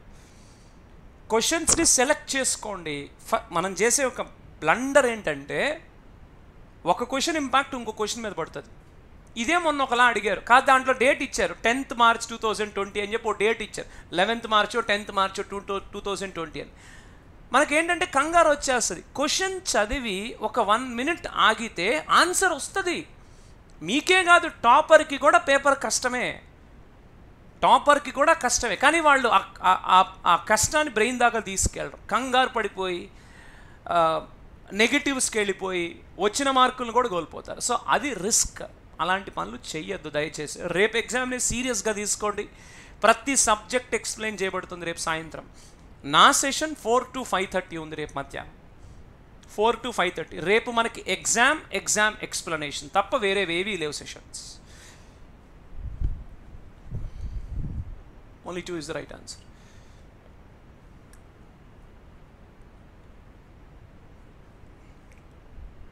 అప్పుడప్పుడు ఇట్లాంటివి కూడా వస్తాయి.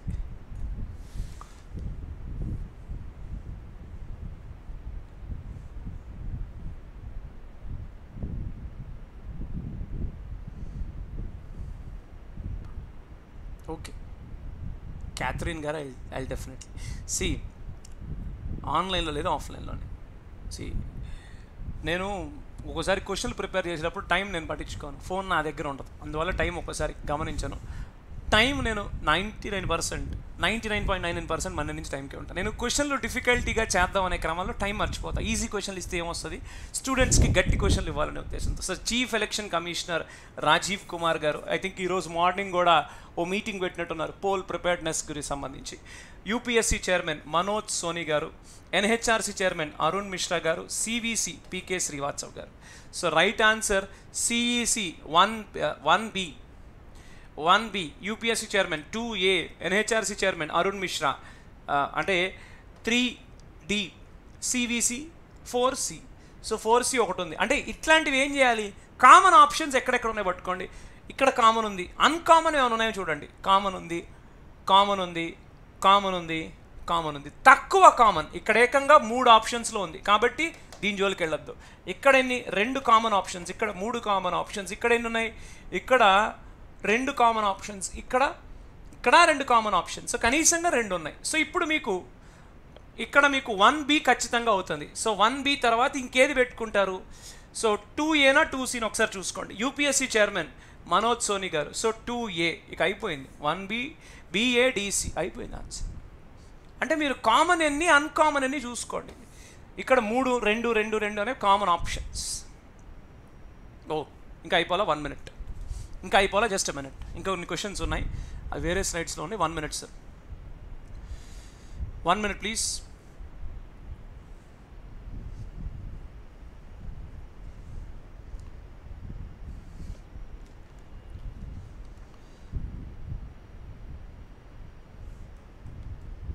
here these are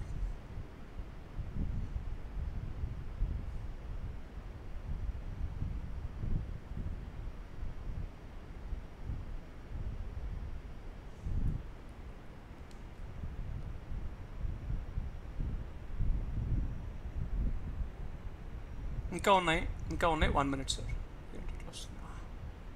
మనకి ఫోర్ టెన్ దాకా సెషన్ జరుగుతుంది. నా సెషన్ ఫోర్ టెన్ దాకా జరుగుతుంది.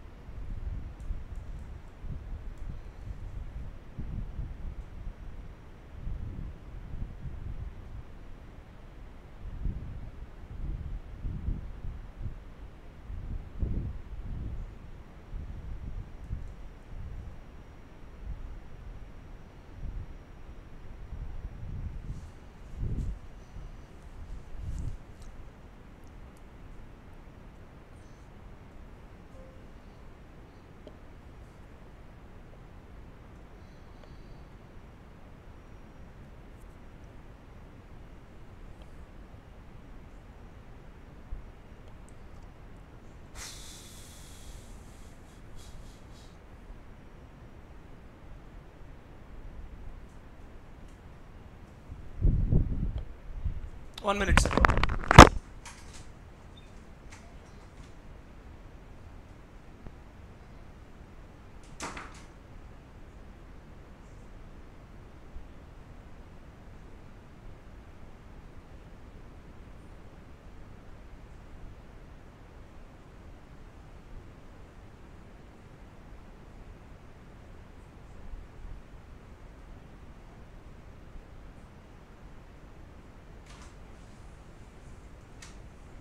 answer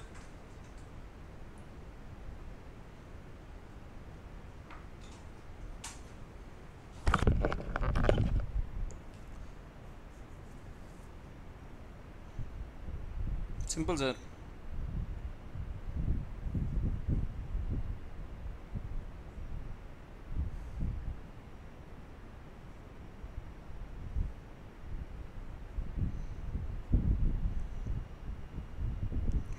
so right answer ఒకసారి జాగ్రత్త చూసుకోండి సార్. రైట్ ఆన్సర్ జాగ్రత్త చూసుకోండి. So the elections for the fourth schedule body and eleventh schedule are same నాకైతే తెలీదు. సరి అయినది ఏంటి అన్నాను కనుగొనండి అన్నాను. Elections for the fourth schedule body and eleventh schedule are same నాలుగో షెడ్యూల్ సంస్థకి పదకొండో షెడ్యూల్ సంస్థకి ఎన్నికలు ఒకేలా జరుగుతాయండి. ఇంతకీ నాలుగో షెడ్యూల్ ఏంటి? నాలుగో షెడ్యూల్ ఏంటి సార్ నాలుగో షెడ్యూల్ రాజ్యసభ. పదకొండో షెడ్యూల్ ఏంటి? పంచాయతీ. పంచాయతీకి రాజ్యసభకి ఒకేలా ఎన్నికలు జరుగుతాయా? పంచాయతీకి రాజ్యసభకు ఒకేలా ఎన్నికలు జరగవుగా? పంచాయతీకి వచ్చేసి ప్రత్యక్షంగా మనం ఓటేస్తాం పంచాయతీ సభ్యులకి. రాజ్యసభ మెంబర్లకు మనం ఓటేస్తామా? మనం ఓటేయం మనం ఎన్నుకున్న ప్రజాప్రతినిధులు అంటే మనం ఎన్నుకున్న ఎమ్మెల్యేలు ఓటేస్తారు. సో జై డైరెక్ట్గా అయితే ఎన్నికలు జరగవు. అంటే సేమ్గా అయితే ఎన్నికలు జరగవు. There are same states in fifth and sixth schedule ఐదవ ఆరవ షెడ్యూల్లో ఒకే రాష్ట్రాలు ఉన్నాయి. ఐదవ షెడ్యూల్లో పది రాష్ట్రాలు ఆరో షెడ్యూల్లో మూడు నాలుగు రాష్ట్రాలు. ఏటీఎం స్క్వేర్ అంటాం కదా ఆరో షెడ్యూల్లోని tribal area schedule area tribal area schedule area అలాగే all the languages of the eighth schedule are not applicable to the body in one twenty four article article one twenty ఫోర్లో ఏముంది? Supreme court ఉంది. Supreme కోర్టులో ఉన్న దానికి అంటే supreme కోర్టులో ప్రొసీడింగ్స్కి కానీ లేదా తీర్పులకి కానీ ఎయిత్ షెడ్యూల్లో ఉన్న భాషలు అప్లై అవ్వవు కదా? ఖచ్చితంగా అప్లై అవ్వవుగా? ఎయిత్ షెడ్యూల్లో ఇంగ్లీష్ ఉందా? ఇంగ్లీష్ లేదుగా ఎయిత్ షెడ్యూల్లో మరి ప్రొసీడింగ్స్ కానీ లేదు డిక్రీస్ కానీ అంటే సుప్రీంకోర్టు ఇచ్చే తీర్పులు కానీ ఇంగ్లీష్లోనే ఉంటాయి. ఇంగ్లీష్ ఎయిత్ షెడ్యూల్ కాదుగా? కాబట్టి only three is the right answer అది లేదు కాబట్టి none is the right answer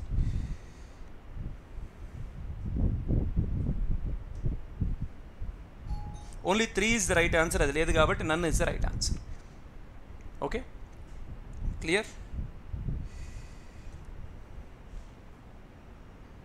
so ఒకసారి జాగ్రత్తగా చూస్తే సో మనకి భారత రాజ్యాంగంలో మొత్తం పన్నెండు షెడ్యూళ్ళు లెవెన్త్ అండ్ ట్వెల్త్ షెడ్యూల్స్ డెబ్బై మూడు డెబ్బై నాలుగు రాజ్యాంగ సవరణలకు కారణమైనవి.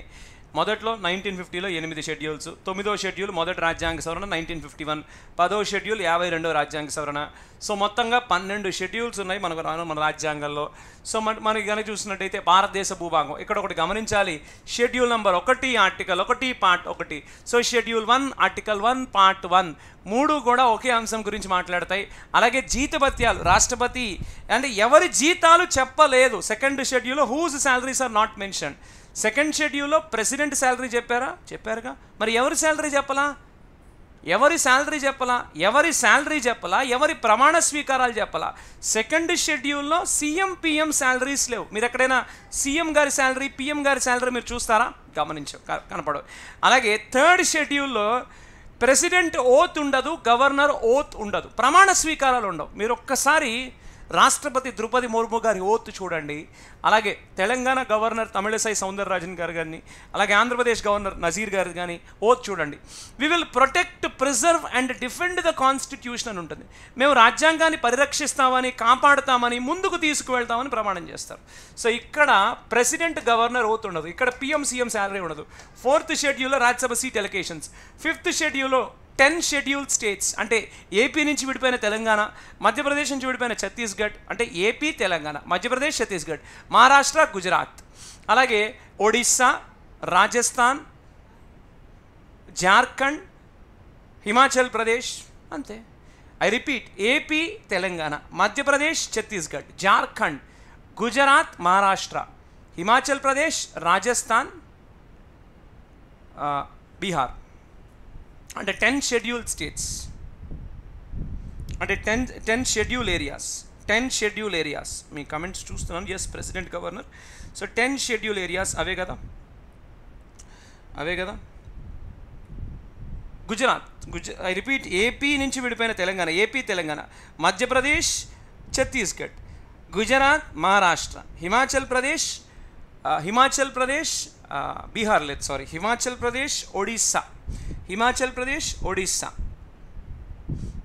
అంటే మనం సింపుల్ గుర్తుపెట్టుకోవడానికి జస్ట్ ట్రిక్స్ అనమాట ఇవి. అడుగుతారు సార్ ఒక్కోసారి అడుగుతారు. ఒక్కోసారి అడిగే ఛాన్స్ ఉంటుంది. ఒక్కోసారి అడిగే ఛాన్స్ ఉంటుంది. హిమాచల్ ప్రదేశ్ ఒడిస్సా రాజస్థాన్ అంతే. సో ఇంతకీ ఆర్టికల్ ఏంటో మరి? షెడ్యూల్డ్ ఏరియాస్కి సంబంధించి. టూ ఫార్టీ ఫోర్ కదా ఆర్టికల్. టూ ఫార్టీ ఫోర్ కదా.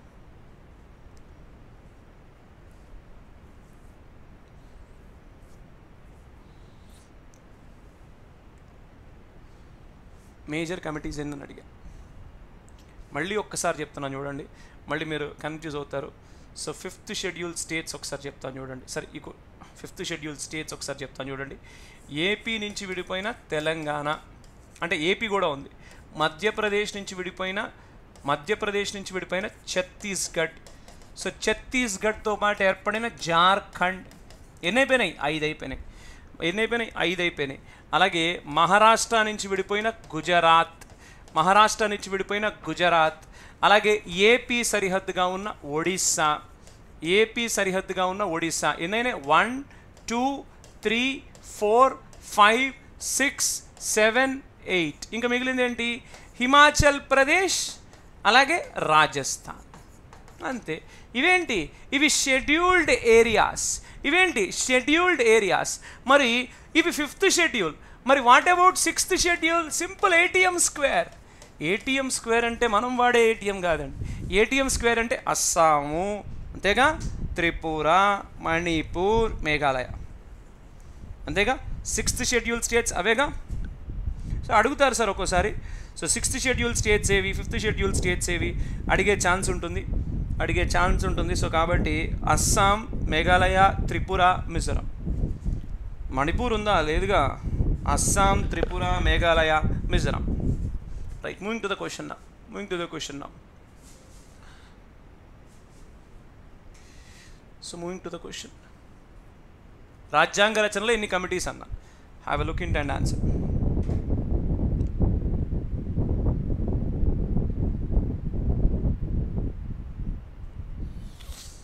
ఎన్ని ఎనిమిదా?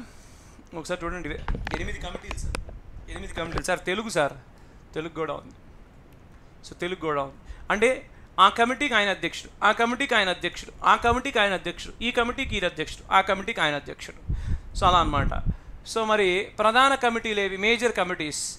Union power committee union constitution committee states committee. అంటే మూడు కమిటీలు. కేంద్ర అధికారాల కమిటీ కేంద్ర రాజ్యాంగ కమిటీ రాష్ట్ర రాజ్యాంగాల కమిటీ ప్రధాన కమిటీలో ఎవరు? జవహర్లాల్ నెహ్రూ గారు. అలాగే డ్రాఫ్టింగ్ కమిటీ బిఆర్ అంబేద్కర్ గారు. సర్దార్ వల్లభాయ్ పటేల్ గారి దగ్గర provisional constitutional committee advisory committee Sardar Vallabhbhai Patel గారు. Rules of procedure committee steering committee Rajendra Prasad గారు.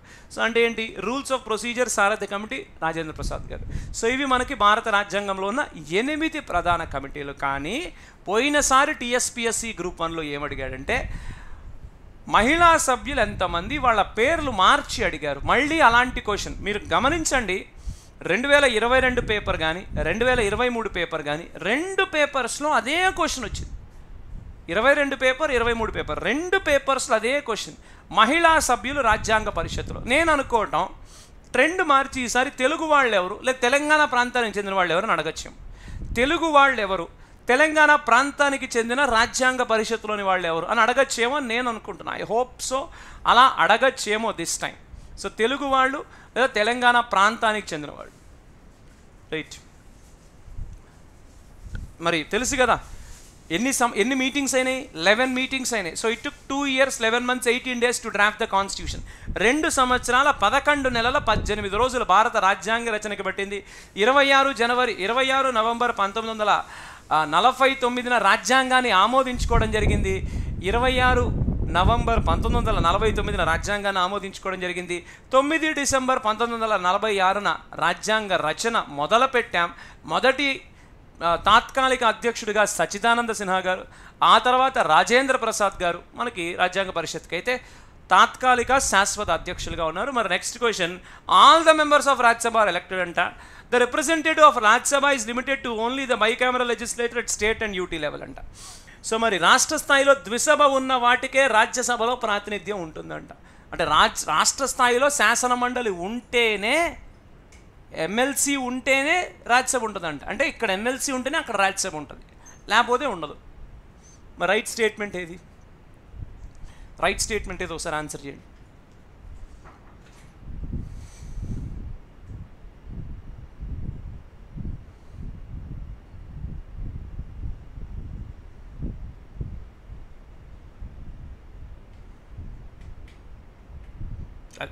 నేను నెక్- నేను నేను మెన్షన్ చేస్తాను మీకు.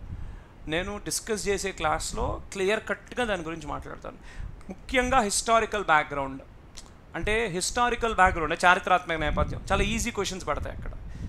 మరీ కట్ కట్ కష్టమైనవి చాలా కష్టం సార్. ఇక్కడ ఏమన్నానంటే all the members of Rajya Sabha are elected elected అన్నాను డైరెక్ట్లీయా ఇండైరెక్ట్లీయా పక్కన పెట్టేస్తే ఆల్ అన్నాను. ఆల్ అంటే తప్పేగా మరి రాజ్యసభలో నామినేట్ అవరా రెండు వందల ముప్పై మూడు మంది ఎన్నికవుతారు సార్? మరి మిగిలిన పన్నెండు మంది నామినేట్ అవుతారు సార్.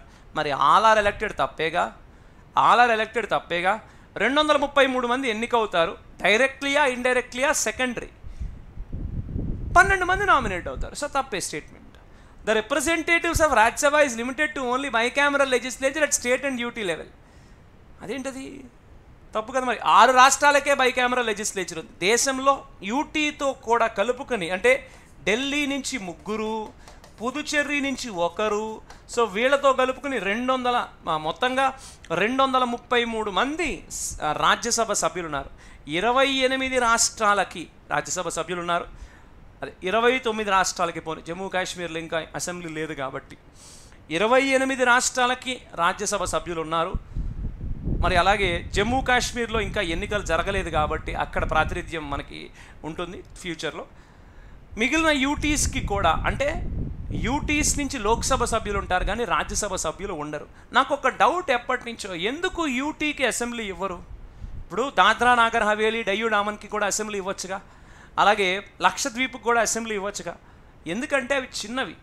అక్కడ పరిపాలన చెయ్యాలి అంటే కనీసంగా కొన్ని స్థానాలు ఉంటాయి. ఒక అసెంబ్లీ ఉండాలంటే కనీసంగా యాభై అసెంబ్లీ ఒక నలభై అసెంబ్లీ స్థాన అరవై అసెంబ్లీ స్థానాలు ఉండాలి. ఒక అసెంబ్లీ ఉండాలంటే కనీసం అరవై స్థానాలు ఉంటే అక్కడ అసెంబ్లీ. అరవై కన్నా తక్కువ ఉన్నాయి. సిక్కిం ముప్పై రెండే. కానీ దానికి రాజ్యాంగ సవరణ ద్వారా అలాంటివి చేయాలి. కొన్ని రాష్ట్రాల్లో నలభై ఉన్నవి ఉన్నాయి. మన దేశంలో అసెంబ్లీ ఉండాలి అంటే కనీసం అరవై సీట్లు గరిష్టంగా ఐదు వందల సీట్లు. అరవై నుంచి ఐదు వందల మధ్య సీట్లు ఉంటేనే ఒక రాష్ట్ర అసెంబ్లీ ఇస్తారు. ఇవేమో చిన్నవి కేంద్రపాలిత ప్రాంతాలు. సో ఖచ్చితంగా జాతీయ పార్టీలు అక్కడ పోటీ చేస్తాయి. అక్కడ ఉండే ప్రాంతీయ అవసరాల దృష్ట్యా ప్రాంతీయ పార్టీలు కూడా పోటీ చేస్తాయి. సో అప్పుడు ఏమవుతుంది? ఓ ఇరవయో పదిహేను సీట్లు వస్తే నువ్వు ఒక నాలుగు నేను ఒక నాలుగు ఇంకొకళ్ళు ఒక నాలుగు అని పంచుకున్నారనుకోండి అస్థిరత వస్తుంది. ఇన్ అక్కడ మనకి గవర్నమెంట్లు స్టేబుల్గా ఉండవు. అందువల్ల అవి డైరెక్ట్గా కేంద్రం పాలనలో ఉన్నాయి. లోక్సభ ఎన్నికల్లో అన్ని ప్రాంతాల్లోనూ ప్రాతినిధ్యం ఉంటుంది. అంటే వాటికి కూడా కేంద్ర పాలిత ప్రాంతాలకు కూడా రిప్రజెంటేటివ్స్ ఉంటారు. రాజ్యసభ ఎన్నికల్లో ఏ రాష్ట్రాలకైతే అసెంబ్లీ ఉంటుందో ఇక్కడ నేను బైకామరల్ లెజిస్లేచర్ అన్నాను కదా ఇక్కడ అసెంబ్లీ అనే మాట ఉంటే ఇది కరెక్ట్. అసెంబ్లీ ఉన్న చోట రాజ్యసభ స్థానం ఉంటుంది. అసెంబ్లీ లేని చోట రాజ్యసభ ఉండదు. ఎందుకంటే అసెంబ్లీలోని ఎమ్మెల్యేలే కదా రాజ్యసభ సభ్యులు ఎన్నుకునేది. అందుకే రాజ్యసభకు ఇంకో పేరేంటి? కౌన్సిల్ ఆఫ్ స్టేట్స్ అంటారు. సో వన్ తప్పే టూ తప్పే. సో కాబట్టి నైదర్ వన్ ఆర్ టూ ఇక్కడ ఒకసారి మీరు చూసినట్టయితే ఇక్కడ ఒకసారి మీరు చూసినట్టయితే రెండు వందల యాభై మంది మొత్తం. అందులో ప్రస్తుత గరిష్ట రెండు వందల నలభై ఐదు. ఎనిమిది మంది యూటీఎస్ అదే జమ్మూ కాశ్మీర్తో కూడా కలుపుకొని ఎనిమిది మంది యూటీఎస్ నుంచి వస్తారు. జమ్మూ కాశ్మీర్తో కూడా కలుపుకొని ఒకప్పుడు ఇరవై తొమ్మిది రాష్ట్రాలు ఇప్పుడు ఇరవై ఎనిమిది రాష్ట్రాలేగా. సో రెండు వందల ఇరవై ఐదు మంది రాష్ట్రాల నుండి ఎనిమిది మంది కేంద్రపాలిత ప్రాంతం నుండి పన్నెండు మంది నామినేట్. సో కాబట్టి నామినేట్ చెప్పలేదు కాబట్టి అందువల్ల. సో ప్రతి మూడు సంవత్సరాలక ప్రతి రెండు సంవత్సరాలక ప్రతి రెండేళ్ళకి వన్ థర్డ్ మెంబర్స్ రిటైర్ అవుతారు. మొత్తంగా సభ్యుడి కాలపరిమితి ఆరేళ్ళు ఇండైరెక్ట్లీ ఎలక్టెడ్ పరోక్ష ఎన్నిక. చాలాసార్లు అడిగాను ఈ question. I asked it many times I asked it many times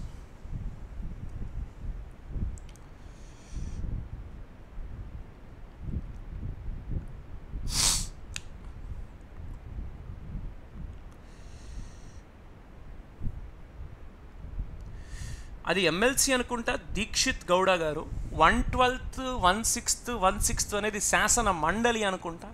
నేను రాజ్యసభ గురించి కదా ప్రస్తావించింది? నేను రాజ్యసభ గురించి కదా ప్రస్తావించింది? One twelfth one twelfth one sixth one sixth one third one third one sixth శాసన మండలి లెజిస్లేటివ్ కౌన్సిల్ అది హోప్ఫుల్లీ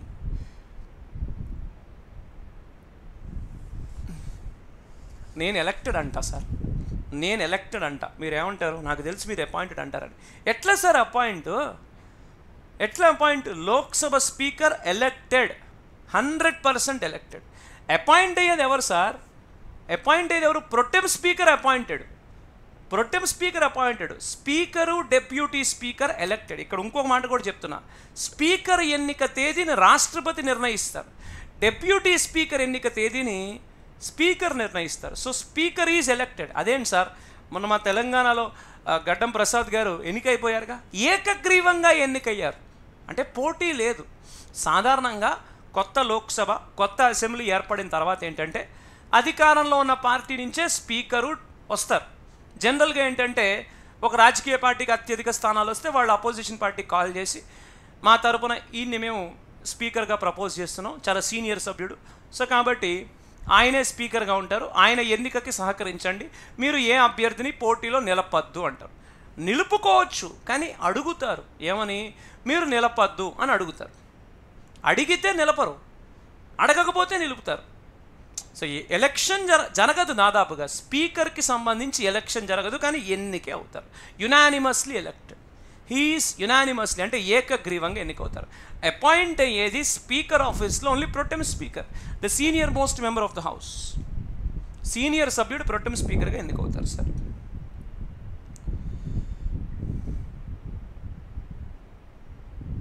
hmm, డిప్యూటీ స్పీకర్ టీఎస్లో ఎస్ ప్రొటెమ్ స్పీకర్. ఇంకా అది లిస్ట్ చెప్తాను అక్కడ ఒక్క నిమిషం అయిపోద్ది కదా మాట్లాడేద్దాం.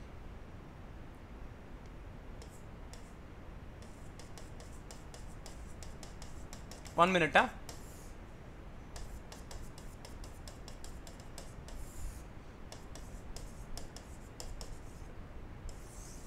అపాయింటెడ్ ఎవరు? PMO CMO ministers central state ఇద్దరు. మినిస్టర్స్ సెంట్రల్ స్టేట్ ఇద్దరు. అలాగే ministers PM CM ministers governor supreme court high court judges CJI so PM CM ministers central state ఇద్దరు. సెంట్రల్ స్టేట్ ఇద్దరు. సెంట్రల్ స్టేట్ ఇద్దరు. అలాగే CJI chief justice of India supreme court high court judges మరి elected ఎవరు? MLA MP MLC speaker deputy speaker deputy chairman Rajya Sabha deputy chairman legislative council Rajya Sabha and legislative council. RS అంటే Rajya Sabha LC అంటే legislative council. ఇక్కడ ఇంకోటి మర్చిపోయాను appointed appointed వచ్చేసి protem speaker. Protem speaker for Lok Sabha protem speaker for assembly. మరి ఇది elected మరి nominated ఎవరు? One sixth of the total members. One sixth of the total members by governor. One sixth of the total members to legislative council. By governor legislative council by governor one twelfth of the total members one tw- uh, sorry one twelfth కాదు 12 members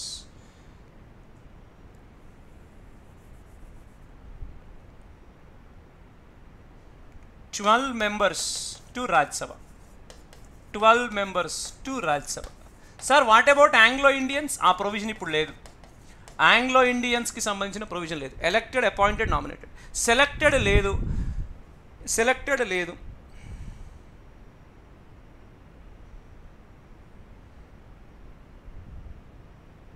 మర్చిపోయాను. President vice president కూడా మర్చిపోయాను sorry president vice president కరెక్టే president vice president president vice president correct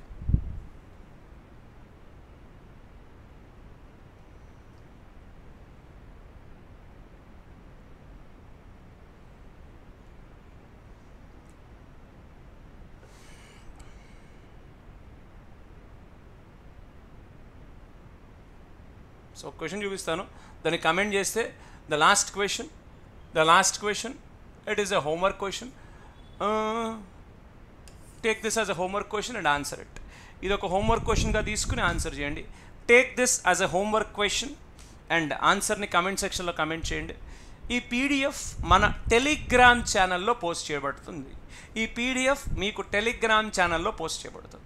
అంటే మనం discuss చేసిన Telangana society Indian society discuss చేయలేదు. Telangana society Telangana current affairs polity current మనకు మామూలుగా కరెంట్ అఫైర్స్ ఇవన్నీ కూడా పీడిఎఫ్ ఈరోజు రాత్రి లోపు పోస్ట్ చేయబడుతుంది. అలాగే మన కమ్యూనిటీ ఛానల్లో కూడా పోస్ట్ చేయబడుతుంది. సో ఒక్కసారి ఈ క్వశ్చన్కి ఆన్సర్ కమెంట్ చేసేయండి ఒక్కసారి. ఆన్సర్ కమెంట్ చేసేయండి ఒకసారి we will end the session please will end the session answer comment చేసేయండి. పప్పులో కాలేదే పప్పులో కాలేదు అందరూ. చూసి చూసి పప్పులో కాలేస్తారు కరెక్ట్గా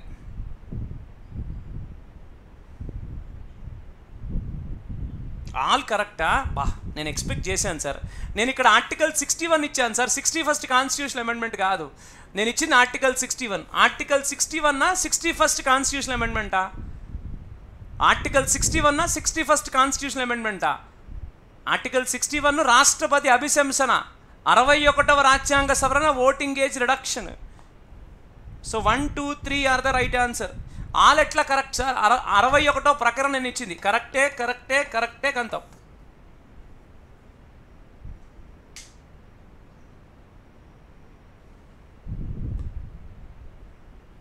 మరి అట్లా ఉంటే మనతో కాబట్టి కొద్దిగా చూడాలి. క్వశ్చన్ చూస్తే ఆన్సర్ వస్తుంది. చూడకపోతే it will go so that's all for today so next మరి మనకి నెక్స్ట్ మరి మనకి నాగేశ్వర్ సార్ క్లాస్ ఉంది. So don't miss so video కనుక నచ్చితే ఒక చిన్న లైక్ చేయండి షేర్ చేయండి. రేపటి exam do not miss I repeat పదిన్నర నుంచి ఒంటి గంట వరకు నారాయణగూడలోని సిటీ సెంట్రల్ లైబ్రరీలో రేపు పొద్దున ఎగ్జామ్ ఉంది.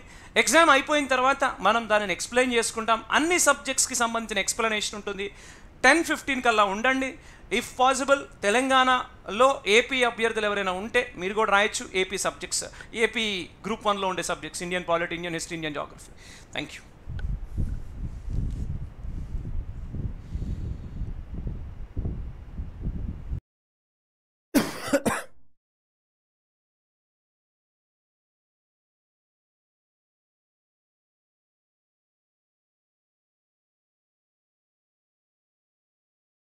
Yeah, hello students. Good evening. So welcome to Ada 24 on Telugu.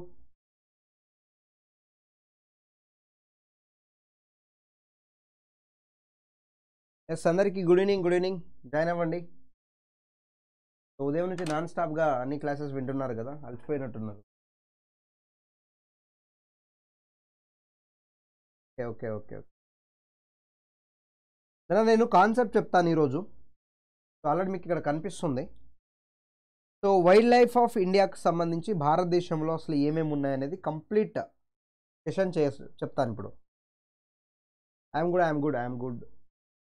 Complete session మనం డిస్కస్ చేసుకోబో చేసుకోబోతున్నాం. మధ్య మధ్యలో క్వశ్చన్స్ కూడా ఉంటాయి. సో ఎంసీక్యూస్ ప్లస్ కాన్సెప్ట్ రెండు. రెండింటిని డిస్కస్ చేద్దాం. అండ్ రేపు సెషన్ ఉంది. రేపు కూడా మనకు టూ అవర్స్ సెషన్ ఉంది ఈవినింగ్ ఉంది రేపు టూ అవర్స్. దాంట్లో వరల్డ్ జాగ్రఫీ మేజర్గా ఫోకస్ చేయబోతున్నాము. అండ్ దెన్ ఇండియన్ జాగ్రఫీ రేపు ఈవినింగ్ పాయింట్ ఆఫ్ వ్యూలో. అండ్ అందరికీ తెలిసిందే కదా రేపు Chikkadpally central library Ashok Nagar Hyderabad. So online కాదు ఆఫ్లైన్ ఎగ్జామినేషన్ మనకు బ్యాటరీ డెడ్ అంట. ఓకే. ఛార్జింగ్ చేసుకోండి. సో ఆన్లైన్లో కాదు ఆఫ్లైన్లో ఎగ్జామ్ ఉంది. హైదరాబాద్లో ఉన్న మిత్రులు ప్రతి ఒక్కరూ అటెండ్ అవ్వడానికి ప్రయత్నించండి. అండ్ వాటికి సంబంధించిన ఎక్స్ప్లెనేషన్ కూడా ఈవినింగ్ సెషన్లో మనకు ఉంటుంది కాబట్టి సో వీ కెన్ కన్సిడర్ నానా సో కొన్ని మనం ఆల్రెడీ మొన్న ఏపీఎస్సి గ్రూప్ టూ ఎగ్జామ్ అప్పుడు కొన్ని మనం డిస్కస్ చేసినాము. సో మిగతా అన్నిటిని మనం డిస్కస్ డిస్కస్ చేసుకుంటా వెళ్ళిపోదాం. సో కొన్ని వీటి మనం ఏదైతే మొన్న డిస్కస్ చేసినా వాటిని నేను త్వరితగతిన నేను రివ్యూ ఇవ్వడానికి ప్రయత్నిస్తాను.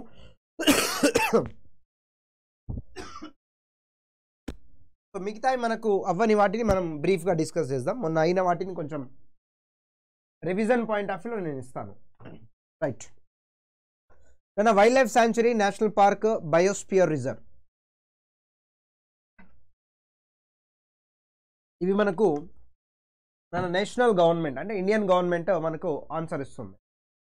దాని పర్టికులర్ వన్ దాని ఇవాళ సిక్స్కి లేదు four to six right next దాని wildlife protection act nineteen seventy two and wildlife forest conservation act nineteen eighty so తర్వాత మనకు environment protection act nineteen eighty six ఇది మనకు తెలిసిందే. రైట్ చూద్దాం ఒకసారి ఫాస్ట్గా దాని ఒక్కొక్క స్టేట్ గురించి ఆల్రెడీ మనము కొన్ని మనం మాట్లాడినాం ఆల్రెడీ నేను ట్రిక్ తోటి అన్ని ట్రిక్ తోటే నాన్న. కంప్లీట్గా ట్రిక్ తోటి ఉంటుంది. ఆల్రెడీ ఈ పీడిఎఫ్ మీ దగ్గర ఉంది. నేను మన వాట్సాప్ గ్రూప్లో కూడా పీడిఎఫ్ పెట్టినా నేను. గ్రూప్ టూ ఎగ్జామ్కి ముందు. సో దాన్ని ఒకసారి నేను బ్రీఫ్గా మీకు రివిజన్ చేస్తాను కాబట్టి ఎట్లాగో పీడిఎఫ్ మీ దగ్గర ఉంది. ఆ పీపీటీకి సంబంధించిన ఆ కంప్లీట్ పీపీటీ మీకు ఇచ్చేసినాను. ఒకసారి దీన్ని నేను క్లారిఫికేషన్ ఇచ్చిన అనుకోండి. అప్పుడు ఈ వీడియో మీ దగ్గర ఉన్న పీపీటీ రెండింటికి మనకు మ్యాచ్ అయిపోయి మీరు మంచిగా ఇంకా త్వరగా ఉండడానికి ఛాన్సెస్ అధికంగా ఉంటుంది అన్నట్టు దాని మనం ఉత్తరాఖండ్కి సంబంధించిన వాటిని మనం ఆల్రెడీ ముందు చూసాము. ట్రిక్ కూడా మీకు తెలుసు. Rajaji Nanda Devi valley of flower Govind and Gangotri and Jim Corbett అనేది మనకు వైల్డ్ లైఫ్ ఆఫ్ ఇండియాకి సంబంధించిన సో ఈ నేషనల్ పార్కులు కావచ్చు దాంట్లో బర్డ్ సెంచరీ కావచ్చు ఏదైనా కావచ్చు ఇవి ఉత్తరాఖండ్లో ఉన్నాయి. దానికి సంబంధించిన కోడ్ కూడా మనం మాట్లాడుకున్నాం. So Rajaji loves Nandadevi of Uttarakhand proposed by giving a valley of flower and married in Govind temple on the bank of Gangotri river in the presence of Jim Corbett అనేసి కూడా మనము so trick తోటి మనం నేర్చుకున్నాం అంతకు ముందు. ఓకేనా? So దీనికి ఒకసారి చూడండి. రాజాజీ లవ్డ్ నందాదేవి. రాజాజీ ఎవరినన్నా ఉత్తరాఖండ్కి సంబంధించిన ఒక వ్యక్తి. అతను ఎవరిని లవ్ చేసినంట నందాదేవి. ఉందా? సారీ రాజాజీ కాదు నందాదేవి. నందాదేవిని లవ్ చేసిండు. నందా నందాదేవి ఎక్కడమ్మాయి ఆమె? ఉత్తరాఖండ్ అన్నట్టు. అయితే లవ్ చేసినప్పుడు ప్రపోజ్ చేస్తారు కదా నన్న. అప్పుడు తను ఏమిచ్చాడు? వ్యాలీ ఆఫ్ ఫ్లవర్ ఇచ్చి ప్రపోజ్ చేసిండు అన్నట్టు. వ్యాలీ ఆఫ్ ఫ్లవర్ ఇచ్చి ప్రపోజ్ చేసిన తర్వాత వాళ్ళ ఇంట్లో ఎవరు ఒప్పుకోలేదు. తర్వాత ఆయన ఒక టెంపుల్లో పెళ్ళి చేసుకున్నాడు. ఆ టెంపుల్ పేరు గోవింద్. ఆ గోవింద్ టెంపుల్ ఎక్కడుందంటే నా గంగోత్రి నది ఒడ్డున ఉందన్నట్టు. మరి పేరెంట్స్ ఒప్పుకున్నప్పుడు ఎవరుంటారు? ఫ్రెండ్సే కదా ఇక పెద్ద దిక్కు మొత్తము. కాబట్టి ఫ్రెండ్స్ సమక్షంలో చేసుకున్నాడు ఆ ఫ్రెండ్ ఎవరంటే జిమ్ కార్బైడ్ ఇప్పుడు చూడండి అన్న Rajaji Nandadevi Uttarakhand valley of flower Govind Gangotri Jim Corbett. ఇలా ఇలా నేమ్ మాత్రమే వస్తుంది మనకు. దాని వెనకాల అది నేషనల్ పార్కా లేకుంటే బయోస్పియర్ రిజర్వా టైగర్ రిజర్వా వైల్డ్ లైఫ్ శాంచరియా అని ఏదో ఒకటి వాడు ఇస్తాడు నాన్న. బట్ ఈ పర్టికులర్ నేమ్ ఏ స్టేట్లో ఉందనేది నీకు తెలియాలి. ఫర్ ఎగ్జాంపుల్ జిమ్ కార్బైట్ అని ఉంది నాన్న. సో జిమ్ కార్బైట్ అనేది ఎక్కడ ఉందని నీకు తెలియాలి ఫస్ట్. అది ఉత్తరాఖండ్లో ఉంది. సో జిమ్ కార్బెట్ వెనకాల అది టైగర్ రిజర్వా నేషనల్ పార్క్ అనేది వాడు క్లియర్గా నీకు మెన్షన్ చేస్తాడు. బట్ అది ఎక్కడ ఉందనేది నీకు తెలిస్తే ఆటోమేటిక్గా సరిపోతుంది. సో ఇలా దీనికి సంబంధించింది. నెక్స్ట్ మనం అస్సాం సంబంధించి చూద్దాం నన్ను ఒకసారి. Same story. ఇది ఎక్కడైతే ఏదైతే మనం లవ్ స్టోరీ టైప్లో మనం ట్రిక్ మనం మాట్లాడినామో సో యా అందరికీ గుడ్ ఈవినింగ్ మా. లవ్ స్టోరీ టైప్ ఎట్లయితే మనం ఇక్కడ ట్రిక్ తోటి మాట్లాడినామో ఇదే స్టోరీ బట్ ఇక్కడ యాక్టర్స్ వేరు అన్నట్టు. హీరోలు హీరోయిన్లు వేరు. దాని ఇక్కడ చూడండి? కాజీరంగ్ మానస్ ఒరెంగ్ అండ్ దిబ్రూ సైకోవా గరం పానీ అండ్ నమేరి అనే నేషనల్ వైల్డ్ లైఫ్కి సంబంధించినవి మన వైల్డ్ లైఫ్కి సంబంధించినవి మనకు ఇక్కడ అస్సాంలో కనిపిస్తాయి నాన్న. ఇప్పుడు అక్కడ మనం ఏమన్నాము? రాజాజీ లౌడ్ నందాదేవి అన్నాము. ఇక్కడ ఏంటిది ఖాజీరంగా లౌడ్ మానస. నేను ఇక్కడ మానస అని మనం ట్రిక్ కోసం పెట్టినాం. ఇక్కడ మానస అనేది జస్ట్ మానస అనేది ఉండదు. Just it is a Manas. Just Manas. ఓకేనా? మానస్ అని మాత్రమే ఉంటుంది. So Kaziranga loved Manas. And proposal proposed with a Orang flower అంటాం మనం. Orang or orange flower orange flower అంటాము. And he married in a temple that is a Dibru Saikhowa temple he married in a Dibru Saikhowa temple it is a bank of Garam Pani river Garam Pani river నది ఒడ్డున ఆ temple ఉందంట. ఎవరి ఆధ్వర్యంలో? ఇక్కడ కూడా parents ఒప్పుకోలే. అప్పుడేంటిది so ఫ్రెండ్సే కదా మళ్ళా పెద్ద దిక్కు. కాబట్టి నమ్మేరి అనే ఆవిడ ఫ్రెండ్ అన్నట్టు. సో ఈమె ప్రజెన్స్లో వాళ్ళిద్దరు మ్యారేజ్ చేసుకున్నారు. సేమ్ స్టోరీ నాన్న. ముందు స్టోరీయే. రాజాజీ లౌడ్ నందాదేవి. ఇక్కడ ఏమంటాం మనము? Kaziranga loved Manasa of Assam. Proposed by a giving of Orang flower అంటాం. Orang or orange. And married in Dibru Saikhowa temple. On the bank of Garam Pani river. In presence of Nameri. In presence of Nameri. Same concept అన్నట్టు ఈ రెండు. So మనకేంటిదంటే దాని వీటి యొక్క names తెలియాలి. ఇప్పుడు అస్సాం అని చెప్పంగానే ఏదైనా ఒకటి ఇచ్చాడు అనుకోండి అస్సాంకి సంబంధించిన ట్రిక్ నీకు స్ట్రైక్ అయింది అనుకో మైండ్లో ఓకే అస్సాంలో ఆరు నేమ్స్ ఉంటాయి. ఆరు నేమ్లలో ఏమైనా ఉందా? ఇక్కడ లేదని ఒక ఐడియాలజీ నీకు వస్తుంది అన్నట్టు. అలా మనం మాట్లాడతాం. నెక్స్ట్ నేను మధ్యప్రదేశ్ సంబంధించి తీసుకుందాం. అవి రెండు లవ్ స్టోరీస్ మనం అంతకుముందు కూడా డిస్కస్ చేసినాం. ఇది ఫ్యామిలీ స్టోరీ అన్నట్టు. సో మనకు మధ్యప్రదేశ్లో ఏమేమి ఉన్నాయి నాన్న? కన్నా పన్నా పంచమాహి బాంధవ్ఘర్ మాధవ్ ఫాజిల్ పెంచ్ అండ్ రత్నపాని ఇవి వైల్డ్ లైఫ్ ఆఫ్ ఇండియాకి సంబంధించి మధ్యప్రదేశ్లో. ఏంటంటే మనకు ఇక్కడ చూడండి? కనా పనహ పంచమాహి బాంధవ్గర్ మాధవ్ అండ్ తర్వాత ఇక్కడ శిలాజా అని ఇచ్చాడు. ఫాజిల్ కదా శిలాజా అని ఇచ్చాడు. Fossil it is a fossil and then Pench and Ratnapani. ఓకేనా? కదా ఇవి అన్నీ మనకు మధ్యప్రదేశ్లో ఉండే వైల్డ్ లైఫ్ ఆఫ్ ఇండియాకి సంబంధించినవి. ఇక్కడ ఒక మనం ట్రిక్ని మనము అల్లుదాము. ఒక ట్రిక్ని అల్లి సో దాని ప్రకారంగా మనం ముందుకెళ్దాము. నేను ఒకసారి చూడండి. సో కన్హా పన్హా. కన్హా పన్హా అనే ఇద్దరు అంటే లేడీ జెంట్ అండ్ లేడీ ఇద్దరు మ్యారేజ్ చేసుకున్నారు నాన్న. అక్కడ లవ్ స్టోరీలో వాళ్ళు పేరెంట్స్ ఒప్పుకోలేదు దోస్తుగాలు చేసారు ఇక్కడ ఇక్కడ అరేంజ్ మ్యారేజ్ అన్నట్టు. Arrange marriage. తన కన్హా పన్హా అనే ఇద్దరు ఏం చేసుకున్నారన్న మ్యారీడ్. ఎక్కడ? Married in Pachmarhi. తన పంచమాహిలో ఇది వీళ్ళిద్దరు పెళ్ళి చేసుకున్నారు. కన్హా పన్హా అనే ఇద్దరు పంచమాహిలో పెళ్ళి చేసుకున్నారన్న ఇక పెళ్ళి చేసుకున్నాక వాళ్ళ సంసారం ఇక మంచిగా సాగుతుంది. సంసారం ఒక చదరంగం అన్నట్టు సాగుతుంది. తర్వాత వాళ్ళకి ఇద్దరు పిల్లలు పుట్టిరు and gave birth to the twins ఇద్దరు కవల పిల్లలకు జన్మనిచ్చిరు వాళ్ళు ఓకేనా? కొన్ని వేరే వస్తాయి మిస్టర్ గౌడ్ సాబ్. కొన్ని వేరే వస్తాయి కొన్ని ఇక్కడ వచ్చినాయి. రెండే వచ్చినాయి మిగతా ఏం రావు కానీ రైట్ వేరే రకరకాలు వస్తాయి. క్రైమ్ స్టోరీ కూడా వస్తుంది. క్రైమ్ స్టోరీ వస్తుంది. తర్వాత అన్ అక్క చెల్లెల అనుబంధం వస్తుంది. క్రైమ్ స్టోరీ వస్తుంది. లవ్ స్టోరీ మ్యారేజ్ స్టోరీ మస్తు మస్తు వస్తాయి. అన్నీ చెప్తాను నేను. రైట్ నేను ఒకసారి చూడండి. కన్నా పన్న ఇద్దరు మ్యారేజ్ చేసుకున్నారు. ఎక్కడ? పంచమాయిలో చేసుకున్నారు. దాని ఇక్కడ ఎల్లో కలర్లో పెట్టిన ప్రతి ఒక్క పాయింట్ని పడే వాటిని మీరు గుర్తుపెట్టుకోవాలా. తర్వాత నాన్న వాళ్ళు ఇక సంసారం ఒక చదరంగం టైప్లో వెళ్ళినాక నాన్న వెళ్ళిన తర్వాత వాళ్ళకు ఇద్దరు పిల్లలు పుట్టిరు అన్నట్టు. పిల్లలు ఇద్దరు పిల్లలు పుట్టిరు వాళ్ళు ఎవరు కవల పిల్లలు మళ్ళీ చూసుకొని ఒకని పేరు బాంధవ్ ఘర్ ఇంకోని పేరు మాధవ్. పెళ్ళి చేసుకున్నారు భయ్ సంసారం చేస్తారు పిల్లలు పుడతారు. వాళ్ళు స్కూల్కి కూడా వెళ్ళాలి కదా. మరి పిల్లలు పుట్టిరు పిల్లలు పెద్దోళ్ళు అవుతున్నారు మూడు నాలుగేళ్ళు వచ్చినాయి చిన్న పోరలకి. డైపర్లు తీసి చెడ్డీలు కూడా వేసిర్రు రైట్. లేదా బాంధవ్ గారు అండ్ మాధవ్ అనే ఇద్దరు పిల్లలు పుట్టిరు తర్వాత వాళ్ళు స్కూల్కి వెళ్తున్నారు. And they are going to fossil Pench school. వాళ్ళ ఏరియాలో వాళ్ళ ఏరియా వాళ్ళు పెళ్ళి ఎక్కడ చేసుకున్నారు? పంచమాయిలో చేసుకున్నారు. అయితే వాళ్ళ ఏరియాలో ఒక స్కూల్ ఉందంట. ఆ స్కూల్ పేరు ఫాజిల్ పెంచ్. ఆ స్కూల్ పేరు ఫాజిల్ పెంచ్ ఆ స్కూల్లో వాళ్ళు వెళ్తురంట ఆ స్కూల్ ఎక్కడుంది? రత్నపాణి అనే విలేజ్లో ఉంది నాన్న. ఆ స్కూల్ రత్నపాణి విలేజ్లో ఉంది. అది ఎక్కడ? మధ్యప్రదేశ్లో. ఓకేనా? రత్నపాణి విలేజ్లో ఉంది. ఎక్కడ? మధ్యప్రదేశ్. నన్ను చూడండి ఒకసారి. కన్హా పనా మ్యారీడ్ ఇన్ పంచమాహి. కన్హా పనా అనే ఇద్దరు పంచమాహిలో పెళ్ళి చేసుకున్నారు.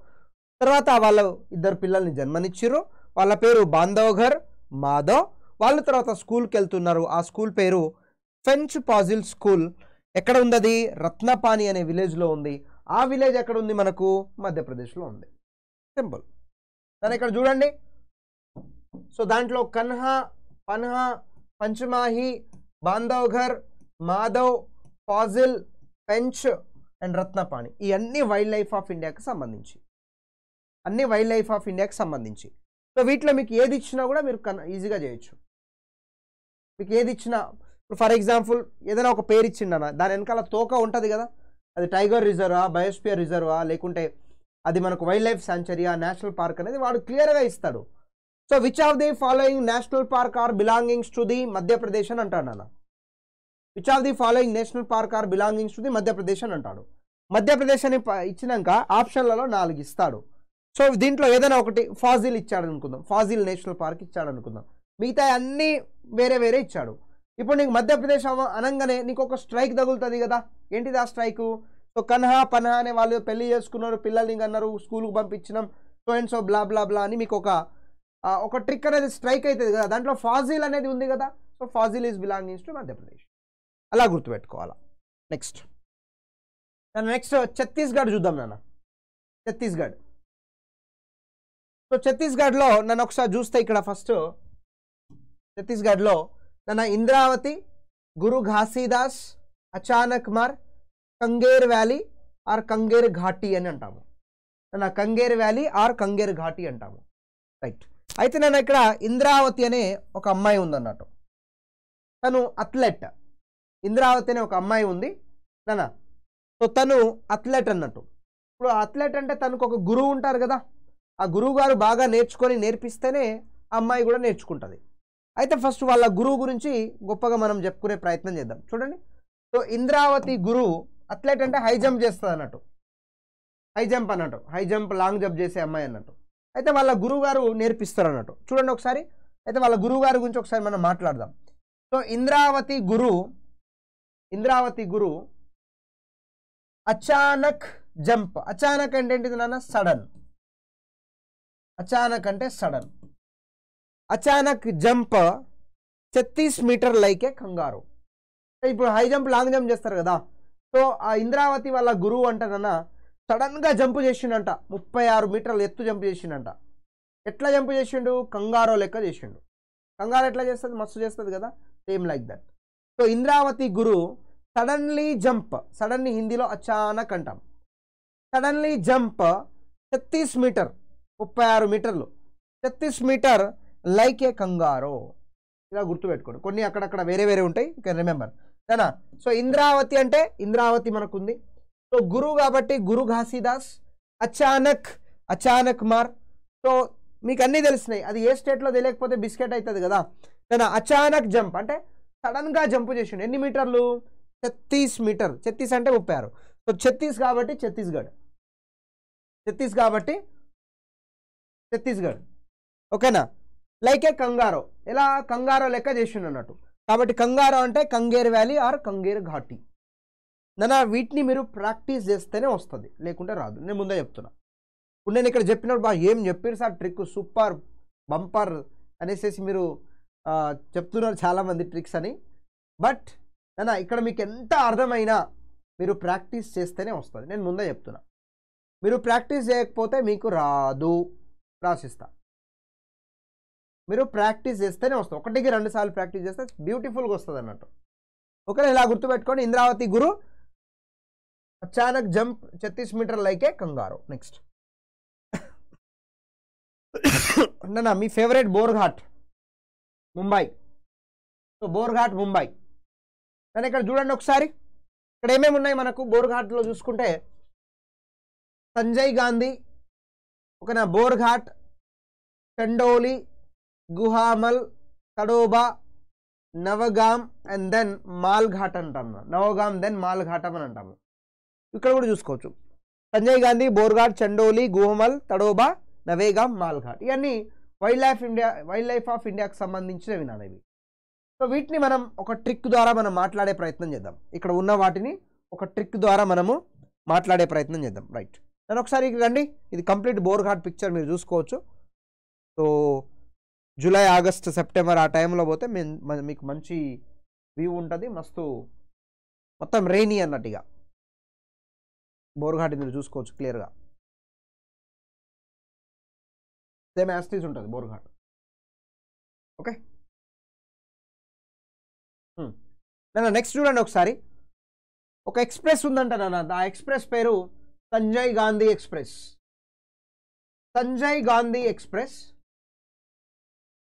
Started journey from Sanjay Gandhi express started journey from Borghat to Melghat via Chhattisgarh Tamil Nadu via Chhattisgarh Tamil Nadu stations of Maharashtra CGTN అంటాం సిజిటిఎన్ అంటాం సిజిటిఎన్ స్టేషన్స్ అంటాం నాన్న Sanjay Gandhi express started journey from Borghat to Melghat via Chhattisgarh Tamil Nadu stations stations of Maharashtra. Tamil Nadu stations of Maharashtra. ఇది మనకు ఒక question అన్న. దీంట్లో చూస్తే మనము మన సంజయ్ గాంధీ నేషనల్ పార్క్ ఉంటుంది. ఇందా చూసిన దాంట్లో బోర్ ఘాట్ ఉంది మేల్ ఘాట్ ఉంది. సో సిజిటిఎన్లో నన్న సి అంటే చండోలి జి అంటే గుహామల్ టి అంటే తడోబా టైగర్ రిజర్వ్ ఎన్ అంటే మనకు నవేగామ్ అంటాము. మరి అన్నీ తెలిసినా అది ఏ స్టేట్లో తెలియకపోతే ఆగమే కదా? కాబట్టి ఇక్కడ ఏంటిది మనకు? మహారాష్ట్ర. ఓకేనా? ఏంటిది మనకు? మహారాష్ట్ర.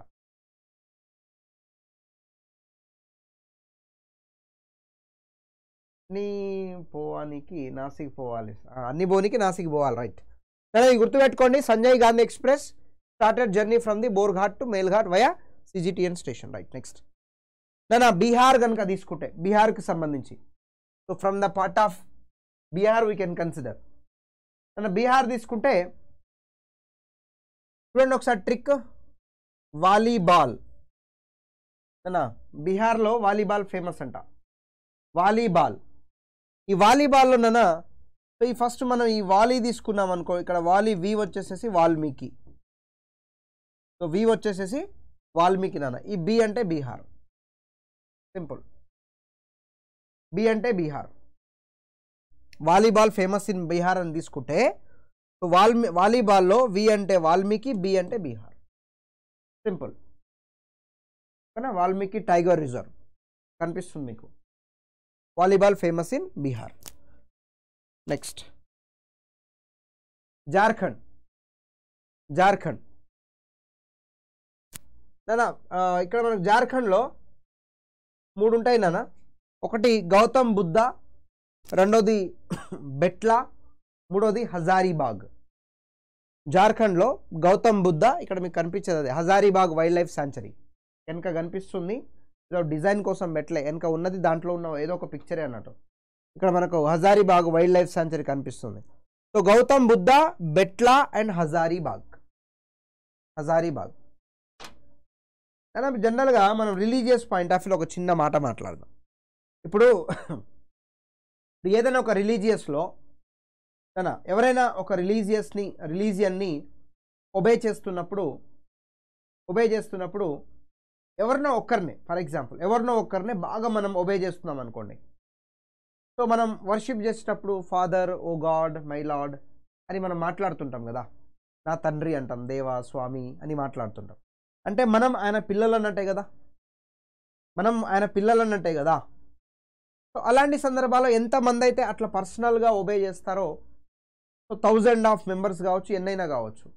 వాళ్ళందరూ తన యొక్క పిల్లలుగానే మనం భావిస్తూ ఉంటాం ఆయన తన దేవుని యొక్క పిల్లలుగానే మనం భావిస్తూ ఉంటాం. అలాంటి సందర్భాల్లోనే ఒక చిన్న ట్రిక్ ఇక్కడ గౌతమ్ బుద్ధుని గురించి మాట్లాడు గౌతమ్ బుద్ధుని గురించి మనం ఒకసారి ఇక్కడ మాట్లాడదాం.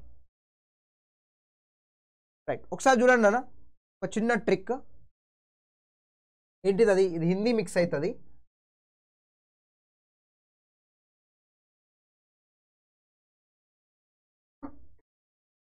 ఇక్కడ చూడండి. సో గౌతమ్ బేటాకో హజార్ సాల్ జన్మ హై అని అంటాడు. గౌతమ్ బుద్ధుడు తన కుమారునికి వెయ్యి సార్లు జన్మనిస్తాడంట. ఓకేనా? గౌతమ్ బుద్ధుడు తన కుమారునికి వెయ్యి సార్లు జన్మనిస్తాడంట. అది మనం హిందీలో మాట్లాడుతున్నాం. చూడండి ఒకసారి. గౌతమ్ బేటాకో హజార్ సాల్ జన్మ హై అంటాం మనం. కొన్ని హిందీ ఉంటాయినన్నా వాటిని గుర్తుపెట్టుకోవడానికి ప్రయత్నించండి. నార్మల్గా అయితే తెలుగు స్టోరీ డైరెక్ట్గా వచ్చేస్తుంది. సో గౌతమ్ బేటాకో హజార్ సాల్ జన్మ హై అనేసి అంటాడు సో నన్ను దాంట్లో గౌతమ్ అంటే నాన్న గౌతమ్ బుద్ధుడు వచ్చేస్తాడు. నాన్న ఇక్కడ గౌతమ్ అంటే గౌతమ్ బుద్ధుడు అని వచ్చేస్తాడు. బేటా అంటే బెట్లా నేషనల్ పార్క్ వచ్చేస్తుంది. బెట్లా నేషనల్ పార్క్ వచ్చేస్తుంది. హజార్ మీన్స్ వెయ్యి నాన్న. అండ్ ఇక్కడ హజార్ అంటే హజారీ బాగ్ వచ్చేస్తుంది. అండ్ జన్మ హై అన్న దానికి మనకు సో జార్ఖండ్ వచ్చేస్తుంది. జన్మ హై అన్న దానికి సో జార్ఖండ్ అనేది వచ్చేస్తుంది అన్న. సో గౌతమ్ బేటాకో హజార్ బార్ జన్మ హై అంటే ఇప్పుడు గౌతమ్ బుద్ధుని ఒబే చేస్తున్న వాళ్ళందరూ తన కుమారులే కదా. సో వాళ్ళకి వెయ్యి సార్లు జన్మ ఉంటుందంట. ఎగ్జాంపుల్ అంతే. నేను పోయి మళ్ళీ అక్కడ ఇండస్ వ్యాలీ సివిలైజేషన్ తర్వాత బుద్ధుని గురించి బౌద్ధిజం గురించి నేనేం స్టడీ చేయలేదు అక్కడ గుర్తుపెట్టుకోండి. అదొక ట్రిక్ అన్నట్టు. అంటే గౌతమ్ బుద్ధుని ఒబే చేసిన వాళ్ళకి వెయ్యి సార్లు గౌతమ్ బుద్ధుడు జన్మనిస్తాడన్నట్టు అదొక ట్రిక్ అన్నాడు అలా గుర్తుపెట్టుకోండి. ఓకేనా? సో గౌతమ్ బుద్ధ తర్వాత బేట్ బేటా అంటే Betla national park Hazaribagh wild life sanctuary and ఇక్కడ జన్మ అంటే దానికి మనకేంటిది? జార్ఖండ్ అని గుర్తుపెట్టుకోండి. Right next Odisha. అన్న ఒడిస్సా సో ఒడిస్సా తీసుకుంటే నాన్న సో ఇక్కడ ఉన్న మనం వాటిని తీసుకుంటే ఒకసారి గహీర్ మాత బితర్ కనిక అన్న బిత గహీర్ మాత బీతర్ కనిక తర్వాత సత్కోషి సిమ్లీపాల్ ఓకేనా? అమ్లాపాల్ కాదు కేపాల్ కాదు సిమ్లీపాల్ సో గహీర్ మాత బీతర్ కనిక సత్కోసి సిమ్లీపాల్ అనేసి మనం మాట్లాడతాం నాన్న. సో వీటిని కలిపి మనం ఒక చిన్న ట్రిక్ని అలా రాబడదాం. అలా మనం రాబడే రాబడదాం ఒకటి. రైట్ ఒకసారి చూడండి నాన్న. ఇప్పుడు మనము నాన్న ఇప్పుడు మనం ఏదైనా ఒక కాలేజ్కి జా ఒక కాలేజ్లో జాయిన్ అయినా అనుకుందాం. ఒక కాలేజ్లో జాయిన్ అయినప్పుడు కొన్ని రోజుల తర్వాత ఫ్రెషర్స్ పార్టీ జరుగుతుంది. ఓకేనా? ఫ్రెషర్స్ పార్టీ జరుగుతుంది. ఫ్రెషర్స్ పార్టీలో డ్యాన్స్ వేస్తారు కదా? అబ్బాయిలు అబ్బాయి పొరగాళ్ళు అయితే వీళ్ళు వేస్తారు అమ్మాయిలు అయితే అమ్మాయిలు కూడా ఇస్తారు ఓకేనా? సో ఏ కాలేజ్ అయినా కానీ నార్మల్గా డ్యాన్స్ నేర్చుకుంటారు. ఆ డ్యాన్స్ కూడా వేయడానికి ప్రయత్నిస్తుంటారు. చాలామంది ప్రయత్నిస్తున్నారు. వాళ్ళ వాళ్ళ లలిత కళ లలిత కళలు అంటాం కదా. ఏం కళలు? లలిత కళలు ఏవైతే ఉంటాయో అవి ఆ స్టేజ్ మీద ప్రదర్శిస్తూ ఉంటారు ఆయా మిత్రులు ఆయా కాలేజీలలో. అయితే ఇక్కడ కూడా నాన్న ఇద్దరు వ్యక్తులు పర్ఫార్మెన్స్ ఇస్తున్నారంట. వాళ్ళు ఏంటిది అనేది కూడా మనం ఒకసారి చూసే ప్రయత్నం చేద్దాం. నన్ను ఇక్కడ ఇద్దరు అక్క చెల్లెలు ఉన్నారు. స్టోరీ అక్కా చెల్లెల అనుబంధం ఇప్పుడు. సో ఒక ఆమె పేరు గహీర్ మాత ఇంకో ఆమె పేరు బీతర్ కనిక. నాన్న గహీర్ మాత అండ్ బీతర్ కనిక ఇద్దరు అక్క చెల్లెలు నాన్న. సో వీళ్ళిద్దరూ సత్కోషి అనే కాలేజీలో చదువుతున్నారు వీళ్ళు. ఓకేనా? సత్కోషి అనే కాలేజీలో చదువుతున్నారు. ఆ సత్కోషి అనే కాలేజ్ ఎక్కడుంది? సిమ్లీపాల్లో ఉంది నాన్న. గుర్తుపెట్టుకోండి. గహీర్ మాత బీతర్ కనిక అనే ఇద్దరు అక్క చెల్లెలు వాళ్ళు సత్కోషి అనే కాలేజీలో చదువుతున్నారు. ఆ సత్కోషి అనే కాలేజ్ ఎక్కడుందంటే సిమ్లీపాల్లో ఉంది. ఓకేనా? సిమ్లీపాల్లో ఉంది నాన్న. అయితే ఇప్పుడు వాళ్ళ కాలేజీలో లలిత కళలు అంటే ఇద్దరు కాదు నాయన అది ఒక పర్ఫార్మెన్స్ మొత్తం బ్రహ్మానందాన్ని ఫాలో అవుతున్నావు కదా? రైట్ ఒకసారి చూడండి అన్న so Gahirmatha Bhitarkanika performed Odissi dance in Satkosia college of Similipal నాన్న Gahirmatha and Bhitarkanika performed Odissi dance in Satkosia college of Similipal so Satkosia కాలేజ్లో వాళ్ళు ఫ్రెషర్స్ పార్టీలో డ్యాన్స్ చేసిందన్న. సో దే ఏ దేని మీద డ్యాన్స్ చేస్తారు? ఒడిస్సీ డ్యాన్స్ చేసారు వాళ్ళు. కాబట్టి గహిర్మాత బీతర్కనిక సత్కోషి సిమ్లిపాల్ ఒడిస్సీ అంటే ఒడిస్సా ఇలా గుర్తుపెట్టు okay next Karnataka Bandipur tiger reserve అన్న ఇక్కడ మీకు వెనకాల కనిపించేది. బందీపూర్ టైగర్ రిజర్వ్లోని టైగర్ అన్నట్టు. Bandipur tiger reserve. నేను ఇక్కడ చూస్తే ఒకసారి కర్ణాటకకు సంబంధించింది మనం మాట్లాడుతున్నాం ఇక్కడ. కర్ణాటకకు సంబంధించి. సో ఒకసారి చూడండి బందీపూర్. నా Bandipur Bannerghatta Ranganathittu Nagarhole Kali and Kaveri. మనకు కర్ణాటకలో ఉన్న మన వైల్డ్ లైఫ్ ఆఫ్ ఇండియాకి సంబంధించినవి. ఏంటి అవి మనకు? సో బందీపూర్ బన్నేరుగట్ట రంగన్న తిట్టు తర్వాత నగర్ హోయల్ కాళీ అండ్ కావేరి. ఇవి మనకు కర్ణాటకలో ఉన్నాయి. సో ఇక్కడ మనం ఒక ట్రిక్ ద్వారా దీన్ని మాట్లాడుకునే ప్రయత్నం చేద్దాం. అయితే నాన్న మనకు కర్ణాటకలో ఒక ఫేమస్ కాలనీ ఉందంట. ఆ కాలనీ పేరు రంగన్న నగర్ కాలనీ. ఏ కాలనీ నాన్న? రంగన్న నగర్ కాలనీ. అయితే ఈ రంగన్న నగర్ కాలనీలో పెళ్ళిళ్ళు జరుగుతాయి కదా? ఎడనే జరుగుతాయి పెళ్ళిళ్ళు. సో పెళ్ళిళ్ళు జరిగినప్పుడు మన పోరలు ఏం చేస్తారో డీజే పెట్టుకుని డించాక్ డించాక్ అని మొత్తం ఉగిపోతారు ఏడు నుంచి ఆడికి. లేకుంటే బ్యాండ్ పెట్టుకొని మొత్తము తీన్మార్ పర్ఫార్మెన్స్ చేస్తూ ఉంటారు అన్నట్టు ఇక ఆ దెబ్బకి ఆ సౌండ్కి ఇక ఆ ఏరియాలో ఎవరన్నా ముస్లోలు తాతలు అట్లాంటి ఏజ్డ్ పర్సన్స్ ఉంటే గుండెకాయ పటక్కుని అంటది అన్నట్టు ఇక వాళ్ళు లటక్కుని అంటారు అలాంటివి జరిగే అవకాశాలు ఉంటాయి. అందువల్ల ఆ రంగన్న నగర్ కాలనీ వాళ్ళు ఏం చేశారంటే ఆ కమ్యూనిటీకి సంబంధించిన వాళ్ళు నన్న ఒక రెజల్యూషన్ తీసుకొచ్చారు. ఏంటిది ఆ resolution band band banned in Ranganna Nagar colony of Karnataka. ఆ కాలనీ వాళ్ళు ఒక రిజల్యూషన్ తీసుకొచ్చారు. ఆ రిజల్యూషన్ ఏంటిదంటే చూడండి. బ్యాండ్ ఇన్మార్ ఇస్తారు కదా మీరు? Band band in Ranganna Nagar colony of Karnataka. కర్ణాటకలో ఉన్న ఫేమస్ రంగన్న నగర్ కాలనీ ఏదైతే ఉంటుందో ఆ రంగన్న నగర్ కాలనీలో ఎటువంటి బ్యాండ్ అనేది మీరు బజాయించకూడదు అని అంటున్నాడు. ఓకేనా? బ్యాండ్ అనేది బజాయించకూడదు అంటే వాయించకూడదు. బ్యాండ్ వాళ్ళు బ్యాన్ చేస్తున్నారు మొత్తం. Band banned in Ranganna Nagar colony of Karnataka. ఓకేనా? ఒకసారి చూద్దాం మనం. నాన్న బ్యాండ్ అన్నాం కదా? బ్యాండ్ అన్నాం కదా? ఈ బ్యాండ్ని తీసుకుంటే నాన్న బందీపూర్. బ్యాన్ని తీసుకుంటే బందీపూర్. ఈ బ్యానుడు ఉందో చూసారా? ఈ బ్యానుడిని మనము బన్నేరు గట్ట అంటాం. బన్నేరు గట్ట నేషనల్ పార్క్. ఓకేనా? తర్వాత రంగన్న. నాన్న, రంగన్న తిట్టు. రంగన్న తిట్టు.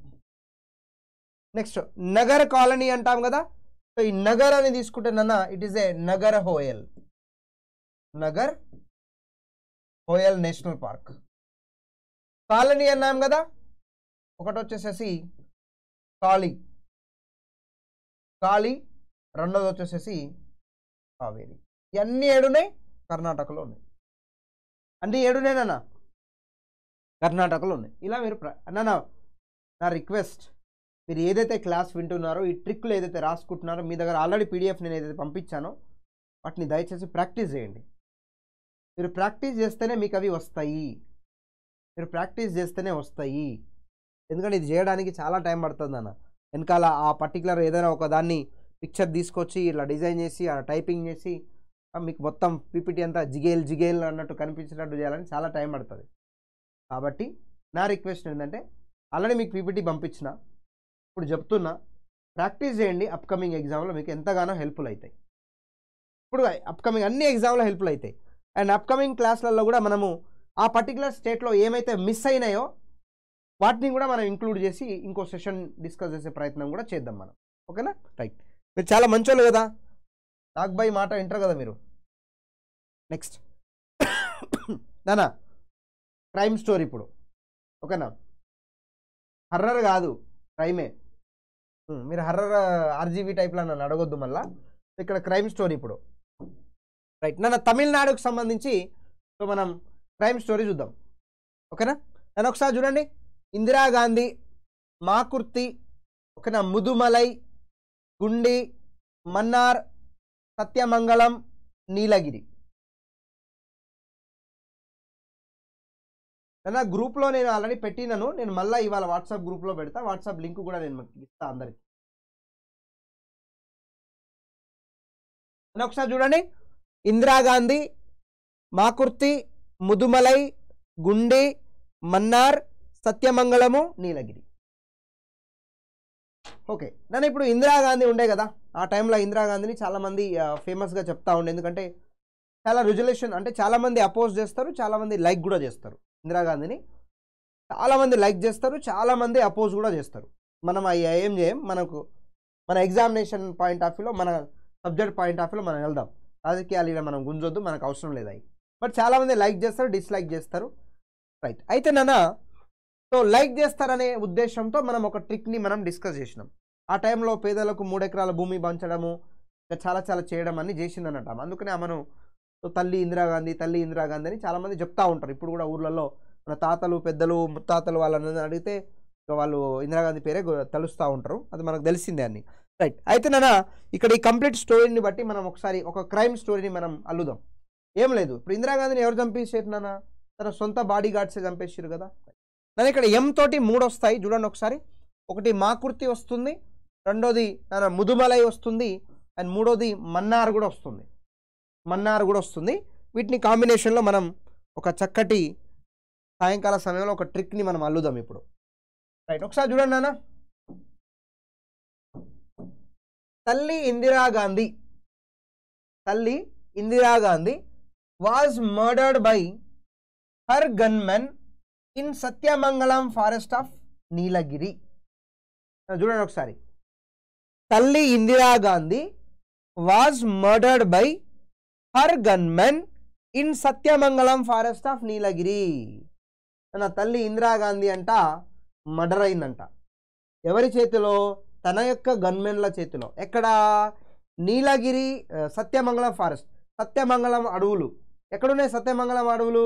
నీలగిరిలో కనిపిస్తావు సత్యమంగళం అడవులు ఎక్కడ కనిపిస్తున్నాయన్నా నీలగిరిలో కనిపిస్తా ఉన్నాయి. గుర్తుపెట్టుకోండి. రైట్ వన్ బై వన్ చూద్దాం మనం ఇప్పుడు. మన ట్రిక్లో బాగా మనం విడదీయాలి కదా మళ్ళీ. నాన్న ఇందిరాగాంధీ ఏ గాంధీ నాన్న? ఇందిరాగాంధీ వైల్డ్ లైఫ్ సాంచురీ తర్వాత ఇందిరాగాంధీ నన్ను మర్డర్డ్ అన్నాను కదా. మూడు ఎంలు వస్తాయి. మూడు ఎంలలో మీరు ఏదైనా తీసుకోండి. ఒకటి వచ్చేసేసి నాన్న ఇగో మా కుర్తి. మా కుర్తి తీసుకున్నా. ఇంకోటి తీసుకుంటే నాన్న ముదుమలై తీసుకున్నా. ముదుమలై తీసుకున్నా. తర్వాత మర్డర్డ్ బై ఎవరి చేతిలో? Her gunmen. సో గన్మెన్లో జీ తీసుకుంటే సో గుండి అంటున్నాము. So gun men so men మెన్లో M తీసుకుంటే? మన్నార్ తీసుకుంటున్నా. మన్నార్ తీసుకుంటున్నా. ఓకేనా? ఇన్ ఇన్ ఎక్కడ ఎక్కడనా Sathyamangalam forest of Nilgiri. Sathyamangalam forest of Nilgiri. వచ్చినాయి కదా అన్ని? ఇందిరాగాంధీ మర్డర్డ్ మర్డర్లో దాంట్లో మా మాకుర్తి ముదుమలై గన్మెన్లో జీ గన్ అంటే మనకు గుండి వస్తుంది. మ్యాన్లో మనకు మన్నార్ సత్యమంగళము తర్వాత మనకు Nilgiri. Nilgiri biosphere reserve. Nilgiri biosphere reserve. So ఇట్లా మనకు మన క్రైమ్ స్టోరీ ఇక్కడ చూసుకో. సత్యమంగళం టైగర్ రిజర్వ్ తీసుకుంటున్నాం మనం ఇక్కడ. అండ్ ఇక్కడ తీసుకుంటే మీకు ఇందిరాగాంధీ వైల్డ్ లైఫ్ సాంచురీ వచ్చినాయి కదా? Indira Gandhi wild life sanctuary then ఇక్కడండి మనకు? Sathyamangalam tiger reserve.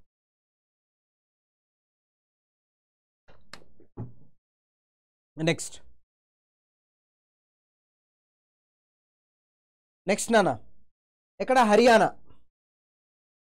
హర్యానా నన్ను హర్యానాకు సంబంధించి ఒకసారి మనం మాట్లాడే ప్రయత్నం చేద్దాం. Haryana.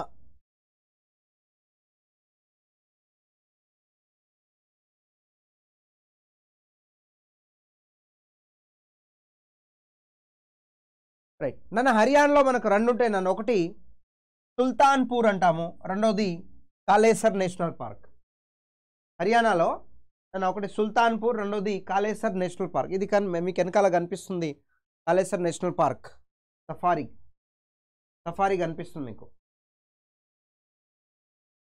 We all are we all are Indians good evening sir Suryapet O nice ఉందా సూర్యాపేట్ మంచిగా ఉందా హర్యానా తీసుకుంటే నాన్న ఒకటి సుల్తాన్పూర్ రెండోది వచ్చేసేసి కాళేశ్వర్ సుల్తాన్పూర్ ఒకటి కాళేశ్వర్ నన్ను ఒకసారి చూడండి. సో సింపుల్ అక్కడ. సుల్తాన్ విజిట్ సుల్తాన్ విజిటెడ్ నన్న Sultan visited Kalesar national park of Haryana simple Sultan visited Sultan visited Kalesar national park of Haryana so Sultan hope Singh ఏం చేసిండంట? కాళేశ్వర్ నేషనల్ పార్క్ని విజిట్ చేసిండట. సింపుల్. సుల్తాన్ అంటే నేను Sultan national park Kalesar national park. ఎక్కడ ఉంది? హర్యానాలో ఉంది. సింపుల్. అలా గుర్తుపెట్టుకోవచ్చు. Sultan visited Kalesar national park. Can remember simply.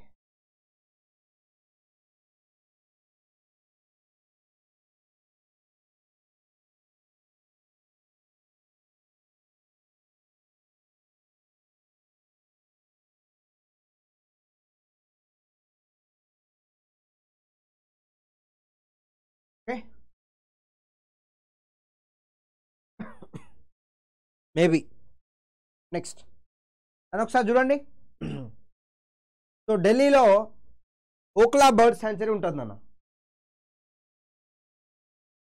Sreeja నేను వాట్సాప్ లింక్ ఇస్తా అని చెప్పిన అమ్మ. మీరు వాట్సాప్ లింక్లో జాయిన్ అయిన తర్వాత నేను ఆ పీడిఎఫ్ మళ్ళా పెడతాను. ఢిల్లీలో మనకు ఓక్లా బర్డ్ శాంచరీ అనేది కనిపిస్తూ ఉంటుంది. ఓక్లా బర్డ్ శాంచరీ కనిపిస్తుంది. సో సింప్లీ మనం ఇక్కడ గుర్తుపెట్టుకోవచ్చు DOB DOB date of birth మనం రాస్తాం కదా? ఇప్పుడు ఏదైనా అప్లికేషన్ మనం ఏదైనా అప్లికేషన్ మనము ఫిల్ చేసినప్పుడు కానీ డిఓబి అడుగుతుంది. ఓకేనా? అండ్ దాని తర్వాత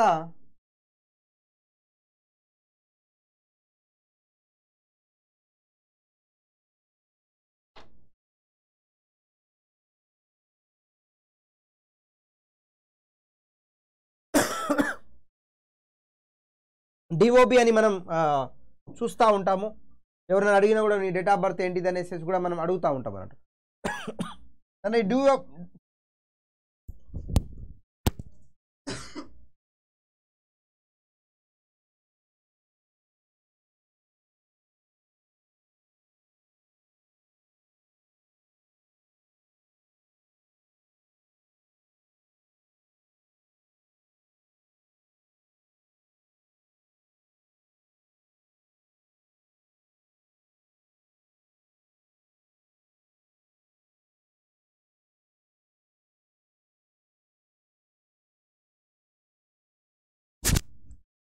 ఇది కొంచెం నాకు ఇబ్బంది కలిగిస్తుంది. నాన్న ఓక్లా డిఓబి తీసుకుంటే డిఓబిలో ఇది ఢిల్లీ నాన్న ఫస్ట్ది. అండ్ ఇక్కడ ఓబీ తీసుకుంటే నాన్న ఓక్లా బర్డ్ శాంచురీ ఇలా గుర్తుపెట్టుకోండి. ఓకేనా DOB Delhi and Okhla bird sanctuary simple. ఒంగోలుపై coding చేయాలన్నా రైట్ నెక్స్ట్ నాన్న హిమాచల్ ప్రదేశ్ తీసుకుందాము. హిమాచల్ ప్రదేశ్లో నన్న మనకు మేజర్గా గ్రేట్ హిమాలయన్ నేషనల్ పార్క్ ఉంటుంది. గ్రేట్ హిమాలయన్ నేషనల్ పార్క్ ఉంటుంది. అండ్ దాంతో పాటుగా నన్న కోల్డ్ డెజర్ట్ బయోస్ఫియర్ రిజర్వ్ కూడా ఉంటుంది. ఓకేనా? ఒకటి హిమాలయ హిమాచల్ ప్రదేశ్ హిమాచల్ ప్రదేశ్లో మనకు ఒకటి గ్రేట్ హిమాలయన్ నేషనల్ పార్క్ ఉంటుంది. Himalaya national park. రెండోది వచ్చేసేసి నన్న కోల్డ్ డెజర్ట్ బయోస్పియర్ రిజర్వ్ ఉంటుంది. కోల్డ్ డెజర్ట్ బయోస్పియర్ రిజర్వ్ ఉంటుంది. ఈ cold desert bios cold desert అనేది మనకు లడాఖ్లో కూడా ఉంటుంది. అది కంటిన్యూషనే బట్ ఇక్కడ మనకు బయోస్పియర్ రిజర్వ్ ఇక్కడ మీకు క్లియర్గా చూడొచ్చు బ్యాక్గ్రౌండ్లో పిక్చర్ మొత్తం కోల్డ్ డెజర్ట్ ఎలా ఉంది అని. అయితే టూ థింగ్స్ ఉంటాయి ఒకటి great national park great Himalayan national park రెండోది కోల్డ్ డెజర్ట్ హిమాలయన్స్ ఉంటుంది అన్న ఒకసారి చూద్దాం మనం. ఫస్ట్గా చెప్పు.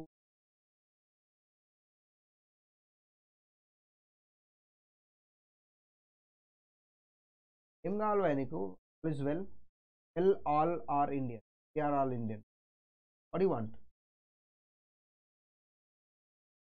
నేను ఒకసారి చూడండి great Himalayas are the cold desert great Himalayas are the cold desert అనేసి మనం మాట్లాడతాం. ఇక్కడ మీకు క్లియర్గా కనిపిస్తూ ఉంటుంది. Great Himalayas are cold desert అనేసి మనం మాట్లాడుతూ ఉంటాం. సో గ్రేట్ గ్రేట్ హిమాలయాస్ తీసుకుంటే so great Himalaya national park కూడా మనకు వచ్చేస్తుంది. And cold desert biosphere reserve అన్నాం కదా అది కూడా వచ్చేస్తుంది. ఇక్కడ హిమాలయాస్ అంటే మనం హిమాచల్ ప్రదేశ్ కన్సిడర్ చేయొచ్చు. ఇక్కడ హిమాలయాస్ అంటే హిమాచల్ ప్రదేశ్ని మనం కన్సిడర్ చేయొచ్చు నాన్న. సో దాని తర్వాత ఇక్కడ దాని తర్వాత మనం గ్రేట్ హిమాలయాస్ అని మాట్లాడతాం then followed by the cold desert so next you can see నన్న కేరళ. కేరళ తీసుకుంటే కేరళ తీసుకుంటే కేరళలో ఏమేమి ఉన్నాయి చూడండి ఒకసారి. సో అగస్త్య మలై ఉంటుంది. అగస్త్య మలై కేరళలో. దాంతో పాటుగా నాన్న Anaimudi Shola Pambadum Shola Mathikettan Shola silent valley and Eravikulam and Periyar. Eravikulam and Periyar. చూడండి ఒకసారి.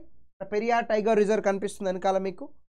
So Agasthya Malai Anaimudi Anaimudi Shola Pambadum Shola Mathikettan Shola Mathikettan Shola silent valley Eravikulam and at the same time Periyar. ఇవి మనకు so ఇక్కడ కనిపిస్తాయి ఇక్కడ కేరళలో. మనకు కేరళలో కనిపించే point.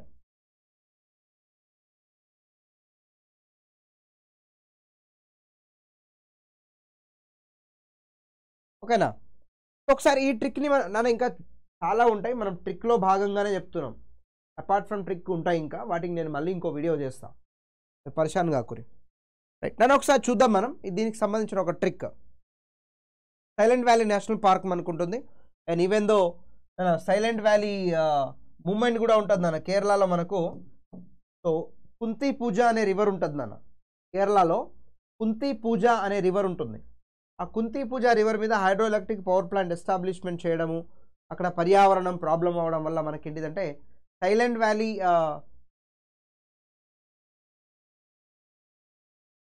so silent valley national park ఉంటుంది నాన్న. సైలెంట్ వ్యాలీ మూమెంటే జరుగుతుంది దాని మీద. ఎందుకంటే కుంతి పూజ కుంతి పూజ అనే రివర్ పైన ఎస్టాబ్లిష్మెంట్ చేస్తూ ఉంటారు కాబట్టి ఆ పర్టికులర్ పాయింట్ ఆఫ్ వ్యూలో మనం కన్సిడరేషన్ చేస్తూ ఉంటాం అన్నట్టు. రైట్. నెక్స్ట్ ఒకసారి చూడండి. సైలెంట్ వ్యాలీ నేషనల్ పార్క్ చూడండి. సో అగస్త్యమలై ఇది కూడా చిన్న స్టోరీ అన్నట్టు. So Agasthyamalai and Shola. ఇద్దరు నాన్న. అగస్త్యమలై వచ్చేసేసి మనకు నేను అగస్త్యమలై వచ్చేసేసి ఒక వ్యక్తి అండ్ షోలా వచ్చేసి ఇంకో షోలా లేడీ అగస్త్యమలై మేల్. ఓకేనా? అగస్త్యమలై మేలు అండ్ షోలా లేడీ. ఇక్కడ చూడండి ఒకసారి. So Agasthyamalai and Shola silently enjoying in Eravikulam Periyar park of Kerala. Eravikulam park of Kerala. చూడండి. Agasthyamalai and Shola silently enjoying in Eravikulam Periyar park of the Kerala. So వాళ్ళు మంచిగా హ్యాపీగా అక్కడ enjoy చేస్తూ ఉన్నారు ఆ ఏరియా అంతా చూసుకుంటా. ఎవరు? Agasthyamalai as well as the Shola. ఎక్కడ మనకు? Eravikulam Periyar park of so this particular Kerala you can remember ఓకేనా? దాని ఇక్కడ షోలా అన్నాం కదా మనము. అన్నయ్యముడి షోలా పంబాడం షోలా మత్తుకిట్టం షోలా. అవి మూడే ఉంటాయి మనకు. అవి మూడు కూడా కేరళనే ఉంటాయి. కాబట్టి ఇక్కడ ఓన్లీ షోలా అని తీసుకున్నాం. షోలా అని వచ్చినప్పుడు మనకేంటిది ఇక్కడ మనకు? సో మేజర్గా తీసుకోవాల్సింది మనకు. సో అన్నయ్యముడి కానీ పంబాడం కానీ దాని తర్వాత మత్తుకిట్టం సో ఈ మూడింటిని కలిపి మనం షోలా అంటాం అన్నట్టు. పంబాడం షోలా అన్నయ్యముడి షోలా మత్తుకిట్టం షోలా ఇవన్నీ మనం తీసుకుంటా ఉంటాం. Can remember here okay so then Agasthyamalai as usual and Eravikulam national park ఉంటుంది పెరియార్ టైగర్ రిజర్వ్ ఉంటుంది అండ్ కేరళ సైలెంట్ అంటే silent valley national park silent means it is a silent valley నానా సో మీరు క్లాస్ వినండి లేకుంటే నేను వైండ్ అప్ చేసి వెళ్ళిపోతాను. సో మీకు మ్యాటర్ రాదని నేను చెప్తాలే అందరికి చెప్తున్నా. మీకు అందరికి ఇన్ఫర్మేషన్ తెలుసు. మీరు అన్ని కామెంట్లు పెట్టి వేరే వేరే వాళ్ళని ఇబ్బంది పెట్టొద్దనేది నా రిక్వెస్ట్ మీకు వచ్చు మీకు రాదని నేను చెప్తలే. బట్ వేరే వాళ్ళని ఇబ్బంది పెట్టకండి. కొంతమంది చెప్తారు కొంతమంది చెప్పలేరు. అందుకని వాళ్ళు ఎగ్జిట్ అయిపోతున్నారు నాకు మెసేజ్ కూడా వస్తున్నాయి. So my humble request my hum humble request you can remember అన్న కనిపిస్తుంది కదా కంప్లీట్గా? జస్ట్ క్లాస్ వినండి ప్లీజ్. కనిపిస్తుంది అన్న మొత్తము. Agasthyamalai Agasthyamalai and Shola silently enjoying in the Eravikulam Periyar park of the Kerala. Okay? Next. Next Rajasthan నాన్న so Rajasthan point of view దీని తర్వాత నేను బయోస్పియర్ రిజర్వ్ కూడా చెప్తా. సో దీని తర్వాత బయోస్పియర్ రిజర్వ్ ఒకటి ఒకటి మనం డిస్కస్ చేద్దాం. దాంతో పాటుగా రామ్సార్ సైట్స్ కూడా ఒకసారి నేను చెప్తాను మీకు ఏంటిది అనేది రామ్సార్ సైట్ కూడా ఒకసారి నేను డిస్కస్ చేస్తాను కంప్లీట్గా. ఈ కొన్ని వాటిని మనం క్లియర్గా మనం మాట్లాడదాం. నన్న Rajasthan తీసుకుంటున్నానా so Keoladeo Sariska Ranthambore Bharatpur and desert. నిన్ననే మాట్లాడినాం కదా ఇది. నిన్ననే మాట్లాడినాం. ఒకటి కేలాదేవ్ సరిస్కా రణతంబోర్ భరత్పూర్ అండ్ డెజర్ట్. ఇవి మనం నిన్న మాట్లాడడం జరిగింది. ఒకసారి మీరు క్లియర్గా చూసుకోవచ్చు. Desert national park. So koel singing sa re ga ma raga in Bharatpur dessert. నిన్న మనం మాట్లాడినాం మనం. Koyal singing Sarigama raga in Bharatpur dessert అని మాట్లాడాం నేను ఇక్కడ కోయల్ అన్నాం కదా దట్ ఈస్ అ కేలాదేవ్. కేలాడియో అనొచ్చు కేలాదేవ్ కూడా అనొచ్చు. తర్వాత సరిగమ రాగా సింగింగ్ సరిగమ. సరి తీసుకుంటే సరిస్కా నాన్న. ఓకేనా? సరి తీసుకుంటే సరిస్కా. రాగా అన్నాం కదా రాగాలో ఆర్ఏ తీసుకుంటే మనకు రణతంబోర్ వచ్చేస్తుంది. ఆర్య తీసుకుంటే మనకు రణతంబోర్ వచ్చేస్తుంది. అండ్ ఇక్కడ భరత్పూర్ ఉంది కదా Bharatpur national park then are the same as desert national park so Bharatpur uh, national park తర్వాత సో డెజర్ట్ నేషనల్ పార్క్ కూడా మనకు కనిపించేస్తుంది. కానీ ఈ పర్టికులర్ నేమ్స్ అనేవి మీకు చాలా ఇంపార్టెంట్ ఎందుకు ఎందుకు ఇట్లా చెప్తున్నాం అంటే సార్ ఇన్ని ఉంటాయి కదా ఎలా గుర్తుపెట్టుకుంటాం సార్? మీకు డౌట్ వస్తుంది. అన్నీ గుర్తుపెట్టుకోవడం ప్రాబ్లం అవుతుంది కాబట్టే మనం ఇక్కడ కన్సిడరేషన్ చేస్తున్నాం. ఏమని? ఫర్ ఎగ్జాంపుల్ నన్ను మీకు కేలాదేవ్ అని ఉంది. కీలాదేవ్ అనేది నేషనల్ పార్కా? వైల్డ్ లైఫ్ సెంచరీయా? బయోస్పియర్ రిజర్వా? లేకుంటే నేషనల్ పార్క్ అనేది డజన్ మ్యాటర్. దాని గురించి అంతా పట్టించుకోకండి. ఎందుకంటే వాళ్ళు క్వశ్చన్ అడిగేటప్పుడు ఆ నేమ్ని కంప్లీట్గా ఫుల్ఫిల్ చేస్తాడు వాడు. ఆ నేమ్ని కంప్లీట్గా ఫుల్ఫిల్ చేస్తాడు అది ఎక్కడ ఉందనేది కావాలి మనకు. ఇప్పుడు క్రింది వాటిలో రాజస్థాన్లో ఉన్న నేషనల్ పార్కులు ఏంటిదని మిమ్మల్ని అడిగిండు. ఇందా కూడా క్వశ్చన్ చెప్పిన వాటినే. ఇప్పుడు వీటిలో వీటిలో ఏమైనా రెండు మూడు ఉన్నాయనుకోండి వాళ్ళు ఆ పేరుతోటి అది ఆన్సర్ అయిపోతుంది. సింపుల్. లేకుంటే ఇప్పుడు Bharatpur national park located in which state అని అడిగాడు. సో భరత్పూర్ అనేది ఎక్కడుంటుంది అనేది నీకు ఎలా తెలుస్తుంది? సో ఇక్కడ ఈ ఈ ట్రిక్ అనేది నీకు తెలిస్తే దాంట్లో సో ఈ ట్రిక్లో ఆ భరత్పూర్ అనేది కనిపిస్తుంది కాబట్టి ఇది రాజస్థాన్కి సంబంధించిందని ఒక ఐడియాలజీ నీకు వచ్చేస్తుంది. దాన్ని బట్టి నువ్వు ఈజీగా ఎగ్జామ్లో ఐడెంటిఫై చేయగలవు. ఇవన్నీ ఎప్పుడు జరుగుతుంటే నువ్వు వన్స్ నువ్వు ప్రాక్టీస్ చేసినప్పుడే నీకు ఇది మనకు హెల్ప్ఫుల్ అనేది అవుతుందన్న. అట్లా దీన్ని మనం కన్సిడరేషన్ చేయాలి. ఓకేనా? నెక్స్ట్ నెక్స్ట్ వెస్ట్ బెంగాల్ చూద్దాం అన్న వెస్ట్ బెంగాల్. సో వెస్ట్ బెంగాల్ ఒకసారి మనం కన్సిడరేషన్ చేస్తున్నాను వెస్ట్ బెంగాల్లో. చూడండి ఒకసారి. గౌరుమార్ అంటాం గౌరుమర అంటాము and Jaldapara Buxa and Sundarban. And ఏమేమి ఉన్నాయి మనకు?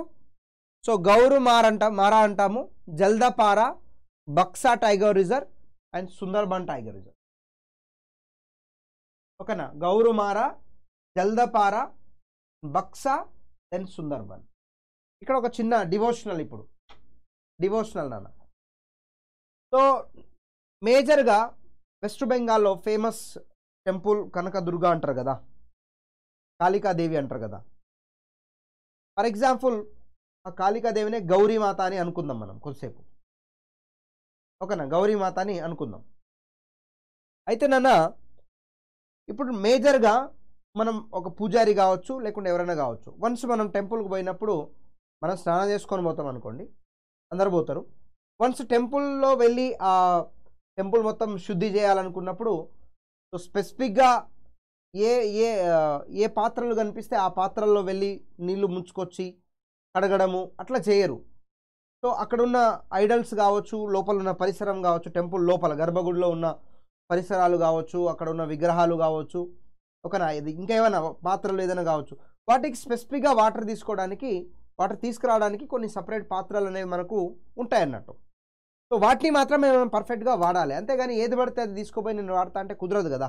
అది అపచారం అనేసి మా మాట్లాడుతూ ఉంటాం. సో అలాంటిది నాన్న ఇక్కడ గౌరీ పూజ చేయడానికి మనం వాటర్ని తీసుకొస్తాము సింపుల్గా గుర్తుపెట్టుకొని సో ఇక్కడ గౌరీ పూజ చేస్తున్నాం నాన్న. ఇప్పుడు గౌరీ పూజ చేయడానికి ముందు ఫస్ట్ ఆ ప్రతిమలను వాటన్నిటిని మనం కడగాల. కడగాలంటే ఏం తీసుకురావాలి? వాటర్ తీసుకురావాలి. ఓకేనా? వాటర్ తీసుకురావాలి. వాటర్ దేంట్లో పడితే దాంట్లో తీసుకురావద్దు కదా? ఏదైనా ఒక ప్రాపర్ బౌల్ మంచి బౌల్ స్పెసిఫిక్గా ఆ, ఆ పూజల కోసమే వాడే ఒక బౌల్ని మనం వాడుతూ ఉంటాం అన్నట్టు. దాని ద్వారా మనం తీసుకొచ్చి అన్ని చేయొచ్చు అన్నట్టు. ఆ కాంబినేషన్లో మనకు ఒకటి ట్రిక్ ఉంటుందన్న గుర్తుపెట్టుకోండి. చూడండి. నేను ఇక్కడ వాటర్ అన్నాం మనం. గౌరీ పూజ చేయడానికి వాటర్ వాడాలి. వాటర్ని మనం హిందీలో ఏమంటాం మనం జల్ అని అంటాం. జల్ అంటే పానీ. పానీ మీన్స్ నీళ్ళు. సో జల్ అంట. ఒకసారి చూడండి అన్న. గౌరీ జల్ బాక్స్. జల్ బాక్స్ అంటే ఇప్పుడు గౌరీ పూజ చేయడానికి మనం నీళ్ళు తీసుకురావాలి. నీళ్ళ కోసం ఏంటిది మనకు పాత్ర? సో గౌరీ పూజ పాత్ర అని కూడా అనొచ్చు మనం. గౌరీ జల్ బాక్స్. గౌరీ పూజ కోసం వాడుతున్న నీటి పాత్ర. సో చూడండి ఒకసారి ఆ పాత్ర దేంతో తయారు చేస్తున్నది అనేది పాయింట్ ఇప్పుడు. So Gauri Jal box. Made up of Sundarban tree wood. Sundarban tree wood. Wood Gauri Puja చేయడానికి మనకు వాటర్ తీసుకురావాలి. ఆ వాటర్ కోసం ఒక బాక్స్ని తయారు చేయాలి. ఆ బాక్స్ దేంతో తయారు చేస్తారంటే నేను సుందర్బన్ అడవులలో దొరికే చెట్ల నుంచి తయారు చేస్తాను సుందర్బన్ అడవులలో దొరికే yeah, Sundarban tiger reserve sorry నేను టైగర్ రిజర్వ్ అన్న నేషనల్ పార్క్. నేనా? సో సుందర్బన్ అడవులలో దొరికే సుందర్బన్ అడవులలో దొరికే వుడ్ తోటి తయారు చేస్తాను. ఒకసారి చూడండి. So Gauri gel box made up up of so made of Sundarban tree wood. So Gauri అంటే గౌరీమార్ ఓకేనా? జెల్ అంటే జల్దపార బాక్స్ అంటే Buxa tiger reserve and Sundarban. అంటే గౌరీ పూజ చేయడానికి సో మనం ఏం వాడతాం సో జెల్ బాక్స్ని మనం వాడతాము. దేంతో తయారు చేస్తారు మనకు? సుందర్బన్ ట్రీ వుడ్ తోటి మనం తయారు చేస్తాము. సుందర్బన్ ట్రీ వుడ్ తోటి దాన్ని మనము తయారు చేయడం జరుగుతుంది. Can remember point next Arunachal Pradesh. Arunachal Pradesh ఒకసారి చూద్దాం మనం. అరుణాచల్ ప్రదేశ్. నేను అరుణాచల్ ప్రదేశ్లో మనకు ఒకటి మౌలింగ్ రెండోది ఒకనా నామ్దఫా అండ్ మూడోది వచ్చేసేసి పక్కే. పక్కే టైగర్ రిజర్వ్ అంటాం. ఒకటేంటనా మౌలింగ్ రెండోది వచ్చేసేసి నామ్దఫా మూడోది వచ్చేసేసి పక్కే. ఓకేనా? పక్కే టైగర్ రిజర్వ్ అని కూడా మనం అంటూ ఉంటాము. పక్కే టైగర్ రిజర్వ్. సో ఈ మూడింటిని కలిపి మనము మాట్లాడదాం. ఓకేనా? ఈ మూడింటిని కలిపి మనం మాట్లాడదాం. మౌలింగ్ నామ్దఫా అండ్ పక్కే. నా జనరల్గా మనం ఏదైనా ఇప్పుడు ఏదైనా కాంపిటేటివ్ ఎగ్జామ్కి ప్రిపేర్ అవుతున్నాం నాన్న. ఇప్పుడు మనం ఒక కాంపిటేటివ్ ఎగ్జామ్కి ప్రిపేర్ అవుతున్నాం ఒకే ఎగ్జామ్ని ఒక ఫోర్ ఫైవ్ అటెంప్ట్స్ చేసినాం అనుకుందాం. ఒకే ఎగ్జామ్ని ఒక ఫోర్ ఫైవ్ అటెంప్ట్స్ మనం చేసినాం అనుకుందాము. మన పేరు ఉండట్లేదు లిస్ట్లో. ఎగ్జామ్ రాస్తున్నాం రిజల్ట్ వస్తుంది మన పేరు లేదు. ఏ ఇన్ పేరు లేదు ఇన్ పేరు లేదు అనేసి చెప్తా ఉంటారు. కానీ ఈసారి మన పేరు పక్కా ఉంటుంది అన్నట్టు. ఈసారి మన పేరు పక్కా ఉంటుంది. అయితే ఆ క్యాండిడేట్ పేరు ఏంటిదంటే మౌలింగ్. ఓకేనా? ఆ క్యాండిడేట్ పేరు మౌలింగ్. గుర్తుపెట్టుకో సారీ అరుణ్ మౌలింగ్ అన్న. ఆ క్యాండిడేట్ పేరు అరుణ్ మౌలింగ్. ఆ క్యాండిడేట్ పేరు అరుణ్ మౌలింగ్ నేమ్ అంటే ఏంటిది? పేరు కదా. ఇక్కడ అరుణ్ దీంట్లో మౌలింగ్ రెండు తీసుకుంటున్నాము. ఇక్కడ నామ్ దాఫాలో మనం నేమ్ తీసుకుంటున్నాము. అండ్ పక్కే అంటే పక్కా తీసుకుంటాం చూడండి ఒకసారి. సో అరుణ్ మౌలింగ్ నేమ్ పక్కా. సో ఈసారి ఎగ్జామ్ రాసిండు. ఈసారి ఎగ్జామ్ రాసిన దాంట్లో అరుణ్ మౌలింగ్ పేరు పక్కా ఉంటుంది. ఇది దేంట్లో? జాబ్ వచ్చే దాంట్లో. కాబట్టి ఈసారి మీరు ఎగ్జామ్ రాసిరు ఆ అవుట్పుట్లో మీ పేరు పక్కా ఉంటుంది. అట్లా. ఒక ఐదారు అటెంప్ట్స్ చేసినాము పేరు వస్తలేదు ఈసారి పక్కా వస్తుందని చెప్తాం కదా మనము. ఏ ఈసారి పక్క నా పేరు వస్తుంది చూసుకోర్రా భయ్ అని చెప్తాం. సో అట్లా ఆ క్యాండిడేట్ ఎవరు? మనం వేరే వాళ్ళతో మాట్లాడుతున్నారు రే మన అరుణ్ గాని పేరు ఈసారి పక్కా వస్తుంది అని మాట్లాడతాం కదా అట్లా సో అరుణ్ మౌలింగ్ నేమ్ పక్కా. అట్ నామ్. అరుణ్ మౌలింగ్ నామ్ పక్కా అని అంటాం అన్నట్టు మన పేరు పక్కా ఉంది అని మాట్లాడతాం. ఒకసారి చూడండి ఇక్కడ మౌలింగ్ నేషనల్ పార్క్ ఉంది మనకు. And then coming to the Namdapha Arun అంటే అరుణాచల్ ప్రదేశ్? మౌలింగ్ అంటే మౌలింగ్ నేషనల్ పార్క్ అండ్ తర్వాత నామ్ అంటే నామ్ దఫా నేషనల్ పార్క్ అండ్ పక్కే అంటే పక్కే టైగర్ రిజర్వ్ పక్కే అంటే పక్కే టైగర్ రిజర్వ్గా మనం కన్సిడరేషన్ చేసేస్తాం.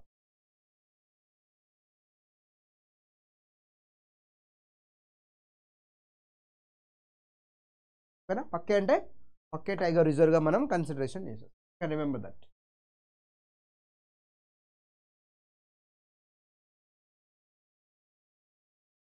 నెక్స్ట్ మన యూపీ ఒకసారి చూడండి అది. I will connect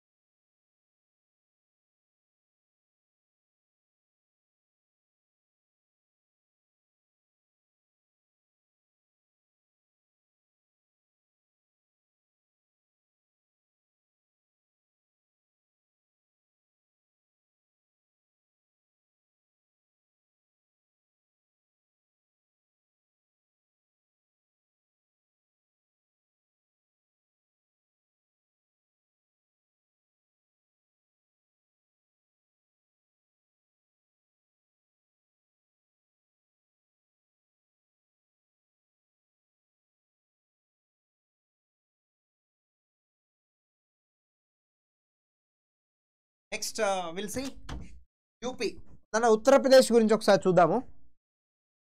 Uttar Pradesh Uttar Pradesh మనం చూస్తే ఒకసారి ఉత్తరప్రదేశ్లో చంద్రప్రభ దూద్వా అండ్ పిలిభిత్ అంటాము. ఉత్తరప్రదేశ్లో మనకు చంద్రప్రభ దూద్వా అండ్ పిలిభిత్ అనేసి మనము మాట్లాడుతూ ఉంటాం ఈ పర్టికులర్ దాంట్లో. ఇక్కడ చూడండి ఒకసారి మంచి ట్రిక్ ఉంటుంది ఈ ఏరియా కూడా.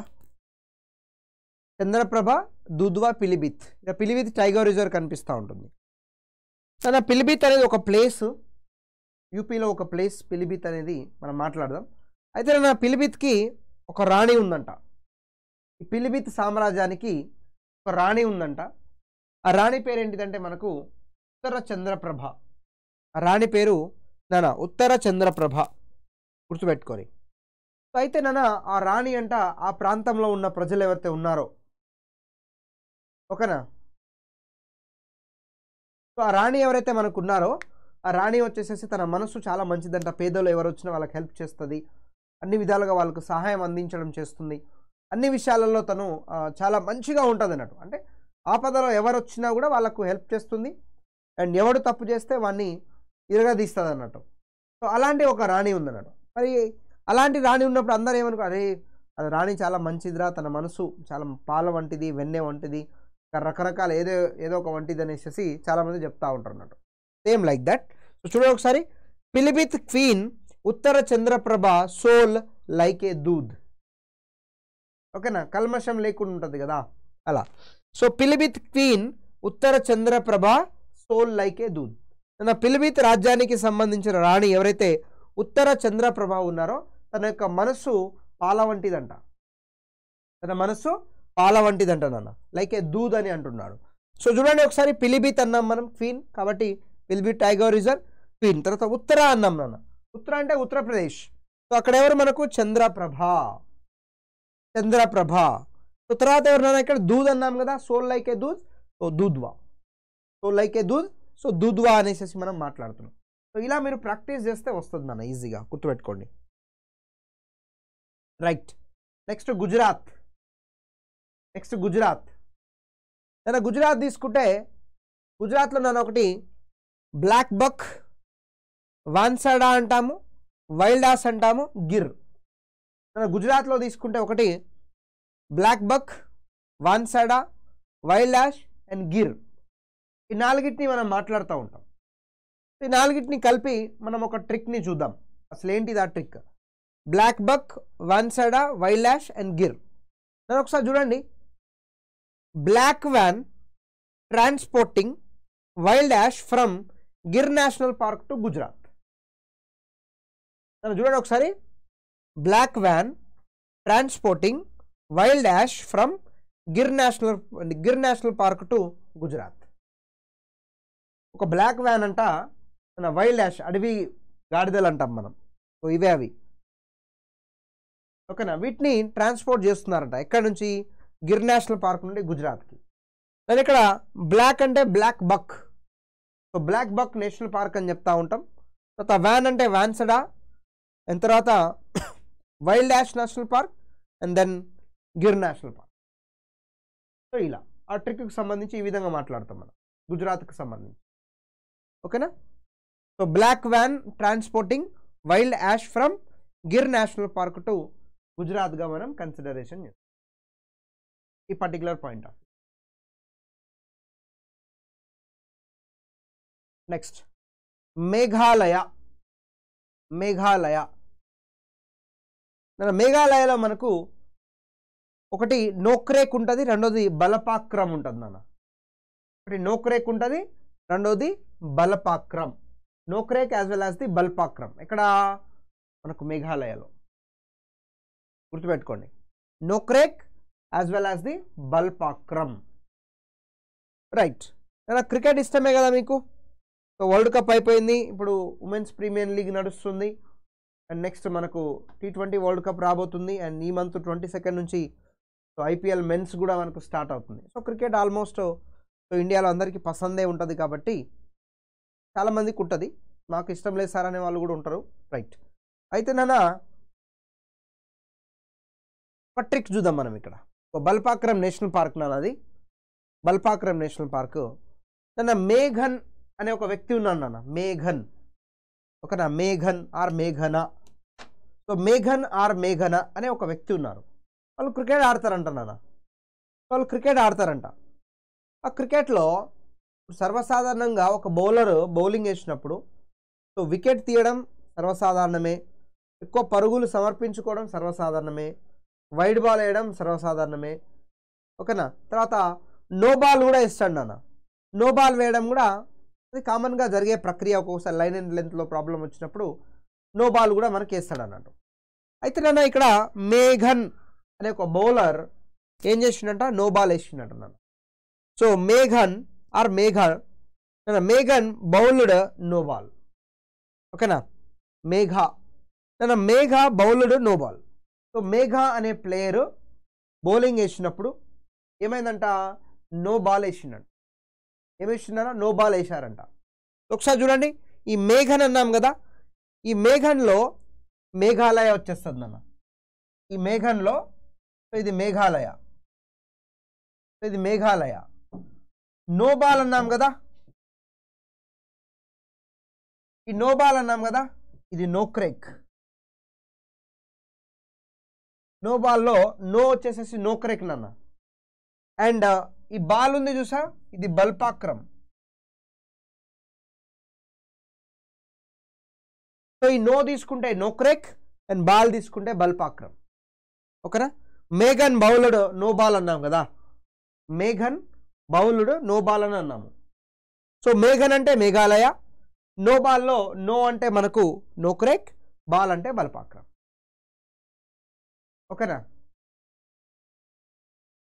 That is the point that is the point ఇలా గుర్తుపెట్టు. మేఘ బౌలుడ్ నో బాల్ మేఘన్ బౌలుడ్ నో బాల్ ఎలా అయినా మీరు గుర్తుపెట్టుకోవచ్చు బట్ దీనికి రిలేటెడ్గా మేఘాలయ అనేది రావాలి. ఓకేనా? ఇది బల్పాక్రమ్ నేషనల్ పార్క్ ఇక్కడ మీరు క్లియర్గా చూడొచ్చు. So Balpakram national park and this one is the so Nokrek national park next location బాగుంది కదా? ఇది కూడా నేషనల్ పార్క్లో ఉంది. మిజోరాం. ఏ రామ్?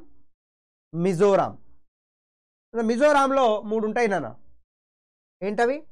ఒకటి ముర్లెన్ అండ్ ఒకటి ముర్లెన్ అండ్ పాంగువాయ్ అంటాం మనం. Phawngpui and next Dampa. Murlen Phawngpui Phawngpui and Dampa. మూడు ఉంటాయి. దాంఫా ఫాంగ్వి అండ్ ముర్లెన్ అనేవి మనకు మిజోరాంలో ఉంటాయి. ఓకేనా? రైట్. దాని ఇక్కడ ఒక చిన్న క్లారిఫికేషన్ మీ దగ్గర అడుగుతున్నా నేను విత్ యువర్ పర్మిషన్. నేను ఇక్కడ నన్ను ఈ- ఇగో ఈ రెండు ఈ రెండు లెటర్స్ని తీసుకున్నా. తర్వాత ఈ రెండింటిని తీసుకున్నా ఈ రెండింటిని తీసుకున్నా. ఈ- ఈ నా ఆరింటిని కలిపి చదవండి ఒకసారి ఏమవుతుంది ఇక్కడ పైన ముర్లేన్లో ఎంయూ తీసుకున్నా. అండ్ ఇక ఫాంగువి దాంట్లో పిహెచ్ తీసుకున్నా. అండ్ తర్వాత డాంఫాలో డిఏ తీసుకున్నా. ఆరు లెటర్స్ని వరుసగా పెట్టి చదివితే ఏమవుతుందన్న లేకుంటే ఇక్కడ ఇక్కడ ఏ కూడా తీసుకోండి ఒకసారి. పిహెచ్ఏ తీసుకోండి. ఏమవుతుంది ఆ- నాలుగిటిని చదివితే కలిపి?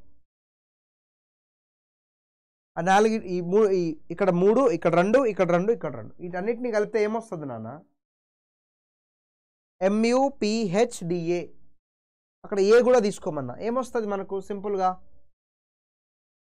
ఏం రాదా? ఆడ డిఏ కూడా ఉంది కదా నాన్న. డిఏ డి మింగేసిరా ఇడా డిఏ ఇక్కడ ఏ మింగేసిరా ఏమొస్తుంది మనకు? So M U P H A D A ముఫాడా కదా? ముఫాడా కదా? అక్కడ ఏ కూడా తీసుకోమన్నా. సో ముఫాడా ఉప్పాడా కాదు నాన్న ఉప్పాడా బీచ్ కాదు. అదో సినిమా ఉంటుంది కదా జల జల జల పాతం నువ్వు నేను అనేదో సాంగ్. ఆ ఉప్పాడా కాదు ఇక్కడ ముఫాడా. అయితే నాన్న ఈ ముఫాడా అనేది ఒక స్వీట్ పేరు నాన్న. ఈ ముఫాడా అనేది ఒక స్వీట్ పేరు. అయితే ఈ ముఫాడా స్వీట్ అనేది చాలా ఫేమస్ అంట మిజోరాంలో గుర్తుపెట్టుకోండి. So ముఫాడా sweet famous in Mizoram ఓకేనా ముఫాడా స్వీట్ ఫేమస్ ఇన్ మిజోరాం అది ట్రిక్ సో చూడండి ఒకసారి. ముఫాడా sweet is available in Mizoram or famous what it may be Phawngpui blue mountain చాలా ఫేమస్ నా నేషనల్ పార్క్ మేఘాలయలో ఉంటుంది. మిజోరాంలో సారీ మేఘాలయ అంటున్నా చూడండి ఒకసారి. ముఫాడా sweet is available in Mizoram or famous famous in Mizoram ముఫాడా sweet అనేది ఫేమస్ అంట. ఎక్కడ? మిజోరాంలో. ఓకేనా? సో ఎంయూ తీసుకుంటే ఏంటిది నాన్న? ముర్లెన్ ముర్లెన్ పిహెచ్ అంటే ఫాంగ్వి అని రాసుకున్నాం. డి అంటే డాంఫా. డాంఫా. ఓకేనా? ఉఫాడా sweet famous in Mizoram simply can remember so ఎంయూలో మనకి ఏమేమి వస్తాయి? వరుసగా ఇక్కడ పెట్టుకున్నాం కదా ముర్లెన్ పాంగ్వి అండ్ డాంఫా అనే పాయింట్ని మనం కన్సిడరేషన్ చేస్తాం. Okay next Tripura. నా త్రిపుర తీసుకుంటే. త్రిపురలో రెండు ఉంటాయి నాన్న. ఒకటి రాజుబారి రెండోది లెపర్డ్. ఒకటి రాజుబారి రెండోది లెపర్డ్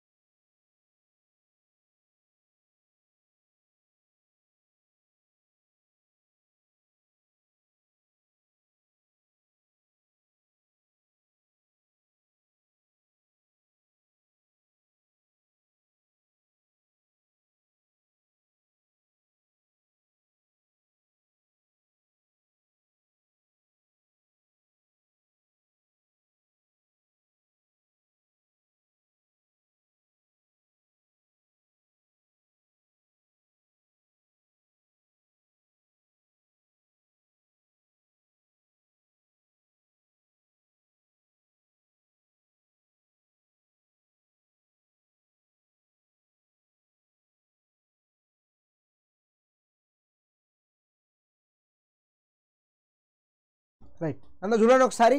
ఒకటి రాజుబారి రెండోది లెపడ్ రాజుబారి రెండోది లెపడ్ అయితే జనరల్గా నార్మల్గా మనము బయట చూస్తుంటాం ఊర్లలో కానీ ఎక్కడైనా. ఇప్పుడు ఎవరైనా పైల్వాన్ ఉన్నాడు అనుకో లేకుంటే ఏ అన్న తోప్ తోఫ్ అన్న తోఫ్ అండ్ అన్న తురుం అని మాట్లాడుతుంటాం కదా. టైగర్ టైగర్ షేర్ అంటాం మనం. ఎవరైనా ఫర్ ఎగ్జాంపుల్ ఇక్కడ హరి ఉన్నాడు అనుకోండి హరి ఉన్నాడు ఇప్పుడు. టైగర్ హరి అని మాట్లాడతాం కదా. షేర్ షేర్ ఖాన్ కాదు షేర్. షేర్ అని అంటే కొంచెం ఏమంటాం?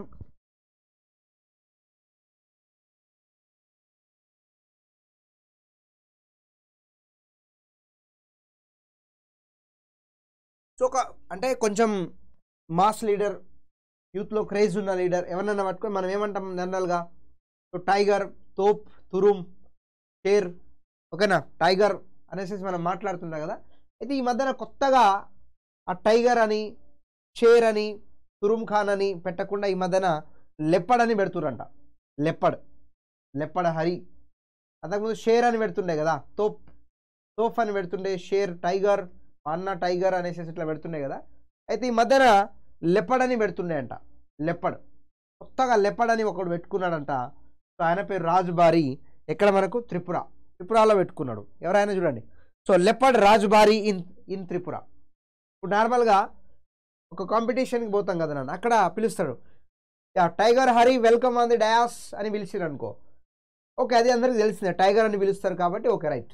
అయితే ఈ మధ్య కాలంలో ఒక వ్యక్తిని లెపర్డ్ అని పిలిచిరంట. ఓకేనా? ఏమని పిలిచారు? స్టేజ్ మీద ఇన్వైట్ చేస్తున్నారు. Leopard Rajbari from Tripura. Leopard Rajbari from Tripura. చూడండి ఒకసారి. Leopard Rajbari in Tripura.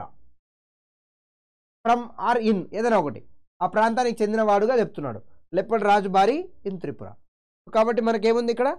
ఒకటి రాజుబారి ఉంది రెండోది లెప్పడ్ కనిపిస్తుంది. యూ కెన్ రిమెంబర్ ఓకేనా? యా. అన్న మణిపూర్లో ఒకటే ఉంటుందన్న అది గుర్తుపెట్టుకోండి. చాలా ఇంపార్టెంట్ ఫ్లోటింగ్ లేక్. ఓకేనా? సో ఫ్లోటింగ్ లేక్ నాన్న. లోక్తక్ అంటాం కదా మనము. సో ఏంటిది అది మనకు? మణిపూర్లో నన్న కిబులాంజియో నేషనల్ పార్క్ అంటాము. కిబులాంజియో నేషనల్ పార్క్. సో దాన్ని మనము లోక్తక్ మణిపూర్లో లోక్తక్ నేషనల్ పార్క్ అంటాం. దాన్నే మనం కిబిలాంజియో నేషనల్ పార్క్ కూడా అనొచ్చు. ఫ్లోటింగ్ నేషనల్ పార్క్ నాన్న. సో ఫ్లోటింగ్ నేషనల్ పార్క్ ఇక్కడ కనిపిస్తూ ఉంది ఇదంతా ఫ్లోటింగ్ నేషనల్ పార్కే. సో దాన్ని గుర్తుపెట్టుకోండి. పేరే మనము ఓకేనా? కిబులామ్ జియో. కిబులామ్ జియో. ఓకేనా? కిబులామ్ జియో నేషనల్ పార్క్ అని మాట్లాడుతూ ఉంటాం. You can remember this particular one Keibul Lamjao national park అనేసి మనము మాట్లాడుతూ ఉంటాం ఈ పర్టికులర్ పాయింట్ని కెన్ రిమెంబర్ మణిపూర్లో ఉంటుందన్న only floating national park in the world in the world next Nagaland Nagaland నాగాల్యాండ్లో మనకు టంకీ నేషనల్ పార్క్ ఉంటుంది. టంకీ. నాగాల్యాండ్లో టంకీ నేషనల్ పార్క్ ఉంటుంది. నాటకాలు చేస్తున్నాం రా భయ్ కథలు పడుతున్నా డబ్బులు ఇవ్వమంటే అని చెప్తుంటాం కదా మనం. సో నాగాల్యాండ్లో నాటంకి నేషనల్ పార్క్ ఉంటుంది అన్న నాగాల్యాండ్లో నాటంకి నేషనల్ పార్క్ ఉంటుంది. ఈ నాటంకిలో ఫస్ట్ ఎన్ని లేపేయండి అప్పుడు టంకీ నేషనల్ పార్క్ అవుతుంది ఓకేనా? నాటంకిలో ఇవన్నీ లేపేయండి టంకీ నేషనల్ పార్క్ అవుతుంది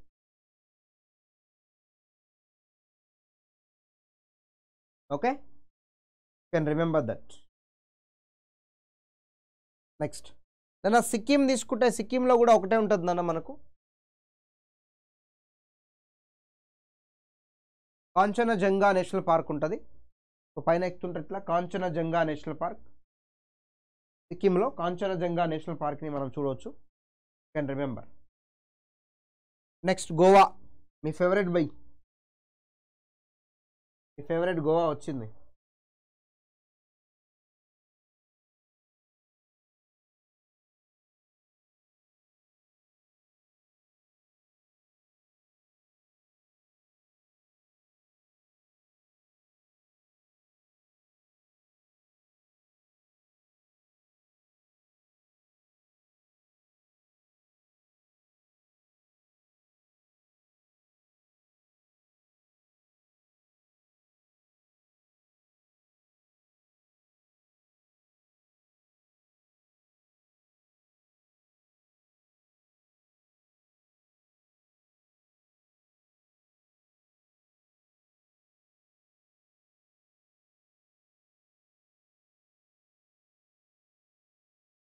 నన్ను ఒకసారి చూడండి Goa.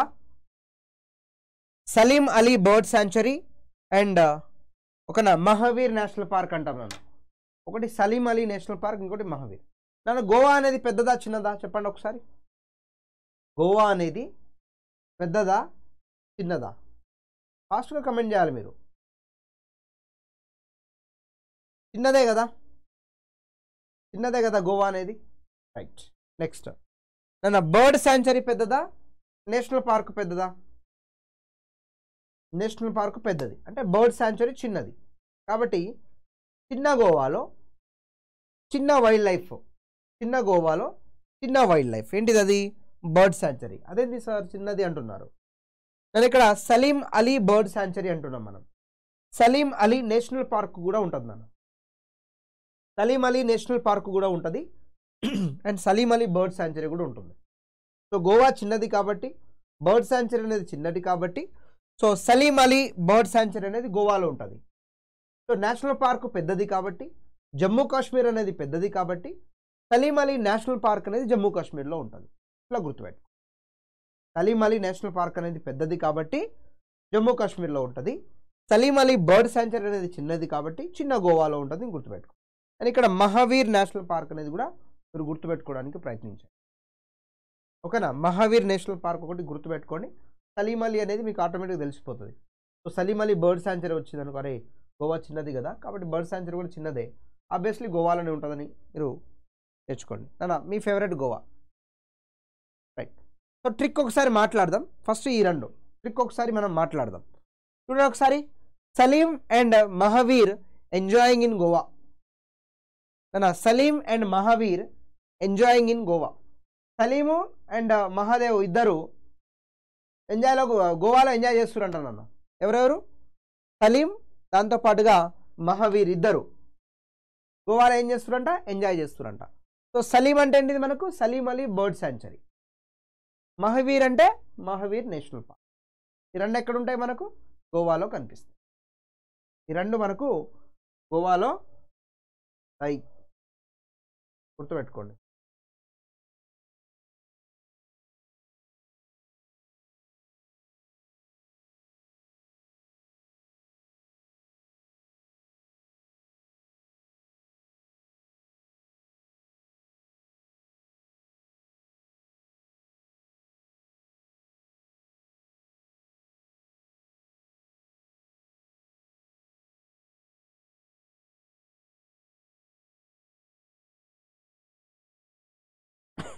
ఓకే రైట్ నెక్స్ట్ దాని ఇక్కడ వచ్చింది చూడండి.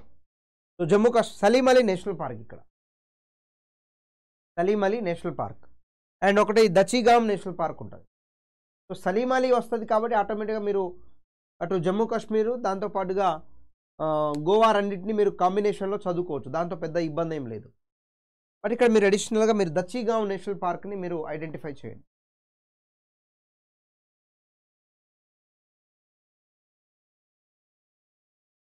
ఓకే? దచ్చిగామ్ నేషనల్ పార్క్ని మీరు ఐడెంటిఫై చేయండి. సలీం నార్మల్గా ఉంటుంది కాబట్టి దాంతో ఎటువంటి ప్రాబ్లం లేదు. మన తెలంగాణకు సంబంధించి వస్తలేదు సో తెలంగాణకు సంబంధించి మనకు ఎన్నున్న నేషనల్ పార్కులు మూడు ఉంటాయి తెలంగాణ నేషనల్ పార్కులు మూడు ఉంటాయి అండ్ ఒక రెండు టైగర్ రిజర్వ్లు ఉన్నాయి. బయోస్ఫియర్ రిజర్వ్ అయితే లేదు. ఓకేనా? సో ఏంటివి తెలంగాణకు సంబంధించి? ఒకటి అమరాబాద్ టైగర్ రిజర్వ్. రెండోది వచ్చేసేసి కవ్వాల్ టైగర్ రిజర్వ్. ఒకటి అమరాబాద్ టైగర్ రిజర్వ్. రెండోది కవ్వాల్ టైగర్ రిజర్వ్.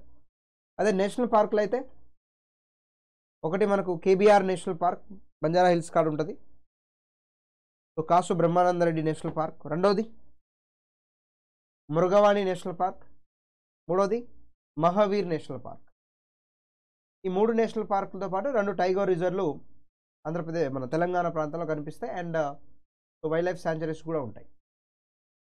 అండ్ అదేవిధంగా మన ఆంధ్రప్రదేశ్లో తీసుకుంటేనన్నా ఎన్ని నేషనల్ పార్కులు ఉన్నాయి? ఆంధ్రప్రదేశ్లో చెప్పండి. మనం ఎగ్జామ్ రాశారు కదా క్లాస్లో కూడా డిస్కస్ చేసినాం. ఎన్ని నేషనల్ పార్కులు మనకు ఆంధ్రప్రదేశ్లో ఉన్నాయి? ఇప్పుడు టైగర్ రిజర్వ్ ఉంటుంది. Nagarjuna Sagar Srisailam tiger reserve. ఇండియాలోనే పెద్దది విస్తీర్ణం ప్రకారంగా. ఎన్ని నేషనల్ పార్కులు ఆంధ్రప్రదేశ్లో చెప్పండి అన్న త్రీ నేషనల్ పార్క్.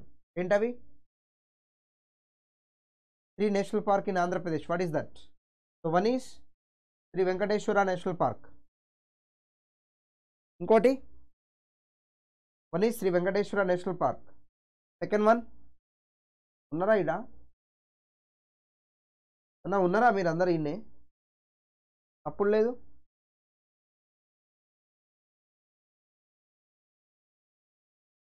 ఒకటి శ్రీ వెంకటేశ్వర నేషనల్ పార్క్ రెండోది పాపికొండల నేషనల్ పార్క్ మూడోది చెప్పాలి ఆన్సర్. ఒకటి శ్రీ వెంకటేశ్వర నేషనల్ పార్క్ రెండోది పాపికొండల నేషనల్ పార్క్ మూడోది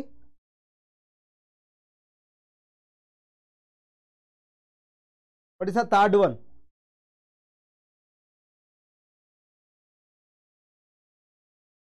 చాలా లేట్గా వినిపిస్తుందా వాయిస్? స్లోవా? మూడో చెప్పండి కమెంట్ చేయండి నాకు. నన్ను ఒకసారి చూడండి. పంజాబ్ పాయింట్ ఆఫ్ వ్యూలో. పంజాబ్. మూడోది కమెంట్ చేయండి. పంజాబ్ తీసుకుంటున్నానా? నానా Abohar wild life sanctuary and Harike wild life sanctuary రెండు ఉంటాయి నాన్న Abohar wild life sanctuary and then other one is the Harike wild life sanctuary Abohar as well as the Harike wild life sanctuary నన్ను నేను అడిగింది AP Telangana చెప్పేసి అయిపోయింది. AP చెప్పండి ఒకసారి.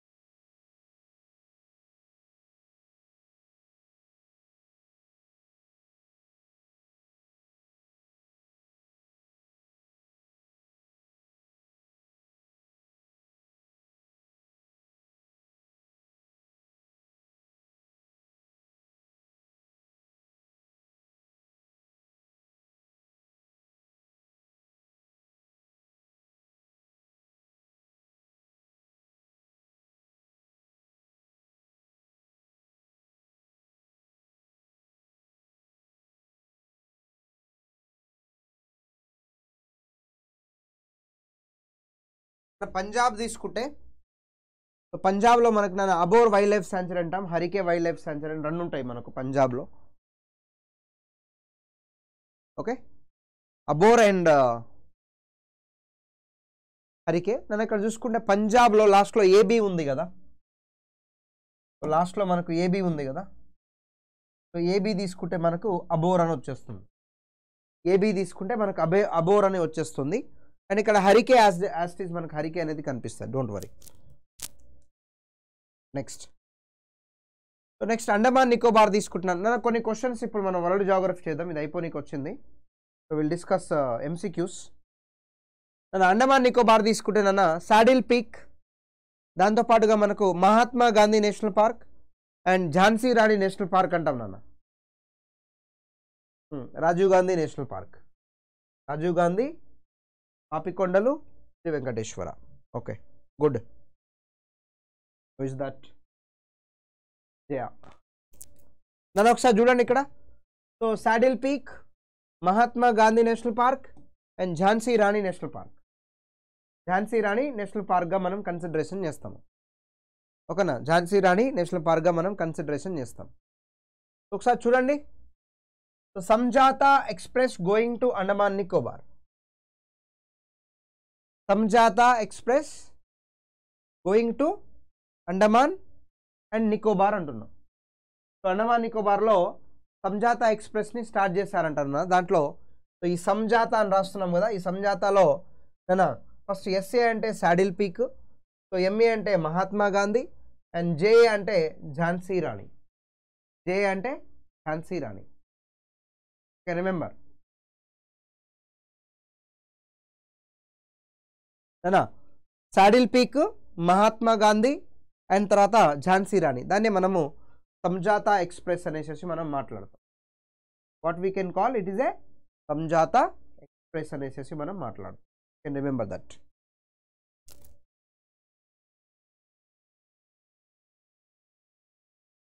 next is that ఇది so this is the this proper session అన్న ఇది దీనికి సంబంధించినవి ఒకసారి మనము నేను ఎంసీక్యూస్ చేద్దాము.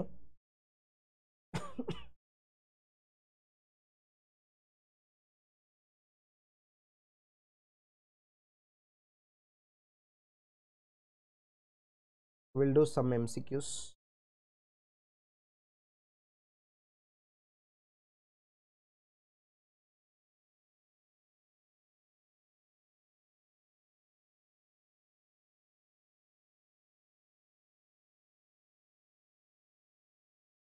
అనే క్వశ్చన్ చూడండి. Answer this question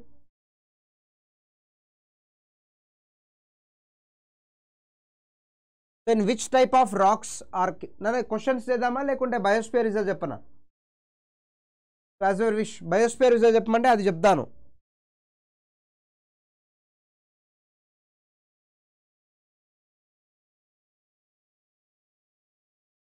క్వశ్చన్ చేద్దామంటే క్వశ్చన్ చేద్దాం.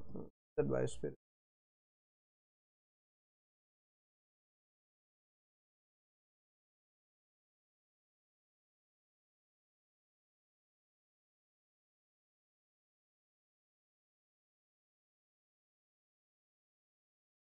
బయోస్పియర్ రిజర్వే చూద్దాం ఆగండి.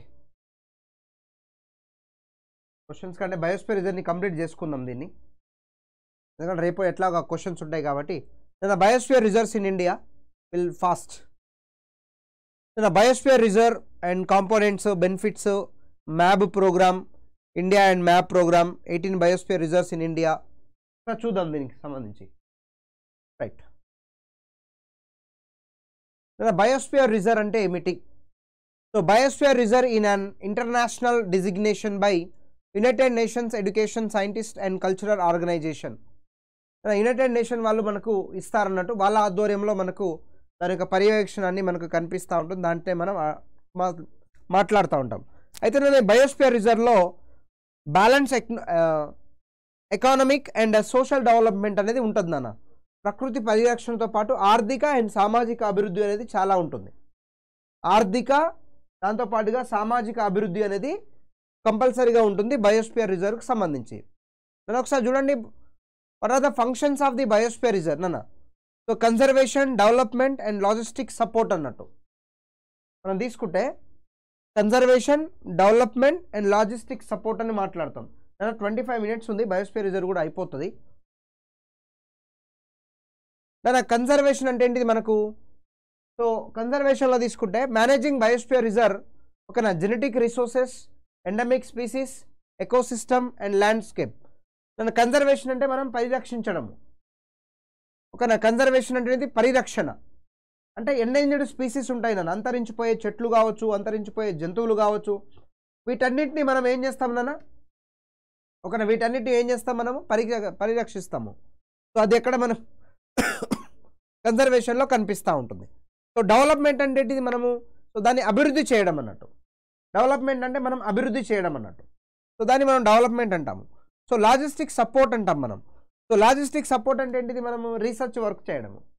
లాజిస్టిక్ సపోర్ట్ అంటే promoting the research activities environmental education training and uh, monitoring in the uh, contest of the local ఇవన్నిటిని మనం మాట్లాడుతూ ఉంటాం. వీటన్నిటిని మనము సో చూస్తూ ఉంటాం అన్నట్టు. That is one of the పాయింట్గా కూడా మనము కన్సిడరేషన్ చేయవచ్చు.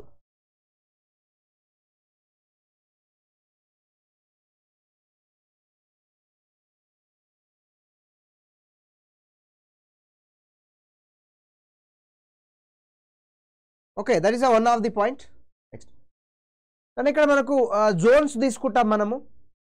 సో బఫర్ జోన్ అని కోర్ జోన్ అనేసి మనం మాట్లాడుతూ ఉంటాము. ఇది కూడా నేను పెట్టినాను పిక్చర్ ఒకసారి మనం దాన్ని కూడా చూద్దాం.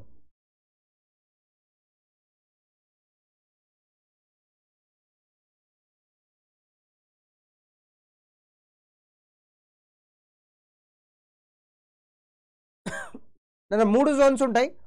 కోర్ జోన్ ఉంటుంది బఫర్ జోన్ ఉంటుంది తర్వాత ట్రాన్సిషన్ జోన్ ఉంటుంది అన్న మూడు జోన్లు ఉంటాయి.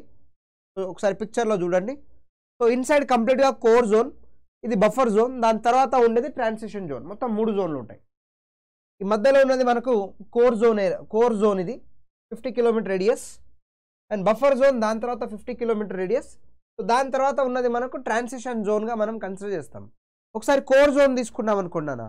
So area which is the vultures and breeding in the natural habitat ensuring continuous food supply అన్నీ ఉంటాయి ఒకసారి ఇక్కడ చూద్దామా? అక్కడ కాదు ఇక్కడ. నన్ను ఒకసారి చూడండి ఈ ప్రాంతాన్ని. కోర్ ఏరియా కనుక తీసుకుంటే ఏనా? ఇది బయోస్ఫియర్ రిజర్వ్ యొక్క అత్యంత రక్షిత ప్రాంతం అంటాం మనం. ప్రొటెక్టెడ్ ఏరియా నన్ను ఇక్కడ. ఇక్కడ ఎండమిక్ ప్లాంట్స్ కానీ యానిమల్స్ ఉంటాయి. అంతరించిపోయే జంతువులు కానీ వృక్షాలు కానీ మనకు ఈ కోర్ ఏరియాలో మనకు కనిపిస్తూ ఉంటుంది. ఈ కోర్ ఏరియాలో మనకు కనిపిస్తూ ఉంటాయి నాన్న.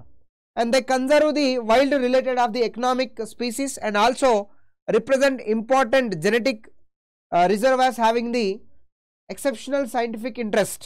A core zone is a protected region like national park. National park లాంటివి ఉంటాయి కదా వాటిని మనం కోర్ జోన్గా మనం కన్సిడరేషన్ చేస్తూ ఉంటాం అన్నట్టు it is national park or sanctuary national park కానీ లేదన్నా ఏదైనా మనకు శాంచురీ రక్షిత ఎక్కువగా మనకు వన్యప్రాణి సంబంధించిన ఉద్యానవనాలు లేదుకుంటే అభయారణ్యాలు అంటాం నాన్న. ఉద్యానవనాలు లేదా అభయారణ్యాలుగా ఎగ్జాంపుల్ తీసుకోవచ్చు. అక్కడ wild life protection act nineteen seventy two మనకు ఎస్టాబ్లిష్మెంట్ అయింది. So it is kept free from human interference human interference లేకుండా ఫ్రీగా వదిలిపెట్టే ప్రాంతాన్ని మనం కోర్ జోన్ అంటాము. నెక్స్ట్ బఫర్ జోన్ నాన్న. So the buffer zone surroundings of the core zone and it is activity are managed in this area in a way that help in the protection of the core zone and it is the natural condition అంటున్నాడు. So it is including the restorations limited tourism fishing grazing ఇలాంటివి ఉంటాయి నాన్న. ఇక్కడ ఏంటి మనకు ఈ buffer జోన్లో కనుక తీసుకుంటే నాన్న సో పరి అంటే లిమిటెడ్ టూరిజం మనం ఎస్టా ఇవ్వచ్చు వాళ్ళకు చేపలు పట్టడం కానీ మేత మొదలైనవి గ్రేజింగ్ అంటాం మనకు. మేత మోయ మేయడం అలాంటి వాటిని తీసుకుంటా ఉంటాం అన్నట్టు. ఈ పర్టికులర్ ప్రాంతాలలో. ఓకేనా? And permitted to the reduce its effect on the core zone so core zone మీద దాని యొక్క ఎఫెక్ట్ తగ్గించడం కోసం దీన్ని తీసుకుంటాము. అండ్ ట్రాన్సిషన్ తీసుకుంటున్న outermost part of the biosphere reserve so అన్నిటికంటే బయట ఉండేదాన్ని మనం ట్రాన్సిషన్ జోన్ అంటాం తర్వాత బఫర్ జోను మధ్యలో ఉండేదాన్ని మనము కోర్ జోన్గా మనం మాట్లాడుతూ ఉంటాం నాన్న. You can remember this so చూడండి it is the zone of the కార్పొరే corporation where human ventures and conservations are done in the harmony ఇక్కడ మనం అనేది ఇక్కడ ఏంటిది మనకు వెంచర్స్ కానీ మానవుల వెంచర్ పరిరక్షణ వాటన్నిటిని మనం దీంట్లో తీసుకుంటా ఉంటాం ఈ పర్టికులర్ పాయింట్ ఆఫ్ వ్యూలో ఇలా మనకు నాలుగు రకాలుగా కన్సిడరేషన్ ఉంటుంది. ఇక్కడ క్లియర్గా చూడొచ్చు మీరు. సో బయట ఉన్నది ట్రాన్సిషన్ జోన్ ఇది. ఇక్కడ మీకు కనిపిస్తుందంతా ట్రాన్సిషన్ జోన్ తర్వాత తీసుకుంటే ఇక్కడ మనకు బఫర్ జోన్ లోపల ఉన్నది కోర్ జోన్ మూడు జోన్లు అన్నట్టు. ఇదంతా కోర్ జోన్ ఎటువంటి యాక్టివిటీస్ ఉండవు దాంట్లో. సో బఫర్ జోన్ రెండోది. దీంట్లో లిమిటెడ్ అన్న సో లిమిటెడ్ వచ్చేసేసి మనకు ఏంటిది? టూరిజం లాంటివి మనకు కనిపిస్తూ ఉంటుంది లిమిటెడ్ టూరిజం లాంటివి కనిపిస్తూ ఉంటుంది. అండ్ లాస్ట్లో తీసుకుంటే అది వా- మానవులు సంబంధించిందిగా మనము కన్సిడరేషన్ తీసుకుంటాం. మానవుల రీసెర్చ్ స్టేషన్స్ లాంటివి అన్నీ ఉంటాయి ఇక్కడ. ఏనా? బయోస్పియర్ రిజర్వ్ మన దగ్గర తీసుకుంటే మొత్తం పద్దెనిమిది ఉంటాయి. పద్దెనిమిది బయోస్పియర్ రిజర్వ్లు సో మన దగ్గర కనిపిస్తూ ఉంటాయి నాన్న ఇండియాలో. సో మొత్తం ఎయిటీన్ బయోస్పియర్ రిజర్వ్లు మనకు కనిపిస్తూ ఉంటాయి. మనం పైనుంచి తీసుకుంటే సో ఇది కోల్డ్ డెజర్ట్ కానీ నందాదేవి కానీ ఇక్కడ. కాంచనజంగా మాన కానజంగా మానస్ తర్వాత ఇక దిబ్రు సైకోవా దాని తర్వాత దిహాంగ్ దిబాంగ్ నోక్రేక్ సుందర్బన్. అండ్ ఇక్కడ తీసుకుంటే Simlipal and then here Achanakmar Amarkantak Panna biosphere reserve Pachmarhi and తర్వాత కచ్ బయోస్ఫియర్ రిజర్వ్. అండ్ ఇక్కడ తీసుకుంటే నాన్న Seshachalam hills Nilgiri first one.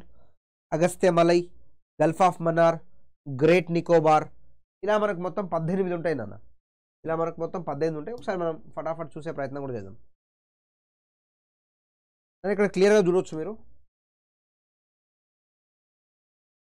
Cold desert Himachal Pradesh Nandadevi Uttarakhand Kanchenjunga Sikkim Dihang Dibang Arunachal Pradesh Manas Assam Dibru Saikhowa Assam Nokrek Meghalaya Panna Madhya Pradesh Pachmarhi Madhya Pradesh Achanakmar Amarkantak Madhya Pradesh Chhattisgarh border and Kachchh Gujarat largest area wise Panna smallest one Panna smallest one area wise largest Kachchh Simlipal Odisha Sundarban west Bengal Seshachalam Arunachal Pradesh and then Agasthyamalai Kerala Tamil Nadu and Nilgiri Tamil Nadu Kerala first to be included and gulf of Mannar Tamil Nadu great Nicobar Andaman Nicobar. ఇలా మనకు మొత్తం పద్దెనిమిది ఉంటాయి. మొత్తం పద్దెనిమిది ఉంటాయి. Next ఇక్కడ మీకు yeah.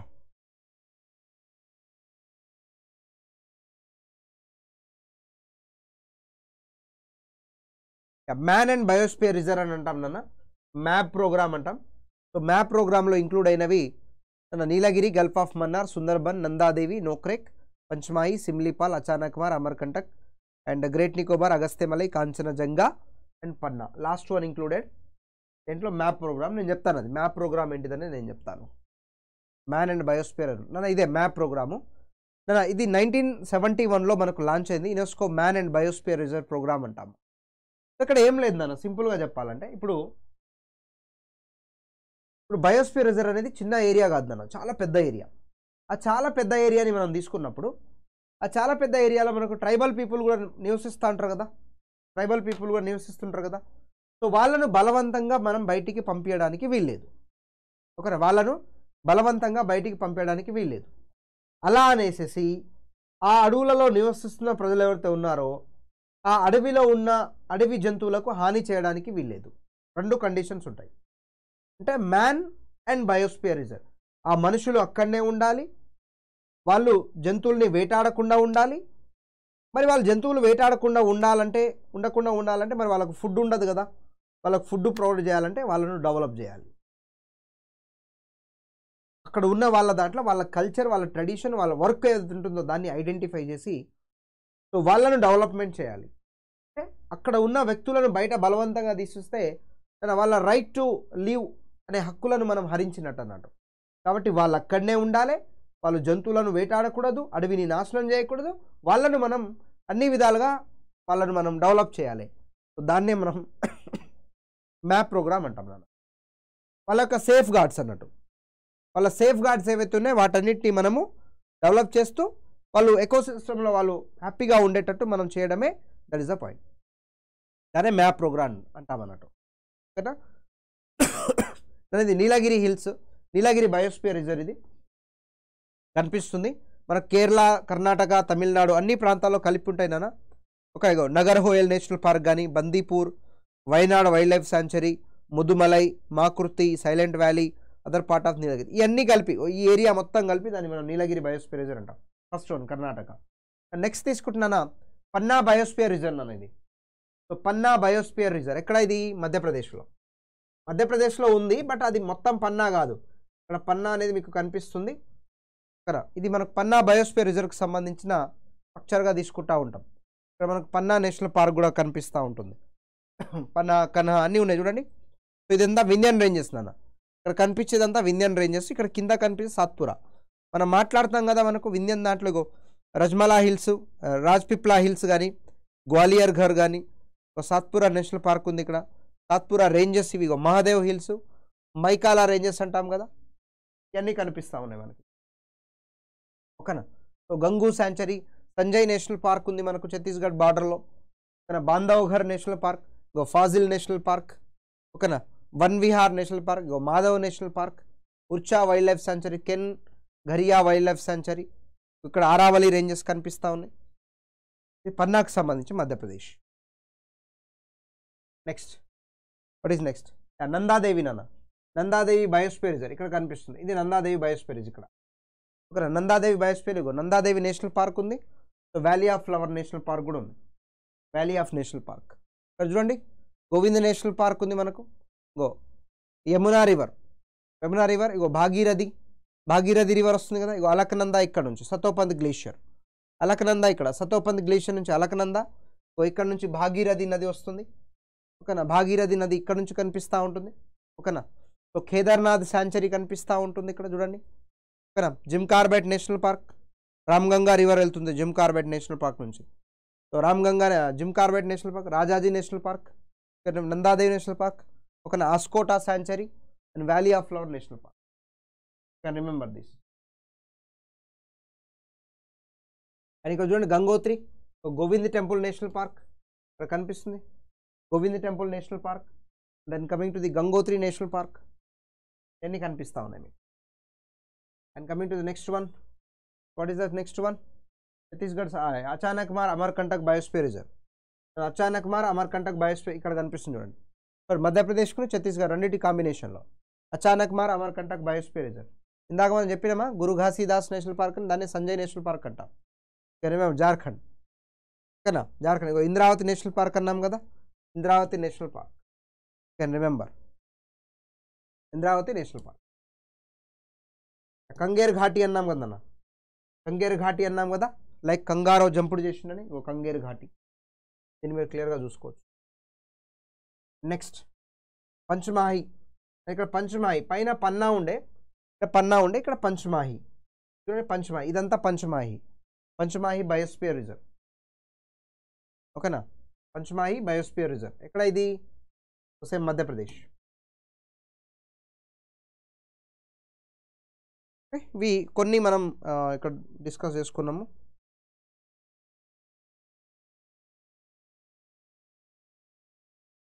Minutes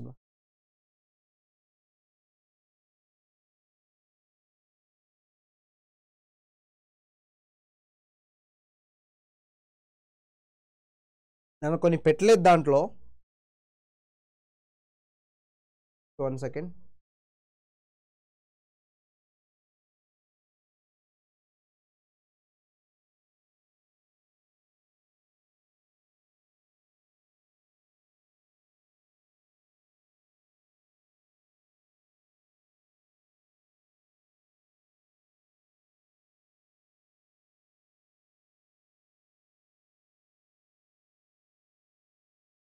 Something is missed here.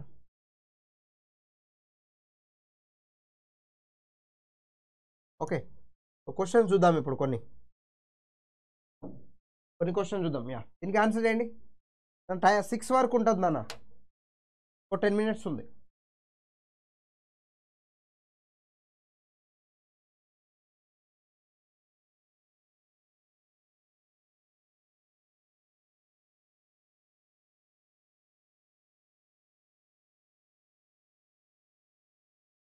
ఈ క్వశ్చన్కి ఆన్సర్ చేయండి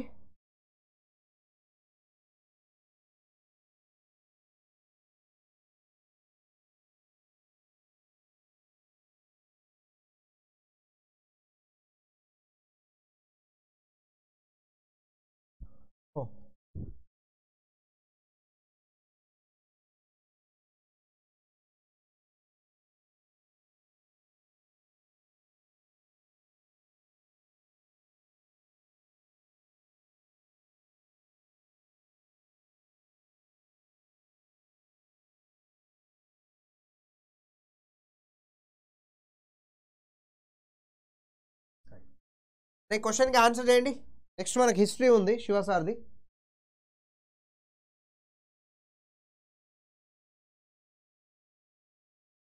lime స్టోనా in which type of rock rocks are cave commonly found ఏ రకమైన రాళ్ళలో గుహలు సాధారణంగా కనిపిస్తాయి అని అంటున్నాను అన్న సో మనకు గ్రనైట్ కానీ గ్నీస్ కానీ లైమ్ స్టోన్ మార్బుల్ మనకు చాలా ఇక్కడ కనిపిస్తూ ఉన్నాయి. సో వీటిలో దేని ద్వారా మనకు మేజర్గా ఇప్పుడు నార్మల్గా మనం కేవ్స్ని కనుక మనం ఐడెంటిఫై చేస్తే సో ఎక్కడ లభిస్తాయి మనకు? మేజర్గా సున్నపురాయిన్ అన్న లైమ్ లైమ్ దాంట్లోనే మనకు కనిపిస్తూ ఉంటుంది. సరే ఈ పిక్చర్ని మీరు క్లియర్గా చూడండి ఒకసారి. So this particular picture you can identify ఇదంతా ఇక్కడ సర్ఫేస్ ఏరియాగా తీసుకుంటాం మనం. మీరు క్లియర్గా చూడొచ్చు.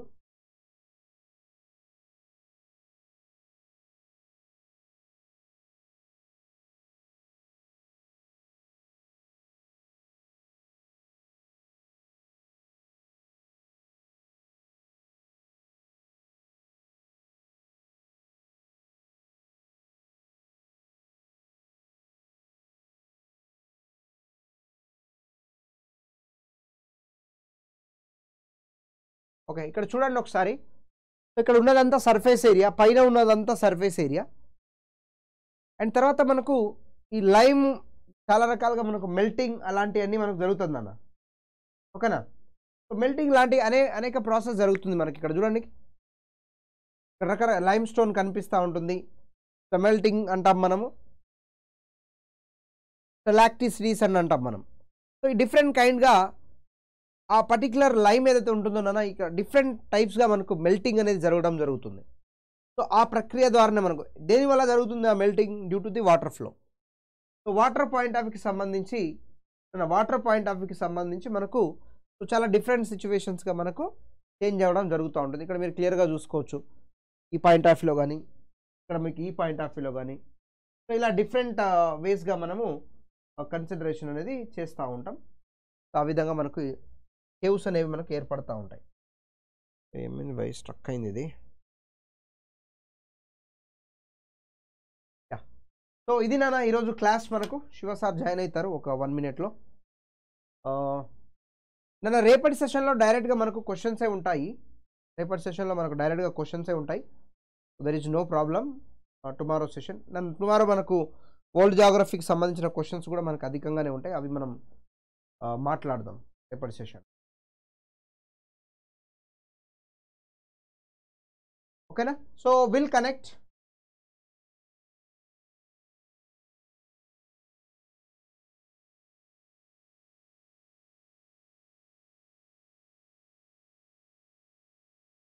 Okay thank you.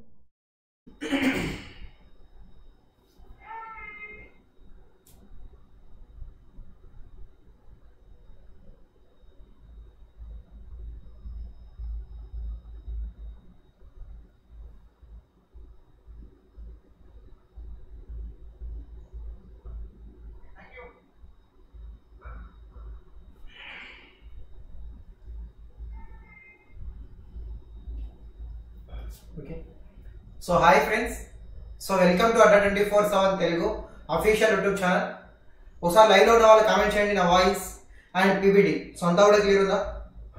So very good evening అండి. సో అందరికి కూడా. సో చందు జంగారెడ్డి. సో అందరికి కూడా వెరీ వెరీ గుడ్ ఈవినింగ్ ఒకసారి లైవ్లో ఉన్నటువంటి వాళ్ళు నా వాయిస్ అండ్ పీపీటీ సో అంతా కూడా క్లియర్ ఉంది అని చెప్పినట్లయితే సో మనం ఎక్కువ లేట్ చేయకోకుండా మన ఈ సెషన్ని స్టార్ట్ చేసే ప్రయత్నం చేద్దాం. సో వెరీ గుడ్ ఈవినింగ్ అండి. విజయలక్ష్మి గారు. సో అందరికీ కూడా hi and good evening.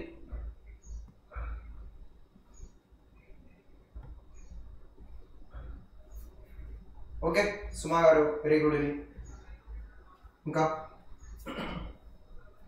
So దాదాపుగా సిక్స్ టు ఎయిట్ వరకు ఉంటుందండి మన సెషన్ సో ఆరు నుంచి ఎనిమిది వరకు ఏంటనేసి అంటే మన సెషన్ ఉంటుంది అనమాట సో నీట్గా చాలా ఇంపార్టెంట్ క్వశ్చన్స్ని కనీసం ఒక యాభై ఇంపార్టెంట్ ఎంసీక్యూస్ని ఈ సెషన్లో మనం ఏంటనేసి అంటే టీఎస్పిఎస్సి గ్రూప్ వన్ అలాగే ఏపీఎస్సి గ్రూప్ వన్కి కూడా ఉపయోగపడే విధంగా మనం మెయింటెనెన్స్ అంటే నీట్గా డిస్కస్ చేసే ప్రయత్నం చేద్దాం.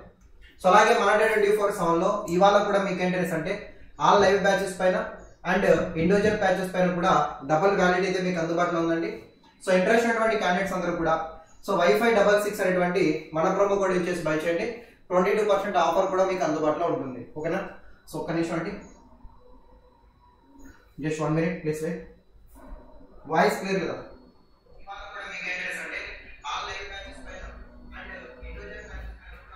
సో ఒక్క నిమిషం అండి ప్లీజ్ వెయిట్ చిన్న ఇష్యూ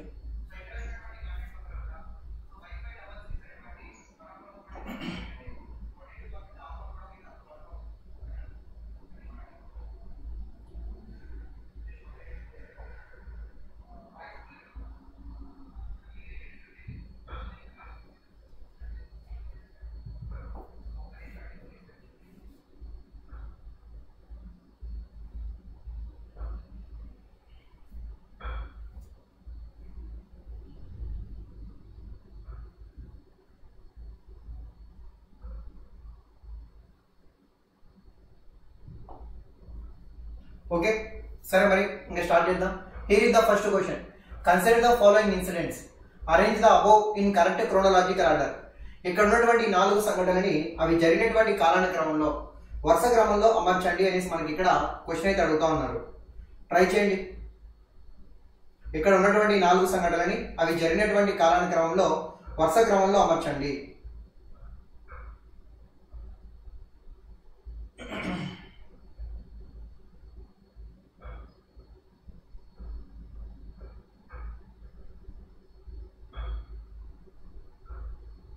సో అన్నీ కూడా వెరీ ఇంపార్టెంట్ సంఘటనలు అండి సో నీట్గా ఏంటనేసి అంటే మనం మాట్లాడే ప్రయత్నం చేద్దాం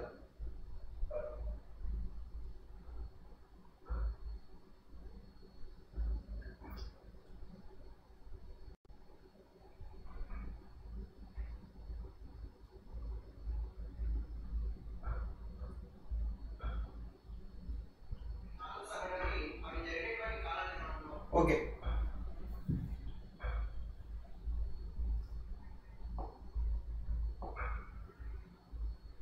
సరే ఇక్కడ చూద్దాం. సో దీనికి సంబంధించిన ఆన్సర్ ఏంటనేసి అంటే foundation of Muslim league party అంటా ఉన్నాం. సో ముస్లిం లీగ్ పార్టీ అనేది ఎప్పుడు ఏర్పాటు కావడం జరిగింది అనేసి అంటే పంతొమ్మిది వందల ఆరు సంవత్సరంలో ఈ ముస్లిం లీగ్ పార్టీ అనేది ఏర్పాటు కావడం జరిగింది. జలీన్ వాలాబాగ్ దురంతం అనేసి అంటా ఉన్నాం. జలీన్ వాలాబాగ్ దురంతం అనేది నైన్టీన్ నైన్టీన్ ఏప్రిల్ పదమూడవ తారీఖున జలియన్ వాలాబాగ్ దురంతం అనేది జరిగినది అనేసి మనం ఏంటనేసి అంటే చెప్పుకుంటాం. అలాగే ఖిలాఫత్ ఉద్యమం. ఇది కూడా పంతొమ్మిది వందల పంతొమ్మిదిలోనే కాకపోతే జలియన్ వాలాబాగ్ దురంతం జరిగిన తర్వాత అని చెప్పొచ్చు. సో నైన్టీన్ నైన్టీన్ అక్టోబర్ పదిహేడు ఆ తారీఖుని ఒక డే అనే ఒక పేరుతో కూడా మనం మెయింటెనెన్స్ అంటే చెప్తాం. అలాగే సివిల్ డిసోబిడియంట్ మూమెంట్ అనేసి అంటా ఉన్నాం ఇది నైన్టీన్ థర్టీ నుంచి నైన్టీన్ థర్టీ ఫోర్ మధ్య కాలంలో సో భారతదేశంలో జరిగినటువంటి ఒక ఉద్యమాలనే సివిల్ డిసోబిడియంట్ మూమెంట్ అనేటువంటి ఒక పేరుతో మనం చెప్పుకుంటాం.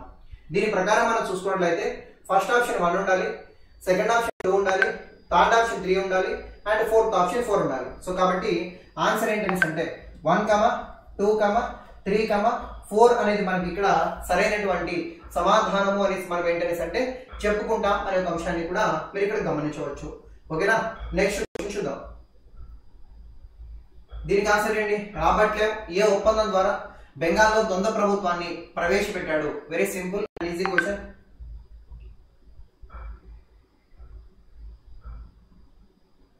so బెంగాల్లో ద్వంద్వ ప్రభుత్వాన్ని ఏ ఒప్పందం ఆధారంగా ప్రవేశపెట్టడం జరిగింది?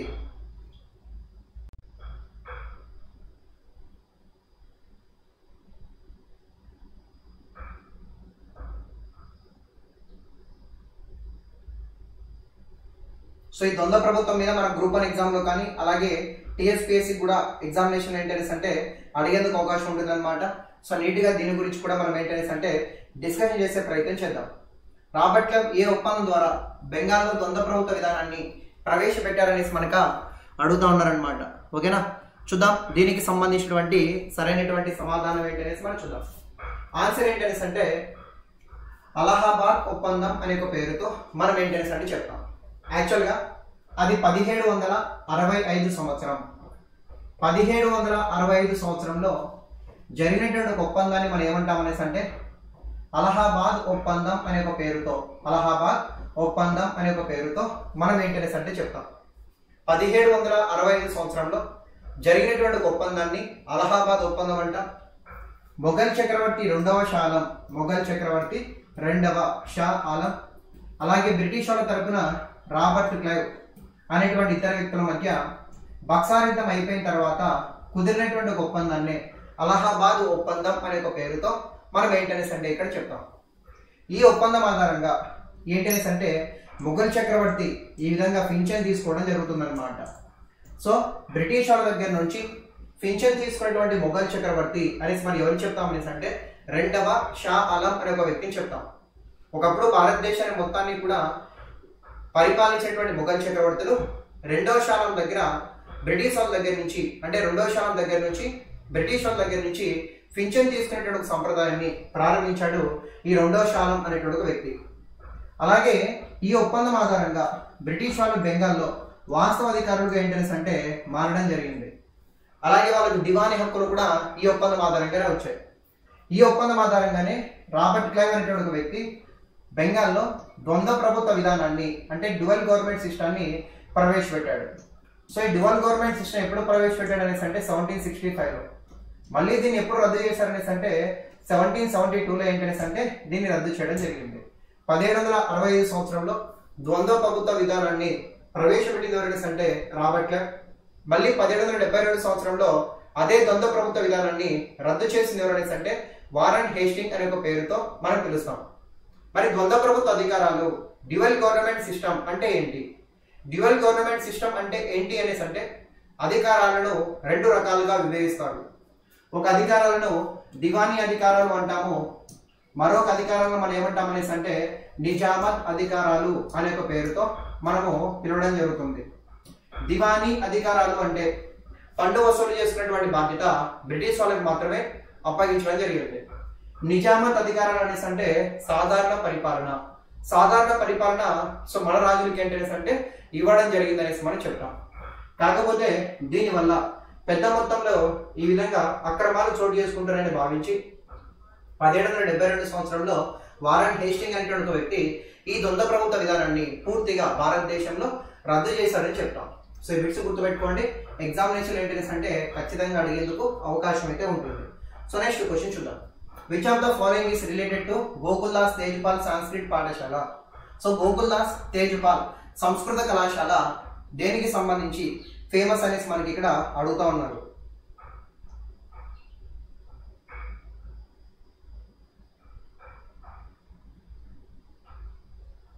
గోగుల్దాస్ తేజ్పాల్ సంస్కృత కళాశాల దేనికి సంబంధించి ప్రాముఖ్యతను కలిగి ఉంది అనేసి మనకి ఇక్కడ అడుగుతా ఉన్నారు. వెరీ ఇంపార్టెంట్ అండి ఇది కూడా. సో నీట్గా మనం మెయింటెనెన్స్ అంటే దీని గురించి కూడా మాట్లాడే ప్రయత్నం చేద్దాం.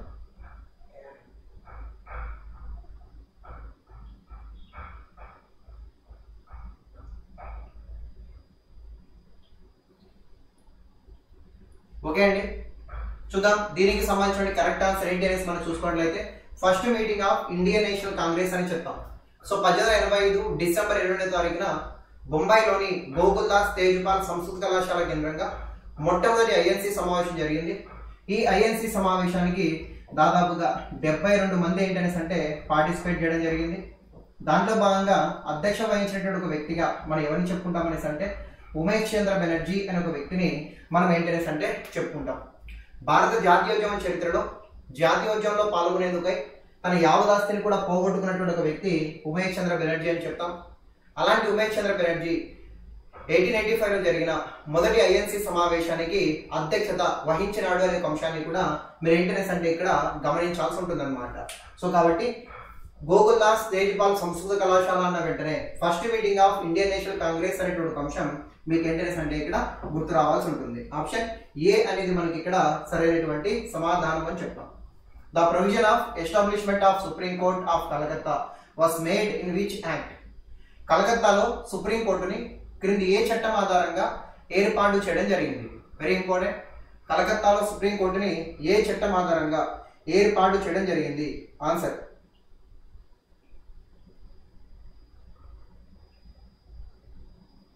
ఆన్సర్ చేయండి. కలకత్తాలో సుప్రీం కోర్టుని ఏ చట్టం ఆధారంగా ఏర్పాటు చేయడం జరిగింది? వెరీ ఇంపార్టెంట్ అండి.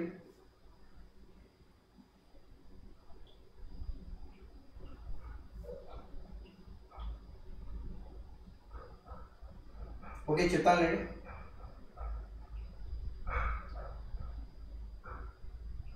వెరీ గుడ్ సో కలకత్తా నుండి సారీ ఈ విధంగా మనం చూసుకున్నట్లయితే కలకత్తాలో సుప్రీంకోర్టు అనేది ఏ చట్టం ఆధారంగా ఏర్పాటు కావడం జరిగింది అనేసి మనకి ఇక్కడ అడుగుతా ఉన్నారనమాట చూద్దాం. దీనికి సంబంధించినటువంటి ఆన్సర్ ఏంటనేసి అంటే పదిహేడు వందల డెబ్బై మూడు రెగ్యులేటింగ్ చట్టం అనే ఒక పేరుతో మనం చెప్తాం. పదిహేడు వందల డెబ్బై మూడులో ఈ రెగ్యులేటింగ్ చట్టం ఆధారంగా మన భారతదేశంలో కలకత్తాలో ఈ సుప్రీంకోర్టు అనేది ఏర్పాటు కావడం జరిగింది. సో ఈ సుప్రీంకోర్టుకి సంబంధించి తొలి ప్రధాన న్యాయమూర్తి ఎవరు అనేసి కూడా అడుగుతారు. ఈ సుప్రీంకోర్టుకి సంబంధించి ఫస్ట్ సిజేఐ అనేసి మనం ఎవరిని చెప్పుకుంటాం అనేసి అంటే sir Elijah Impey sir Elijah Impey అనే ఒక పేరుతో కూడా మనం ఏంటనేసి అని చెప్పుకుంటాం. పదిహేడు వందల డెబ్బై మూడు రెగ్యులేటింగ్ చట్టం ఆధారంగా పదిహేడు వందల డెబ్బై నాలుగులో ఈ విధంగా సుప్రీంకోర్టు అనేది ఏర్పాటైంది. ఆ సుప్రీంకోర్టుకు సంబంధించి తొలి ప్రధాన న్యాయమూర్తి అనేసి మనం ఎవరిని చెప్తాం అనేసి అంటే సర్ ఎలిజా ఇన్ఫే అనే ఒక వ్యక్తిని తొలి ప్రధాన న్యాయమూర్తి అనేసి మనం చెప్తాం. ఆ తర్వాత పంతొమ్మిది వందల ముప్పై ఐదు చట్టం ఆధారంగా కూడా మన భారతదేశంలో ఒక ఫెడరల్ కోర్ట్ అనేది కూడా ఏర్పాటు కావడం జరిగింది. Federal court. So nineteen thirty five చట్టం ఆధారంగా ఫెడరల్ కోర్ట్ అనేది ఏర్పాటు కాగా దీనికి సంబంధించి మొట్టమొదటి సిజేఐ ఎవరు అని అడుగుతారు.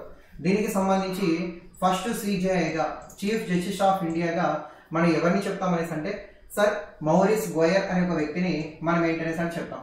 సో ఈ రెండు బిట్స్ కూడా గుర్తుపెట్టుకోండి. పైది కిందికి కిందిది పైకి పెడతా ఉంటారు. జాగ్రత్తగా మీరు ఏంటి అంటే ఇక్కడ చూసే ప్రయత్నం చేయండి. పదిహేను వందల డెబ్బై మూడులో సుప్రీంకోర్టు అనేది ఏర్పాటైంది. ఏ చట్టం పదిహేను పదిహేడు డెబ్బై మూడు చట్టం ఆధారంగా సుప్రీంకోర్టు అనేది ఏర్పాటైంది. నైన్టీన్ థర్టీ ఫైవ్ చట్టం ఆధారంగా ఫెడరల్ కోర్ట్ అనేది ఏర్పాటు కావడం జరిగింది. సుప్రీంకోర్టుకి సంబంధించి ఫస్ట్ సీజే ఎవరనేసి అంటే సర్ ఎలిజా ఇన్ఫే. ఫెడరల్ కోర్టుకి సంబంధించి ఫస్ట్ సీజేఐ ఎవరనేసి అంటే సర్ మౌరిస్ గ్వయర్ అనే ఒక అంశాన్ని మీరు ఇక్కడ గమనించవచ్చు.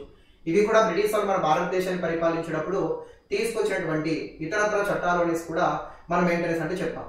ఇక్కడ చూడండి Indian council act eighteen sixty one ఉంది కదా. Indian council act eighteen sixty one ఆధారంగానే మన భారతదేశంలో ఎయిటీన్ సిక్స్టీ టూలో మూడు కోర్టులు కూడా కలకత్తా మద్రాస్ అండ్ బొంబాయి కోర్టులు కూడా ఏర్పాటు కావడం జరిగినాయి అనే అంశాన్ని కూడా మనం చెప్తాం. Eighteen sixty one council act ఆధారంగానే ఎయిటీన్ సిక్స్టీ టూలో మూడు కోర్టులు మూడు హైకోర్టులు ఏర్పాటు కావడం జరిగింది. ఓకేనా? నెక్స్ట్ క్వశ్చన్ చూద్దాం. Bengal chemicals and pharmaceutical limited limited was founded by whom? Among the following ఈ క్రింది వారిలో బెంగాల్ కెమికల్స్ అండ్ ఫార్మాస్యూటికల్ లిమిటెడ్ని ఏర్పాటు చేసినటువంటి ఒక వ్యక్తిగా మనం ఎవరిని చెప్పుకుంటాము? ఆన్సర్ చేయండి.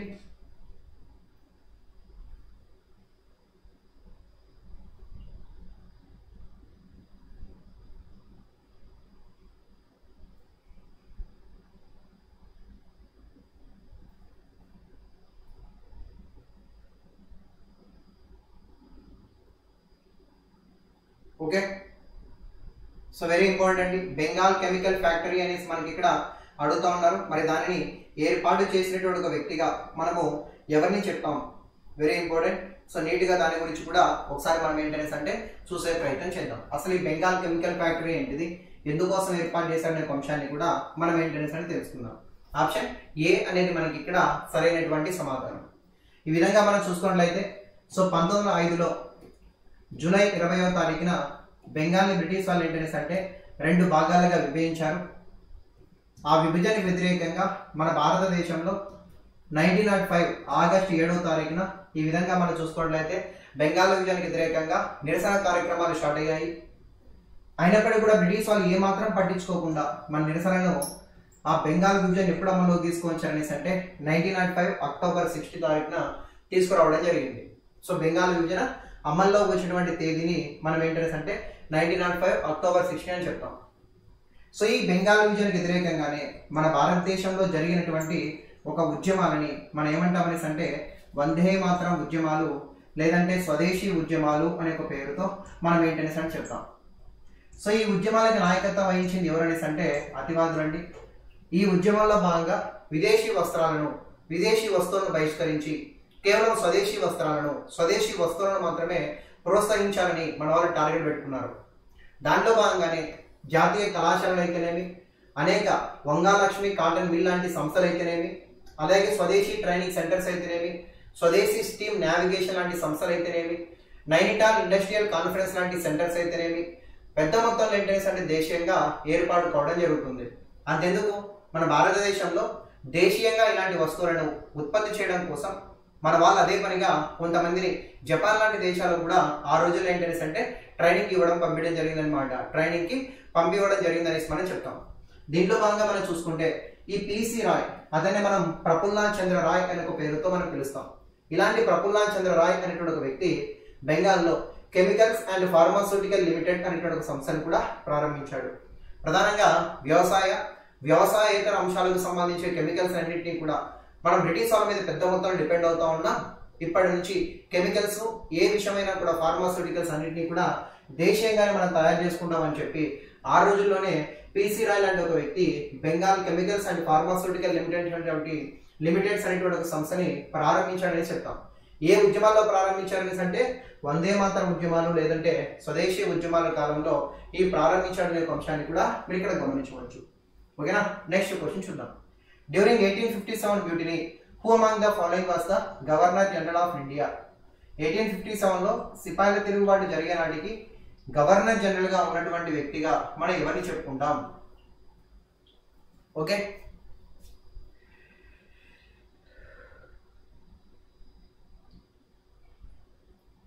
సో ఆంధ్రప్రదేశ్ నుంచి కూడా కొంతమంది పంపిస్తారండి. ఐ మీన్ ఆ రోజుల్లో జపాన్ దేశానికి ఓవరాల్గా కూడా పంపించడం జరుగుతుంది.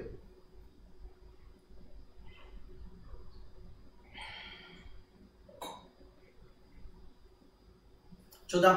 దీనికి సంబంధించినటువంటి ఆన్సర్ ఏంటి అనేసి మనం ఇక్కడ చెక్ చేసే ప్రయత్నం చేద్దాం. Okay very good. So answer ఏంటనేసి అంటే లార్డ్ కానీ అనే ఒక పేరుతో మనం ఏంటనేసి అని చెప్తాం ఒక ఆరేడు ఇంపార్టెంట్ పాయింట్స్ ఇక్కడ నేను నోట్ చేస్తాను జాగ్రత్తగా చూడండి. సిపాయిల తిరుగుబాటు అని చెప్తా ఉన్నాం. సో పద్దెనిమిది వందల యాభై ఏడు మే పదో తారీఖున ఈ సిపాయిల తిరుగుబాటు అనేది స్టార్ట్ అయింది అనేసి మనం చెప్తాం. అయితే సిపాయిల తిరుగుబాటు ప్రారంభమైనటువంటి ప్రదేశం ఏంటనేసి అంటే మీరట్. సిపాయిల తిరుగుబాటు ప్రారంభమైన ప్రదేశం ఏంటనేసి అంటే మీరట్ అనే ఒక పేరుతో మనం చెప్తాం. అయితే సిపాయిల తిరుగుబాటుకు సంబంధించి తక్షణ కారణం ఏంటనేసి అంటే ఎన్ఫీల్డ్ తుపాకుల వాడకాన్ని ఎన్ఫీల్డ్ తుపాకుల వాడకాన్ని మన వాళ్ళు ఏంటనేసి అంటే వ్యతిరేకించడమే ఈ సిపాయిల తిరుగుబాటుకు సంబంధించి కారణం. అయితే సిపాయిల తిరుగుబాటుకి తక్షణ కారకుడు అనేసి మనం ఎవరిని చెప్పుకుంటాం అనేసి అంటే మంగల్ పాండే. సిపాయిల తిరుగుబాటుకు సంబంధించి తక్షణ కారకుడు అనేసి మనం ఎవరిని చెప్పుకుంటాం అనేసి అంటే మంగల్ పాండే అనేటువంటి ఒక వ్యక్తిని చెప్పుకుంటాం. సిపాయిల తిరుగుబాటు స్టార్ట్ అయ్యేటప్పటికి మన భారతదేశంలో మొఘల్ చక్రవర్తిగా ఎవరున్నారనేసి అంటే రెండవ బహదూర్ షా అనేటువంటి ఒక వ్యక్తి మన భారతదేశంలో మొఘల్ చక్రవర్తిగా ఉన్నాడు అనేసి మనం చెప్తాం. అయితే ఇదే సిపాయిల తిరుగుబాటు రద్దయ్యేట ఐ మీన్ సిపాయిల తిరుగుబాటు జరిగే నాటికి గవర్నర్ జనరల్గా ఎవరుంటారనేసి అంటే లార్డ్ కానింగ్ అనే ఒక వ్యక్తి గవర్నర్ జనరల్గా ఉండడం జరుగుతుంది అనే ఒక అంశాన్ని కూడా మీరు ఇక్కడ గమనించవచ్చు. మరి సిపాయిల తిరుగుబాటు జరగడం వల్ల ఏమైనా ఫలితం వచ్చిందా? లేదంటే ఫలితం లేని తిరుగుబాటుగా మిగిలిపోయిందంటే చాలా పెద్ద మొత్తంలో ఫలితం వచ్చిందని చెప్పచ్చు. సిపాయిల తిరుగుబాటు వల్ల మన భారతదేశంలో వచ్చేటువంటి ఒక చట్టం దాన్నే మనం ఏమంటామనేసి అంటే ఎయిటీన్ ఫిఫ్టీ ఎయిట్ భారత ప్రభుత్వ చట్టం అనే ఒక పేరుతో మనం మెయింటెనెన్స్ అంటే పిలుస్తాం. పద్దెనిమిది వందల యాభై ఎనిమిది భారత ప్రభుత్వ చట్టం అనే ఒక పేరుతో మనం మెయింటెనెన్స్ అంటే పిలుస్తాం.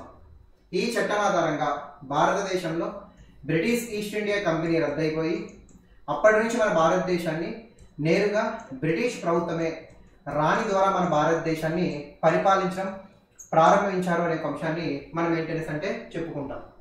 దీనివల్ల మనకి ఏమైనా మంచి జరిగిందంటే మంచి ఏమీ జరగలేదండి. అదేదో సామెత ఉంటుంది చూసారా? పెనం మీద ఉన్నటువంటి రొట్టె పొయ్యిలో పడిందనేటువంటి సామెత ఉంటుంది. అంతే. అప్పటి వరకు మనం ఏంటంటే అంటే బ్రిటిష్ ఈస్ట్ ఇండియా కంపెనీ వారి చేత పెనం మీద కాలుతా ఉన్నాం. ఆ తర్వాత బ్రిటిష్ ప్రభుత్వం మన భారతదేశాన్ని తీసుకొని అదే పెనం మీద నుంచి రొట్టె ఏంటనేసి అంటే ఈ విధంగా మనకు పొయ్యిలో పడింది అనేసి మనం చెప్తాం. పెద్దగా ఒరిగింది లేదు అనేసి మనం చెప్పొచ్చు. ఈ చట్టం ఆధారంగా బ్రిటిష్ ఈస్ట్ ఇండియా కంపెనీ రద్దయిపోయి నేరుగా మన భారతదేశాన్ని బ్రిటిష్ ప్రభుత్వమే పరిపాలించడం ప్రారంభించడం జరిగింది అనే ఒక అంశాన్ని కూడా మీరు ఇక్కడ గుర్తుపెట్టుకోవాలి. ఎన్నో సందర్భాల్లో ఈ బిట్ ఏంటనేసి మనకి ఎగ్జామినేషన్ వచ్చింది. మళ్ళీ మనకు గ్రూప్ వన్ ఎగ్జామ్లో కూడా రావచ్చు. సో ఈ విధంగా మనం చూసుకున్నట్లయితే ఏ చట్టం ఆధారంగా మన భారతదేశంలో బ్రిటిష్ ఈస్ట్ ఇండియా కంపెనీ రద్దయిపోయింది అనేసి అంటే అర్థం చేసుకోండి. ఎయిటీన్ ఫిఫ్టీ ఎయిట్ చట్టం ఆధారంగానే భారతదేశంలో బ్రిటిష్ ఈస్ట్ ఇండియా కంపెనీ రద్దయింది అనేసి మనం ఇక్కడ చెప్తాము. ఓకేనా? నెక్స్ట్ క్వశ్చన్ చూద్దాం.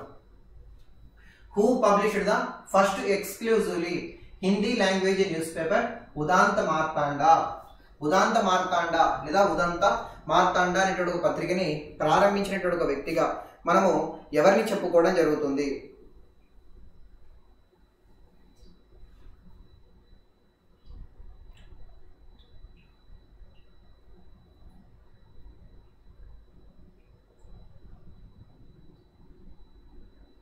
ఓకే సామెత అంటే యాక్చువల్గా అదే జరిగిందనమాట ఉదంత మార్తాండ అనేటువంటి ఒక పత్రికని ప్రారంభించింది ఎవరు?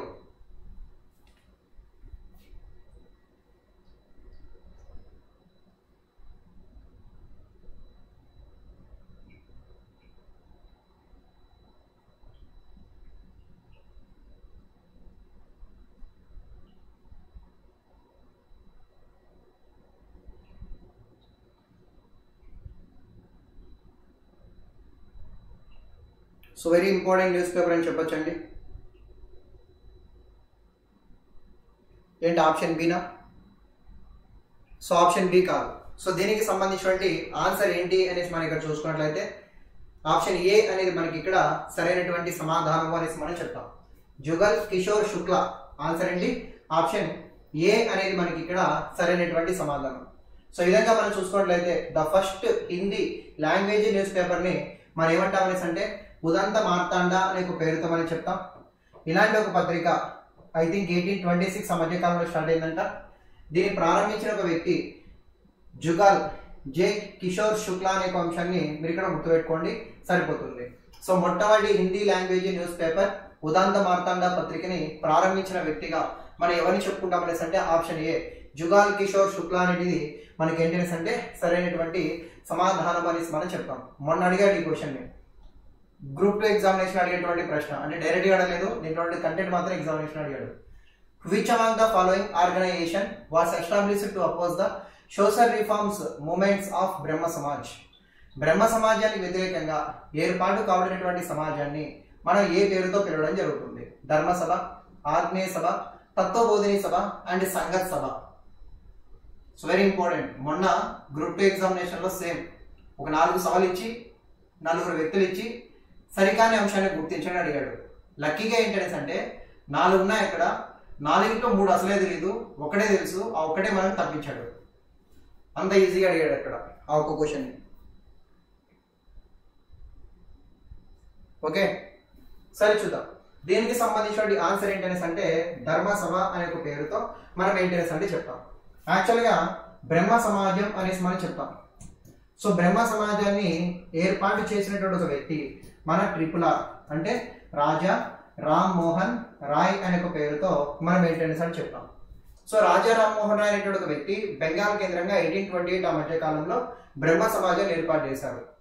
అదే రాజా రామ్మోహన్ రాయ్ యొక్క కృషి వల్ల భారతదేశంలో చట్టం కూడా వచ్చింది. ఆ చట్టాన్ని మనం ఏమంటాం అనేసి అంటే సతీ సహగమన నిషేధ చట్టం అంటాం. సో ఈ బ్రహ్మ సమాజాన్ని అలాగే సతీ సహగమ నిషేధ చట్టాన్ని రాజా రామ్మోహన్ రాయ్ని వీటన్నిటిని కూడా వ్యతిరేకించి ఒక వ్యక్తి ఒక సభను ఏర్పాటు చేస్తాడు.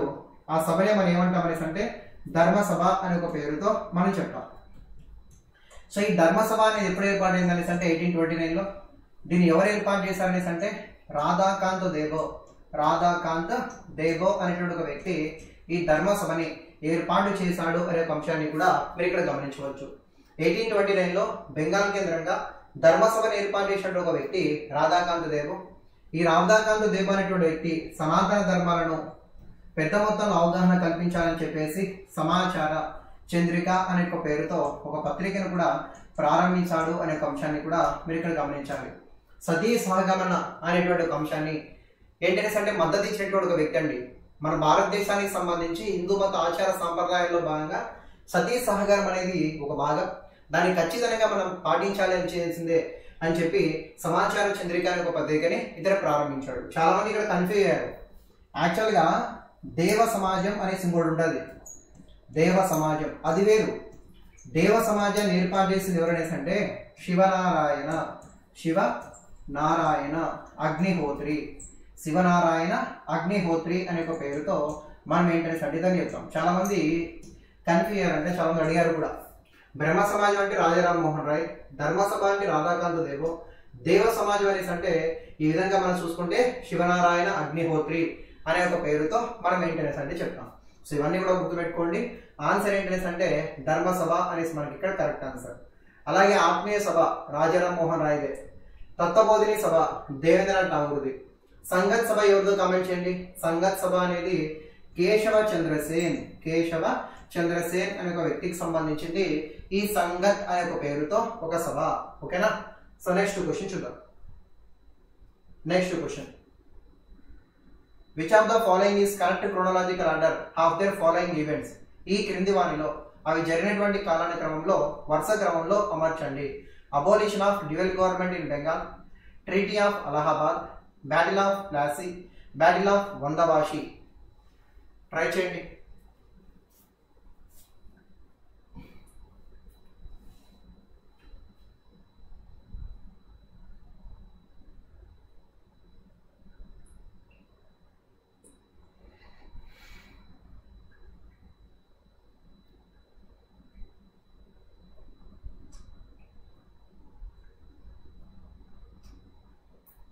సో దేవ సమాజ్ అనేది ఎయిటీన్ ఎయిటీ సెవెన్లో ఏర్పాటైందండి అడిగారు కదా దేవ సమాజ్ అనేది ఎప్పుడు ఏర్పాటైంది అనేసి అంటే పద్దెనిమిది వందల ఎనభై ఏడు సంవత్సరంలో శివనారాయణ అగ్నిహోత్రుడు ఒక వ్యక్తి ఆ దేవ సమాజాన్ని ఏర్పాటు చేశాడు అనే ఒక అంశాన్ని కూడా మీరు ఇక్కడ గమనించాలి. ఇక్కడ ఉన్నటువంటి ప్రతి ఒక్కటి కూడా చాలా ఇంపార్టెంట్. జాగ్రత్తగా చూసుకొని ఆన్సర్ చేయండి. Abolition of dual government treaty of Allahabad battle of Plassey యుద్ధం బ్యాటిల్ ఆఫ్ వందవాషి యుద్ధం. దీని ప్రకారం మనం చూసుకుంటే అబోలిషన్ ఆఫ్ డ్యూయల్ గవర్నమెంట్ అన్న వెంటనే ఇందాకే చెప్పాను పదిహేడు వందల డెబ్బై రెండు సంవత్సరంలో బెంగాల్లో ద్వంద్వ ప్రభుత్వాన్ని రద్దు చేయడం జరిగింది. అలహాబాద్ ఒప్పందం పదిహేడు వందల అరవై ఐదులో అలహాబాద్ ఒప్పందం జరిగింది. రాబర్ట్ లెవ్కి అండ్ రెండో షాలంకి. Battle of Plassey battle of Plassey అనేది ఎప్పుడనేసి అంటే పదిహేడు వందల యాభై ఏడు సంవత్సరంలో ప్లాసీ యుద్ధం అనేది జరిగింది. అలాగే వందవాసి యుద్ధం అనేది పదిహేడు వందల అరవై సంవత్సరంలో ఈ వందవాసి యుద్ధం అనేది జరిగినది అనేసి మనం ఏంటనేసి అంటే చెప్పుకుంటాం. దీని ప్రకారం మనం చూసుకున్నట్లయితే ఆన్సర్ ఏంటనేసి అంటే ఫస్ట్ ఆప్షన్ ఫోర్ ఉండాలి. ఇక్కడ మాత్రమే ఉంది చూడండి. ఫస్ట్ ఆప్షన్ ఫోర్ ఉండాలి. అంతేనా? ఇంకా అంతకంటే తక్కువ ఉన్నాయా? So abolition of dual government in Bengal seventeen seventy two treaty of Allahabad seventeen sixty five అలాగే మనం చూసుకున్నట్లయితే battle of plans seventeen fifty seven వందవ సిద్ధం సెవెంటీన్ సిక్స్టీ ఫస్ట్ ఆప్షన్ ఏముండాలంటే త్రీ ఉండాలి. సెకండ్ ఆప్షన్ ఫోర్ ఉండాలి. థర్డ్ ఆప్షన్ టూ ఉండాలి. Fourth option one ఉండాలి. త్రీ ఫోర్ టూ వన్ అనేది మనకి ఇక్కడ సరైనటువంటి సమాధానము. ఆప్షన్ సి అనేది మనకి ఇక్కడ కరెక్ట్ ఆన్సర్ అనేసి మనం చెప్పొచ్చు. ఆప్షన్ సి అండి. త్రీ ఫోర్ టూ వన్ అనేది మనకి ఇక్కడ కరెక్ట్ ఆన్సర్ అయితే ప్లాస్ యుద్ధం మీకు తెలిసే ఉంటుంది. పదిహేడు వందల యాభై ఏడు సంవత్సరం జూన్ ఇరవై మూడవ తారీఖున రాబర్ట్ లెవ్కి అండ్ సిరాజ్ ఉద్దౌలాకి మధ్య జరిగినటువంటి ఒక భీకరమైనటువంటి యుద్ధాన్నే ప్లాస్ యుద్ధం అని చెప్తాం. భారతదేశంలో బ్రిటిష్ సామ్రాజ్య స్థాపనకి పునాదులు వేసినటువంటి యుద్ధం ప్లాస్ యుద్ధం అని చెప్తాం. ఈ యుద్ధంలో సిరాజుద్దౌలా తరపు ఉన్నటువంటి వ్యక్తులు అమ్ముడు పోయి రాబర్ట్ లవ్ అంటే సహకారం అందిస్తారు. ఫర్ ఎగ్జాంపుల్ ఎవరు వాళ్ళు? మీర్ జాఫర్ అయితేనేమి మీర్ మిరాన్ అయితేనేమి అమీన్ చంద్ మానిక్ చంద్ జగత్ సేట్ రాయ్ దుర్లభ్ ఖాన్ కాదీం ఖాన్ లాంటి వ్యక్తులు అందరూ కూడా ఏంటంటే అంటే సిరావుద్దౌలాకి సంబంధించినటువంటి వ్యక్తులు వీళ్ళందరూ కూడా ఈ ప్లాసీ యుద్ధంలో రాబర్ట్ లవ్ అంటే సహకరించాలనేసి మనం చెప్తాం. ఫైనల్గా ఈ యుద్ధంలో సిరాజుద్దౌలా తరపున చివరి వరకు పోరాడి విజయం సాధించింది ఎవరు అనేసి అంటే ఐ మీన్ చివరి వరకు పోరాడి ప్రాణాలు కోల్పోయింది ఎవరు అనేసి అంటే ఇద్దరి పేర్లు గుర్తుపెట్టుకోండి. ప్లాసీ యుద్ధంలో సిరాజుద్దౌలా తరపున చివరి వరకు పోరాటం చేసింది ఎవరు? మోహన్ లాల్ అలాగే మీర్ మదన్ అనేటువంటి ఇద్దరు వ్యక్తులు ఉంటారండి. వాళ్ళిద్దరు కూడా చివరి వరకు పోరాడతారు. వాళ్ళు కూడా చనిపోవడంతో సిరావుద్దౌలా అంటే యుద్ధ భూమి నుంచి పారిపోతాడు. పారిపోయినటువంటి సిరావుద్దౌలని ఆన్సర్ ఎవరైనా పారిపోయినటువంటి ప్లాసీ యుద్ధంలో ఓడిపోయినటువంటి మన శివాజీ యుద్ధ భూమి నుండి పారిపోతాడు. పారిపోయినటువంటి శివాజీని పట్టుకొచ్చే బాధ్యతని ఎవరికి అప్పగించడం జరిగింది? ఆన్సర్ ఏం చూద్దాం. పారిపోయినటువంటి శివాజీని పట్టుకొచ్చే బాధ్యతని ఎవరికి అప్పగించారు? ఆన్సర్. పారిపోయిన శివాజీని పట్టుకొచ్చే బాధ్యతని ఎవరికి అప్పగించడం జరిగింది?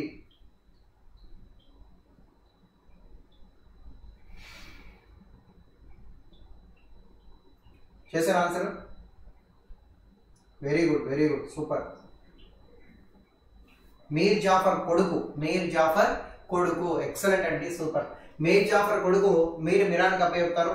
తర్వాత మీరు మిరాన్ పోయి ఈ విధంగా సిరావుద్దను పట్టుకొని వస్తాడు? పట్టుకొచ్చిన తర్వాత సిరావుద్దను బెంగాల్లో ఉడిదీసి అతని శవాన్ని గాడిద మీద బెంగాల్ నడివీధుల్లో ఏంటనేసి అంటే ఊరేగించాడు. అలా ఊరేగించడానికి గల కారణం ఏంటనేసి అంటే బ్రిటిష్ వాళ్ళకి వ్యతిరేకంగా ఎవరైనా తిరగబడితే మీకు కూడా ఇదే పరిస్థితి జరుగుతుంది మీకు కూడా ఇదే గతి పడుతుంది అని చెప్పేసి ఒక సింబాలిక్గా ఏంటనేసి అంటే మన వాళ్ళని భయపెట్టారనమాట సో కాబట్టి ఈ దాన్ని మనం ఏమంటాం అనేసి అంటే భారతదేశంలో బ్రిటిష్ సామ్రాజ్య స్థాపనకి పునాదులు వేసినటువంటి యుద్ధం అనేసి ఈ యుద్ధాన్ని మనం ఏందనేసి అంటే చెప్తామనే ఒక అంశాన్ని కూడా మీరు ఇక్కడ గమనించవచ్చు. ఇంకా మనం చూసుకుంటే నెక్స్ట్ ఏమన్నది ఇక్కడ? వందవా యుద్ధం పదిహేడు వందల అరవైలో జరిగినటువంటి ఒక భీకరమైనటువంటి యుద్ధాన్ని వందవాసి యుద్ధం అంటాం. భారతదేశానికి మొత్తం ఐదు యూరోపియన్ దేశాలు రాగా అందరికంటే బలవంతమైన అంటే బలమైన యూరోపియన్ కంపెనీలు రెండు ఉంటాయి ఒకటి బ్రిటిష్ ఒకటి పోర్చుగీస్. ఒకటి ఫ్రెంచ్ అనేసి మనం చెప్తాం. బ్రిటిష్ వాళ్ళు ఇతర యూరోపియన్ కంట్రీస్ చాలా ఈజీగా ఓడించారు. కానీ ఫ్రెంచ్ వాళ్ళు ఓడించలేకపోయారు. బ్రిటిష్ వాళ్ళకి ఫ్రెంచ్ వాళ్ళకి డి అంటే డి అన్నట్టు ఉంటుంది. ఒకనొక సమయంలో ఫ్రెంచ్ వాళ్ళు భారతదేశం మొత్తాన్ని కూడా ఏకం చేసి పరిపాలించాలనుకున్నటువంటి పరిస్థితుల్లో జరిగినటువంటి ఒక యుద్ధాన్నే వందవ యుద్ధం అంటాం. ఈ యుద్ధం పదిహేడు వందల అరవైలో జరిగింది. ఈ యుద్ధంలో ఫ్రెంచ్ వాళ్ళ తరపున కౌంటీ లాలి బ్రిటిష్ వాళ్ళ తరపున అయ్యర్కోట్ పాల్గొనగా అయ్యర్కోట్ అనేటువంటి ఒక వ్యక్తి కౌంటీ లాలీని ఓడించడం జరుగుతుంది. ఓడిపోయినటువంటి ఫ్రెంచ్ వాళ్ళు మన భారతదేశంలో ఒక ప్రాంతానికి మాత్రమే పరిమితమైపోతారు.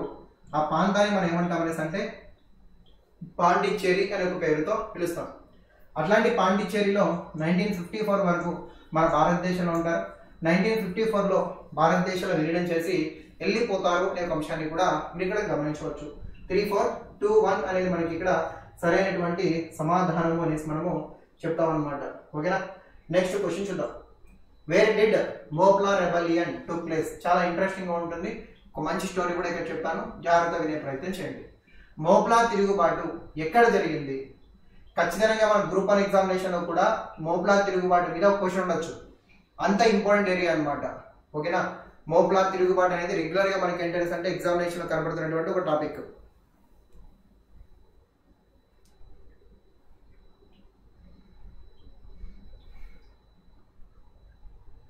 అసలు ఆ మోప్లా తిరుగుబాటు ఎందుకు జరిగింది? ఎలా జరిగింది ఏంటి దాని యొక్క ప్రాముఖ్యత వీటన్నిటి గురించి కూడా డెప్త్గా మనం మాట్లాడతాం. డెప్త్గా అనలైజ్ చేసే ప్రయత్నం చేద్దాం.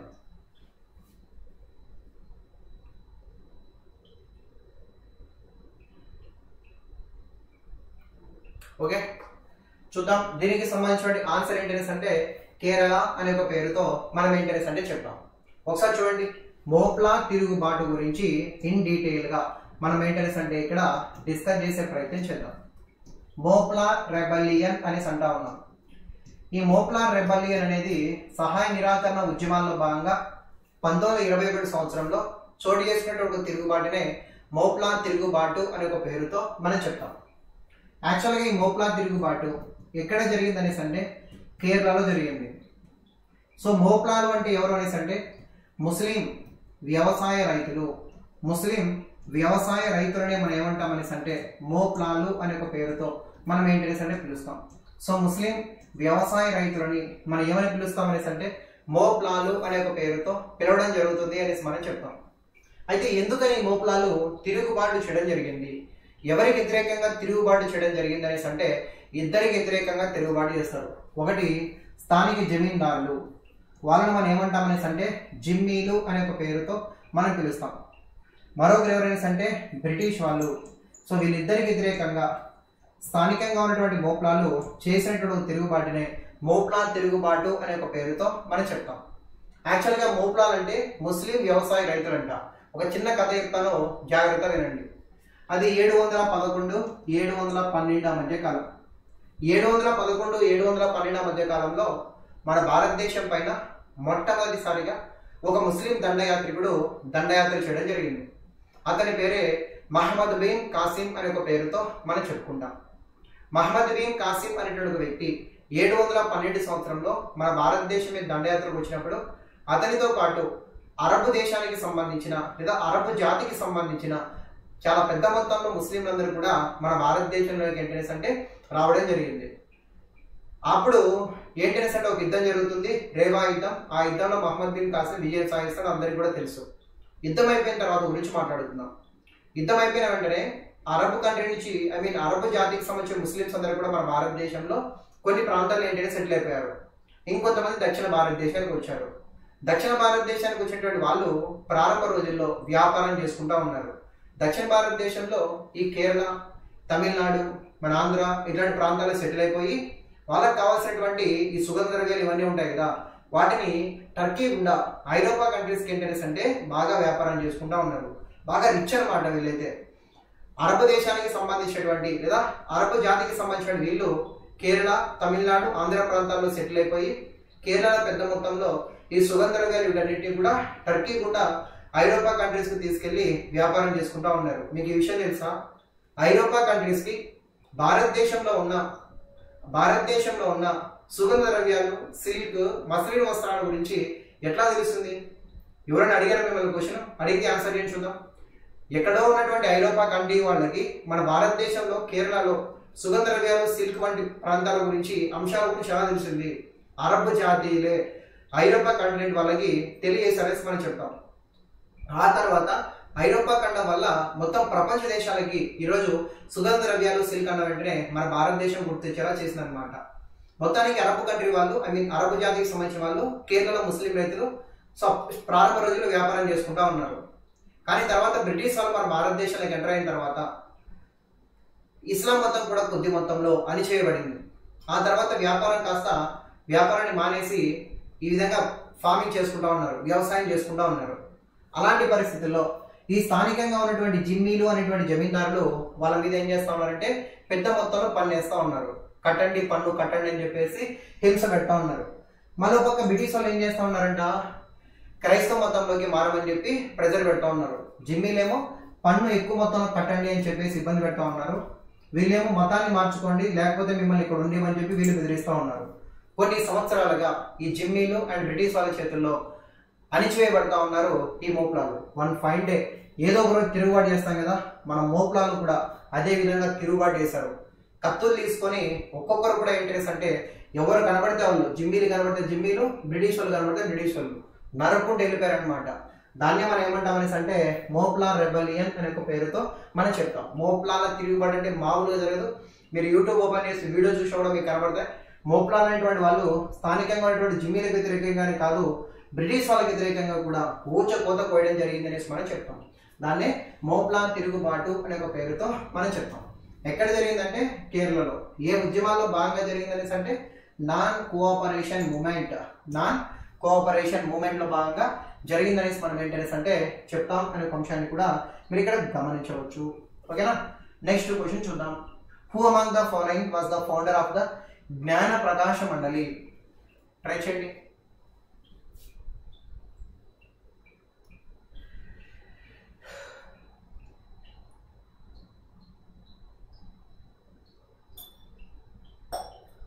జ్ఞాన ప్రకాశ మండలిని ఏర్పాటు చేసినటువంటి ఒక వ్యక్తిగా మనము ఎవరిని చెప్పడం జరుగుతుంది?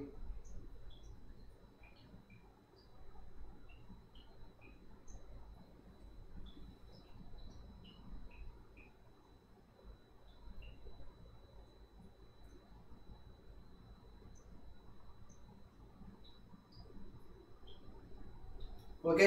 సో అలాగే రేపటి రోజున మన అడేటువంటి ఫోర్ సెవెన్ వాళ్ళు ఏంటనేసి అంటే ఒక ఆఫ్లైన్ ఎగ్జామ్ని కూడా మీకు ఏంటనేసి అని నిర్వహిస్తూ ఉన్నారండి. షాక్ అశోక్ నగర్లో ఉన్నటువంటి లైబ్రరీలో సెంట్రల్ లైబ్రరీలో ఎగ్జామ్ అయితే ఉంటుంది. సో ఎవరైతే ఆ సరౌండింగ్స్లో ఉంటారో వాళ్ళందరూ కూడా వెళ్ళి ఒకసారి ఎగ్జామ్ రాసే ప్రయత్నం చేయండి. టీఎస్పీఎస్సీ గ్రూప్ అని మాత్రమే కాదనేది ఏబిపిఎస్సి గ్రూప్ అని వాళ్ళకి కూడా బాగా పనికొస్తుంది. ఒకసారి వెళ్ళి ఒక ఎక్స్పీరియన్స్ చేయండి. ఆఫ్లైన్ ఎక్స్పీరియన్స్ లాగా ఉంటుంది. ఒకసారి ఎగ్జామ్కి వెళ్ళి ప్రతి ఒక్కరు కూడా రాసే ప్రయత్నం చేయండి. ఓకేనా? సరే చూద్దాం. సో దీనికి సంబంధించినటువంటి ఆన్సర్ ఏంటనేసి అంటే దాదాబాయ్ నవరోజీ అనే ఒక పేరుతో మనం చెప్తాం సో దాదాబాయ్ నవరోజీ లాంటి ఒక వ్యక్తి నాలుగు సంస్థలు ఏర్పాటు చేయడం జరుగుతుందండి. వాటినే మనం ఏమని చెప్తామనేసి అంటే East India Association. East India Association అనే ఒక పేరుతో ఒక సంస్థను ఏంటనేసి అంటే ఏర్పాటు చేస్తాడు. అలాగే Parsi Parsi reform association Parsi reform association అనేటువంటి ఒక పేరుతో మరొక సంస్థను కూడా ఏర్పాటు చేయడం జరిగింది. So East India Association and Parsi reform association అలాగే ధ్యాన ప్రకాశ మండలి ధ్యాన ప్రకాశ మండలి అలాగే మనం చూసుకున్నట్లయితే జ్ఞాన ప్రకాశ మండలి జ్ఞాన ప్రకాశ మండలి ధ్యాన ప్రకాశ మండలి అండ్ జ్ఞాన ప్రకాశ మండలి అనేటువంటి పేరుతో కూడా సంస్థలని ఆయన ఏంటనేసి అంటే ఏర్పాటు చేయడం జరిగింది. ఈ నాలుగు గుర్తుపెట్టుకోండి. East India Association Parsi reform association Dhyan Prakash Mandali and జ్ఞాన ప్రకాశ మండలి అనేటువంటి ఒక పేరుతో నాలుగు సంస్థలని ఏర్పాటు చేసినటువంటి ఒక వ్యక్తిగా మనం ఎవరిని చెప్తాం అనేసి అంటే దాదాబాయ్ నవరోజీ లాంటి ఒక వ్యక్తిని మనం చెప్పుకుంటాం. అలాగే ఇతని grand old men of India అని first economist person of India అని బ్రిటన్ పార్లమెంట్కి ఎన్నికైన తొలి భారతీయుడని డ్రైన్ సిద్ధాంత పితామహుడు అని భారతదేశ కుర కుర వృద్ధుడు అని చెప్పి ఇండియన్ గ్లాడిస్టు అని చెప్పి కూడా ఇతను ఏంటనేసి అంటే మనం పిలుస్తాం. ఇండియన్ నేషనల్ కాంగ్రెస్కి మూడు సార్లు అధ్యక్షత వహించిన మొట్టమొదటి వ్యక్తి అనేసి కూడా చెప్తాం.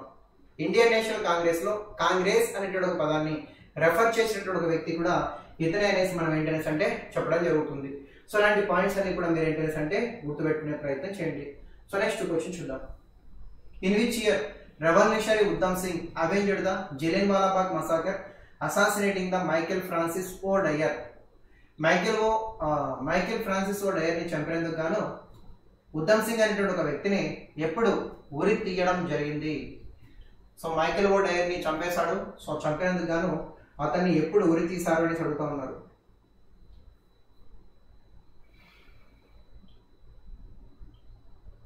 సో ఇది గుడ్ ఈవినింగ్ అండి అందరికీ కూడా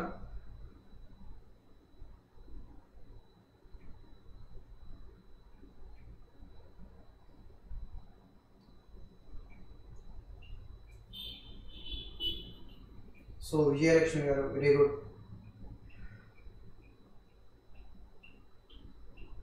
So very important అండి. సో అందరు కూడా very good. So who among the following the founder? Sorry in which year revolutionary freedom fighter Udham Singh అనేటువంటి ఒక వ్యక్తిని ఎప్పుడు ఉరి తీయడం జరిగింది అనేసి అడుగుతా ఉన్నాడు. చూద్దాం ఎప్పుడు ఉరి తీశారు ఏంటి కథ ఎందుకు ఉరి తీశారు అనేసి మనం ఏంటనేసి అంటే మాట్లాడే ప్రయత్నం చేద్దాం. సో ఆన్సర్ ఏంటనేసి అంటే ఆప్షన్ డి అండి. నైన్టీన్ ఫార్టీ అనేసి మీరు ఇక్కడ గమనించాల్సి ఉంటుంది. మీరైతే గుర్తుపెట్టుకోండి. అది పంతొమ్మిది వందల పంతొమ్మిది ఏప్రిల్ పదమూడో తారీఖు. సో పంతొమ్మిది వందల పంతొమ్మిది ఏప్రిల్ పదమూడో తారీఖు అన్న వెంటనే మీకు ఏంటనేసి అంటే గుర్తొచ్చిన ఒక సంఘటన. జలియన్ వాలాభాగ్ దురంతం. జలియన్ వాలాభాగ్ దురంతం అనే ఒక పేరుతో మనం ఏంటనేసి అంటే చెప్తాం. సో నైన్టీన్ నైన్టీన్ ఏప్రిల్ పదమూడో తారీఖున జరిగినటువంటి ఒక సంఘటనని మనం ఏమంటామనేసి అంటే జలియన్ వాలాబాగ్ దురంతం అనే ఒక పేరుతో మనం ఏంటనేసి అని చెప్తాం. ఈ జలియన్ వాలాబాగ్ దురంతంలో మన ఇండియన్స్ ఐ మీన్ పంజాబ్లోని అమృత్సర్ ప్రాంతంలో పన్నెండు వందల మందికి పైగా ఏంటనేసి అంటే ప్రాణాలు కోల్పోవడం జరిగింది. ఆ సమయంలో ఏంటనేసి అంటే మన భారతదేశంలో వైస్రాయ్గా ఉన్నది ఎవరు అనేసి అడుగుతారు. వైస్రాయ్గా ఎవరున్నారు? అంటే చేమ్ సుఫాట్ అనేటువంటి ఒక వ్యక్తి ఈ జలియన్ వాలాబాగ్ దురంతం జరిగేటప్పుడు వైస్రాయ్ అనేసి మనం చెప్తాం అలాగే పంజాబ్ అమృత్సర్ ప్రాంతానికి సంబంధించి పంజాబ్ గవర్నర్ ఎవరు అనేసి అంటే Michael O'Dwyer Michael O'Dwyer అనే ఒక పేరుతో మనం మెయింటెనెన్స్ అని చెప్తాం. అయితే జలియన్వాలాబాగ్ దురంతంలో కాల్పులు జరిపింది ఎవరనేసి అంటే కన్ఫ్యూజ్ కమ్మకండి ఫ్రాన్సిస్ డయ్యర్ లేదా రెజినాల్డ్ డయర్ అనే ఒక పేరుతో మనం మెయింటెనెన్స్ అంటే చెప్పుకుంటాం. కన్ఫ్యూజ్ కాకూడదని మూడు పేర్లు కూడా ఇక నేను రాస్తా ఉన్నా. చాలాసార్లు అడుగుతూనే ఉంటారు పెయింట్ క్లాసులో అట్ట సో అందుకోసం మళ్ళీ మళ్ళీ చెప్తా ఉన్నా. జలియన్వాలాబాగ్ దురంతం జరిగినప్పుడు వైస్రాయ్ ఎవరనేసి అంటే చేఫ్ ఫాల్ట్ అనే ఒక వ్యక్తి వైస్రాయ్ ఏంటనేసి అంటే ఉన్నాడు అనేసి మనం చెప్తాం. ఆ తర్వాత పంజాబ్ గవర్నర్ అనేసి అంటే మైకెల్ ఓ డయర్ అని చెప్తాం. స్థానికంగా ఒక అధికారి కాల్పులు జరిపినది ఎవరు అనేసి అంటే రెజినాల్డ్ డయ్యర్ పంతొమ్మిది పంతొమ్మిది ఏప్రిల్ పదమూడవ తారీఖున పంజాబ్లోని అమృత్సర్ ప్రాంతానికి వెళ్ళి కాల్పులు జరిపింది ఎవరంటే రెజినాల్డ్ డయర్ ఇదంతా జరిగినప్పుడు ఉద్దమ్ సింగ్ అనేటువంటి ఒక వ్యక్తి చాలా చిన్న పిల్లడు అండి ఆయన చిన్నప్పుడు ఏంటనేసి అంటే ఇలాంటి ఒక సంఘటన చూసి మనసు చలించిపోయి మనసంతా ఏంటనేసి అంటే ఈ యొక్క కక్షని నింపేసుకున్నాడు అనమాట మొత్తానికి ఆ కక్ష నింపుకొని నైన్టీన్ ఫార్టీలో ఏంటనేసి అంటే టికెట్ బుక్ చేసుకొని లండన్కి వెళ్ళిపోయాడు. ఎవరిని చంపేద్దామని? ఈ యొక్క కాల్పులు జరిగినటువంటి రెజినాల్డ్ డయర్ అనే ఒక వ్యక్తిని చంపేద్దామని లండన్కి ఏంటనేసి అంటే వెళ్ళిపోయాడంట. కానీ అక్కడికి వెళ్ళిపోయిన అడిగే ఈ రెజినాల్డ్ డయర్ అనే ఒక వ్యక్తి అంతు చిక్కని వ్యాధి వచ్చి అప్పటికే ఏంటనేసి అంటే ప్రాణాలు కోల్పోయాడు. అంతు చిక్కని వ్యాధి వచ్చి అప్పటికే ఏంటనేసి అంటే ప్రాణాలు కోల్పోయాడు అనేసి మనం చెప్తాం. సో మనోడు ఫీల్ అయిపోయాడు. నేను చంపాలనుకున్నాడు అలానే ముందు చనిపోయాడని చెప్పేసి. ఆ తర్వాత దీని అంతటికి కారణం మైకిల్ ఓ డైరే కదా. మైకిల్ ఓ డైర్ చెప్తేనే కదా రజనా డైర్ కాల్చాడు ఆ రోజు. సో కాబట్టి మైకిల్ ఓ డైర్ని చంపేద్దామని చెప్పేసి మైకిల్ ఓ డైర్ అనే ఒక వ్యక్తిని మన ఉద్దమ్ సింగ్ అనేటువంటి ఒక వ్యక్తి చంపేశాడు దానికి గాను బ్రిటిష్ వాళ్ళు ఉద్దమ్ సింగ్ అనేటువంటి ఒక వ్యక్తిని నైన్టీన్ ఫార్టీలో ఉరి తీయడం జరిగింది అనే ఒక అంశాన్ని కూడా మీరు ఇక్కడ గమనించవచ్చు. సో ఇది ఆయనకి సంబంధించినటువంటి సమాచారం. నైన్టీన్ ఫార్టీలో ఇదంతా కూడా జరిగింది అనేసి మీరు ఇక్కడ గమనించవచ్చు. So next question was founder of Bahmani kingdom so Bahmani సామ్రాజ్యాన్ని ఏర్పాటు చేసినటువంటి ఒక వ్యక్తిగా మనము ఎవరిని చెప్పడం జరుగుతుంది? బహుమనీ కింగ్డమ్ని ఏర్పాటు చేసినటువంటి ఒక వ్యక్తిగా మనం ఎవరిని చెప్తాం?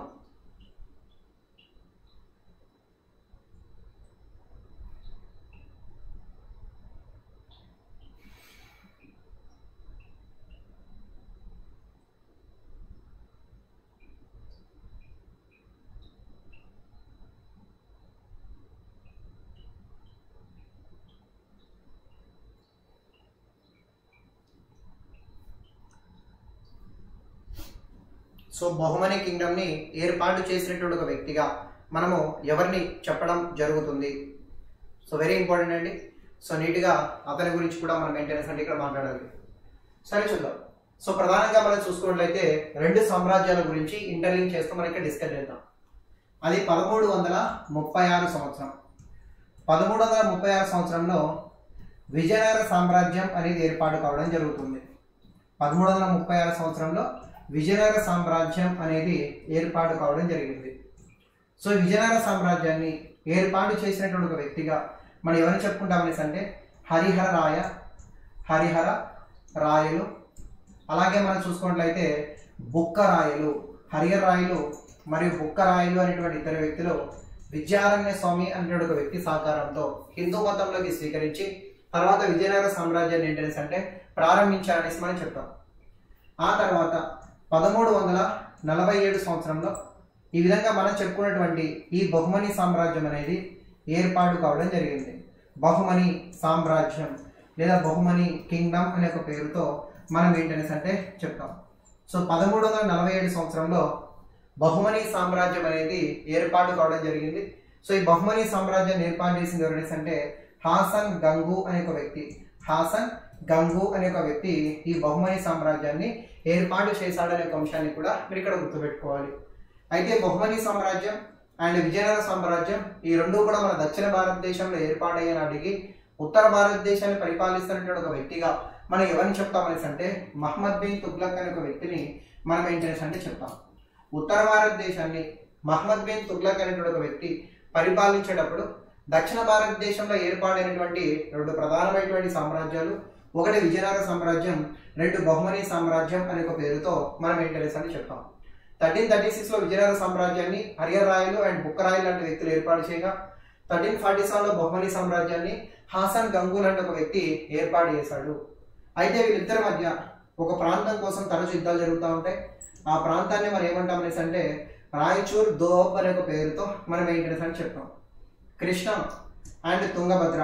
కృష్ణ అండ్ తుంగభద్ర అనేటువంటి రెండు నదుల మధ్య ఉన్నటువంటి సారవంతమైనటువంటి భూమిని మనం ఏమంటాం అనేసి అంటే రాయచూర్ అంతర్వేది అనే ఒక పేరుతో చెప్తాం. ఈ రాయచూర్ అంతర్వేది ప్రాంతం కోసం విజయనగర సామ్రాజ్యము అండ్ బహుమని సామ్రాజ్యానికి మధ్య తరచు ఏంటనేసి అంటే వివాదాలు జరుగుతూ ఉంటాయి అనే ఒక అంశాన్ని మీరు ఏంటనేసి అంటే గమనించాలి. Was the founder of Bahmani kingdom అనేసి అంటే హాసన్ గంగు అనే ఒక పేరుతో మనం ఏంటనేసి అని చెప్తాం. అప్పుడు ఉత్తర భారతదేశాన్ని పరిపాలిస్తుంది ఎవరనేసి అంటే మహమ్మద్ బిన్ తుగ్లక్ అనే ఒక పేరుతో కూడా ఇక్కడ చెప్పడం జరుగుతుంది. ఆప్షన్ ఏ అనేది మనకి ఇక్కడ correct answer. During Delhi sultanate who established a new department called Diwani Khairat? Diwani i Khairat అనేటువంటి ఒక పేరుతో ఒక మంత్రిత్వ శాఖని ఏర్పాటు చేసినటువంటి ఒక వ్యక్తిగా మనం ఎవరిని చెప్పుకుంటాం?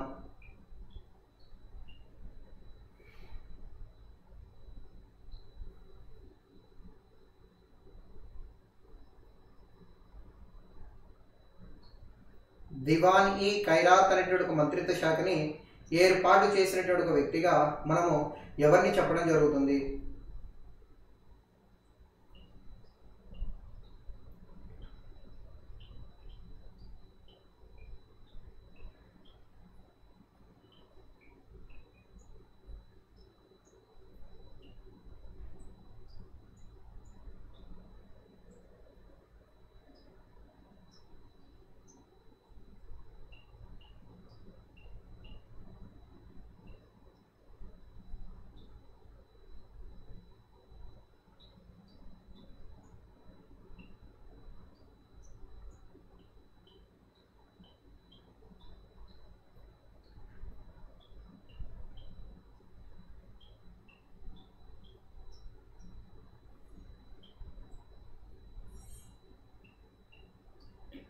ఓకే అండి. చూద్దాం దీనికి సంబంధించినటువంటి ఆన్సర్ ఏంటనేసి దివానీ ఖైరాత్ అంటే దాన ధర్మాల శాఖ అని చెప్తాం. అలాంటి ఒక దాన ధర్మాల శాఖని ఏర్పాటు చేసేటువంటి ఒక వ్యక్తిగా మనం ఎవరిని చెప్పుకుంటాం అనేసి అంటే ఫిరోజ్ షా తుగ్లక్ అనే ఒక పేరుతో మనం ఏంటనేసి అంటే ఇక్కడ చెప్తాం అనమాట తుగ్లక్ వంశంలో మహమ్మద్ బిన్ తుగ్లక్ చనిపోయిన తర్వాత అధికారంలోకి వచ్చినటువంటి ఒక వ్యక్తి ఫిరోజ్ షా తుగ్లక్. ప్రజలకు దాన ధర్మాలు చేయడం కోసం ఆయన ఏర్పాటు చేసిన ఒక మంత్రిత్వ శాఖ ఈ విధంగా మనం చూసుకున్నట్లయితే దివానీ ఖైరాత్ అనే ఒక పేరుతో మనం మెయింటెనెన్స్ అంటే చెప్పుకుంటాం అనే ఒక అంశాన్ని కూడా మీరు గమనించాలి. ఢిల్లీ సుల్తాన కాలంలో ప్రజలు ఎవరిని కన్న తండ్రి వలె భావించారనేసి అంటే ఫిరోజ్ షా తుగ్లక్ లాంటి ఒక వ్యక్తిని ప్రజలు కన్న తండ్రి వలె భావించినారు అనే ఒక అంశాన్ని కూడా మీరు ఇక్కడ గమనించవచ్చు. సో ఇది దానికి సంబంధించినటువంటి సమాధానము అనేసి మనం ఇక్కడ చెప్పుకుంటాం. సో ఆన్సర్ ఏంటి ఇక్కడ? ఆప్షన్ సి అనేది మనకి ఇక్కడ కరెక్ట్ ఆన్సర్ అనేసి మనము చెప్పుకోవచ్చు. ఆప్షన్ సి అనేది మనకి ఇక్కడ కరెక్ట్ ఆన్సర్ నెక్స్ట్ క్వశ్చన్ చూద్దాం. In which year Shivaji captured Torna from the ruler Bijapur so Bijapur సుల్తాన్ని ఓడించి శివాజీ క్రింది ఏ సంవత్సరంలో తోరణ అనేటువంటి ఒక కోటని ఆక్రమించడం జరిగింది? తోరణ దుర్గాన్ని శివాజీ ఏ సంవత్సరంలో ఆక్రమించడం జరిగింది అనేసి మనకి ఇక్కడ అడుగుతా ఉన్నారండి. ట్రై చేయండి.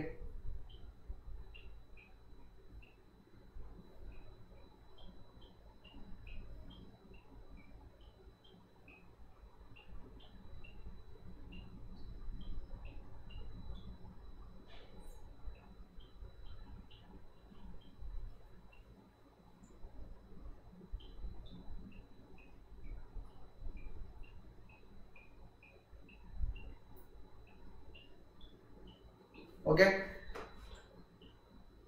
ఏంటి? Sixteen fifty సిక్సా no so sixteen sixty six కూడా కొంతమంది పెడతా ఉన్నారు.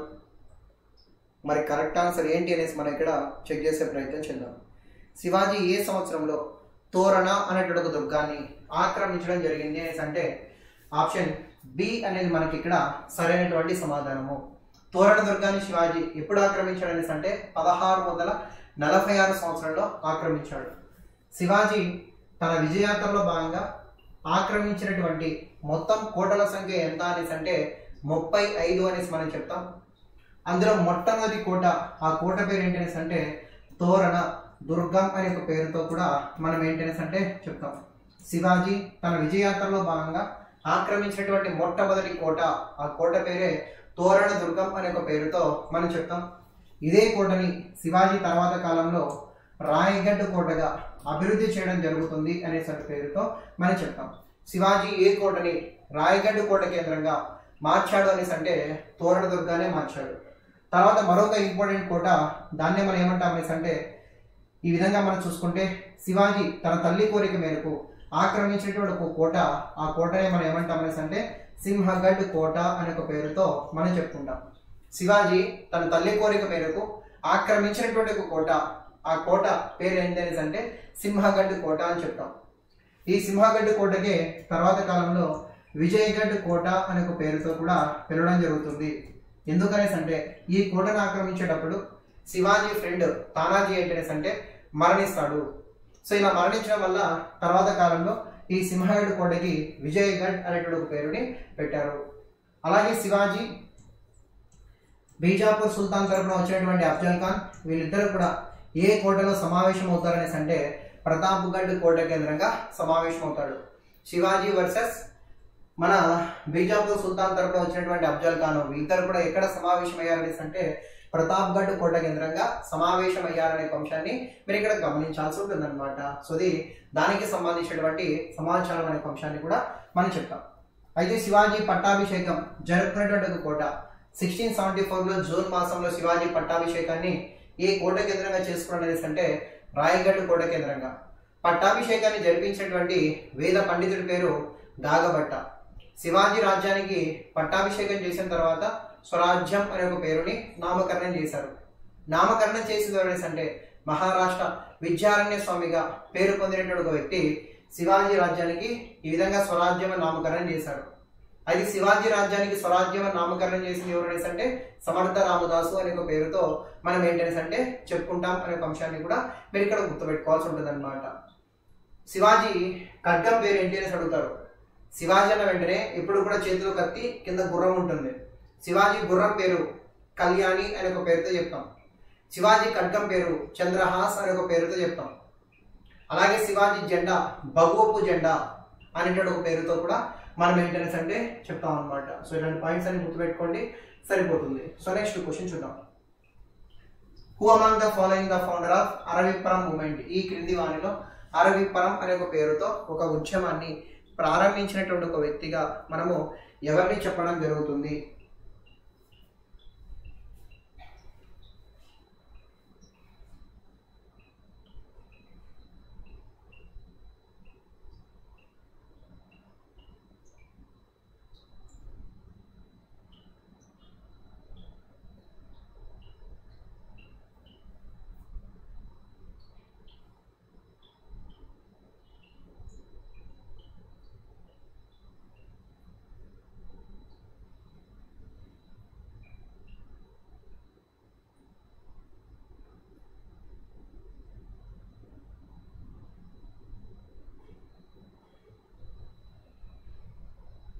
ఓకే అండి.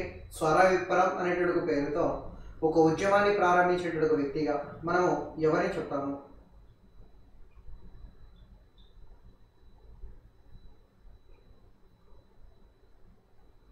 ఓకే సో వెరీ ఇంపార్టెంట్ ఉద్యమం అండి ఇది కూడా. సో మనకి ఏంటనేసి అంటే ఎగ్జామినేషన్లో అడిగేందుకు పాసిబిలిటీ ఉన్నటువంటి ఉద్యమం. సో ఆన్సర్ ఏంటనేసి అంటే ఈ విధంగా మనం చూసుకున్నట్లయితే నారాయణ గురు అనేది మనకి ఇక్కడ సరైనటువంటి సమాధానం. సో కేరళలో నారాయణ గురువు అనేటువంటి ఒక వ్యక్తి ప్రారంభించిన ఒక ఉద్యమాన్ని అరవిప్పలం ఉద్యమం అనే ఒక పేరుతో పిలుస్తాం. దాన్ని ఎజువా ఉద్యమాలు అనే ఒక పేరుతో కూడా మనం ఏంటనేసి అంటే పిలవడం జరుగుతుంది. అరవిప్పలం ఉద్యమాలన్నా యజువా ఉద్యమాలన్నా రెండు ఒకటే. నారాయణ గురు అనేటువంటి ఒక వ్యక్తి యజావా అనేటువంటి ఒక తెగకు సంబంధించిన వ్యక్తి. యజావా అనేది కేరళలో బాగా వెనుకబడినటువంటి సామాజిక వర్గం. ఆ సామాజిక వర్గానికి స్థానికంగా ఉన్నటువంటి ఏ దేవాలయంలోకి కూడా ప్రవేశం అనేది ఉండేది కాదు.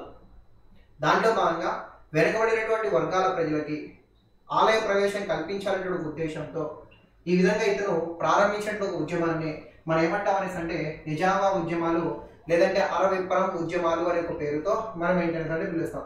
ఆప్షన్ సి అనేది మనకి ఇక్కడ సరైనటువంటి సమాధానము అనే ఒక పేరుతో మనం ఏంటంటే పిలుస్తాం. Which among the following was the first Bengali news paper భారతదేశంలో మొట్టమొదటి బెంగాలీ వార్తాపత్రిక. Very important and easy question కూడా.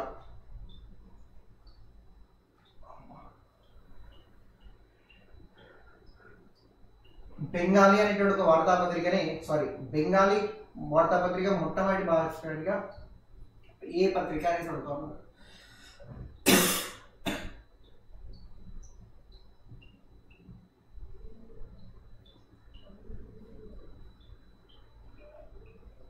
ఓకే? సో ఏంటి బెంగాల్ గిరీట సో చూడండి కొందరు బెంగాల్ గెజెట్ పెడతా ఉన్నారు. డౌట్ ఏంటండి? చేతు గారు చెప్పండి చూడలేచందు ఇంకోసారి కామెంట్ చేయండి. సో భగవపు కాషాయం అని మీనింగ్ వస్తుంది కదా. అవునండి. భగవపు జెండా అంటే కాషాయం అనేసి మీనింగ్ వస్తుంది. కలప్పన్ అనేటువంటి ఒక వ్యక్తి సీడిఎం కేరళ నాయకుడు. అవునండి.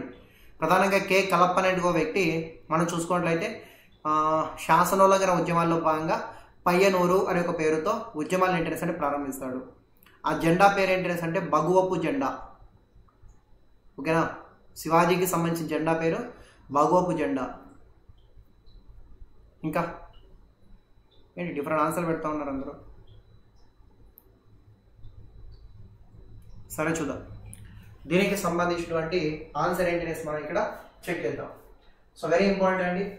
ఆన్సర్ ఏంటంటే అంటే సమాచార దర్పణ్ సంవాద కౌముది సంవాద ప్రమాకర్ సో ఆన్సర్ ఏంటంటే అంటే బెంగాల్ గెజిట్ కాదండి సంవాద కౌముది సో భారతదేశంలో భారతీయుడు చేత ప్రారంభించబడిన తొలి వార్తాపత్రిక సంవాద కౌముది అని చెప్తాం. ఈ సంవాద కౌముది అనేది బెంగాలీ భాషలో ప్రచురితమైంది. ప్రారంభించింది ఎవరైనా అంటే రాజా రామ్మోహన్ రాయ్ అనేటువంటి ఒక వ్యక్తి. ప్రారంభించాడనే ఒక అంశాన్ని కూడా మీరు గమనించాలి. అలా కాకోకుండా ఇండియాస్ ఫస్ట్ న్యూస్ పేపర్ ఏంటనేసి అంటే జేమ్స్ అగస్టస్ హిక్కీ అనేటువంటి ఒక వ్యక్తి ప్రారంభించాడు. ఇది కానీ ఇంగ్లీష్ భాషలో ఉంటుంది. ఇతని ఆంగ్లేయుడు కూడా అంటే విదేశీయుడు అని చెప్తాం. సో భారతదేశంలో తొలి వార్తాపత్రిక అంటే బెంగాల్ గెజెట్. భారతదేశంలో భారతీయుడి చేత ప్రారంభించిన తొలి వార్తాపత్రిక అనేసి అంటే సంవాద కౌముది. ఇదేమో ఇంగ్లీష్ లాంగ్వేజ్లో ఉంటే ఇదేమో బెంగాలీ లాంగ్వేజ్లో ఏంటంటే ఏంటనేసి అంటే ఉంటుంది అనే ఒక అంశాన్ని కూడా మీరు ఇక్కడ గమనించవచ్చు. నెక్స్ట్ క్వశ్చన్ చూద్దాం. Motilal Nehru and Chittaranjan Das were the founders of which known party so ఈ విధంగా మనం చూసుకున్నట్లయితే చిత్తరంజన్ దాస్ అండ్ మోతీలాల్ నెహ్రూ లాంటి వ్యక్తులు ప్రారంభించిన ఒక పార్టీ పేరు ఏంటి ప్రారంభించిన ఒక పార్టీ పేరు.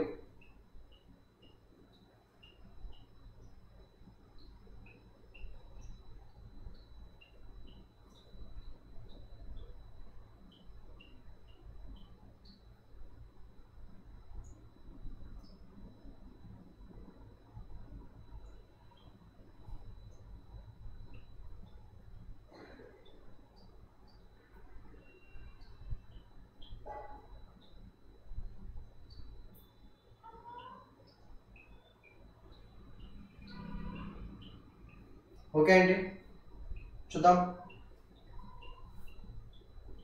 సో మోతిలాల్ నెహ్రూ అలాగే చిత్తరంజన్ దాస్ లాంటి ఇతర వ్యక్తులు కలిసి ఏర్పాటు చేసినటువంటి ఒక పార్టీగా మనం దేన్ని చెప్తాము?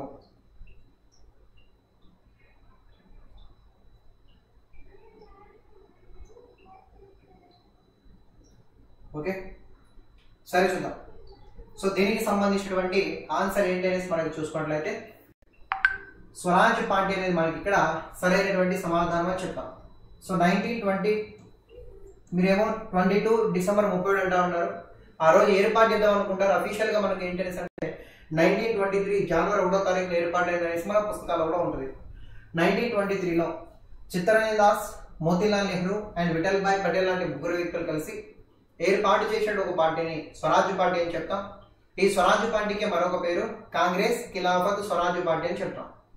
చట్టసభలోకి ప్రవేశించాలి అనేటువంటి ఒక లక్ష్యంతోనే నైన్టీన్ ట్వంటీ త్రీ జనవరి ఒకటో తారీఖున చిత్తరంజన్ దాస్ మోతీలాల్ నెహ్రూ విఠల్భాయ్ పటేల్ లాంటి వ్యక్తులు కలిసి ఈ స్వరాజ్య పార్టీని ఏర్పాటు చేశారు అనే ఒక అంశాన్ని కూడా మీరు ఏంటనేసి అంటే ఇక్కడ గుర్తుపెట్టుకోవాల్సి ఉంటుంది అనమాట సో ఇది దానికి సంబంధించినటువంటి సమాధానం అనేసి మనం ఇక్కడ చెప్తాం. ఆన్సర్ బి అనేది మనకి ఇక్కడ కరెక్ట్ ఆన్సర్ అయితే ఇక్కడ రెండు ఇంపార్టెంట్ బిట్స్ ఉంటాయండి. సో అవి కన్ఫ్యూజ్ అవుతూ ఉంటారు. ఒకసారి నేను చెప్తాను చూడండి. మోతీలాల్ నెహ్రూ అండ్ విఠల్ భాయ్ పటేల్. మోతీలాల్ నెహ్రూ అండ్ విఠల్ భాయ్ పటేల్కి సంబంధించిన రెండు ఇంపార్టెంట్ బిట్స్ మోతీలాల్ నెహ్రూ యొక్క ఇంపార్టెన్స్ అంటే స్వరాజ్ పార్టీ తరఫున భారతదేశ చరిత్రలోనే మొట్టమొదటిసారిగా ప్రతిపక్ష నాయకుడు హోదాను పొందిన మొదటి భారతీయుడు అనేసి మనం ఎవరిని చెప్తామనేసి అంటే మోతీలాల్ నెహ్రూని చెప్తాం. మొట్టమొదటి ప్రతిపక్ష నాయకుడు హోదాను పొందినటువంటి ఒక వ్యక్తి మోతీలాల్ నెహ్రూ. ఏ పార్టీకి సంబంధించిన నాయకత్వం వహించాడు అనేసి అంటే స్వరాజ్ పార్టీ అని చెప్తాం. మొట్టమొదటి స్పీకర్ భారతదేశంలోనే మొట్టమొదటి స్పీకర్గా స్పీకర్గా స్పీకర్గా భారతీయ స్పీకర్గా పేరు పొందినటువంటి వ్యక్తి విఠలభాయ్ పటేల్. కానీ ఏ పార్టీ తరపున అనేసి అంటే స్వరాజ్ పార్టీ తరపున అనేసి మనం ఇక్కడ చెప్పాం సో ఆన్సర్ ఏంటి? ఆప్షన్ బి అనేది మనకి ఇక్కడ కరెక్ట్ ఆన్సర్. స్వరాజ్ పార్టీకి సంబంధించి మెయిన్ లక్ష్యం ఏంటనేసి అంటే గమనంతో కూడిన దేశభక్తి. చట్టసభలోకి ప్రవేశించాలి విరెక్ వృత్తి అనేటువంటి ఒక లక్ష్యంతోనే వీళ్ళు పార్టీని ఏం అంటే ఏర్పాటు చేశారనే ఒక అంశాన్ని కూడా మీరు ఇక్కడ గమనించవచ్చు. Who was the viceroy of India when the Chauri Chaura incident to place Chauri Chaura incident జరిగినప్పుడు వైస్ రాయ్గా ఎవరున్నారు? చూడండి ఎంత important question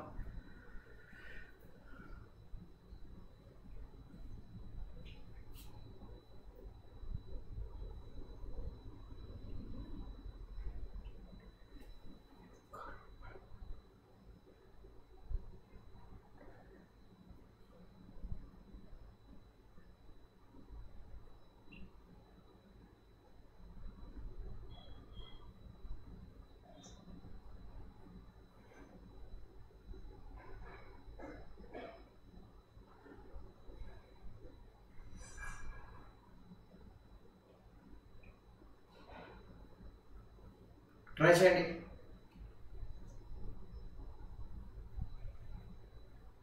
so who was the viceroy of India when the Chauri Chaura incident took place so Lord Chelmsford Lord Reading Lord Irving Lord Hardinge two అనేటువంటి ఒక వ్యక్తి answer చేయండి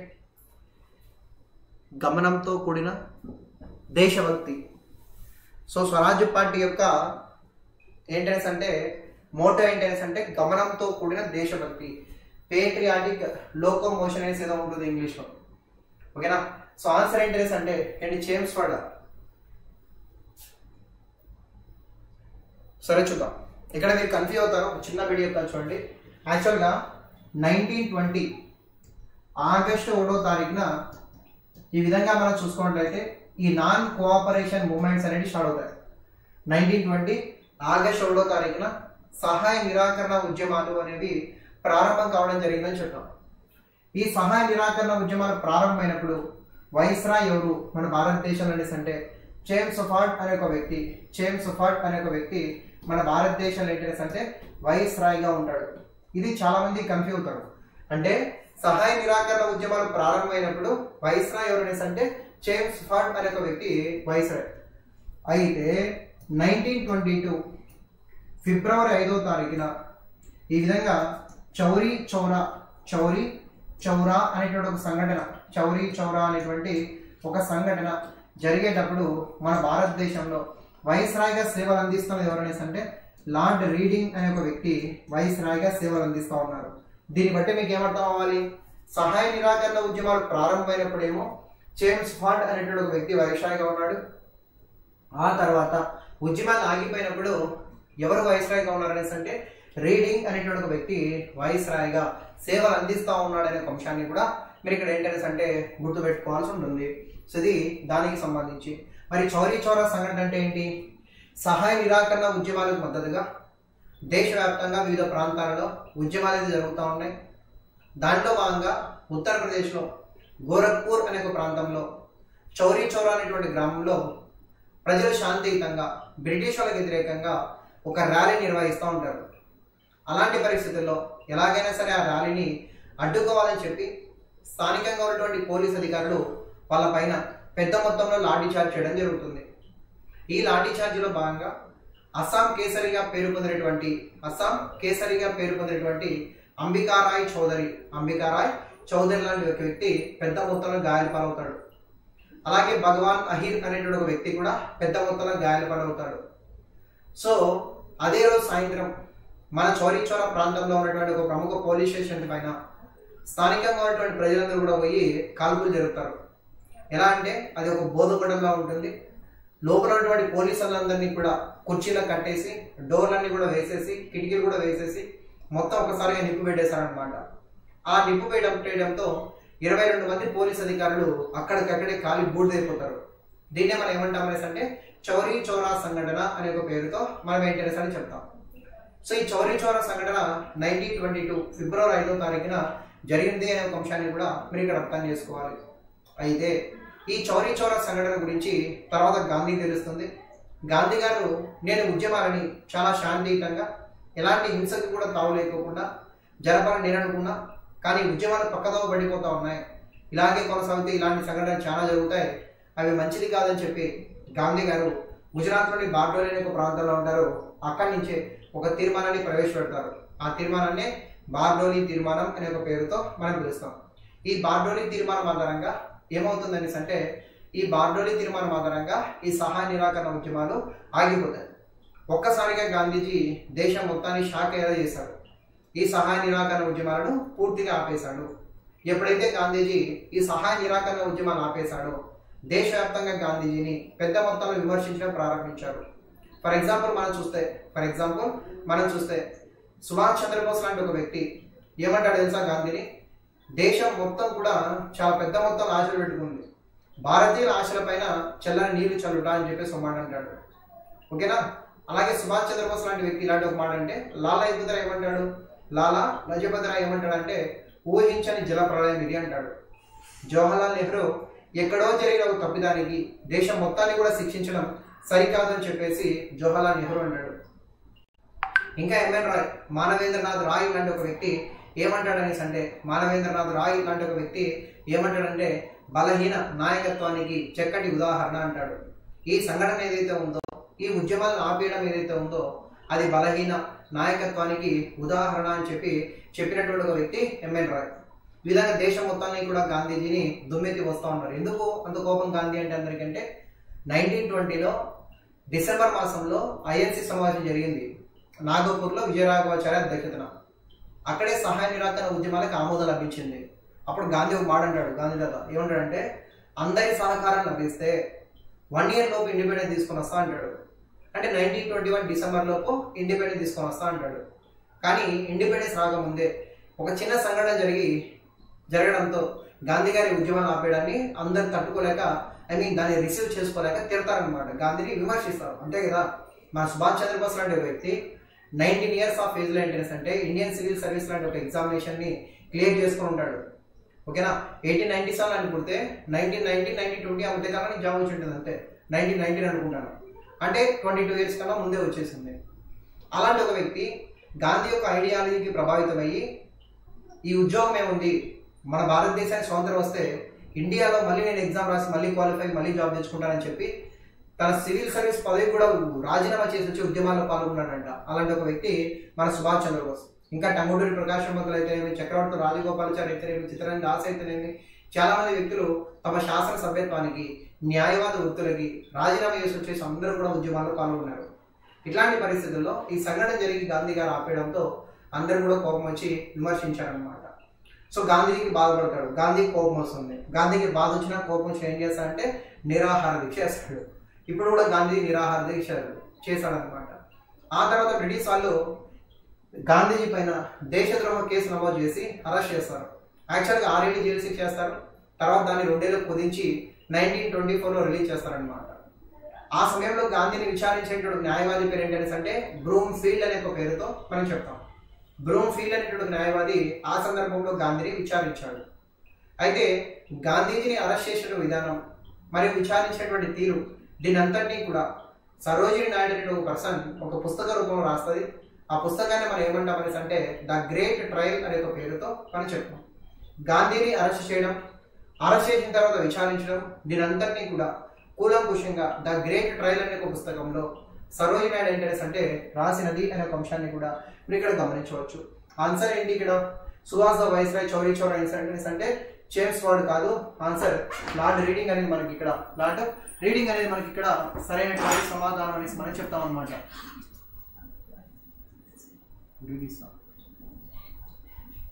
ఓకే సో నెక్స్ట్ క్వశ్చన్ ఏంటి అంటే వెళ్ళిపోదాం. So in which year native marriage act was passed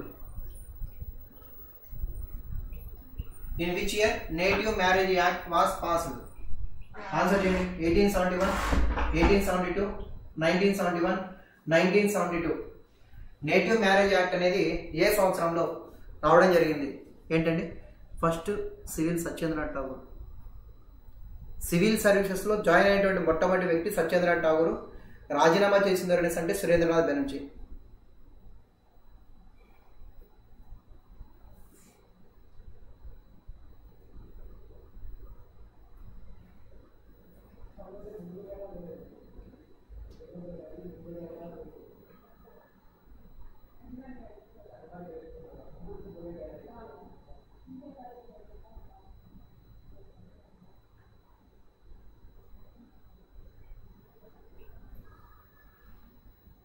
okay అండి.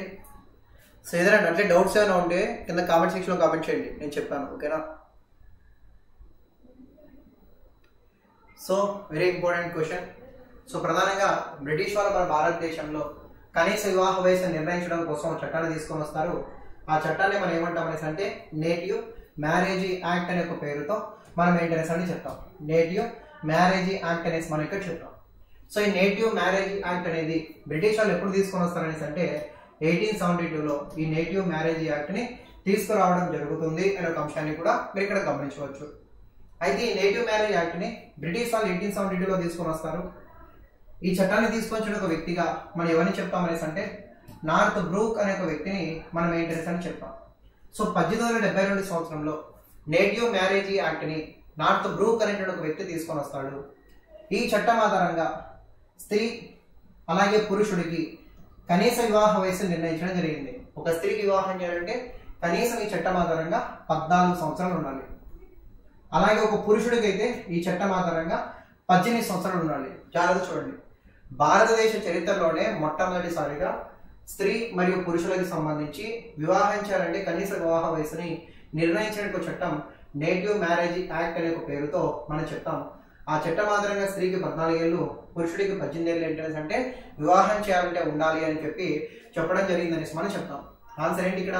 Option B eighteen seventy two అనేది మనకి ఇక్కడ సరైనటువంటి సమాధానం.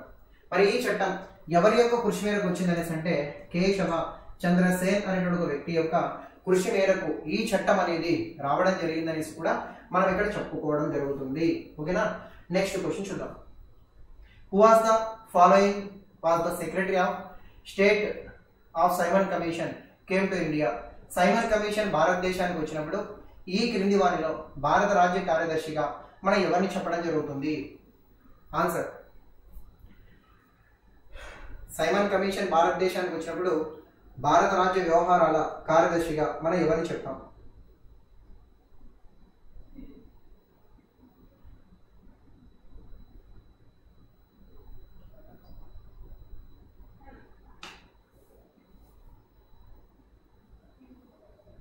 So Birkenhead viscount Peel అలాగే లార్డ్ ఒలివరు అలాగే లార్డ్ స్టాన్లీ.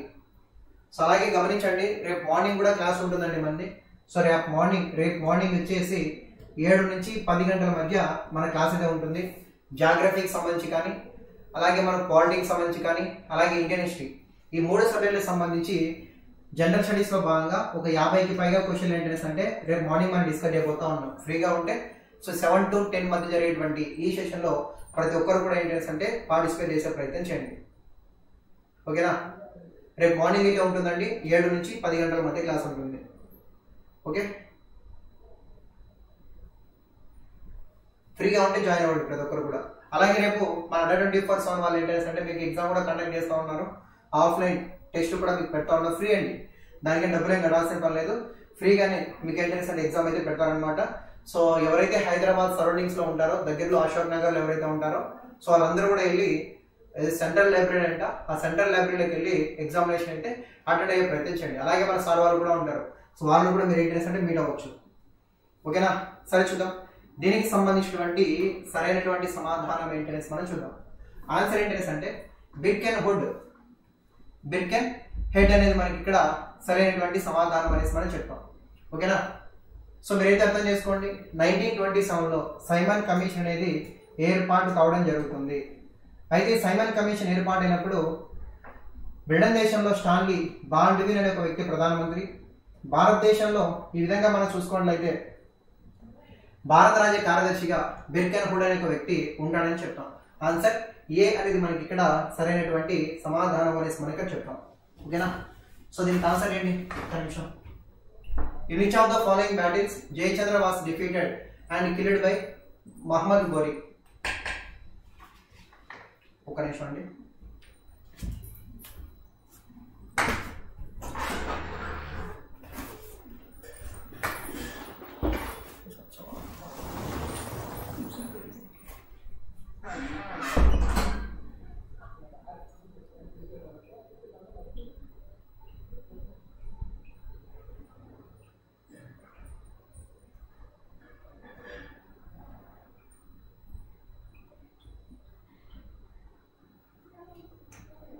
ఓకే అండి సారీ సో విచ్ ఏమడుతాను ఇక్కడ in which of the following battles Jayachandra was defeated and killed by Muhammad Ghori Muhammad Ghori అనేటువంటి ఒక వ్యక్తి జయచంద్రుడి చేత ఏ సంవత్సరంలో హత్య గావించడం జరిగింది?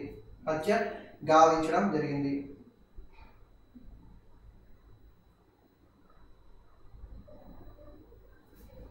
సో మీ కామెంట్స్ నా ఫోన్లో రావట్లేదు ఈరోజు ఏమో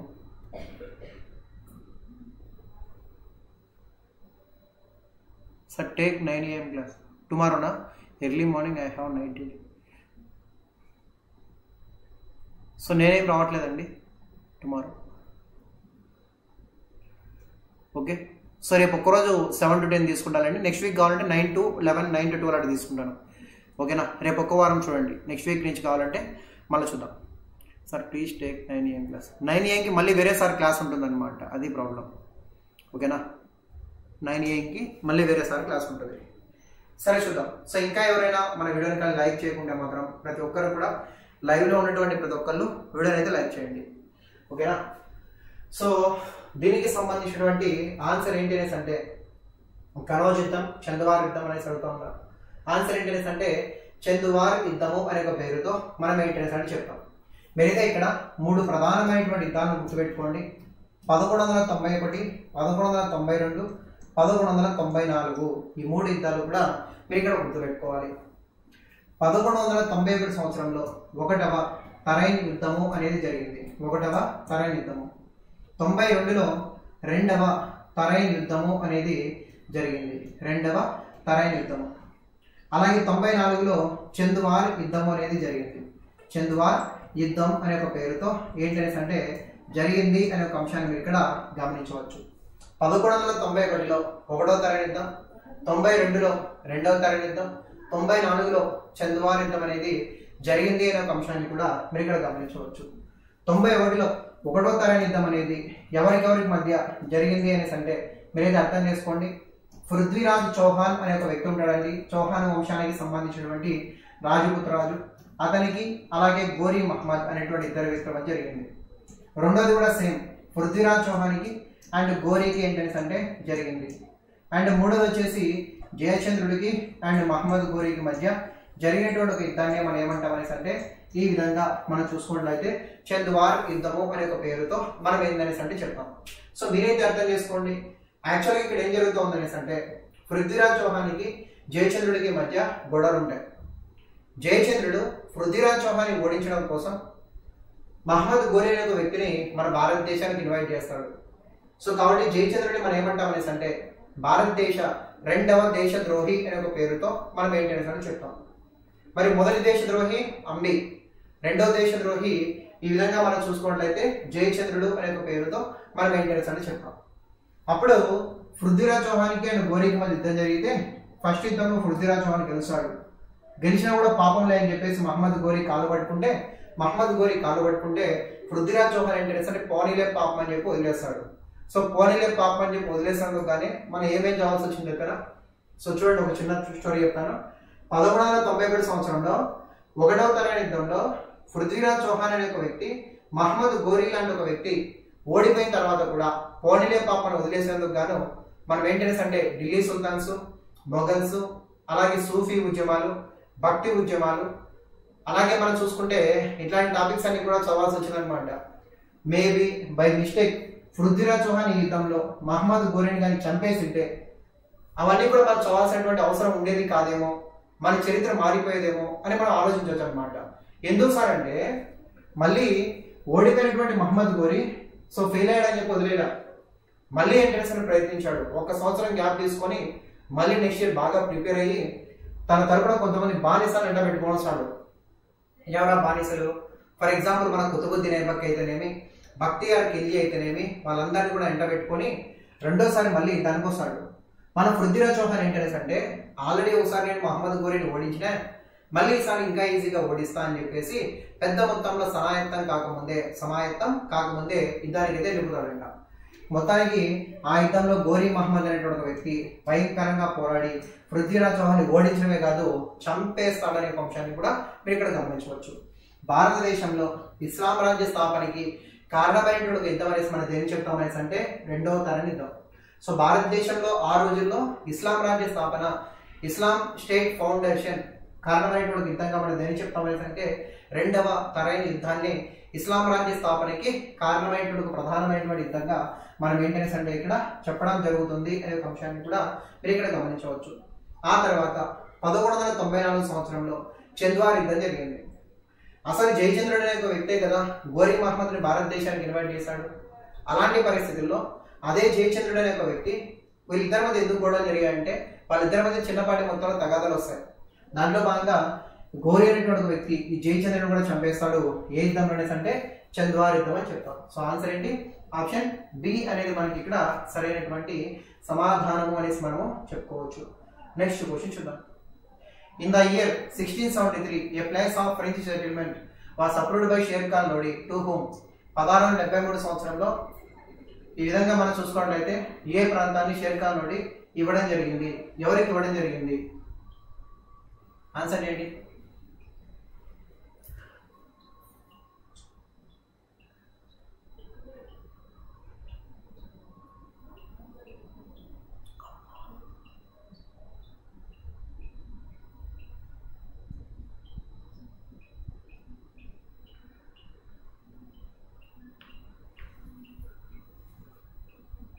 ఓకే?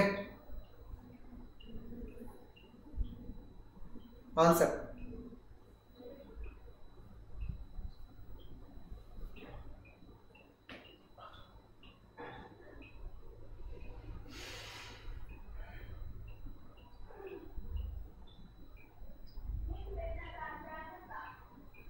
ఓకే అండి.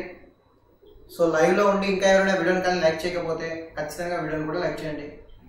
ఓకే? సరే చూద్దాం.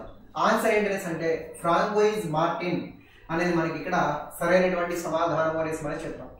మీరైతే గుర్తుపెట్టుకోండి. అది పదహారు వందల డెబ్బై మూడు సంవత్సరం. ఆర్కాడ్ ప్రాంతాన్ని ఎవరు పరిపాలిస్తూ ఉంటాడు అనేసి అంటే రాజధానికి చేసుకొని షేర్ ఖాన్ లోడి అనే ఒక వ్యక్తి ఆర్కాడ్ ప్రాంతాన్ని ఏంటనేసి అంటే చూసుకుంటూ ఉంటాడు. అయితే ఈ షేర్ ఖాన్ లోడి అనేటువంటి వ్యక్తి దగ్గరికి ఫ్రెంచ్ వారి తరఫున భారతదేశంలో మొదటి గవర్నర్ అతని పేరే ఫ్రాంకోయిజ్ మార్టిన్ అనే ఒక పేరుతో మనం చెప్తాం. ఈ ఫ్రాంకోయిజ్ మార్టిన్ అనే ఒక వ్యక్తి అతని దగ్గరికి ఏంటంటే అంటే రావడం జరుగుతుందన్నమాట. సో ఫ్రెంచ్ దేశం తరపున ఫ్రాంకోయిజ్ మార్టిన్ అనే ఒక వ్యక్తి ఆర్కాడ్ ప్రాంతాన్ని పరిపాలిస్తున్న షేర్ఖాన్ లోడి దగ్గరకు వచ్చి మీ ప్రాంతంలో మాకు అంటే ఆర్కాడ్ లేదా కర్ణాటక ప్రాంతంలో కొంత భూభాగాన్ని మాకు ఇవ్వండి. దాన్ని మేము పెద్ద మొత్తంలో అభివృద్ధి చేసి బాగా డెవలప్ చేసి మీ ప్రాంతంలో ఉన్నటువంటి నిరుద్యోగ యువతకు ఉద్యోగోపాలను కల్పిస్తాం. అలాగే మీకు కూడా పన్ను రూపంలో పెద్ద మొత్తాన్ని చెల్లిస్తామని చెప్పి చెప్పాడు అనమాట అలాంటి పరిస్థితుల్లో ఈ షేర్ ఖాన్ అనేటువంటి వ్యక్తి ఈ ఫ్రాంకోయిజ్ మార్టిన్కి వాలి కొండాపురం వాలి కొండాపురం అనే ఒక ప్రాంతాన్ని వాలి కొండాపురం అనే ఒక ప్రాంతాన్ని గిఫ్ట్గా ఏంటనేసి అంటే ఇవ్వడం జరుగుతుంది. వాలి కొండాపురం అనే ఒక ప్రాంతాన్ని ఈ ఫ్రాంకోయిజ్ మార్టిన్కి ఏంటనేసి అంటే ఇస్తాడనమాట ఆ వాలి కొండాపురం అనే ఒక ప్రాంతాన్ని షేర్ ఖాన్ ఎవరికి ఇచ్చాడనేసి అంటే ఫ్రాంకోయిజ్ మార్టిన్కి దాన్ని తీసుకొని ఈ ఫ్రాంకోయిజ్ మార్టిన్ బాగా డెవలప్ చేసి ఒక పెద్ద నగరంగా అభివృద్ధి చేస్తాడు. ఆ నగరాన్ని మనం ఏమని చెప్తామనేసి అంటే పాండిచ్చేరి అనే ఒక పేరుతో మనం మెయింటెనెన్స్ అని చెప్తాం. సో ఈ విధంగా వాలికొండాపురాన్ని పాండిచ్చేరిగా అభివృద్ధి చేసింది ఎవరనేసి అంటే ఫ్రాంకోయిజ్ మార్టిన్. సో ఈ విధంగా మనం చూసుకుంటే పాండిచ్చేరి నగర నిర్మాత ఫ్రాంకోయిజ్ మార్టిన్. ఫ్రెంచ్ వాళ్ళ తరపున భారతదేశంలో మొట్టమొదటి గవర్నర్ ఫ్రాంకోయిజ్ మార్టిన్ అనే ఒక పేరుతో మనం మెయింటెనెన్స్ అంటే చెప్తాం. ఆప్షన్ సి అనేది మనకి ఇక్కడ సరైనటువంటి సమాధానము అనేసి మనము చెప్పడం జరుగుతుంది. Which among the following wars to place during the reason of Warren Hastings Warren Hastings అనేటువంటి ఒక వ్యక్తి గవర్నర్ జనరల్గా ఉన్నప్పుడు జరిగినటువంటి ఒక యుద్ధాన్ని గుర్తించండి. First Anglo Maratha second Anglo Maratha and third Anglo Maratha war అనేసి కొన్ని యుద్ధాలు ఇచ్చాడు. జాగ్రత్తగా చూసి ఆన్సర్ చేసే ప్రయత్నం చేయండి.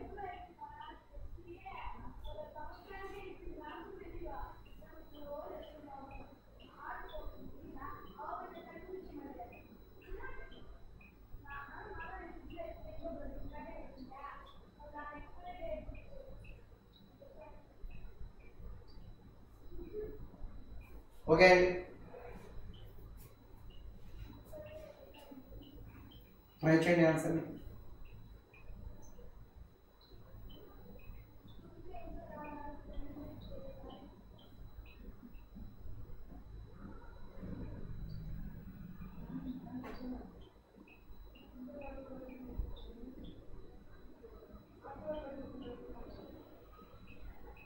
okay one four a so కొందరు వన్ ఫోర్ పెట్టా ఉన్నారు.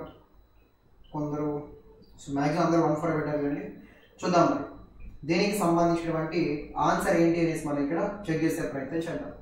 సో ఈ విధంగా మనం చూసుకున్నట్లయితే మొన్న జరిగినటువంటి గ్రూప్ టూ ఎగ్జామినేషన్లో కూడా దీని మీద మనకి ఏంటంటే అంటే ఇలాంటి వాటి మీద క్వశ్చన్స్ అనేవి మనకి ఇచ్చాడనమాట సో కాబట్టి నీట్గా మనం మాట్లాడుకునే ప్రయత్నం చేద్దాం. ఫస్ట్ ఆంగ్లో మరాఠా వార్ అంటా ఉన్నాం so first Anglo Maratha war అనేది ఎవరు గవర్నర్ జనరల్గా ఉన్నారంటే ఆ రోజుల్లో వారెన్ హేస్టింగ్ అనేటువంటి ఒక వ్యక్తి గవర్నర్ జనరల్గా ఏంటనేసి అంటే ఉంటాడు అనే ఒక అంశాన్ని కూడా మీరు ఇక్కడ గమనించవచ్చు. సో ఈ విధంగా మనం చూసుకున్నట్లయితే మొదటి ఆంగ్లో మరాఠా యుద్ధము జరిగేటప్పుడు గవర్నర్ జనరల్ ఎవరైనా అంటే వారెన్ హేస్టింగ్ అనేటువంటి ఒక వ్యక్తి గవర్నర్ జనరల్గా ఉంటాడు. పదిహేడు వందల డెబ్బై ఐదు నుంచి పదిహేడు వందల ఎనభై రెండు మధ్య కాలంలో ఈ విధంగా మొదటి ఆంగ్లో మరాఠా యుద్ధం జరిగితే గవర్నర్ జనరల్ వారెన్ హేస్టింగ్ రెండో ఆంగ్లో మరాఠా యుద్ధం. ఎయిటీన్ నాట్ టూ నుంచి ఎయిటీన్ నాట్ ఫైవ్ మధ్య కాలంలో రెండో ఆంగ్లో మరాఠా యుద్ధం జరిగింది. ఆ రెండో ఆంగ్లో మరాఠా యుద్ధం జరిగినప్పుడు ఎవరు గవర్నర్ జనరల్ అనేసి అంటే వెల్ అస్లీ అనే ఒక వ్యక్తి వెల్ అస్లీ అనే ఒక వ్యక్తి గవర్నర్ జనరల్. అండ్ మూడో ఆంగ్లో మరాఠా యుద్ధం నాటికి ఎవరు అనేసి అంటే లార్డ్ హేస్టింగ్. లార్డ్ హేస్టింగ్ అనే ఒక పేరుతో మనం ఏంటనేసి అని చెప్తాం. ఇంకా ఫైనల్గా second Anglo Mysore war. Second Anglo Mysore వార్లో ఎవరు గవర్నర్ జనరల్గా ఉంటారు అనేసి అంటే వారెన్ హేస్టింగ్ వారెన్ హేస్టింగ్ అనే ఒక వ్యక్తి ఇక్కడ ఏంటి అంటే గవర్నర్ జనరల్గా ఉంటాడు. దీని ప్రకారం మనం ఒకసారి చూసుకున్నట్లయితే ఫస్ట్ ఆప్షన్ మీరు అన్నట్టు ఫోర్త్ ఆప్షన్ మాత్రమే సరైనటువంటి సమాధానం. సో సెకండ్ ఆంగ్లో మరాఠా వారిలో వెల్లస్లీ థర్డ్ ఆంగ్లో మరాఠా వారిలో లార్డ్ హేస్టింగ్ అనేటువంటి వ్యక్తులు గవర్నర్ జనరల్గా ఉంటారు. చాలా డెప్త్గా మనం చదివి తప్ప దీనికి ఆన్సర్ చేయడం అంత ఈజీ ఏం కాదు కూడా. ఓకేనా? ఆల్రెడీ మన under twenty four seven YouTube ఛానల్లో ఈ మరాఠా యుద్ధాల మీద అండ్ మైసూర్ యుద్ధాల మీద ఆల్రెడీ వీడియోస్ కూడా చేస్తున్నాను. జాగ్రత్తగా ఒకసారి చూసుకునే ప్రయత్నం చేయండి. ఓకేనా నెక్స్ట్ క్వశ్చన్ చూద్దాం. So who of the following established the anti circular society ఈ క్రింది వారిలో యాంటీ సర్క్యులర్ సొసైటీని ఏర్పాటు చేసినటువంటి ఒక వ్యక్తిగా మనం ఎవరిని చెప్తాం?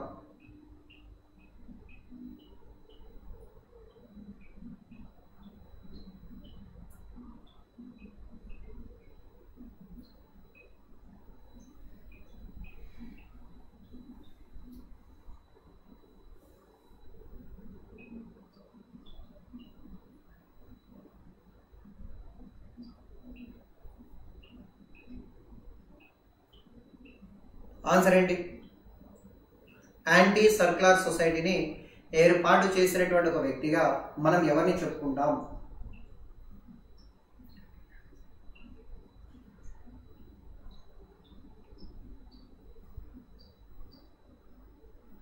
ఓకే సో కరెక్ట్ ఆన్సర్ అయితే రాలేదు. చూద్దాం. ఎవరైనా చెప్తారేమో? డి రాయి వేశారు ఇంకా very good so Rashmika.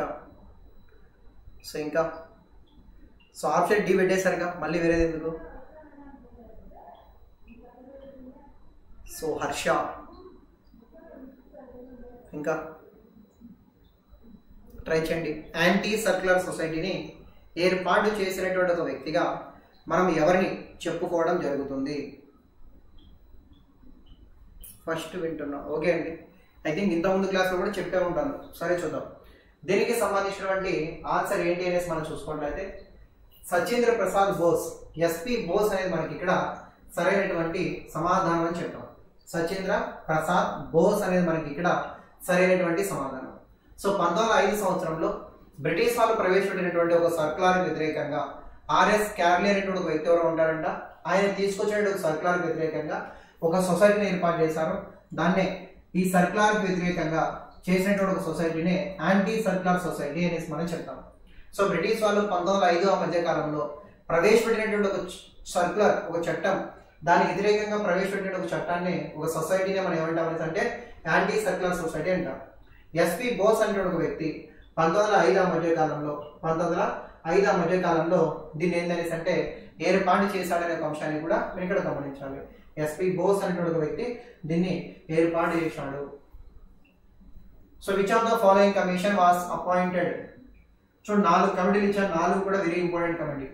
మన అన్ని కమిటీలు చదువుకోమంటాం కదా ఎగ్జామినేషన్లో కానీ ఎవడే కానీ అంటే మీరు ఎక్కడే కానీ మ్యాథ్స్ నేను కూడా చూడలేదు. లాటరీ కమిటీ అని చెప్పేసి ఎగ్జామినేషన్ అడిగాడు ఓకేనా? అలాంటివి ఏంటంటే అనేసి అంటే అడుగుతూ ఉంటాడు అప్పుడప్పుడు. ఎక్కడా చూడని పెట్టు. డైరెక్ట్ ఎగ్జామినేషన్ మనం చూస్తూ ఉంటాం.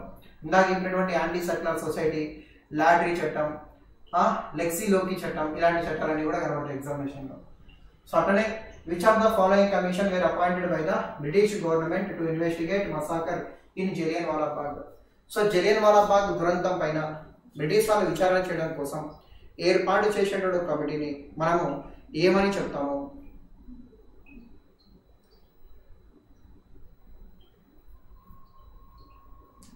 సో నాలుగు కమిటీలు ఉన్నాయండి ఇక్కడ. నాలుగు కూడా ఇంపార్టెంట్ కమిటీలే. సో నాలుగు కూడా మనం మాట్లాడుకుందాం నీట్గా.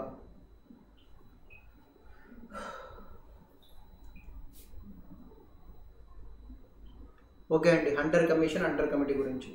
హంటర్ కమిటీ అనేది విద్యాపరమైనటువంటి కమిటీ హంటర్ కమిటీ అంటే విద్యాపరమైనటువంటి కమిటీ హంటర్ కమిషన్ అంటే జలియన్ వాలాబాగ్ దురంతం పైన వేయబడినటువంటి కమిటీ సో మీరైతే గుర్తుపెట్టుకోండి. జలియన్ వాలాబాగ్ దురంతంలో ఎంతమంది మరణించారు? ఏంటి అని చెప్పి తెలుసుకోవడం కోసం మన ఇండియన్ నేషనల్ కాంగ్రెస్ పార్టీ తరఫున మదన్ మోహన్ మాలవీయ లాంటి ఒక వ్యక్తి బ్రిటిష్ వాళ్ళని డిమాండ్ చేయడంతో బ్రిటిష్ వాళ్ళు ఏర్పాటు చేసిన ఒక కమిటీనే మనం ఏమంటామనేసి అంటే హంటర్ కమిషన్ అనే ఒక పేరుతో మనం చెప్తాం. ఇక్కడ ఒక బిడి చెప్పాను మీకు. ఓవర్ఫ్లో మిస్ అయిపోతున్నది అంటే హంటర్ కమిషన్ ఏర్పాటు చేయమని ఎవరి డిమాండ్ మేరకు బ్రిటిష్ వాళ్ళు ఏర్పాటు చేశారనేసి అంటే మదన్ మోహన్ మాలవీయ అనేసి మనకు మెన్షన్ చేస్తున్నారు మన పుస్తకంలో బిడ్డ గుర్తుపెట్టుకోండి. మొత్తాన్ని జలియన్ వాలాబాగ్ దురంతంలో మరణించిన వారి వివరాలను తెలియడం కోసం బ్రిటిష్ వాళ్ళు ఏర్పాటు చేసిన కమిషన్ హంటర్ కమిషన్ అని చెప్తాం. ఈ హంటర్ కమిషన్ తమ యొక్క నివేదికలో ఎంతమంది చనిపోయారు జలియన్వాలాబాగ్ దురంతంలో అని చెప్తుందనేసి అంటే కేవలం మూడు వందల డెబ్బై తొమ్మిది మంది మాత్రమే త్రీ సెవెంటీ నైన్ మెంబర్స్ మాత్రమే ఈ జలియన్ వాలాబాగ్ దురంతంలో చనిపోయారని చెప్పి చెప్తుంది అనే ఒక అంశాన్ని కూడా మీరు గమనించాలి. రెజినాల్ డైరీ అనే ఒక వ్యక్తి ఇదంతా కూడా కావాలని చేయలేదు. విధరణ అవగాహన చేసుకోవడంలో జరిగినటువంటి తప్పిదం తప్ప ఏది కూడా కావాలని జరగలేదని చెప్పేసి అతన్ని సమర్థించేటువంటి ఒక చట్టంగా సమర్థించిన కమిషన్గా దీన్ని మనం చెప్తాం. అయితే మిగతా కమిషన్ చూడండి. సైమన్ కమిషన్ ఎందుకు ఏర్పాటు చేశారు? నైన్టీన్ నైన్టీన్ చట్టంలో ఉన్నటువంటి అంశాలను సమీకరించడం కోసం. పంతొమ్మిది వందల పంతొమ్మిది చట్టం అనేది ఏర్పాటు చేయబడి పది సంవత్సరాలు అవుతుండడంతో ఆ చట్టంలో ఉన్నటువంటి అంశాలను సమీక్షించడం కోసం బ్రిటిష్ వాళ్ళు ఏర్పాటు చేసిన కమిషన్నే మనం ఏమంటామనేసి అంటే సైమన్ కమిషన్ అనే ఒక పేరుతో మనం ఏంటనేసి అంటే చెప్తాం. బ్రోఫీల్డ్ కమిటీ నైన్టీన్ ట్వంటీ ఎయిట్లో బార్డోలీ ప్రాంతంలో రైతుల పైన అంటే వాళ్ళు నైన్టీన్ ట్వంటీ ఎయిట్లో బార్డోలీ ప్రాంతంలో ఈ విధంగా చూసుకుంటే ఇరవై రెండు శాతం పన్ను పెంచుతారన్నమాట రైతుల మీద. ఆ పెంచినటువంటి పన్నుకు సంబంధించి సో ఏంటనేసి అంటే సమీక్షించడం కోసం బ్రిటిష్ వాళ్ళు ఏర్పాటు చేసిన కమిటీని బ్రూమ్ఫీల్డ్ కమిటీ అని చెప్తాం స్టోరీ ఎప్పుడో చూడండి. నైన్టీన్ ట్వంటీ ఎయిట్లో గుజరాత్లోని బాటోలి అనే ఒక ప్రాంతంలో కరువు పరిస్థితులు ఏర్పడతాయి. ప్రజలందరూ కూడా పన్ను కట్టలేం దొరా అని చెప్పేసి బ్రిటిష్ వాళ్ళు అని చెప్తే మొరబెట్టుకుంటే అయినప్పటికీ కూడా బ్రిటిష్ వాళ్ళు ఏం చేస్తారంట? ఇరవై రెండు శాతం పన్నుని పెంచడం జరుగుతుందంట. ఆ ఇరవై రెండు శాతం పన్నును పెంచడంతో ఆ ఇరవై రెండు శాతం పన్నును తగ్గించాలని చెప్పి ఆ ఇరవై రెండు శాతం పన్నును తగ్గించాలని చెప్పి స్థానికంగా ఉన్నటువంటి వ్యవసాయదారులు బ్రిటిష్ అని డిమాండ్ చేస్తారు. అయితే వీళ్ళ తరపున ఫస్ట్ ఎవరు ఉద్యమానికి నాయకత్వం వహిస్తారంటే పట్టీదార్ యువక మండలి సభ్యులు కళ్యాణ్జీ మెహతా అండ్ కుల్వాన్జీ మెహతా అనేటువంటి ఇద్దరు వ్యక్తులు ఉంటారు. వాళ్ళిద్దరు కూడా ఏంటంటే అంటే వీళ్ళ తరపున ఉద్యమాలు చేయడం జరుగుతుంది. తర్వాత గాంధీ గారు సారీ తర్వాత మన సర్దార్ వల్లభాయ్ పటేల్ ఏంటంటే అంటే ఈ ఉద్యమాన్ని నాయకత్వం వహిస్తారు. అంటే బార్డోలీ ఉద్యమానికి ఫస్ట్ నాయకత్వం వహించింది. ఫస్ట్ నాయకత్వం వహించింది ఎవరనేసి అంటే కళ్యాణ్జీ మెహతా అండ్ కుర్వర్జీ మెహతా. ఎవరు సార్ వీళ్ళనేసి అంటే గుజరాత్లో పట్టీదార్ యువక మండలి అనేటువంటి ఒక వ్యవసాయాలకు మద్దతుగా ఉన్నటువంటి వ్యవసాయదారుల హక్కుల కోసం పోరాడేటువంటి ఒక సంస్థ ఉంటుంది. ఆ సంస్థలో పనిచేస్తూ ఉంటారు. అయితే ఫస్ట్ ఇద్దరు నాయకత్వం వహించినారు. తర్వాత నాయకత్వం వహించారంట మన వల్లభాయ్ పటేల్. సో వల్లభాయ్ పటేల్ ఈ ఉద్యమాన్ని నాయకత్వం వహించి అమెరికా స్వతంత్ర పోరాటాల్లో ప్రముఖ నినాదం నో ట్యాక్సేషన్ వితౌట్ రిప్రజెంటేషన్ ప్రాతినిధ్యం లేనిదే పన్ను కట్టేది లేదని చెప్పి బ్రిటిష్ వాళ్ళకి వ్యతిరేకంగా పెద్ద మొత్తంలో నినాదాలు చేస్తూ నినాదాలు చేస్తూ ఉద్యమాలు చేపట్టాడు. ఆ సందర్భంలో బ్రిటిష్ వాళ్ళు స్థానికంగా ఉన్నటువంటి రైతులపైన పెంచినటువంటి ఇరవై రెండు శాతం పన్ను సరైనదేనా కాదా అని చెప్పి ఈ విధంగా పరిశోధన చేయడం కోసం పరిశీలించడం కోసం కమిటీని ఏర్పాటు చేస్తారు. ఆ కమిటీని మనం ఏమంటాం అనేసి అంటే బ్రూమ్ ఫీల్డ్ కమిటీ అని చెప్పాం మరి ఫ్రాక్సరాయ్ కమిటీ ఎప్పుడు? ఫ్రాక్సరాయ్ కమిటీ ఎప్పుడు తర ఎప్పుడు సార్ అనేసి అంటే నైన్టీన్ సెవెంటీన్ అనేసి మనం చెప్తాం. నైన్టీన్ సెవెంటీన్ అనే ఒక పేరుతో మనం ఏం అని చెప్తాం. చంపారణ్ ప్రాంతంలో నీలిబంధు రైతుల యొక్క సమస్యలపైన అధ్యయనం చేయడం కోసం గాంధీ అధ్యక్షతన గాంధీ కోరిక మేరకు బ్రిటిష్ వాళ్ళు ఏర్పాటు చేసిన కమిషన్నే ఫ్రాన్స్ రాయ్ కమిటీ అని చెప్పేసి మనం ఏంటంటే చెప్తాం.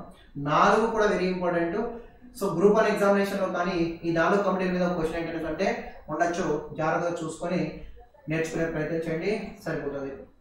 నెక్స్ట్ క్వశ్చన్ చూద్దాం. Which are the following round table conference held when Lord Willingdon was the vice of India so భారతదేశంలో వైస్రాయ్గా విల్లింగ్టన్ ఉన్నప్పుడు ఎన్ని రౌండ్ టేబుల్ సమావేశాలు జరిగాయి?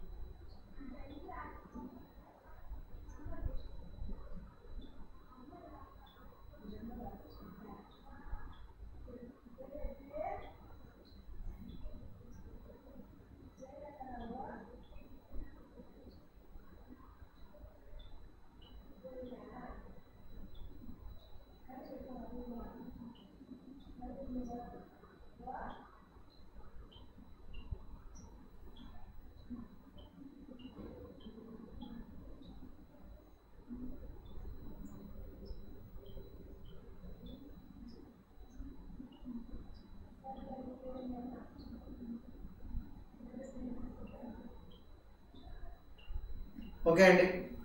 చూద్దాం దీనికి సంబంధించినటువంటి ఆన్సర్ ఏంటి అనేసి మనం ఇక్కడ చెక్ చేద్దాం. So which of the following round table conference held Lord Willingdon was the vice of India అనేసి అంటే ఫస్ట్ రౌండ్ టేబుల్ సమావేశం సెకండ్ రౌండ్ టేబుల్ సమావేశం థర్డ్ రౌండ్ టేబుల్ సమావేశం.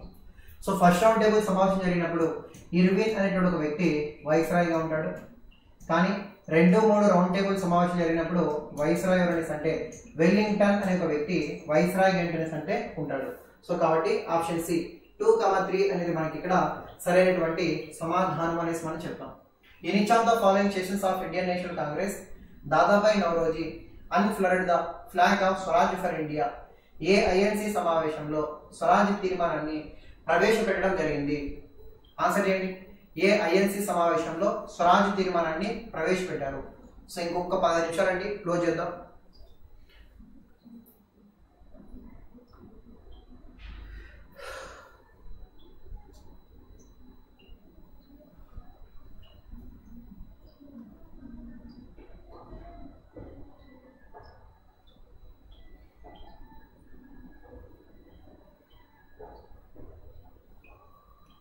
ఓకే? చూద్దాం దీనికి సంబంధించినటువంటి ఆన్సర్ ఏంటనేసి మనం చూద్దాం. సో కలకత్తా ఐఎన్సి సమావేశం నైన్టీన్ నాట్ సిక్స్ అనేసి మనం చెప్తాం. సో నైన్టీన్ నాట్ సిక్స్లో ఐఎన్సి సమావేశము కలకత్తా అనేటువంటి ఒక ప్రాంతంలో జరిగిందండి. సో నైన్టీన్ నాట్ సిక్స్లో ఐఎన్సి సమావేశం కలకత్తాలో జరిగితే దీనికి అధ్యక్ష వహించినటువంటి ఒక వ్యక్తిగా మనం ఎవరిని చెప్తామనేసి అంటే దాదాబాయ్ నౌరోజీ అనే ఒక వ్యక్తి దీనికి ఏంటనేసి అంటే అధ్యక్షత వహించాడు. సో దాదాబాయి నౌరోజీ జరిగిన వ్యక్తి పంతొమ్మిది వందల ఆరులో జరిగిన కలకత్తా ఐఎన్సి సమావేశానికి అధ్యక్ష వహించాడు. ఈ ఐఎన్సి సమావేశంలోనే ఫర్ ద ఫస్ట్ టైం మొట్టమొదటిసారిగా స్వరాజ్ అనే ఒక తీర్మానాన్ని స్వరాజ్ అనేటువంటి ఒక తీర్మానాన్ని ప్రవేశపెట్టారనే అంశాన్ని కూడా మీరు ఇక్కడ గమనించవచ్చు. ఈ సమావేశంలో నాలుగు తీర్మానాలు ప్రవేశపెడతారండి.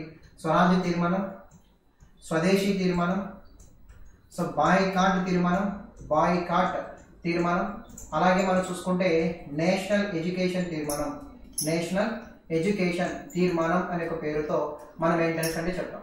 స్వరాజ్య తీర్మానం స్వదేశీ తీర్మానం బాయ్కాట్ తీర్మానం అలాగే మనం చూసుకుంటే నేషనల్ ఎడ్యుకేషన్ తీర్మానం అని చెప్తాం.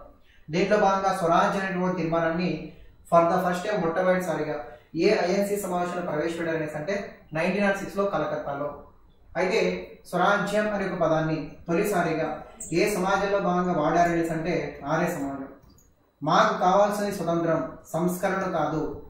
భారతీయులకు కావాల్సింది సంస్కరణ కాదు స్వరాజ్యం అని చెప్పి ఫర్ ద ఫస్ట్ టైం మొట్టమొదటిసారిగా ఆర్య సమాజంలో భాగంగా దయానంద సరస్వతి గారు పేర్కొనడం జరిగిందని చెప్తాం.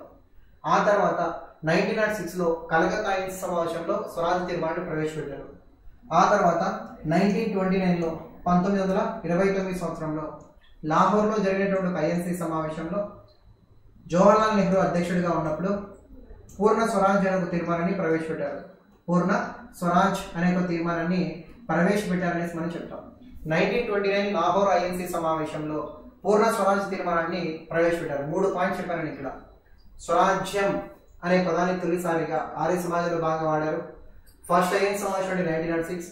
తర్వాత పూర్ణ స్వరాజ్యాన్ని అనే తీర్మానాన్ని మాత్రం nineteen twenty nine Lahore INC సమావేశం అనేసి ఈ మూడు పాయింట్స్ని కూడా మీరు ఇక్కడ మనసులో పెట్టుకోవాల్సి ఉంటుంది అనమాట ఆన్సర్ బి అనేది మనకి ఇక్కడ సరైనటువంటి సమాధానము అనేసి మనం చెప్తాం. Who founded the United Indian Patriotic Association United India Patriotic అసోసియేషన్ని ఏర్పాటు చేసేటువంటి ఒక వ్యక్తిగా మనం ఎవరిని చెప్తాము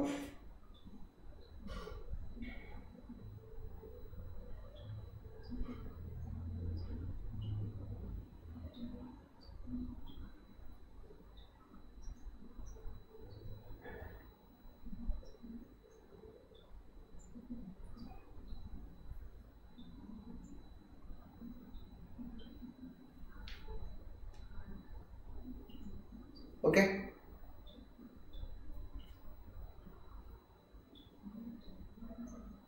చూద్దాం. ఇది కూడా వెరీ ఇంపార్టెంట్ అండి. సో ప్రధానంగా మనం చూసుకున్నట్లయితే యునైటెడ్ ఇండియా పేట్రియాటిక్ అసోసియేషన్ని ఏర్పాటు చేసినటువంటి ఒక వ్యక్తిగా మనము ఎవరిని చెప్తాం?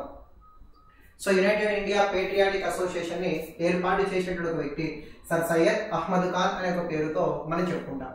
సర్ సయ్యద్ అహ్మద్ ఖాన్ అనేటువంటి ఒక వ్యక్తి యునైటెడ్ ఇండియా పేట్రియాటిక్ అసోసియేషన్ని పద్దెనిమిది వందల ఎనభై ఎనిమిది సంవత్సరంలో పద్దెనిమిది వందల ఎనభై ఎనిమిది సంవత్సరంలో ఏర్పాటు చేశారు అనే ఒక అంశాన్ని కూడా మీరు ఇక్కడ గమనించవచ్చు. సో యునైటెడ్ ఇండియా పేట్రియాటిక్ అసోసియేషన్ని సర్ సయ్యద్ అహ్మద్ ఖాన్ అనే ఒక వ్యక్తి పద్దెనిమిది వందల ఎనభై ఎనిమిది సంవత్సరంలో భారతదేశంలో ఇస్లాం మతస్థులు కూడా రాజకీయంగా హక్కులు కల్పించాలనే ఉద్దేశంతో ఒక పొలిటికల్ అసోసియేషన్ని దీన్ని ఏర్పాటు చేశారు. ఆప్షన్ సి అనేది మనకి ఇక్కడ సరైనటువంటి సమాధానం అనేసి మనం చెప్పాం. దీనికి ఆన్సర్ ఏంటి? ఒక మ్యాచ్ ది ఫాలోయింగ్ ఇక్కడ. So match the following Warren Hastings Lord Cornwallis sir John Shore Lord Wellesley subsidiary alliance policy of non interference permanent settlement system abolition of dual system so నాలుగు అంశాలు ఇచ్చాను నలుగురు వ్యక్తులు ఇచ్చాను. So వాటిలో సరైనటువంటి అంశాన్ని జత చేయండి. ఓకే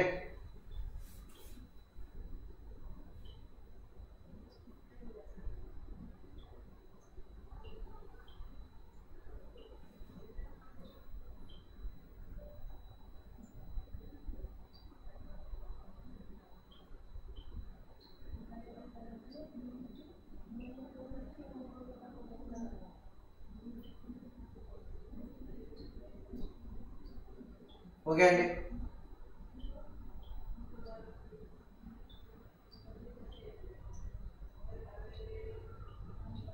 ట్రై చేయండి ఇంకా మిగతా వాళ్ళు కూడా. సో నలుగురు వ్యక్తులు నాలుగు అంశాలు ఇచ్చాను. సో దాంట్లో భాగంగా సరైనటువంటి జతను గుర్తించండి.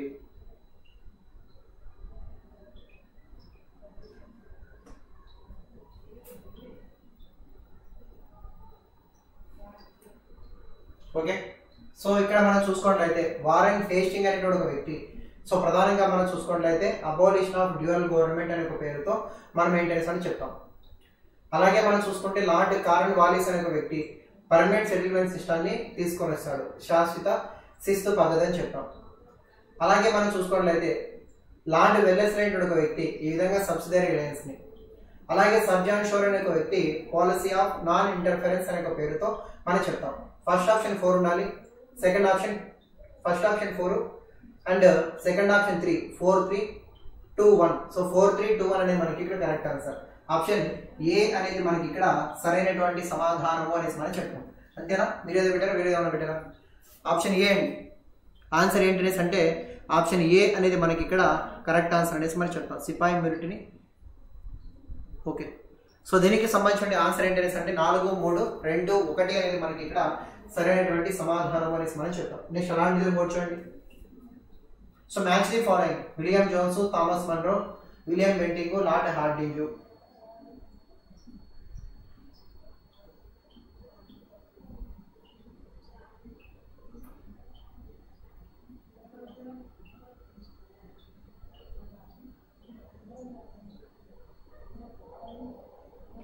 okay so ఒక్కడ తెలిసినా కూడా ఇక్కడ కూడా మీరు ఏంటి అంటే ఆన్సర్ చేయొచ్చు. ట్రై చేయండి. ఓకే ఆన్సర్ సో ఇలాంటి క్వశ్చన్ వచ్చినప్పుడు అంతే సార్ అంతే అంతే అంటారా? ఓకే అయితే సో ఇలాంటి క్వశ్చన్ వచ్చినప్పుడు ఈ నాలుగిట్లో ఏదో ఒకటైనా తెలిసే ఉంటారు. ఇన్ని రోజు నుంచి చదువుతా ఉన్నాం. సో కనీసం ఈ నలుగురు పర్సన్ ఒక్కరైనా ఈ నాలుగు అంశాలు ఒక్కడైనా మనకి ఏంటి అంటే ఏదో ఒక రోజు పేపర్లు దింపేటప్పుడు కనబడే ఉంటాయి. సో కాబట్టి కనీసం ఒక్కడైనా తెలిసి ఉండాలి తెలియకపోతే అంతకన్నా ఇదేముండదు ఉండదు. సో థాట్ ఒకడైనా తెలిసి ఉంటుంది కాబట్టి దాని గురించి మనం మాట్లాడుకుంటూ ముందుకు వెళ్ళిపోదాం సో ఇందాకే చెప్పాను Asiatic Society of Bengal. So Asiatic Society of Bengal ఏర్పాటు చేసింది విలియం జోన్స్ అనేటువంటి ఒక వ్యక్తి సెవెంటీన్ ఎయిటీ ఫోర్ మధ్య కాలంలో ఏసియాటిక్ సొసైటీ ఆఫ్ బెంగాల్ ఏర్పాటు చేశాడని చెప్తాం సో ఫస్ట్ ఆప్షన్ మనకి ఏముండాలంటే త్రీ ఉండాలి. ఇంకేముంది ఇక్కడ? ఆప్షన్ బి మాత్రమే కరెక్ట్ ఆన్సర్. సరిపోతుంది అయిపోయింది. సో ఆన్సర్ ఏంటంటే అంటే ఆప్షన్ బి అనేసి మనం వెళ్ళచ్చు. ఎందుకంటే విలియం జోన్స్ అనేటువంటి ఒక వ్యక్తి ఏసియాటిక్ సొసైటీ ఆఫ్ బెంగాల్ని పదిహేడు వందల ఇరవై నాలుగు మధ్య కాలంలో ఏర్పాటు చేయడం జరిగిందనేసి మనం చెప్తాం. ఆ తర్వాత థామస్ మన్రో అన్న వెంటనే ఈ విధంగా మనం చూసుకున్నట్లయితే రైత్వారీ సెటిల్మెంట్ ఇన్ మద్రాస్. మద్రాస్లో రైత్వారి రైత్వారీ ప్రవేశపెట్టింది థామస్ మన్రో. ఆ తర్వాత మనం చూసుకున్నట్లయితే విలియం బెంటింగ్ అనే ఒక వ్యక్తి ప్రొహిబిషన్ ఆఫ్ సతీ అనేసి మనం చెప్తాం. లార్డ్ హార్టింగ్ అనేటువంటి ఒక వ్యక్తి prohibition of female infanticide and human sacrifice among the gods of Central India అనే ఒక పేరుతో మనం చెప్తాం. దీని ప్రకారం మనం చూసుకుంటే option three one two four అనేది మనకి ఇక్కడ సరైనటువంటి సమాధానం అనేసి మనము చెప్పుకోవడం జరుగుతుంది. ఓకేనా? నెక్స్ట్ క్వశ్చన్ చూద్దాం.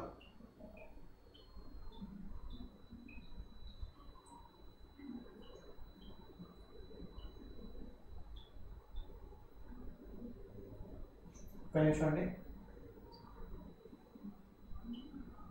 దీనికి ఆన్సర్ ఏంటి? Who served as both the governor general and viceroy of India ఈ క్రింది వారిలో గవర్నర్ జనరల్ అండ్ వైస్ రాయ్గా సేవలు అందించినటువంటి ఒకే ఒక వ్యక్తిగా మనం ఎవరిని చెప్తాం? ఈ క్రింది వారిలో గవర్నర్ జనరల్ అండ్ వైస్ రాయ్గా సేవలు అందించినటువంటి ఒక వ్యక్తిగా మనము ఎవరిని చెప్పుకోవడం జరుగుతుంది? Answer so last question so అలాగే మన ట్వంటీ ఫోర్ సెవెన్లో మీరు చూసుకున్నట్లయితే ఇవాళ కూడా మీకు డబల్ వ్యాలిడ్ అయితే అందుబాటులో ఉందండి. సో ఇంట్రెస్ట్ ఉన్నటువంటి ప్రతి క్యాండిడేట్ కూడా ఇవాళ కూడా ఇంట్రెస్ట్ అంటే double validity plus twenty two percent discount కూడా మీకు అందుబాటులో ఉంది. అన్ని ప్రొడక్ట్స్ పైన కూడా మీకు పెద్ద మొత్తం డిస్కౌంట్స్ ఉంటాయి.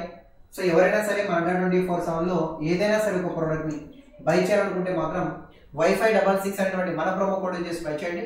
ఆ డిస్కౌంట్ కూడా మీకు ఏంటంటే అంటే అందుబాటులో ఉంటుంది.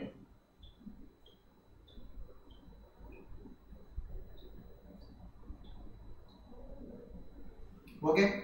చూద్దాం. దీనికి సంబంధించిన ఆన్సర్ ఏంటంటే అంటే లార్డ్ కానింగ్ అనేది మనకి ఇక్కడ సరైనటువంటి సమాధానం. సో ఇతను two సర్డర్స్ both governor general and viceroy అంటే ఎయిటీన్ ఫిఫ్టీ ఎయిట్లో చట్టం వస్తుందండి. ఆ చట్టాన్ని మనం ఏమంటాం అనేసి అంటే ఆ చట్టాన్ని మనం భారత ప్రభుత్వ చట్టం అనే ఒక పేరుతో మనం చెప్తాం. ఈ చట్టం ఆధారంగా ఈ విధంగా మనం చూసుకున్నట్లయితే గవర్నర్ జనరల్ కాస్త భారతీయ గవర్నర్ జనరల్ పదవి కాస్త ఏ విధంగా మారుతుంది అనేసి అంటే వైస్ రాయ్గా మార్పు చేయడం జరుగుతుంది. సో ఏ చట్టం ఆధారంగా భారత గవర్నర్ జనరల్ పదవి కాస్త వైస్ రాయిగా మారింది అంటే ఎయిటీన్ ఫిఫ్టీ ఎయిట్ చట్టం ఆధారంగా భారత గవర్నర్ జనరల్ పదవి కాస్త వైస్ రాయిగా మారింది. ఈరోజు వైస్ రాయిగా పనిచేసేటువంటి ఒక వ్యక్తి లాటి కానింగ్ అయితే తర్వాత రోజు భారత గవర్నర్ జనరల్గా అంటే గవర్నర్ జనరల్గా పనిచేస్తాడు. ఆ చట్టం వచ్చిన తర్వాత వైస్ రాయ్గా కూడా పదవి మారుతుంది. అతనే వైస్ రాయ్ కూడా పనిచేస్తాడు అనమాట అంటే ఇతని యొక్క ఇంపార్టెన్స్ ఏంటి చెప్పనా? కంపెనీ కాలంలో పనిచేశాడు. బ్రిటిష్ ఈస్ట్ ఇండియా కంపెనీ కాలంలో పనిచేశాడు. అలాగే బ్రిటిష్ ప్రభుత్వం ఆధ్వర్యంలో కూడా పనిచేసాడు ఒక వ్యక్తి. బ్రిటిష్ ప్రభుత్వము అలాగే బ్రిటిష్ కంపెనీ ఇద్దరి దగ్గర కూడా పనిచేసేటువంటి ఒక వ్యక్తి లార్డ్ కానింగ్ అనే ఒక పేరుతో మనం చెప్తాం. ఇతను మాత్రమే ఇలాంటి ఒక ఇంపార్టెన్స్ ఉంటుందన్నమాట.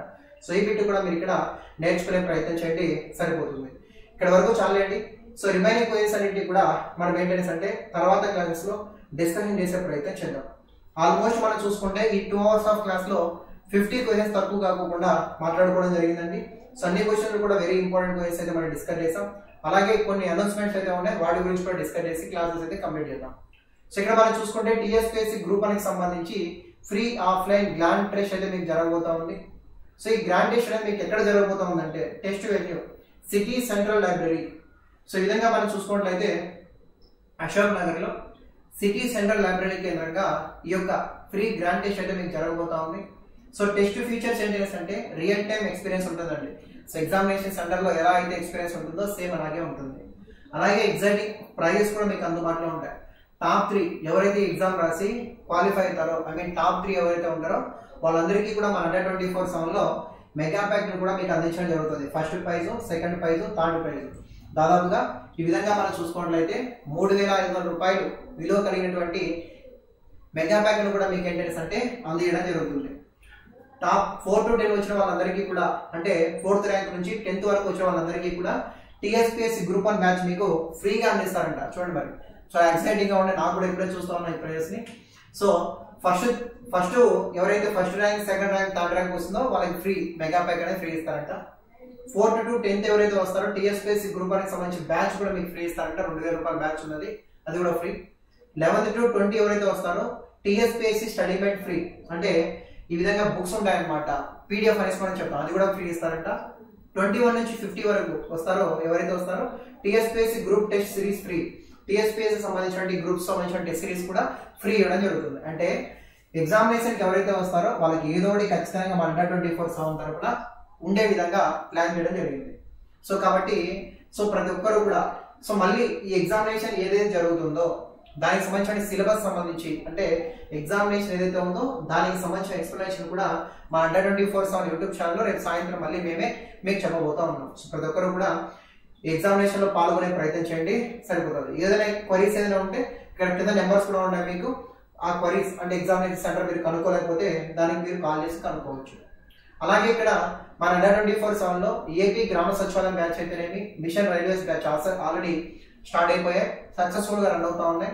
ఎవరైనా సరే ఈ రెండు బ్యాచ్ల్లో ఏదైనా సరే ఒక బ్యాచ్లో కానీ జాయిన్ అవ్వాలనుకుంటే మాత్రం సో వైఫై డబల్ సిక్స్ అనేటువంటి మన ప్రోమో కోడ్ జాయిన్ అవ్వండి. ట్వంటీ టూ పర్సెంట్ డిస్కౌంట్తో టూ ఇయర్స్ వ్యాల్యూతో ఈ యొక్క ఆఫర్ మీకు అందుబాటులో ఉంటుంది. అలాగే ఇవాళ మనం చూసుకుంటే AP and Telangana mega pack పైన కానీ అండ్ తెలంగాణ మెగా ప్యాక్ పైన కూడా డబల్ వ్యాలిటీ ఉందండి. సో తెలంగాణ మెగా ప్యాక్ మీకు కేవలం రెండు వేల నాలుగు వందల రూపాయల కన్నా తక్కువ మొత్తంలోనే టూ ఇయర్స్ వ్యాలిటీతో ఉంటుంది. సో ఇక్కడ ఏమేమి ఎగ్జామ్స్ స్కోర్ అవుతాయి? టీఎస్పీఎస్సీ సంబంధించిన group one group two group three group four అలాగే ఎస్ఐ కానిస్టేబుల్ ఇక్కడ ఉన్నటువంటి ఎస్ఎస్సి బ్యాంకింగ్ రైల్వే ఇలా అన్ని పోటీ పరీక్షలు కూడా ఒకసారి మీరు టూ థౌసండ్ ఫోర్ హండ్రెడ్ పెట్టి తెలంగాణ మెగా ప్యాక్ తీసుకుంటే అన్ని ఎగ్జామ్స్ కూడా మీకు పనికొస్తుంది అలాగే ఏపీ అంటే తెలంగాణ అయితే ఏపీకి సంబంధించిన ఎగ్జామ్స్ కూడా ఉపయోగపడుతుంది అనమాట సో కాబట్టి ఈ రెండింటిలో ఏదో ఒకటి తీసుకొని మీ ప్రిపరేషన్ కొనసాగించడం సరిపోతుంది. అదేం అవసరం లేదు. సో మాకు టీఎస్పీఎస్సీ గ్రూప్ వన్ బ్యాచ్ ఒకటి ఏదైనా ఉంటే చెప్పండి అంటే అది కూడా మీకు అవైలబుల్గా ఉందండి. మన అండర్ ట్వంటీ ఫోర్ సెవెన్లో already TSPS group and batch నేను స్టార్ట్ చేసాము సో ఇంట్రడక్షన్ వీడియోస్ అన్ని కూడా జరుగుతూ ఉన్నాయి. అఫీషియల్గా క్లాసెస్ అనేటివి మెయిన్ క్లాసెస్ అనేటివి ఎనిమిదో తారీఖు నుంచి స్టార్ట్ చేయబోతా ఉన్నాం. సో కాబట్టి ఇంట్రెస్ట్ ఉన్నటువంటి ప్రతి క్యాండిడేట్ కూడా ఈ బ్యాచ్లో జాయిన్ అవ్వండి. మెయిన్ క్లాసెస్ అన్ని కూడా మనకు ఎనిమిదో తారీఖున స్టార్ట్ చేయబోతా ఉన్నాం. సో మన క్లాస్ కూడా అదే రోజున ప్రారంభమవుతుంది. సింధు నాగరికత అనేటువంటి క్లాస్ తోటి సో కాబట్టి ప్రతి ఒక్కరు కూడా ఈ బ్యాచెస్ అన్నింటిలో కూడా జాయిన్ అయ్యే ప్రయత్నం చేయండి. సరిపోతుంది. ఏదైనా క్వరీస్ ఉంటే కామెంట్ సెక్షన్లో కామెంట్ చేయండి. ఏదైనా క్వరీస్ ఏమైనా ఉంటే కామెంట్ సెక్షన్లో కామెంట్ చేయొచ్చు. ఆన్లైన్ టెస్ట్ కనెక్ట్ చేయండి. ఓకే అండి ఏపీ హిస్టరీకి ఏం ఫాలో అవుతున్నారు? చెప్తానండి. నెగిటివ్ మార్క్స్ ఉన్నాయా? నెగిటివ్ మార్కింగ్ ఏం ఉండదులేండి. రేపటి ఎగ్జామినేషన్లో నెగిటివ్ మార్కింగ్ ఏం ఉండదు. సో ఇంకా ఎవరైనా వీడియోని కానీ లైక్ చేయకపోతే ఖచ్చితంగా వీడియోని లైక్ చేయండి. ఎవరైనా వీడియోని కానీ లైక్ చేయకపోతే వీడియోని కన్నా లైక్ చేసే ప్రయత్నం చేయండి. ఓకే గైస్ ఇది ఈ వీడియోకి సంబంధించిన సమాచారం. దాదాపుగా మీరు చూసుకుంటే మార్నింగ్ పది గంటల నుంచి ఇప్పుడు నియర్లీ ఎనిమిది అయిపోతా ఉంది. పది గంటల పాటు నాన్ స్టాప్గా మా ట్వంటీ ఫోర్ సెవెన్ ఫ్యాకల్టీస్ అందరూ కూడా మీకు ఎంట్రెన్స్ అంటే ఫ్రీ ఆఫ్ కంటెంట్తో ఫ్రీ ఆఫ్ కాస్ట్తో పది గంటల పాటు ఫ్రీ క్లాసెస్ మీకు అందించారు. సో ఈ సెషన్ని నచ్చినట్టయితే ఖచ్చితంగా వీడియో లైక్ చేయండి. సెషన్ ఎలా ఉంది అని చెప్పేసి ఒక చిన్న కామెంట్ చేసే ప్రయత్నం చేయండి. మీ ఫ్రెండ్స్ అందరూ కూడా షేర్ చేయండి. ఓకేనా అలాగే రేపు మార్నింగ్ ఏడు గంటల నుంచి పది గంటల మధ్య మన జనరేషన్ ఈ సెషన్ కూడా ఉంటుంది. ఫ్రీగా ఉంటే ప్రతి ఒక్కరు కూడా జాయిన్ అయ్యే ప్రయత్నం చేయండి. ఓకేనా? మళ్ళీ రేపు మార్నింగ్ సెవెన్ ఏఎం క్లాస్లో కలుద్దాం. సో అంతవరకు సెలవు. Thank you thank you very much